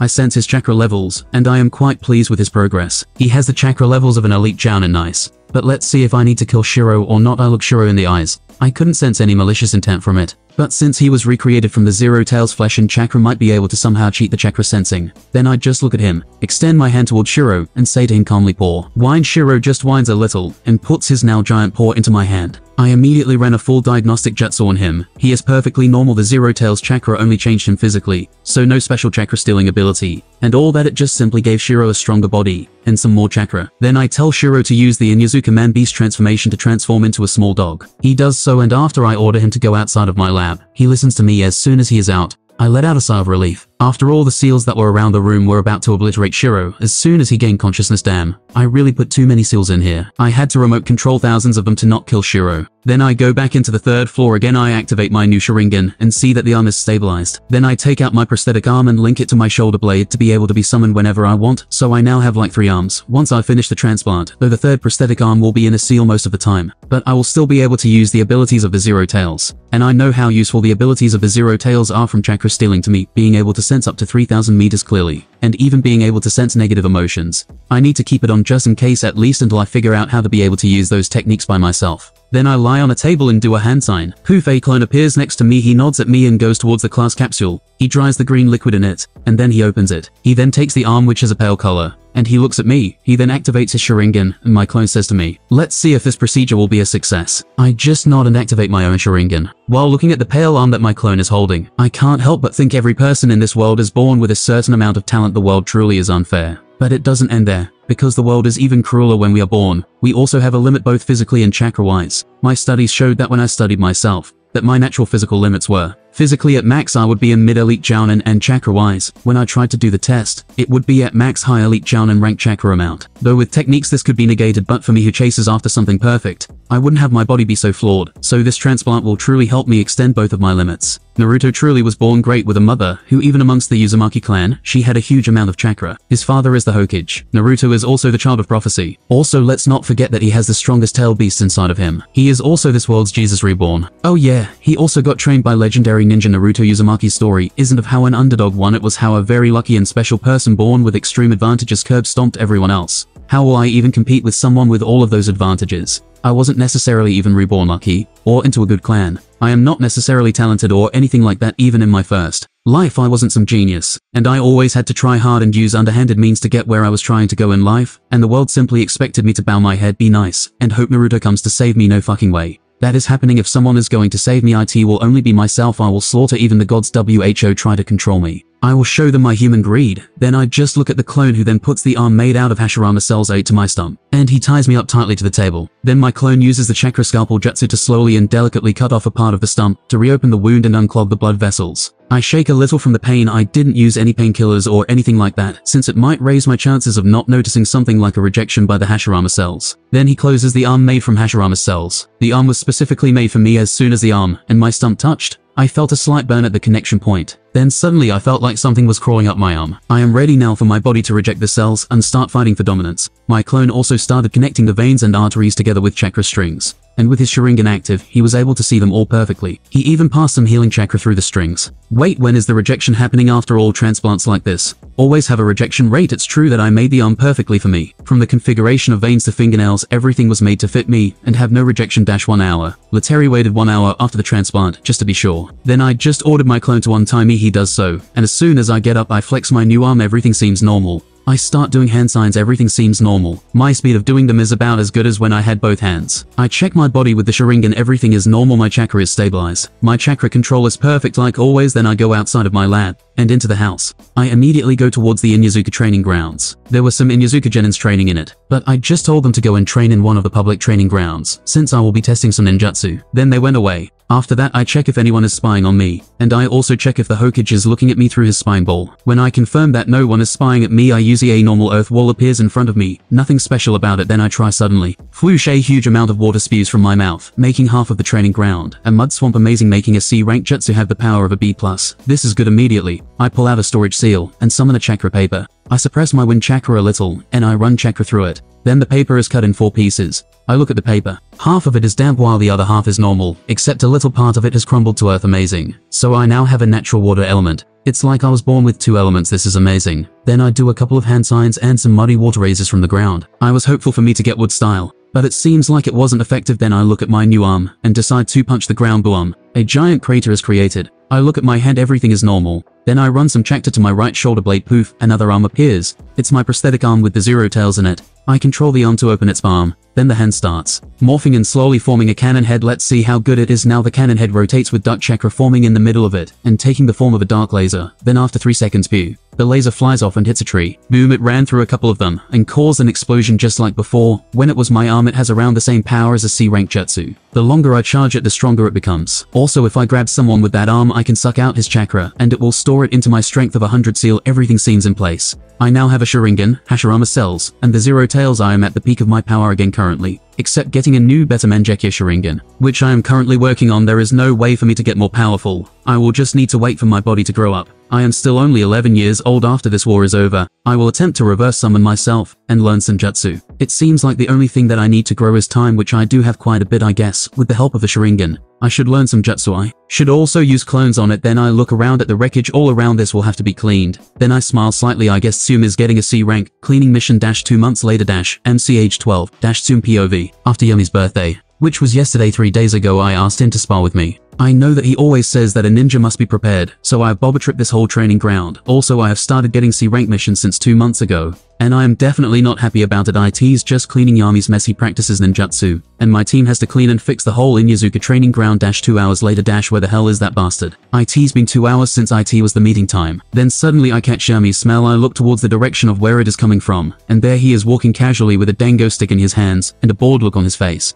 Then he looks at me he just sighs. Then he waves and then he says in a bored tone, Hey sorry I'm late I just didn't want to come. Okay control yourself Tsume breath in, then why did you accept the spa? I just couldn't control myself and screamed at him. Then Yami looks at me and cups his chin and makes a thinking position. Ah, I was drunk during my birthday. I just narrow my eyes at him. You never drink. Then he takes another thinking pose. Hum. Then Yami points a finger at the sky like he had an idea. Then he smokes and says, I did this to test your willpower. Then I can't help but scream at him again. Just admit IT that you forgot instead of making lame excuses. Then Yami eats the last part of Dango in his hands. Then he throws it in the ground I know that he will hire my team to clean his mess again. He always throws trash in here, like there is no worry in it. He sure is an annoying bastard. Then Yami shrugs his shoulders and says in a tired voice sigh, Okay here it is the truth. In the morning I totally forgot about our meeting until I saw you at breakfast. Then I really didn't want to do it. So I went around Konoha's shops to buy some dango. Then, since I was already late by then I thought that you wouldn't wait for me. So I went to this new ramen place. This bastard sure is annoying, and he totally didn't want to spar with me. He could have just said so in the morning, instead of making me wait here, but then Yami still goes on. Then after that, I went to a tea ceremony house. I always wanted to try one of those. Then after that I went and climbed the Hokage mountain and enjoyed the scene from there, and then I had an amazing inspiration for a new business idea I was going to call it a maid cafe. Then I narrow my eyes at Yami, and I can't help but think how long is this story, but I was scared that I might forget the idea. So then I went back home and wrote down the idea. Then while I was coming here I was kind of hungry, so I went and got some more dango. Then I thought surely you must have been gone by now. So I came here to enjoy the quiet atmosphere. But then you know this bastard. My body is shaking from anger at him this bastard. My body is shaking from anger at him. Then I immediately run towards Yami. He just yawns a little. And while he is yawning, Four-legged technique my nails sharpen and my hair stands on point. I then get close to him and am about to kick him in the head. Then he just brings the back of his fist to stop the strike. When I see that I put even more power into my kick, Yami creates a chakra sphere on the back of his fist, and and when my leg connects with it, boom I am thrown back and hit a tree. I try to move but my body is frozen. Then after two seconds I am able to move I look at Yam Andy. He is looking at an ant hill and touching it with a stick. He even annoys the ants. Also it seems like he isn't even paying attention to me well then, how about this? I signal my Ninken Koromaru who is hiding in a tree fang over fang. Both me and Koromaru start rotating to use the technique and we at the same time attack Yami Fwoosh. As we get closer at our attack hitting Yami, I see that he is still messing with that anthill this bastard we will see. How much not taking me? Seriously will cost you then as we are an arm's length away from Yami. He just does a hand sign. Bang I hit something invisible with my head oh oh oh oh. oh. I clutch my head while rolling on the ground. What the hell even was that some invisible barrier or something after the pain subsided a little? I get up, jump back towards a tree, and I look at my Ninken to see if he is ready to what the hell Koromaru is on his back, while Yami was rubbing his belly. Then Yami says in a ridiculous voice, who's a good doggy? Then I take out three kunai and am about to throw them at Yami. But I stop myself. I change my target and throw my kunai towards another tree. I hit a rope and cut it which drops a rock on a seal, and it activates the trap I have been working on for three days. Then I hide behind a tree. Thousands of kunai come from all of the trees and go towards Yami's general direction. Then I do some hand seals and poof, I summon Koromaru to me. This is something that Yami gave to the Inuzuka clan. We are now all able to summon our Ninken to us. This is an attack that I prepared for three days. I will make Yami acknowledge me. I will let him know that I am not a little kid. I had a storage scroll maker come here and paint storage scrolls all over the trees, and plus buying the kunais. This cost me a lot, plus the projectile for a seal this cost me almost all of my savings. Then the kunai go towards him and hit him how is that possible I didn't want to kill Yami only impress him no no no no then. Poof where Yami should be there is a log. Then suddenly I hear someone whisper into my ear. The kunai were thrown very slowly. I turn around and try to backhand Yami. Fwash then he disappears from there and appears on the ground again. He is treating this as a game. I jump down from the tree and land in front of Yami. I frown and in a serious voice I say to him, take this seriously and no fooling around Yami is still just smirking towards me, not even heading my words. Then I just continue and tell him, do not hold back. Then Yami just sighs and says, Sai, are you sure you want that I just narrow my eyes at him ye dash? Before I can even finish what I am about to say Yami disappeared from my line of vision. Fwash then I hear Yami say from behind. A ninja should also know when he is outclassed and run away I turn around, and the only thing I see is a giant fist coming towards my face. I can feel the wind pressure almost suffocating me. I close my eyes. I could feel the scythe of the Reaper across my neck. IID don't WW want T to die. Fwoo then I feel as the wind pressure is about to hit me. It goes around me, and boom. I feel a giant explosion I open my eyes and I see a fist in front of my face. It had stopped about 3 centimeters in front of my face. Yami then lowers his fist, and I see him turn around and start walking away. I am going to try some sushi. I will be home a little late today so don't worry about it. I can't help but think back on what my father always said, that only the strongest survive, while the weak die I am prepared to do almost anything in order to become stronger. Then I look behind me. But I can't picture myself even approaching Yami's power. I think that as I see half of the forest behind me destroyed third POV. Then as Yami is walking away as soon as he is out of Tsume's sight. Poof, he dispelled himself. It wasn't Yami it was just a shadow clone all along Yami wasn't even here. Yami POV I am currently in an Akimichi restaurant eating some very delicious beef. This is good I look at a certain woman who is sitting alone on a table far away from mine. She is drinking and crying at the same time. Then I look at the person in front of me. He is an average looking man with black hair and black eyes. He also just Chunin who just keeps rambling on. Then when I get the memories of my clone, I just blink a little and analyze all of the information. Well, that was a waste of time even for my shadow clone. But I guess it did raise Tsume's opinion of me. Then after the Chunin finishes his rambling and he finally gets to the point. If I didn't have a deal with him, I would have gotten out of here a long time. Ago then the Chunin makes a serious face and says, so about the price. This Chunin is nothing special. He is just a teacher at the Ninja Academy, pretty much trash cannon fodder. But he is a guy I bribed to talk to children about my heroic deeds and such. I look at the Chunin straight in the eyes and tell him, what about the price? Then the Chunin looks a little nervous and says, I think that you know the job I do is very beneficial for you so I think that it should be more expensive. I just look at him coldly him, how to handle this with the best benefits for myself. Then I'd just squint my eyes threateningly at him and say, let's negotiate then. I currently pay you 100,000 Ryo a month. That is about as much as a good paying B-rank mission give me a suggestion. His face then lights up a little, and he has to try hard to keep his smile from showing. Okay, so I was thinking 120,000 maybe. I just look at him what a shitty negotiator, and weak will too, but that is the main reason why I chose him too scared to betray me, and too afraid to risk anything, and likes for other people to think of him in a positive light perfect as a useful tool and a scapegoat. Then I interlock my fingers and release a minor genjutsu to make him more nervous, and make me seem more intimidating. Then I say to him in a normal voice, 90,000 the Chunin just looks at me confused and says, Are we what? Then I just look at his eyes and coldly say to him, You go up I go down. 80,000. Then he starts panicking. Okay, okay, I'm sorry for bringing it up. I continue to look at him coldly. You will get paid 80,000 Ryo this month. I never want to hear about this again, or I am going to find someone else. I immediately get up without even giving him a chance to answer. I go towards the drinking woman. She has tears in her eyes as she takes another shot of sake. I then sit in front of her. She doesn't even bother to look up. Her hair is disheveled and she smells of sweet sake. She is my teacher Tsunade. I look at her outfit. It isn't her Jounin outfit. It's her casual green kimono when she looks at my eyes. I can see my reflection in the Ma Yes a teacher flashback. And see, age 12. Two months after his father's death. 6.40 am. Like always I get up from my bed early. Go into the bathroom and look at my face in the mirror brown eyes, with a hidden sadness in them, and black hair slightly above average in looks. When I see that sad look into my face, I just smile at myself in the mirror. I need to be happy. Mother already has enough problems now. I know that she is worried about her poverty. My brother is only three years old, and she has to go to work she doesn't need to see me sad. When I look at my smile showing too much teeth I smile in the mirror again this one looks fake, then I smile again in the mirror 10 minutes later. I come out of the bathroom with a natural happy smile on my face. Then I go towards my school bag and grab it. Then I go into the kitchen and I see my mother who is already in the kitchen cooking food. When she looks at me I smile at her, and she gives me a weak smile back then when I arrive at school. I greet everyone and they greet me back. I look at Linda and I wave at her, then she waves back. I go towards her. Before my father's death I used to joke around and ask her out we are friends. She always used to tell me that she will accept to go on a date with me. When I really mean my confession, she is so pretty intelligent and she has a nice personality. Then when I get close and look at her blue eyes while I say to her with a smile on my face, How is my princess today? Since my father's death I haven't asked her out anymore. It would just feel awkward to ask her out, since I know that she would pity me and accept.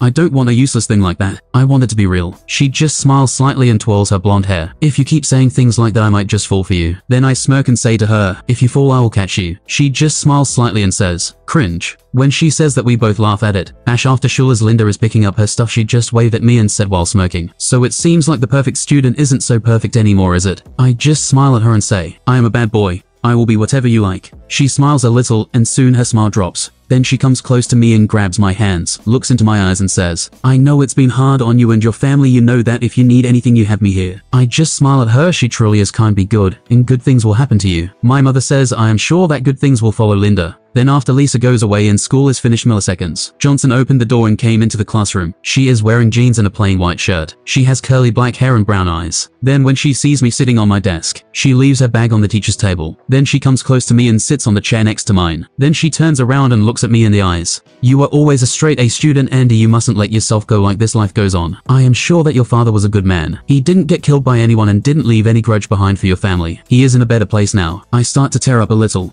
and she just hugs me comfortably and says to me, Every day after school I will stay behind and help you catch up to the others. Then she grabs my face and makes me look into her eyes. Then she smiles and says, You are smart, so I am sure that you will surpass them in no time. Change POV Yami. I just look at Tsunade's eyes and I can see myself in them. When I think back on those times, always looking at the best in people, how naive understood that later when my teacher seduced me. I always thought that she loved me how idiotic I was, never in control of anything, always afraid of everything. Then, when she got run over by a car right in front of my eyes, the world is a number of infinite possibilities. That must try to control I will be in control now. Also I remember Linda flashback MCH 15. I just look at Linda in front of me her blonde hair swaying in the wind. I look at her blue eyes and see myself in them I have changed so much the world is a cruel place death is inevitable. I can't change that. So I want to know how the world works my eyes have gotten a little colder. My face now most of the time has a fake smile on my good uncle who tried to help me die from a rat bite. But he thought that it was just nothing. But the rat had a deadly disease in its teeth humans are truly fragile. Being's life is way too short so I must have no regrets then Linda looks at me, and she says in a cold voice, I see that you don't have those whores who always surround you.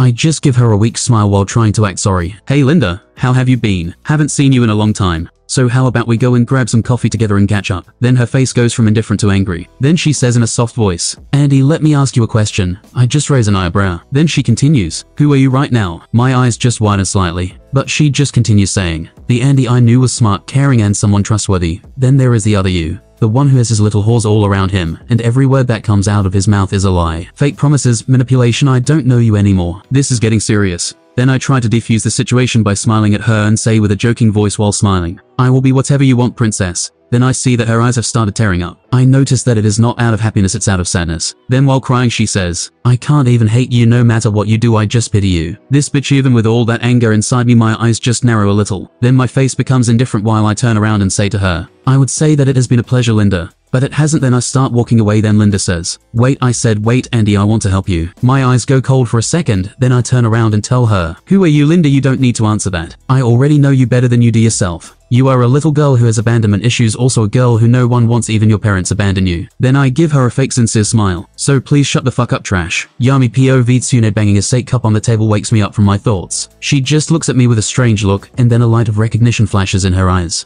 Then she says in a drunkenly voice, Yami long time no see when she says that I notice that it is almost an automatic response. She isn't even that concentrated on me. There is only one way to describe Tsunade right now weak before she only used to drink on joyous occasions. Now she has become an alcoholic. This is why I never drink alcohol. It doesn't let you be in control of your own body. To me that is scarier than any deadly poison. Then I call a waiter over and order some food and a glass of juice. I look at Tsunade who is still drinking out of her six sake bottle. While eating I ask Tsunade, what happened? Even though I know what happened I still needed to hear her say it. She just looks at me with hollow eyes and she says, Dan Dan Kato died. I just raise an eyebrow towards her to express my confusion. Then I say in a bewildered voice, so what all people die eventually, except me that is, she just frowns a little and says in a slightly annoyed voice, Sigh, you are truly inconsiderate sometimes Yami. Then she leans her head down on her hand which is on the table. Her hair also falls down a little. She still has a sake bottle in one of her hands when I look at the bottle. I can't help but think about my teacher in my last world control. Then I secretly summon something from my wristband summon scroll. Then I pick the thing and drop it into the drunk Tsunade sake bottle. This time, I will be in control morning. Tsunade POV waking up in the morning. I sit up and pull my arms up for a stretch when I notice that I don't have my nightgown on. Then like a dam that was broken memories of what happened last night come flying back oh no oh no what have I done. I look towards the other side of the bed and see Yami a 12 year old boy naked what have I done I asked him for this last night.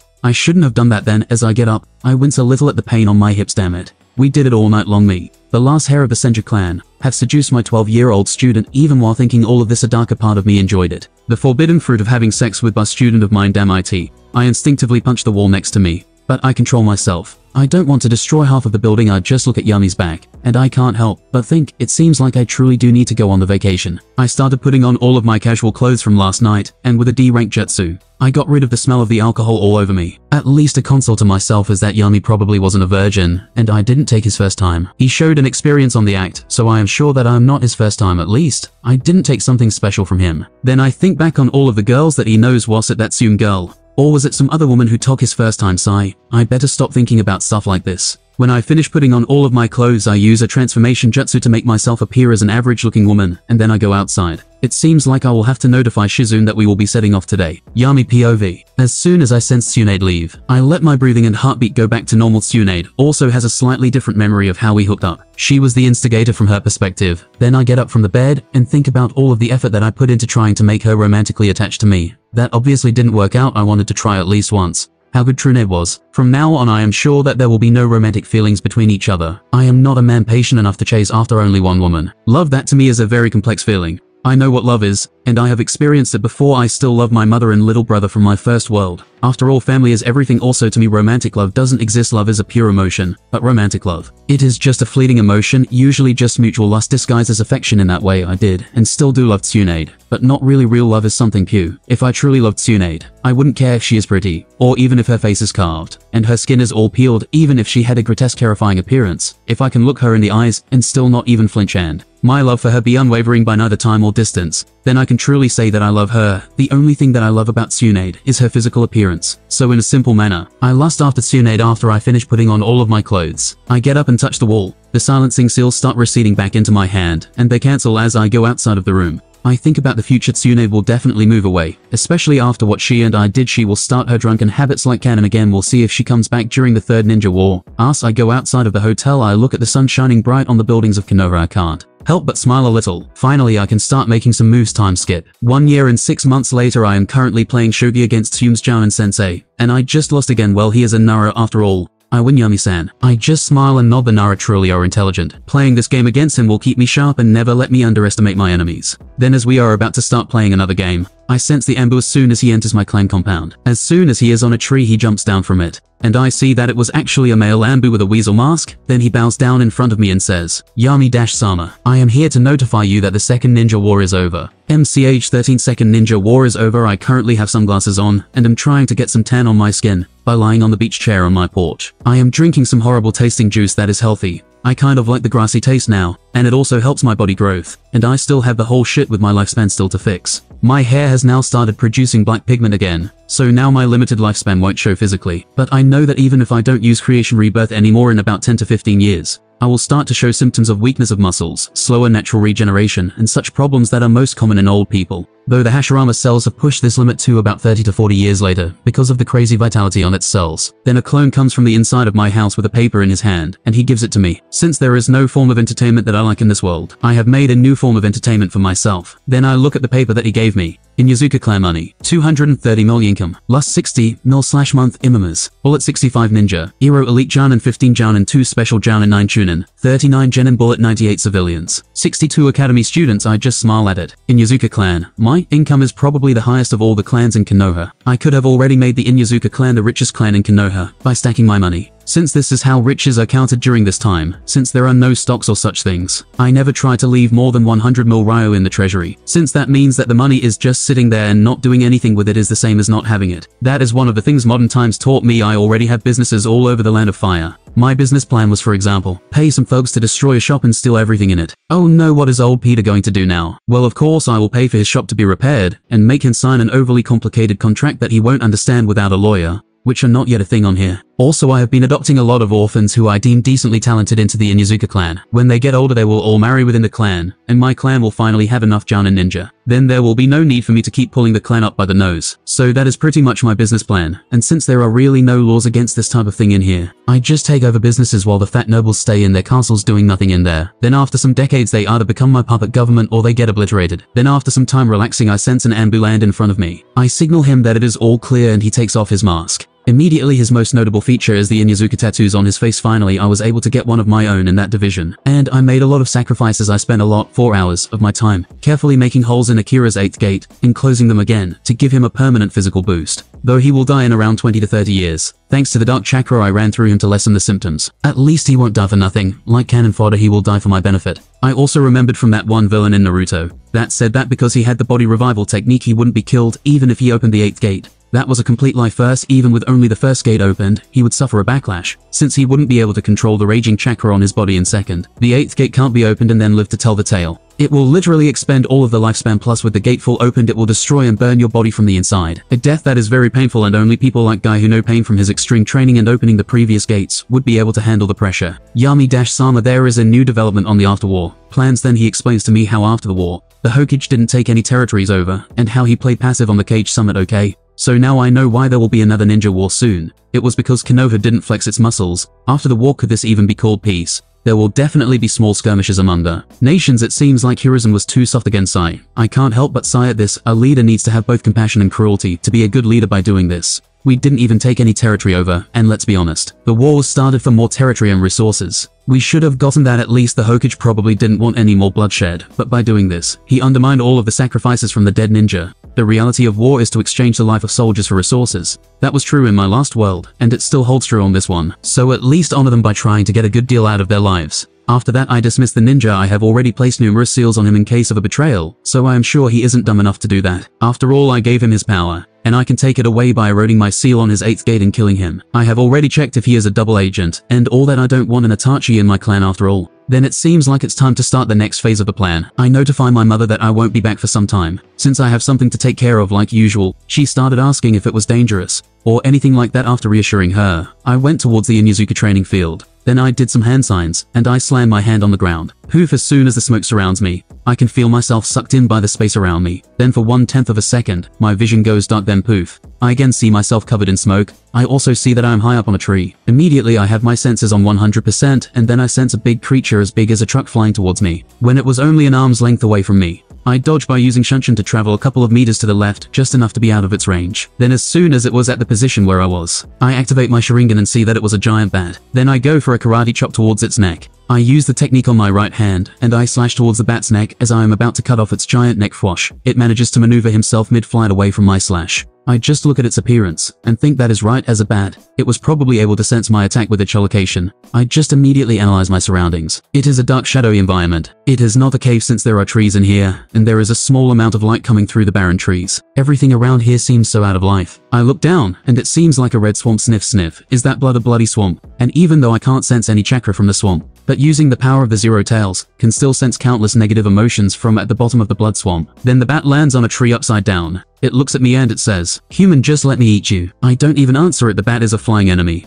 Let's see if that new technique works I point my two fingers towards the bat. I generate dark chakra on my fingers comma, with a black dot appearing on my fingers with some kanji to it. Then I throw it at the bat and it gets absorbed in the bat's body. The bat just looks at me strangely, when he himself starts releasing dark chakra, which envelopes him with a powerful torrent of gravity. The bat has an ugly look on his face, and he says desperately W what is dash. But then the chakra that he himself is expelling starts taking the form of a box of black energy, covered in several spear-like protrusions which pierce the box, lacerating the bat inside from head to toe. Then when the bat is dead the coffin dispels into nothingness, and the body of the dead bat punctured with countless holes all around. It starts falling down, leaving a trail of blood behind Splash as soon as it falls into the swamp. I just look at the body with my Sharingan to see what the thing in the blood water in the swamp is. Suddenly I see a giant figure move in there, and there seems to be thousands of other minuscule small figures around it. I try to see the true form of this creature Ham. When I see the creature close to it, should be a leech interesting. Her size is also pretty big. It is around the size of the Sannin summons, maybe a little larger also with this hiding ability. It is quite good. Then after conforming all of this I look at the bloody swamp below me, and then I call out loudly, Hey you big leech I need you to answer me some questions. Suddenly the leech stops moving then, as if a river of blood is rising forth the earth the leech stands up, and its head reaches up to the tree where I am standing. It is only a couple of meters I can see its mouth full of rows of teeth dyed red in blood. Then the creature speaks in a deep voice. Since you feed me a bat I will answer your question. What do you want to know boy? Whoa its breath smells really gross.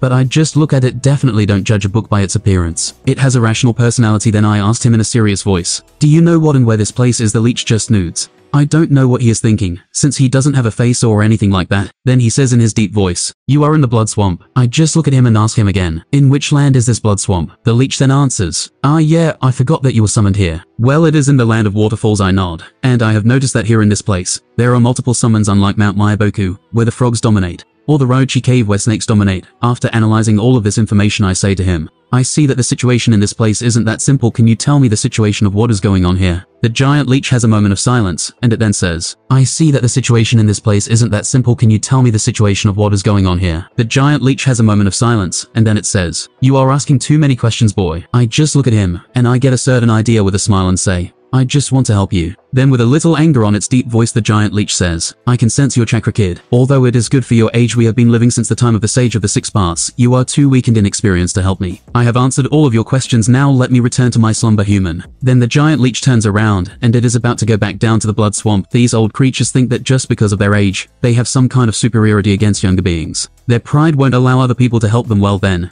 I guess only showing my power can change his mind well. I could probably coax him into it if I stay here for a week, but that is just a waste of time, and I don't like wasting time. And what is the use of power if you don't use it? Then my face immediately goes cold and emotionless. I start releasing dark chakra all around me forming a tornado of darkness with me in the middle of it. The leech senses this and turns around to look towards me then, with a nonchalant voice I say to him, anyone who uses their age to display some type of non-existent power is truly pathetic if you are as old as you say, and this is all of the minuscule strength that you have. Then you should be ashamed to tell other people your age. All this shows is that in the thousands of years of your life, you never really achieved anything significant. As soon as it hears this the leech doesn't say anything but it starts producing crazy amounts of negative emotions then poof, on my shoulder blade appears a third mechanical arm, which I use to fuel my dark chakra reserve with the help of the zero tails sealed inside it. I appear at the top of the leech, and I punch down splatter then all of the leech parts are dispersed. As I am falling down I just extend some chakra strings from my back and go to a tree and stick to it sideways. The punch definitely wasn't strong enough to blast him to smithereens like that, plus I can still sense his dark emotions. So that means that he is still alive, so this old guy truly had some tricks up his sleeve. Then I sense malicious intent behind me Fwash. I immediately dodge and appear behind my attacker. It was a miniature version of the leech. I just look at it with my Sharingan actively recording everything that just happened. I just kick the leech and its body pops like a balloon with blood flying everywhere then all of the body parts and blood of the giant leech flows together like a tornado and the leech is now fully formed back to his full size. He is kind of weak, but his regeneration ability is quite good then. As soon as the giant leech was fully formed, it was ready about to spit something at me. I immediately clasped my hands together. Then five small yellow orbs with skinny tails emerge from between my clasped hands and move above my head before forming a circle of five. Then I raise my clasped hands above my head and I slam them downward, sending the orbs into the ground. As a bright light is generated in the sky above the leech, five tall and thick pillars, which are connected to each other by chains, pin the giant to the ground. Boom, the leech is pinned to the ground, and then it starts to disassemble its body. I make another hand sign. I summon six then, wide beams of light that slam into the leech's midsection, holding him in place. Then it stopped moving at all as if paralyzed. The leech becomes unable to move any part of their body, including the parts that were not struck by the beams. Dealing with a regenerative opponent is easy. You either obliterate them completely which I won't do yet. Since I don't want to kill this leech, the other method is sealing, which I am quite proficient at. I am sure that I am the best Sue. Master currently alive even better than Kushina or any Uzumaki I already know all of the Uzumaki seals, and have even started creating my own, usually to combine with Dark Chakra yeah. I look at the giant leech, I should try that new sealing technique, since the leech has such a strong regeneration even if anything goes wrong. It probably won't die then I point both of my hands towards the giant leech I create 8 black holes that emit dark chakra in the personal space surrounding the leech, with a ninth black hole manifesting in the center of the leech's body Fuumwo. I can feel as if gravity is holding the leech in place. This is pretty good anyway. Then I get close to the leech and say to it with a cold voice, ready to talk now. The leech doesn't say anything for a couple of seconds, and then in a defeated voice it says, this place the blood swamp is a place where numerous summons exist from birds, alligators and many more. But there are three powers that rule the others one of them is me the Leech Sage. Then they're the Bat Summons with their leader the Bat Sage. They currently have the advantage because they have the numbers advantage. And the last major power in this swamp is the Mosquito Sage. Then he keeps explaining the dynamics amongst the smaller summon clans in the Blood Swamp. Alligators and flies and dragonflies are at all-out war against each other. Pretty much this place is a blood swamp, and the blood running through the swamp is real blood from the countless giant summons that die here. Then I ask him another question with a nonchalant voice. So now, Tell me everything that you know about Leech Senjutsu quote then, as he is about to answer me I interrupt him, also lying to me isn't a good idea. As soon as the Leech heard me say that he stopped the lie that he was about to say even if his physiology is different from humans. I already have memorized his patterns of when he lies and does different things with my Sharingan. Then it continues saying in its deep voice, the Leech Sage mode works like any other Senjutsu. I will just use some of my mucus on you, to help you sense the natural energy, and dash I don't even listen to him anymore he is still hiding things from me. I guess some old monster like him might underestimate my ability to notice him lying really old creatures who are above 100 years old, and are simply just strong I mean I'm a patient man, and like to plan things slowly and carefully but if they haven't already become the strongest, being in existence by that time or if they stop searching for a higher level of power for themselves, and get too comfortable in their position, is just simply trash. They will simply be overtaken by someone with a higher ambition. That is how the world works then, after the leech finished talking. I just looked at it and said, your age has really rusted your brains, Leech. I just clasp my hands together, and a blue ball comes out of them, and it floats above my head. Then my jutsu ignites at a single point above my head, blue energy extends upward to four points, and forms an inverted pyramid, which solidifies into a barrier around me. This should keep any outside forces from interfering. Then I make another hand sign and the pillars start flashing. And I summon some black chakra from my mechanical arm. After that I make a ball of chakra in my hand, and use the dark chakra to corrupt it, and I also use some Fuinjutsu on it. Sorry little leech. But it seems like you have to go I then throw the ball towards the leech, and it gets absorbed by it then after 2 minutes the dark chakra ball comes out of the leech, and now it has a dark red color, as then I make a small seal on my abdominal muscles and store it in there. The leech then says something. Who am I? I just smile at it and touch it with my right hand, and then I pull up my shirt and draw a circle with Fuinjutsu all around it, and a spiral in the middle of the seal. I make sure to not connect it with my life force, and such things and more correctly, the seal is not on my body, but on my skin. Then I touch the restrained leech, and then with my other hand I touch my seal. Who are you? Ash the Leech asked confused before. It was sealed on my skin what I did was steal its memories, and I am pretty sure that torture against millennium-old creatures like them is ineffective. So I took its memories and sealed its body. I didn't absorb his memories, since only dumb people absorb another person's memories. That is like asking for the memories to take you over, especially this leech who has thousands of years of memories. It will definitely be able to take over if it absorbs my memories. Then I slowly use a seal to review the memories in my brain like a movie with my Sharingan one hour later. Holy shit, I know he was hiding something, but for it to be this big. I thought he was hiding something. But this is good he has some memories of meeting different summons, and all that but his most important memory for me is that the leech sage which I learned from his memories is named Hiru. The sage mode of leeches could also be used in a synthesis way the leech fuses with his summoner and the leech draws in nature chakra while the user concentrates on. Fighting this is amazing I just have to force Hiru who now has no memories to just gather nature chakra. But I will also need to invent another seal like the seal of 100 strengths that I learned from Tsunade. But this time it will just make it to store nature chakra it shouldn't be too hard especially with the leech doing the accumulation of nature chakra. But first I will just keep them on me, and then I will make this thing work after I return to my lab. Also I won't sign the summoning scroll of the leech summon, since the leech is sealed on me and its summoning scroll is inside his stomach anyway.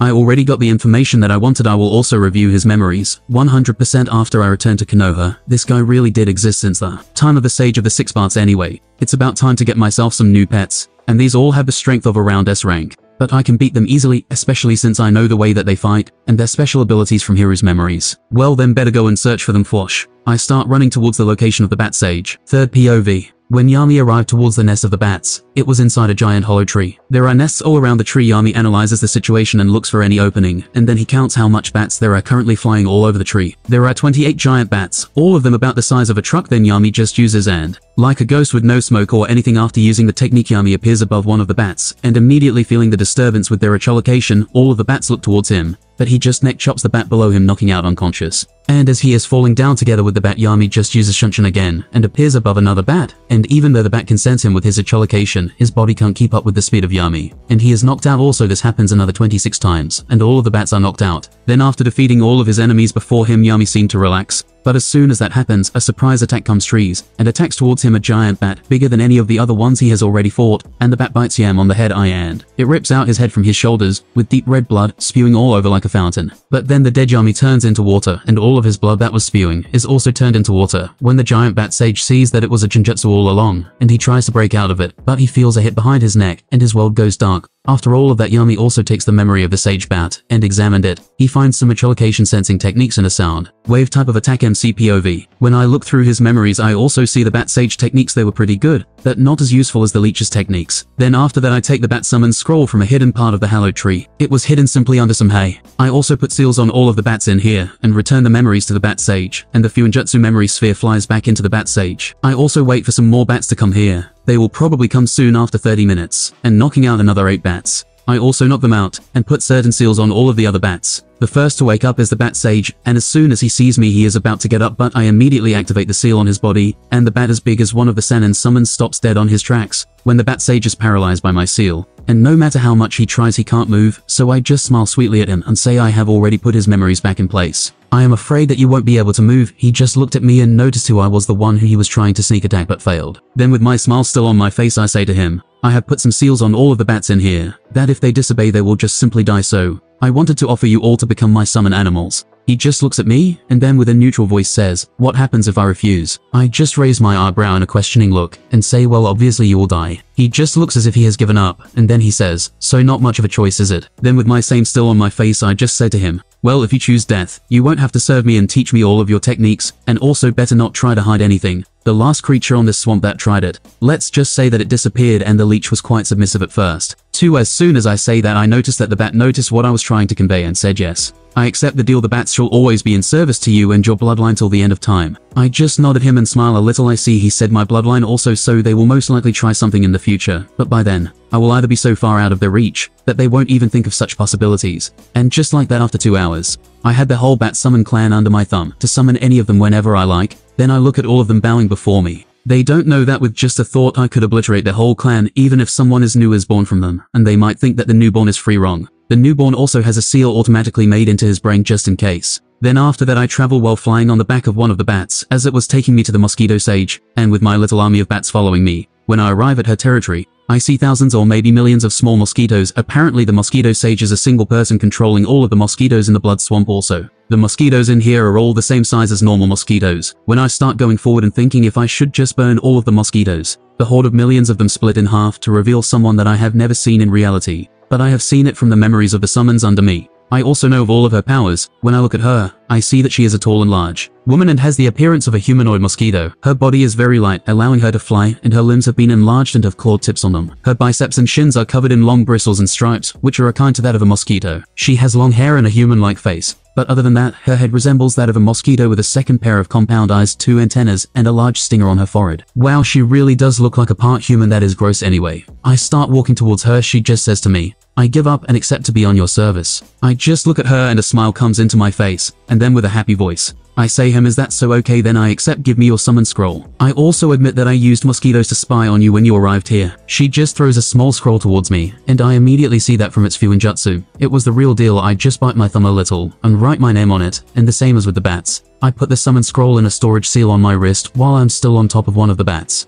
I just look at them and smile at them all. While saying so the blood swamp is now under me also bats get every other summon creatures here I will be signing some more summon contracts. Then I jump off the bat that I was flying on, and with perfect equilibrium, I stand on a tree sideways, and then I point towards the mosquito lady and say to her, You will be teaching and explaining to me Sage Mode time skip 1 years later slash MCH14. Kakuzu POV. When I enter the bounty building on the land of fire, I have a ninja on my shoulder some Jounin from Kumogakure, even though the second ninja war was over, there wasn't a definite winner, and in all of the lands, there are skirmishes happening between the elemental nations, which is good for me. Since I can catch ninjas like this guy, and earn some money around 3 million here and 4 there it all adds up, so that is pretty good. Then when I am inside the bathroom I open the door when I use the sink and go into an underground room. There I see an empty room like usual and go towards one of the corners, and when I push a part of the wall, it opens up like a window with a guy coming out. When he sees me he smiles, and his eyes brighten a little when I notice this I immediately say, Bradley you haven't gotten any bright ideas about the bounty on my head have you? Immediately as soon as I say that Bradley puts his hands up and says, No no no no I was just excited to see you. I just look at him with an intense stare, as soon as he says anything suspicious I will kill him living as a rogue ninja, and letting anyone have bright ideas isn't a good thing. So I with a threatening voice I say to him, And why would you be exited? He takes the body and gives me the money. Then he says well someone came asking for an assassination on a certain individual from Konoha. I just look at him I have known Bradley for a long time like three years. He has this weird habit of his, that seems like he is about to almost get to the main point.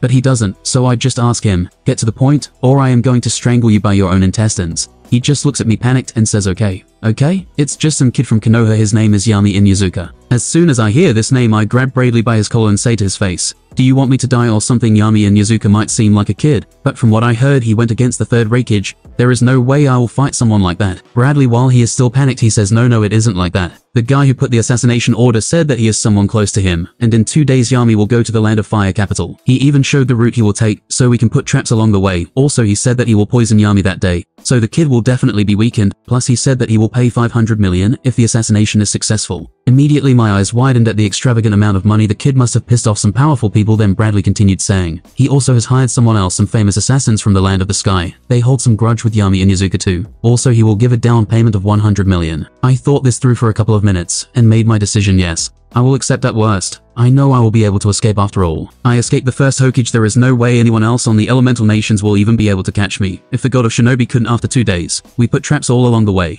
And when I look at my partners in this assassination, I can't help but feel the chances of success rising. They both have a pretty good amount of chakra. They look like a man in his 40s with long blonde hair and a muscular build, while the other is an old man with a mustache and short silver hair. I haven't heard of them except from Bradley but even though Bradley is a greedy shit, he can still be trusted to have important information after the assassination. I was planning to kill them and take their part of the reward, but it's better to keep things to myself and not do that those guys have a dangerous vibe then. After a couple of hours of us hiding a kid who is pretty tall for his age with spiky black hair and black eyes Yami Inuzuka is here. Also I see that he seems to be breathing hard for a ninja like him to do that it means he is already poisoned from our contractor. Then Yami stops leaning against a tree, and he is sweating like crazy. Coffee coughs into his hand, and Yami Inuzuka sees that it is blood his eyes widen and immediately as soon as I see that now, I decided to attack him immediately. Still Kakuzu's POV. Then immediately I attacked Yami Inuzuka when he turned around. He had a strange smile on his face that sent shivers down my spine my heart felt cold. I could immediately sense that something is wrong suddenly I felt darkness claim me as I fell down on the ground W what? Am I going to die like this am I Kakuzu the ninja?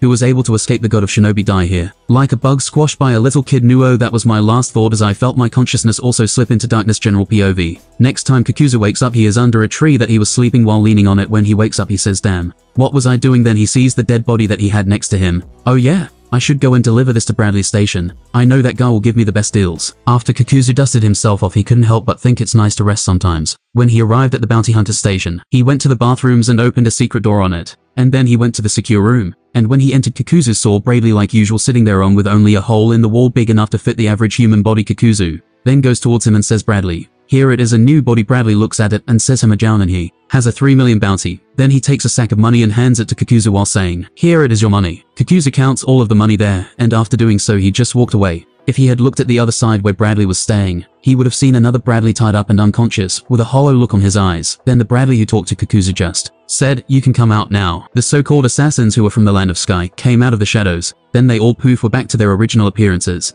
They were all shadow clones of Yami Inuzuka one of them, then pulls out a sealed memory, and puts it into the real Bradley's head. That was in case someone ever investigated this thing, and Bradley now has the memories of. Really he himself doing the transaction with Kakuzu then they untied him. Then they all poof dispel themselves, Yami POV, I come back to Konoha through the Soa system, and then I stealthily make my way towards the Inuzuka clan compound. I saw my clone just chilling and drinking green tea. When my clone sensed me he went to the bathroom, and I went there too. Then we changed places when he dispelled himself. I have to be careful inside Konoha a lot of spies watching me the Nara seem to have taken an interest in me. They are dangerously smart better teach them that curiosity killed the cat. It would be a shame for the same to happen to them. Then I go to the garden and sit down on my chair and drink the tea that my clone was drinking. After taking a sip of it salty tea, tastes horrible, but I kind of like it I can't help but remember how easy it was for me to defeat Kakuzu. Just one bat sage genjutsu scream, and it was over, and I even planned so much, and even had two of my clones act as assassins to backstab him. I guess sometimes I forget how strong I have gotten. I have always compared my strength with monsters like Kaguya or Ten Tails Madara I will always keep doing that. But then I pull out a small vial with black slithering goo inside of it Earth Grudge Fear a dream to immortality at last time. Skip one years later slash MCH15. I am currently inside my laboratory. I can't help but laugh like a maniac ha ha ha ha. Yes, finally. I just look at my hand then Forsh I used and cut off my hand when it falls in the ground. There is blood all around it. Then with a mental command from me from my stump, or more specifically from inside my bones black tendrils come out, and also from my cut off hand, black tendrils come out, and then they connect together, and my hand comes back into my arm and I heal it perfectly like there. Is no problem I can use this to extend my lifespan indefinitely and repair and revitalize my organs, even when they get thousands of years old I have combined it with the earth grudge fear, with the dead bone pulse, to create a metally strong bones that can have the properties to be as strong as metal and as flowing as water whenever I want them, and I still have my fleshy body with blood and all. That plus now I can remotely control every single part of my body manually. If I want I will never need to train, and my body will always and forever remain. Yes, I finally reached immortality I reached my dream to immortality then, an uncontrollable maniacal smile appeared on my face, while thinking, but I want Mariu. And that concludes this episode. If you enjoyed it, I'd seriously love it if you guys could leave a like on the video as it genuinely helps out so much, and it keeps me going, plus it takes only one second. That said, have a wonderful day. See you in the next one.